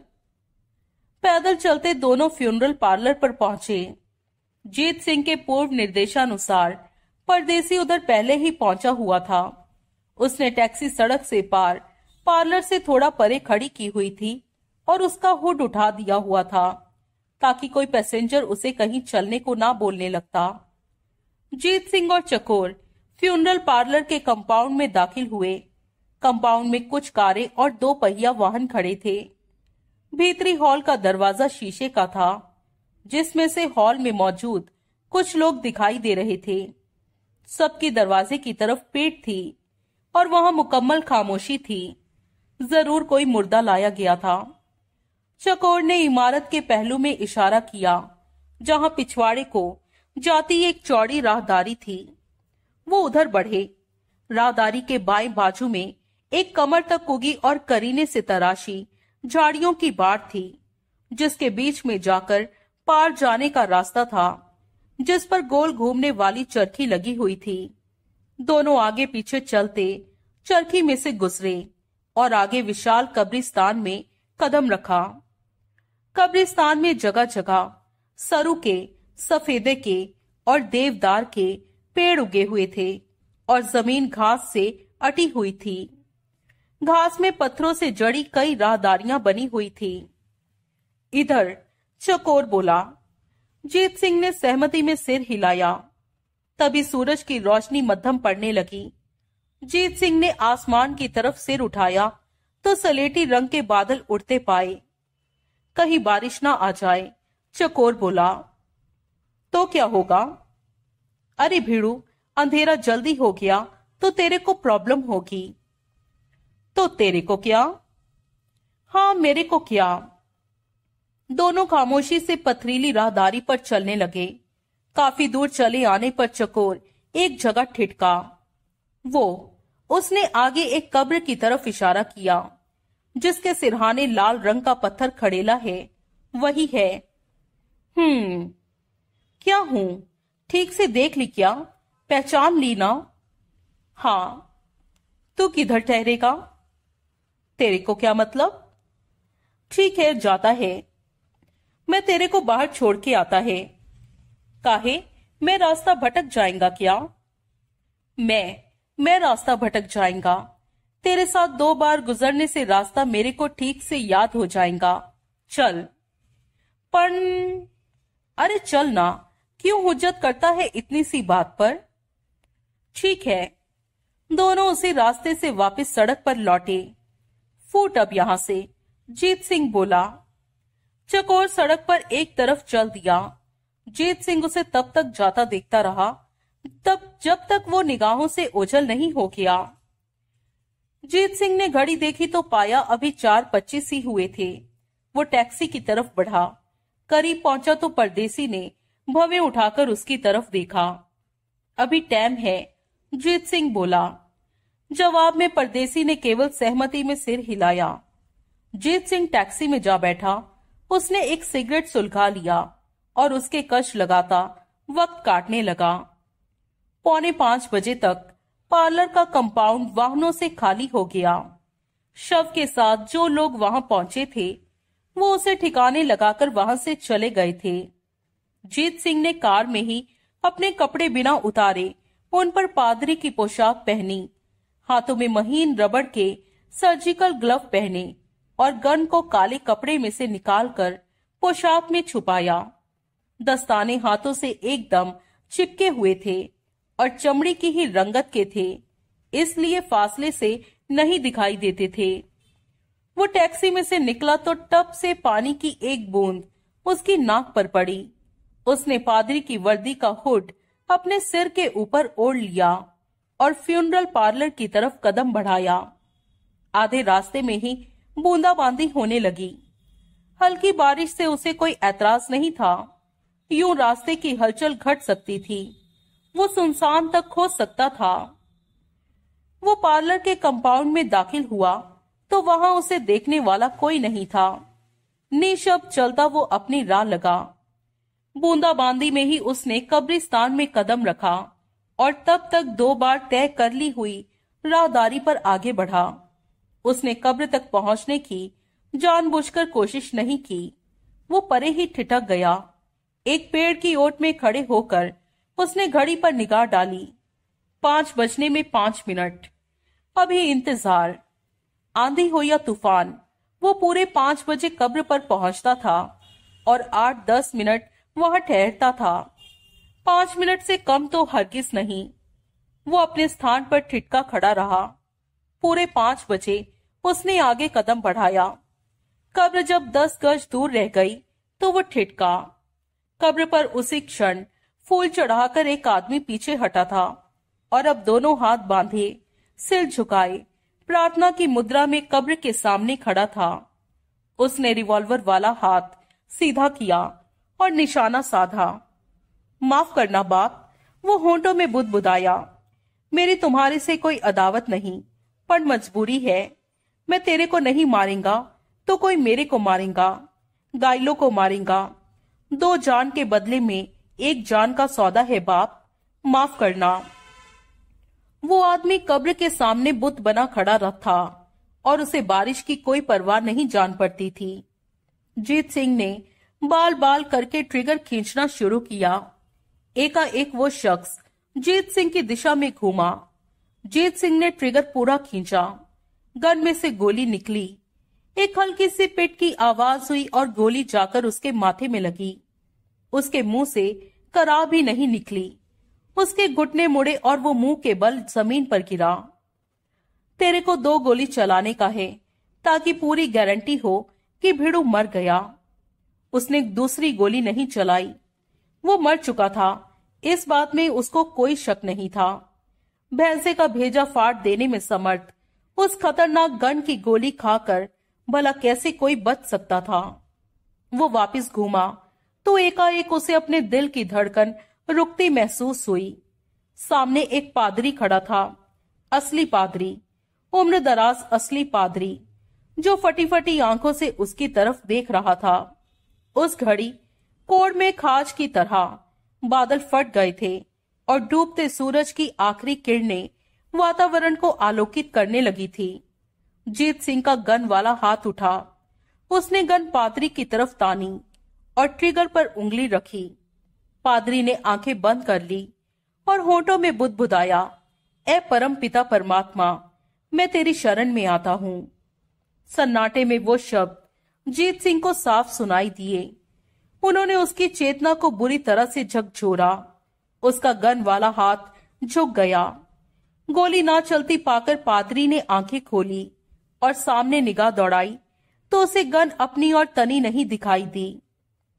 आसमानी बाप पापियों को माफ़ करता है। वो धीमे सुसंयत स्वर में बोला, क्योंकि वो नहीं जानते वो क्या करते हैं। फिर वो घूमा और जीत सिंह से विपरीत दिशा में चल दिया। उसकी चाल ही बता रही थी कि उसे इस बात का कोई अंदेशा नहीं था कि अभी पीठ पीछे से गोली चली, उसे आकर लगेगी। जीत सिंह बुद्ध बना उसे जाता देखता रहा। ये तूने क्या किया? उसने चौंक कर आवाज़ की दिशा में देखा। चकोर उसके बाजू में खड़ा था। तू इधर क्या कर रहा है? जीत सिंह कहर भरे स्वर में बोला। अरे, फादर डिसूजा तेरे को मर्डर करते देखा। तूने उसको, एक गवाह को, चश्मदीद गवाह को जाने दिया? तू उसे जानता है? शक्ल पहचानता है। उसी चर्च का पादरी है, जिसके सामने तू मेरे को मिला था। जो उसने देखा, वो तूने भी देखा क्या? हाँ। क्यों? मैं तो तेरे को चलता करके आया था, वापस क्यों लौट आया? मेरे को हुक्म। आँखों से देखने का था कि मैं अपना काम किया। हाँ। अब आके रिपोर्ट किसको देगा? कामरेड को या इंस्पेक्टर को? तेरे को क्या है रे? तू बहुत मिस्टेक किया, जीत सिंह। कोई पंगा हुआ तो खाली तेरे को झेलना पड़ेगा। मेरा नाम भी जानता है। अब गन फेंक और निकल ले। अभी, पहले मैं तेरे को बड़ा साहब के पास भेजने का है, जिसको तू सबसे पहले रिपोर्ट करेगा। बड़ा साहब? सबसे बड़ा साहब। कौन? जीत सिंह ने खाली हाथ की उंगली आसमान की तरफ़ उठाई और उसे शूट कर दिया। गन फेंकने का उसका शुरू से ही कोई इरादा नहीं था। बाकी बची चार गोलियों के उसके जहन में कई इस्तेमाल थे। वो फ्यूनरल पार्लर में पहुँचा। वहाँ शीशे के दरवाजे के बाजू में एक कॉल बेल लगी थी, जिसके ऊपर लिखा था रिंग फॉर द डायरेक्टर उसने कॉल बेल बजा दी। भीतर हॉल जहाँ उसने लोगों का जमघट देखा, खाली था, और दरवाजे के करीब एक बत्ती को छोड़कर भीतर की तमाम बत्तियाँ बुझाई जा चुकी थी। दूसरी तरफ़ एक सूटधारी अधेड़ दुबला पतला व्यक्ति प्रकट हुआ। जीत सिंह ने मुस्कुराते हुए अभिवादन में हाथ उठाया। उसने मुस्कुराते हुए अभिवादन स्वीकार किया और दरवाज़ा खोला। जीत सिंह ने भीतर कदम रखा। हेलो, अधेड़ व्यक्ति बोला। I am funeral director what can I do for you इधर का कारोबार तुम देखता है, भीड़ू, वो हड़बड़ाया। पादरी कैसी ज़ुबान बोल रहा था? उसने मन ही मन सोचा और फिर बोला हाँ मैंने कहा ना, मैं फ्यूनरल डायरेक्टर एक मुर्दा भट्टी में डालने का है। सर, आप तो खुदा के बंदे हैं।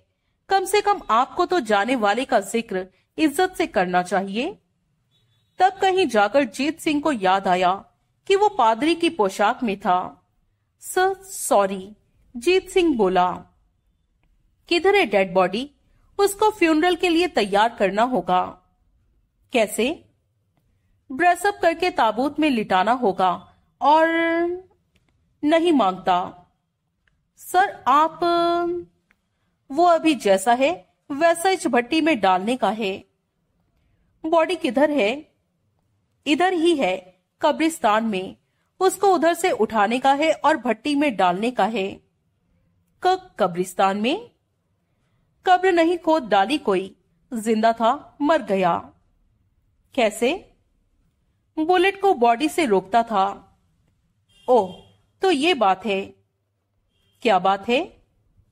तुम पादरी नहीं हो। तुम पादरी के लिबास में कोई कातिल हो और यूँ अपनी करतूत छुपाना चाहते हो। अब मगज से काम लिया भिड़ो। यूँ लाश जलाना गैर कानूनी है। कत्ल भी गैर कानूनी है।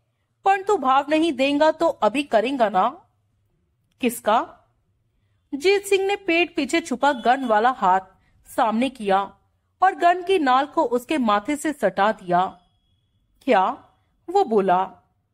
डायरेक्टर के छक्के छूट गए। उसने बोलने की कोशिश की तो मुँह से बोल नहीं फूटा। ए इलेक्ट्रिक फर्नेस को वो हकलाता हुआ बोला तो तपाना पड़ता है, बहुत टाइम लगता है। वो पहले से तपी हुई है। जीत सिंह नाल का दबाव बढ़ाता बोला। अभी इधर जो लोगों का जमघट था, वो इसी काम के वास्ते था, क्योंकि कब्रिस्तान का रुख तो उन लोगों ने किया नहीं था। भट्टी तपाने में टाइम लगता है तो ठंडी पड़ने में भी टाइम लगता होगा अभी वो तपी हुई ही होगी। खाली तेरे को स्विच को दोबारा से ऑन करने का है। जो बॉडी पहले जली उसकी एशेस कलेक्ट करके उसके सगे वालों को देना होता है। क्या बोला? हिंदुस्तानी में बोल। राख इकट्ठी करके कलश में डाल के रिश्तेदारों को सौंपना होता है। अभी एक और डेड बॉडी भट्टी में डालने से राख डबल। रिश्तेदार खुश, सॉलिड बॉडी। किधर बांधा है? लेकिन मैं भट्टी का स्विच खुद ढूंढ लेगा और खुद चालू कर लेगा। एक सेकंड में फैसला कर मेरे को उसमें एक मुर्दा झोंकने का है या दो? द दो? एक तैयार है, दूसरा अभी बनेगा। कक कौन? अरे भिड़ो, तू और कौन? न, नहीं ग गोली मत चलाना। तो? तो जैसा बोलता है, मैं करता है। बढ़िया। जीत सिंह वापस सड़क पर लौटा। उसने परदेसी को एका एक आठ टपके पादरी और चकोर की बाबत बताया। चकोर को ठीक हैंडल किया जीते, परदेसी चिंतित भाव से बोला पर पादरी को छोड़कर गलती की। मैं क्या करता? अरे, जैसे दो भेड़ों टपकाए, वैसे एक और टपकाता।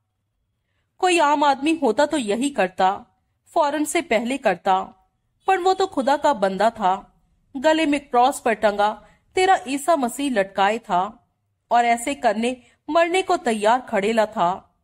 मेरे से गोली चलाते नहीं बना। गन वाला हाथ अपने आप ही झुक गया। जज्बाती होकर गवाह छोड़ दिया जीते। मैं सिर पर इस वर्दी का हुट चढ़ाए था। उम्मीद नहीं उसने ठीक से मेरी सूरत देखी होगी। हाँ उम्मीद ही कर सकता है तू। तो और क्या करूँ? पहले तो ये पादरी के चोगे का पीछा छोड़। ओ, उसने चोगा उतारा और वहीं करीबी झाड़ियों में फेंक दिया। नीचे वो अपने आम कपड़े, जीन्स, जैकेट और टी शर्ट पहने पहने था। एक काम कर, एकाएक परदेसी बोला, क्या? उसके चर्च में जा। काहे को?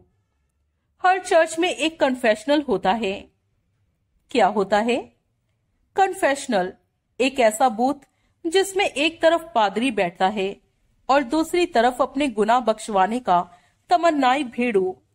दोनों के बीच में एक ग्रिल होती है, जिससे आर पार आवाज़ जा सकती है, पर पादरी भीड़ों की सूरत नहीं देख सकता। आम गिरजों में कन्फेशनल में हाजिरी का एक टाइम मुकर्र होता है, पर छोटे गिरजों में जहाँ ऐसा पापी कभी कभी कोई कोई ही आता है कोई मुकर्र टाइम नहीं होता। उधर एक डोरी लगी होगी, जिसे खींचने से चर्च का घंटा बजता है, और फिर कन्फेशन सुनने के लिए पादरी बूथ के अपने हिस्से में आ जाता है। जाके पता कर, उधर क्या इंतज़ाम है। अगर डोरी घंटे वाला इस्तेमाल इंतज़ाम हुआ तो तेरा काम अभी भी बन सकता है। कैसे? परदेसी ने समझाया। जीत सिंह चर्च में पहुँचा। वो कन्फेशनल बूथ के पब्लिक वाले हिस्से में दाखिल हुआ। डोरी वहाँ लटक रही थी। वहाँ एक कुर्सी पड़ी थी, जिस पर वो बैठ गया और फिर उसने डोरी खींची। कहीं घंटा बजने की आवाज़ हुई। थोड़ी देर बाद उसे करीब आती, कदमों की आहट सुनाई दी। फिर बूथ का परली तरफ़ का दरवाज़ा खुला। किसी ने उधर भीतर कदम रखा और फिर दरवाज़ा बंद हुआ। ग्रिल में से जीत सिंह को अपनी तरह ही एक कुर्सी पर बैठा पादरी दिखाई दिया। ग्रिल ऐसी थी कि उसमें से उसकी सूरत देखना मुहाल था। यस माई सन, पादरी की धीर गंभीर आवाज़ आई। I am here. मैं पापी हूँ, जीत सिंह बोला। मैंने पाप किया है। क्या पाप किया है?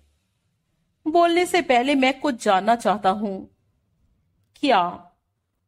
क्या यहाँ उन्हीं लोगों की सुनी जाती है जो ईसाई हो?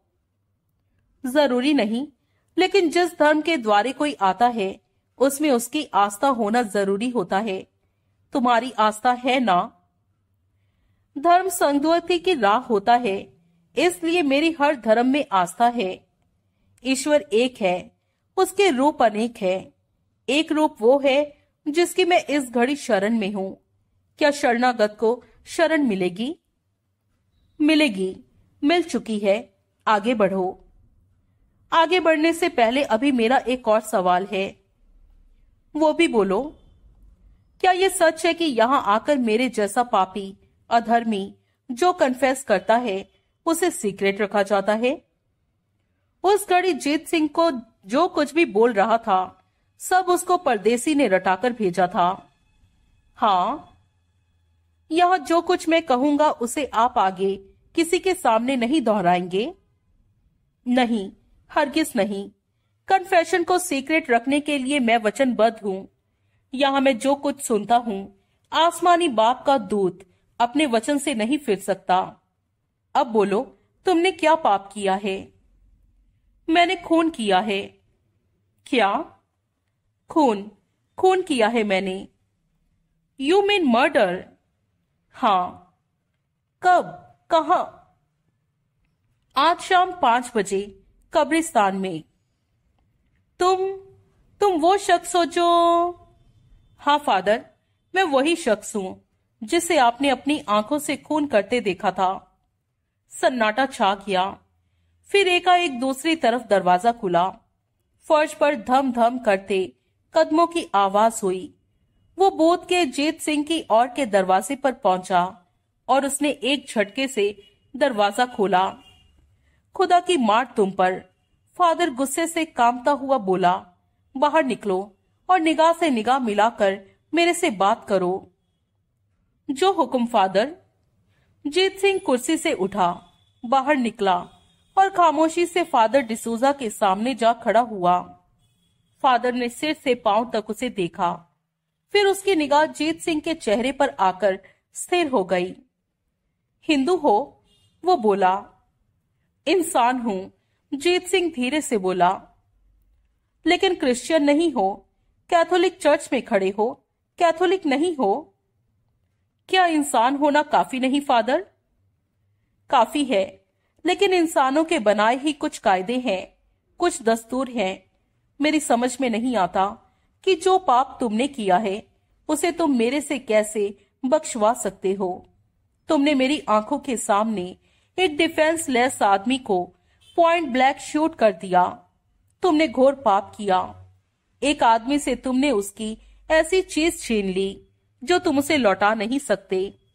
सूझा ही कैसे तुम्हें यहाँ आना अपना वो पाप बख्शवाने के लिए? किस उम्मीद से आए थे यहाँ? क्या चाहते थे? फादर, जीत सिंह शांति से बोला, जो मैं चाहता था वो मुझे मिल चुका है। क्या? आपका आश्वासन कि आप मेरा राज फाश नहीं करेंगे, जो मैंने कन्फेशनल में कहा, उसे आगे नहीं दोहराने के लिए आप वचनबद्ध हैं, ऐसा खुद आपने कहा। बेटा, तुमने मेरा बेजा इस्तेमाल किया। पादरी आहत भाव से बोला, तुमने खुदा के घर का बेजा इस्तेमाल किया। तुमने मुझे ऐसे धर्म संकट में डाल दिया है जिससे अब मैं नहीं उबर सकता। अब मैं क्या करूँ? अपना धर्म निभाइए, फादर, और ये ना भूलिए कि एक गोली में आपको भी मार सकता था। शायद वही ठीक होता। अब मेरे लिए क्या हुक्म है? मैं चिंता का बोझ यहाँ से लेकर जाऊँ, या समझूं कि मेरी चिंता हरण हुई? फादर ने तत्काल उत्तर नहीं दिया। जब कोई कन्फेशनल में आता है, फिर वो बोला तो अपने आप को आसमानी बाप के हवाले करता है। फिर डिसाइपल और गॉड भक्त और भगवान एक हो जाते हैं। तो दुई का भेंट मिट जाता है। भगवान भक्त को अपना ही स्वरूप मानकर उसके पश्चाताप को स्वीकार करता है और उसे माफ़ करता है। लेकिन तुम्हें तो कोई पश्चाताप जान ही नहीं पड़ता। तुम तो यहाँ आए ही छल के मकसद के साथ और कामयाब हुए अपने मकसद में। मुझे माफ़ी नहीं चाहिए। मैं नरक का कीड़ा हूँ और अपने कुकर्मों की वजह से नरक का ही भागी बनूँगा। मुझे आपका कॉल करार चाहिए कि आप अपनी बात पर खरे उतरेंगे और मेरे रास को रास रखेंगे। नाम क्या है तुम्हारा? बद्रीनाथ। क्या ये तुम्हारा असली नाम है? जीत सिंह। जीत, विक्ट्री को, फतह को कहते हैं। सिंह शेर को कहते हैं, तुम कैसे शेर हो? एक खून करके क्या जीता तुमने? क्या फतेह किया? कुछ नहीं। तो खून क्यों किया? हर भला बुरा काम किसी हासिल के लिए किया जाता है। क्या हमेशा अपने हासिल के लिए, फादर? ओ अपनी मर्ज़ी से नहीं किया ये काम? नहीं, अपनी मर्ज़ी से कभी मैंने मक्खी नहीं मारी। क्या किसी ने मजबूर किया? हाँ। तो फिर वो तुम्हारे से बड़ा अधर्मी है। तो फिर कातिल वो है, जिसने अपने हासिल के लिए तुम्हारे हाथ में गन थमा दी। फादर इन बातों से दिल बहलता है। मुल्क का कायदा कानून नहीं बदलता। मैं कहूँ कि जिस आदमी को मैंने मारा, वो मौत के ही काबिल था। तो क्या मुल्क का कायदा कानून मुझे माफ़ कर देगा? नहीं माफ़ माफ़ नहीं करेगा। बोलेगा, किसी का इंसाफ करना, उसे सजा देना कानून का काम है। ठीक तो बोलेगा पर किधर देता है कानून सजा? कानून और मुजरिम के बीच दीवार बनकर पैसा खड़ा हो जाता है, नेता खड़ा हो जाता है, बड़ा वकील खड़ा हो जाता है। सजा सिर्फ़ गरीब को होती है, जिसके पास ना पैसा है, ना नेता है, न वकील है। अदालत में गुनेगार साबित हो जाने पर जिस गुना की गरीब को छह महीने की सजा मिलनी होती है, उसके बिना सजा मिले ही वो छह साल जेल में काटता है, क्योंकि उसे कोई जमानती नहीं मिला। कायदे कानून गरीब का गला घोंटते हैं और अमीर रुतबे रसूख वालों की हिफाजत करते हैं। वैसे ही जैसे तेज हवा दिए को बुझा देती है पर आग को और भड़का देती है। माई सन मुल्क की बड़ी से बड़ी अदालत से बड़ी एक अदालत और होती है, और उसके इंसाफ में खोट नहीं होती, धांधली नहीं होती। पर उस अदालत का इंसाफ होता दिखाई किसे देता है, फादर? कत्ल करने के लिए मुझे जिस शख्स ने मजबूर किया, क्या उस पर आसमानी बाप की अदालत ने बिजली गिरा दी? उसके पैरों के नीचे से ज़मीन धसका दी? उसका कलेजा उखड़ के हाथ में आ गया, क्या? कुछ नहीं हुआ उसे। अभी जाके देखिए। किसी बाई की गोद में लेके बैठा होगा। तंदूरी चिकन खा रहा होगा और बाटली मार रहा होगा। गरीब आदमी को ये झूठी तसल्ली है कि इंसाफ होगा। इंसाफ के किए नहीं होता तो भगवान के किए होगा। वो यही सोचता मर जाता है कि अब इंसाफ होगा, अब इंसाफ होगा। किधर है इंसाफ? नहीं है। है तो गरीब के लिए नहीं है, क्योंकि करप्शन ने ये नारा ही गलत कर दिया है कि भगवान एक है। नहीं है भगवान एक। अमीरों का भगवान जुदा है, और गरीबों का भगवान गरीबों जैसा ही दीनहीन और लाचार है। वो ना उसे रोटी दे सकता है, न रोजी दे सकता है, और न जुल्म से बचा सकता है। जैसे दो तरह के भगवान हैं वैसे दो तरह के कायदे कानून लागू हैं इस मुल्क में। एक अमीरों के लिए, एक गरीबों के लिए। बोलते हैं, खुदा ने जन्नत बनाई, जहन्नुम बनाया। किस लिए? ताकि जो भला है वो जन्नत में जाए और जो बुरा है वो जहन्नुम में जाए। पर यह बात नहीं है। उसने जन्नत इसलिए बनाई ताकि अमीरों को ऊपर पहुंचकर कोई प्रॉब्लम ना हो जाए। वो खुदा को ये कहकर शर्मिंदा ना करने लगे कि उससे बढ़िया जन्नत तो वो थी जो उन्होंने खुद बना ली थी। गरीब का क्या है? वो तो पहले से जहन्नुम में है। वो एक जहन्नुम से ट्रांसफ़र होगा और दूसरे जहन्नुम में पहुँच जाएगा। बहुत कड़वाहट है तुम्हारे मन में माई सन बहुत शिकायतें हैं तुम्हें आसमानी बाप से। जो फरेब करता है, उससे शिकायत होती ही है। फरेब, आप खुदा के करीबी हैं, चर्च में भाषण करते हैं, लोगों को बोलते हैं कि खुदा ने सब इंसान बराबर बनाए हैं। कहा है बराबरी? कोई जन्म से अंधा है, काना है, भैंगा है, पोलियो का मारा है। किसी के भेजा नहीं, किसी के दिल नहीं, किसी के फेफड़े नहीं, और कोई जन्म से राजा है, कामदेव का अवतार है, शक्ति का प्रतीक है। कुबेर का वारिस है, कोई गटर का कॉकरोच है, कोई राजहंस है, किसी को सूखा टुकड़ा नसीब नहीं, कोई सोने का निवाला खाता है, कोई ठंड में फुटपाथ पर अकड़ जाता है, कोई ऑस्ट्रेलिया जाता है, कोई लू से मर जाता है, कोई स्विट्जरलैंड जाता है, कहा है बराबरी? आप और चर्च में झाड़ू लगाने वाला जमादार बराबर है क्या? मैं मजलूम और मजबूरन हूँ कत्ल करने वाला और वो हाकिम, जिसने मेरे हाथ में गन थमाई, बराबर है क्या? जिस माँ की बच्ची उसके पेट में मर गई, और जो माँ कहती है, घर में लक्ष्मी पैदा हुई वो बराबर है क्या? धारावी के झोंपड़ पट्टे में हज़ार गरीब डेंगू से मर गए। मालाबार हिल पर एक अमीर को एक मच्छर ने काट खाया तो उसने नौकर की मार मार के चमड़ी उधेड़ दी, क्योंकि वो उसके बेडरूम में फ्लेट छिड़कना भूल गया। ये बराबरी है क्या? कहीं बराबरी नहीं, कहीं इंसाफ नहीं। हर तरफ़ जुल्म की आंधी चलती है, जो गरीब को तिनके की तरह उड़ाकर ले जाती है, और समृद्ध को छू कर गुजर जाती है। समृद्ध जमानत होने के इंतज़ार में दो दिन हवालात में बंद रहे तो इंसाफ की जय जयकार हो जाती है। कायदे कानून की वाह वाह हो जाती है। विश्व के सबसे बड़े प्रजातंत्र के माथे पर तिलक लग जाता है। एक बेगुनाह फांसी पर टांग दिया जाता है। तो किसी के कान पर जू नहीं रेंगती। कमेटी का क्लर्क किसी से पचास रुपए ले ले तो उसे रिश्वतखोरी का गंभीर अपराधी करार दिया जाता है और पाँच साल के लिए जेल में बंद कर दिया जाता है। मंत्री अरबों के घोटाले में शामिल पाया जाता है। तो उसकी कुर्सी तक नहीं हिलती। बेटा, पादरी दबे स्वर में बोला, ये यहाँ करने लायक बातें नहीं। तो कहाँ करने लायक बातें हैं? कहाँ जाऊँ मैं? किसे सुनाऊं? तुम एक संतप्त आत्मा हो। मैं तुम्हारे मन की शांति के लिए दुआ करूँगा। मुझे आपकी दुआ की नहीं, आपके आश्वासन की ज़रूरत है। वो आश्वासन तो तुमने खुद ही बोला कि तुम्हें मिल ही चुका है। तस्दीक कीजिए। मैं तस्दीक करता हूँ। मैं तुम्हारा पाप अपने सिर लेता हूँ। मैं आसमानी बाप से दुआ करता हूँ कि तुम्हारे कर्म की जो सजा उसने तुम्हें देनी है, वो सजा मुझे दे। अब जाओ और कभी लौटकर नहीं आना।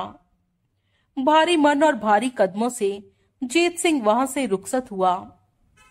फादर डिसूजा का आवास चर्च के ही एक बाजू में बने एक छोटे से कॉटेज में था।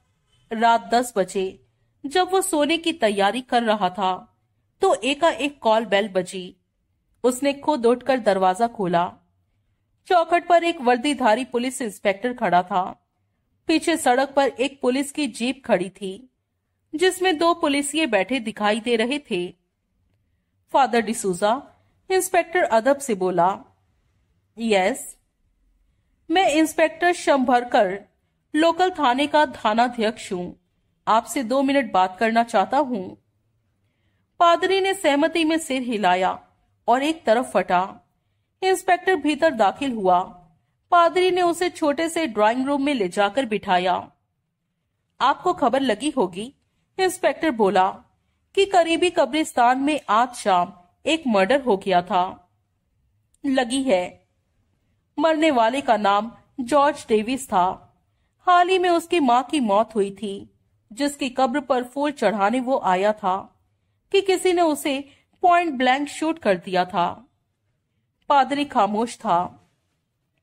इस काम के लिए खास कब्रिस्तान किसी ने इसीलिए चुना था क्योंकि बाकी हर जगह वो दो सशस्त्र बॉडीगार्डों के साथ जाता था। कब्रिस्तान ही एक जगह थी, जहाँ वो बॉडीगार्डों को कब्रिस्तान के दरवाजे पर छोड़कर अकेला भीतर जाता था। पिछले तीन महीने से हर शुक्रवार शाम पाँच बजे उसका कब्रिस्तान में आना उसकी स्थापित रूटीन थी, जिसकी की कातिल को खबर थी और इसी जानकारी को उसने कैश किया और अपना काम कर डाला। ये सब आप मुझे क्यों बता रहे हैं? पादरी बोला, वजह है, यकीन जानिए, रात की इस घड़ी में आपको खाम खा डिस्टर्ब करने नहीं आया। आई सी आप कई सालों से इस चर्च के पादरी हैं और इलाके में बखूबी पहचाने जाते हैं। ऊपर से आपकी पादरी की पोशाक ही आपकी बहुत बड़ी पहचान है, जिसकी वजह से किसी की तवज्जो आपकी तरफ़ ना भी जानी हो तो जाती है। You follow my point sir yes I do मेरे को पता लगा था कि आज शाम आप कब्रिस्तान से गुजरे थे। परली तरफ़ से इधर मेरे चर्च वाली सड़क पर आने के लिए वो बहुत शॉर्टकट है, इसलिए वहाँ से मैं अक्सर गुजरता हूँ। कई बार तो एक दिन में कई कई बार। लेकिन शाम की बाबत आपको कैसे पता लगा? कत्ल एक बड़ा वाक्य होता है, इसलिए वो जहाँ हुआ हो, उसके आसपास व्यापक पूछताछ की जाना पुलिस की रूटीन होती है। बात किसी आम आदमी की होती तो किसी ने ध्यान भी ना दिया होता कि कब्रिस्तान में कौन उधर से दाखिल हुआ या कौन इधर से निकला। इत्तेफाक से आपको किसी ने परली तरफ़ से कब्रिस्तान में दाखिल होते देखा था और किसी और ने इधर से बाहर निकलते देखा था। हमने देखा है कि जो शॉर्टकट आप इस्तेमाल करते हैं, उसी के रास्ते में मरने वाली की माँ की कब्र आती है। मकतूल के बॉडीगार्डों का बयान है कि वो उन्हें कब्रिस्तान के इधर के गेट पर छोड़कर पाँच बजे के करीब भीतर गया था और वो दस मिनट में हर हाल में वापस लौट आता था। यूँ कत्ल का वक्त एंड पिन पॉइंट हो जाता है। कब्र पर फूल सरीके से चढ़ाए गए पाए गए थे। इसका मतलब है कि वो निर्विघ्न वहाँ पहुँचा था और पहुँचते ही शूट नहीं कर दिया गया था। इस लिहाज से हमारा अंदाज़ा है कि उसको पाँच बजकर पाँच मिनट पर शूट किया गया था। और हमारा दूसरा अंदाज़ा है कि एन उसी वक्त आप कब्र के करीब से गुजरे थे। इससे जो नतीजा हमने निकाला है, वो ये है कि आपने न सिर्फ़ कातिल को देखा है, बल्कि उसको कत्ल को अंजाम देते भी देखा हो सकता है। अब बताइए आप इस बारे में क्या कहते हैं? क्या आपने कातिल को देखा था?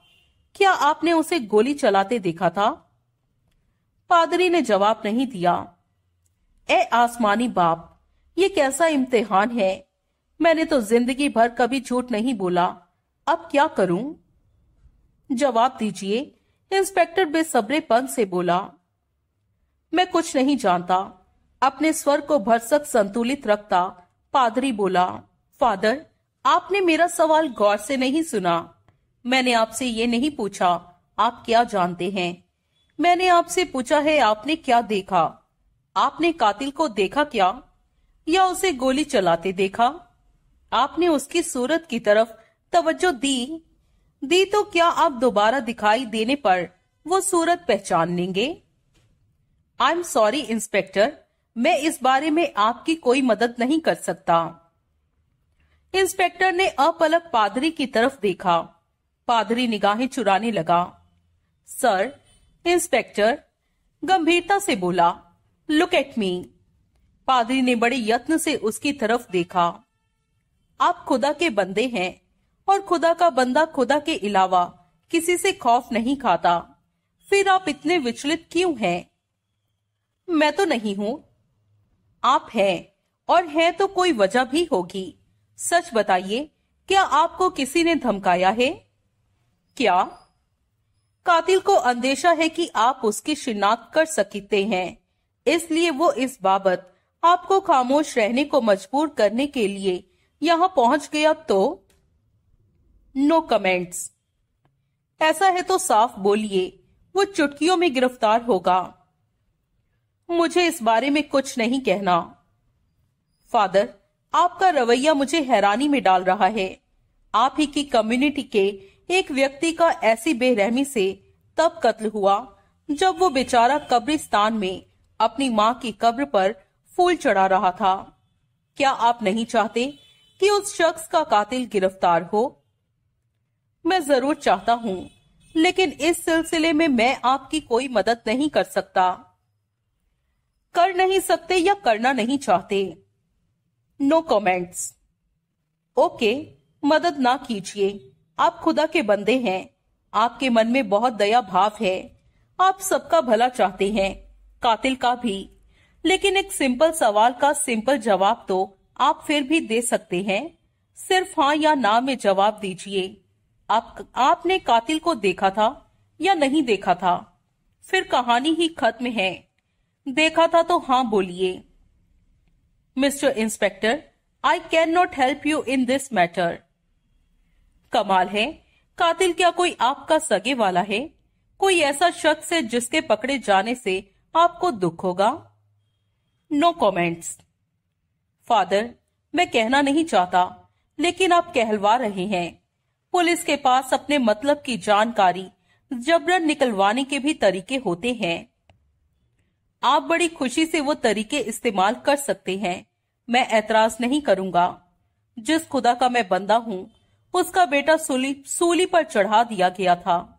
आपकी ज़बरदस्ती मेरा उससे बुरा हाल तो नहीं कर देगी। मुझे आपकी हर ज़बरदस्ती कबूल होगी। लेकिन लेकिन क्या? हाथ फिर भी कुछ नहीं आएगा। इंस्पेक्टर मुँह बाएँ पादरी की तरफ़ देखता रहा। अब आप जा सकते हैं, या मुझे भी साथ ले जा सकते हैं। इंस्पेक्टर ने असहाय भाव से गर्दन हिलाई। और फिर उठ खड़ा हुआ। Father your conduct is beyond my comprehension वो बोला। पादरी खामोश रहा। Okay I will see you again you will waste your time inspector चला गया। दोस्तों, इसी के साथ इस कहानी को यहीं पॉज देते हैं। इसका लास्ट पार्ट बहुत जल्दी अपलोड हो जाएगा। आपको वीडियो पसंद आए तो लाइक और शेयर ज़रूर करें। कमेंट करें, आपको कहानी कैसी लगी। चलिए मिलते हैं नेक्स्ट वीडियो में। तब तक के लिए अपना और अपनों का बहुत सारा ख्याल रखें। Thank you.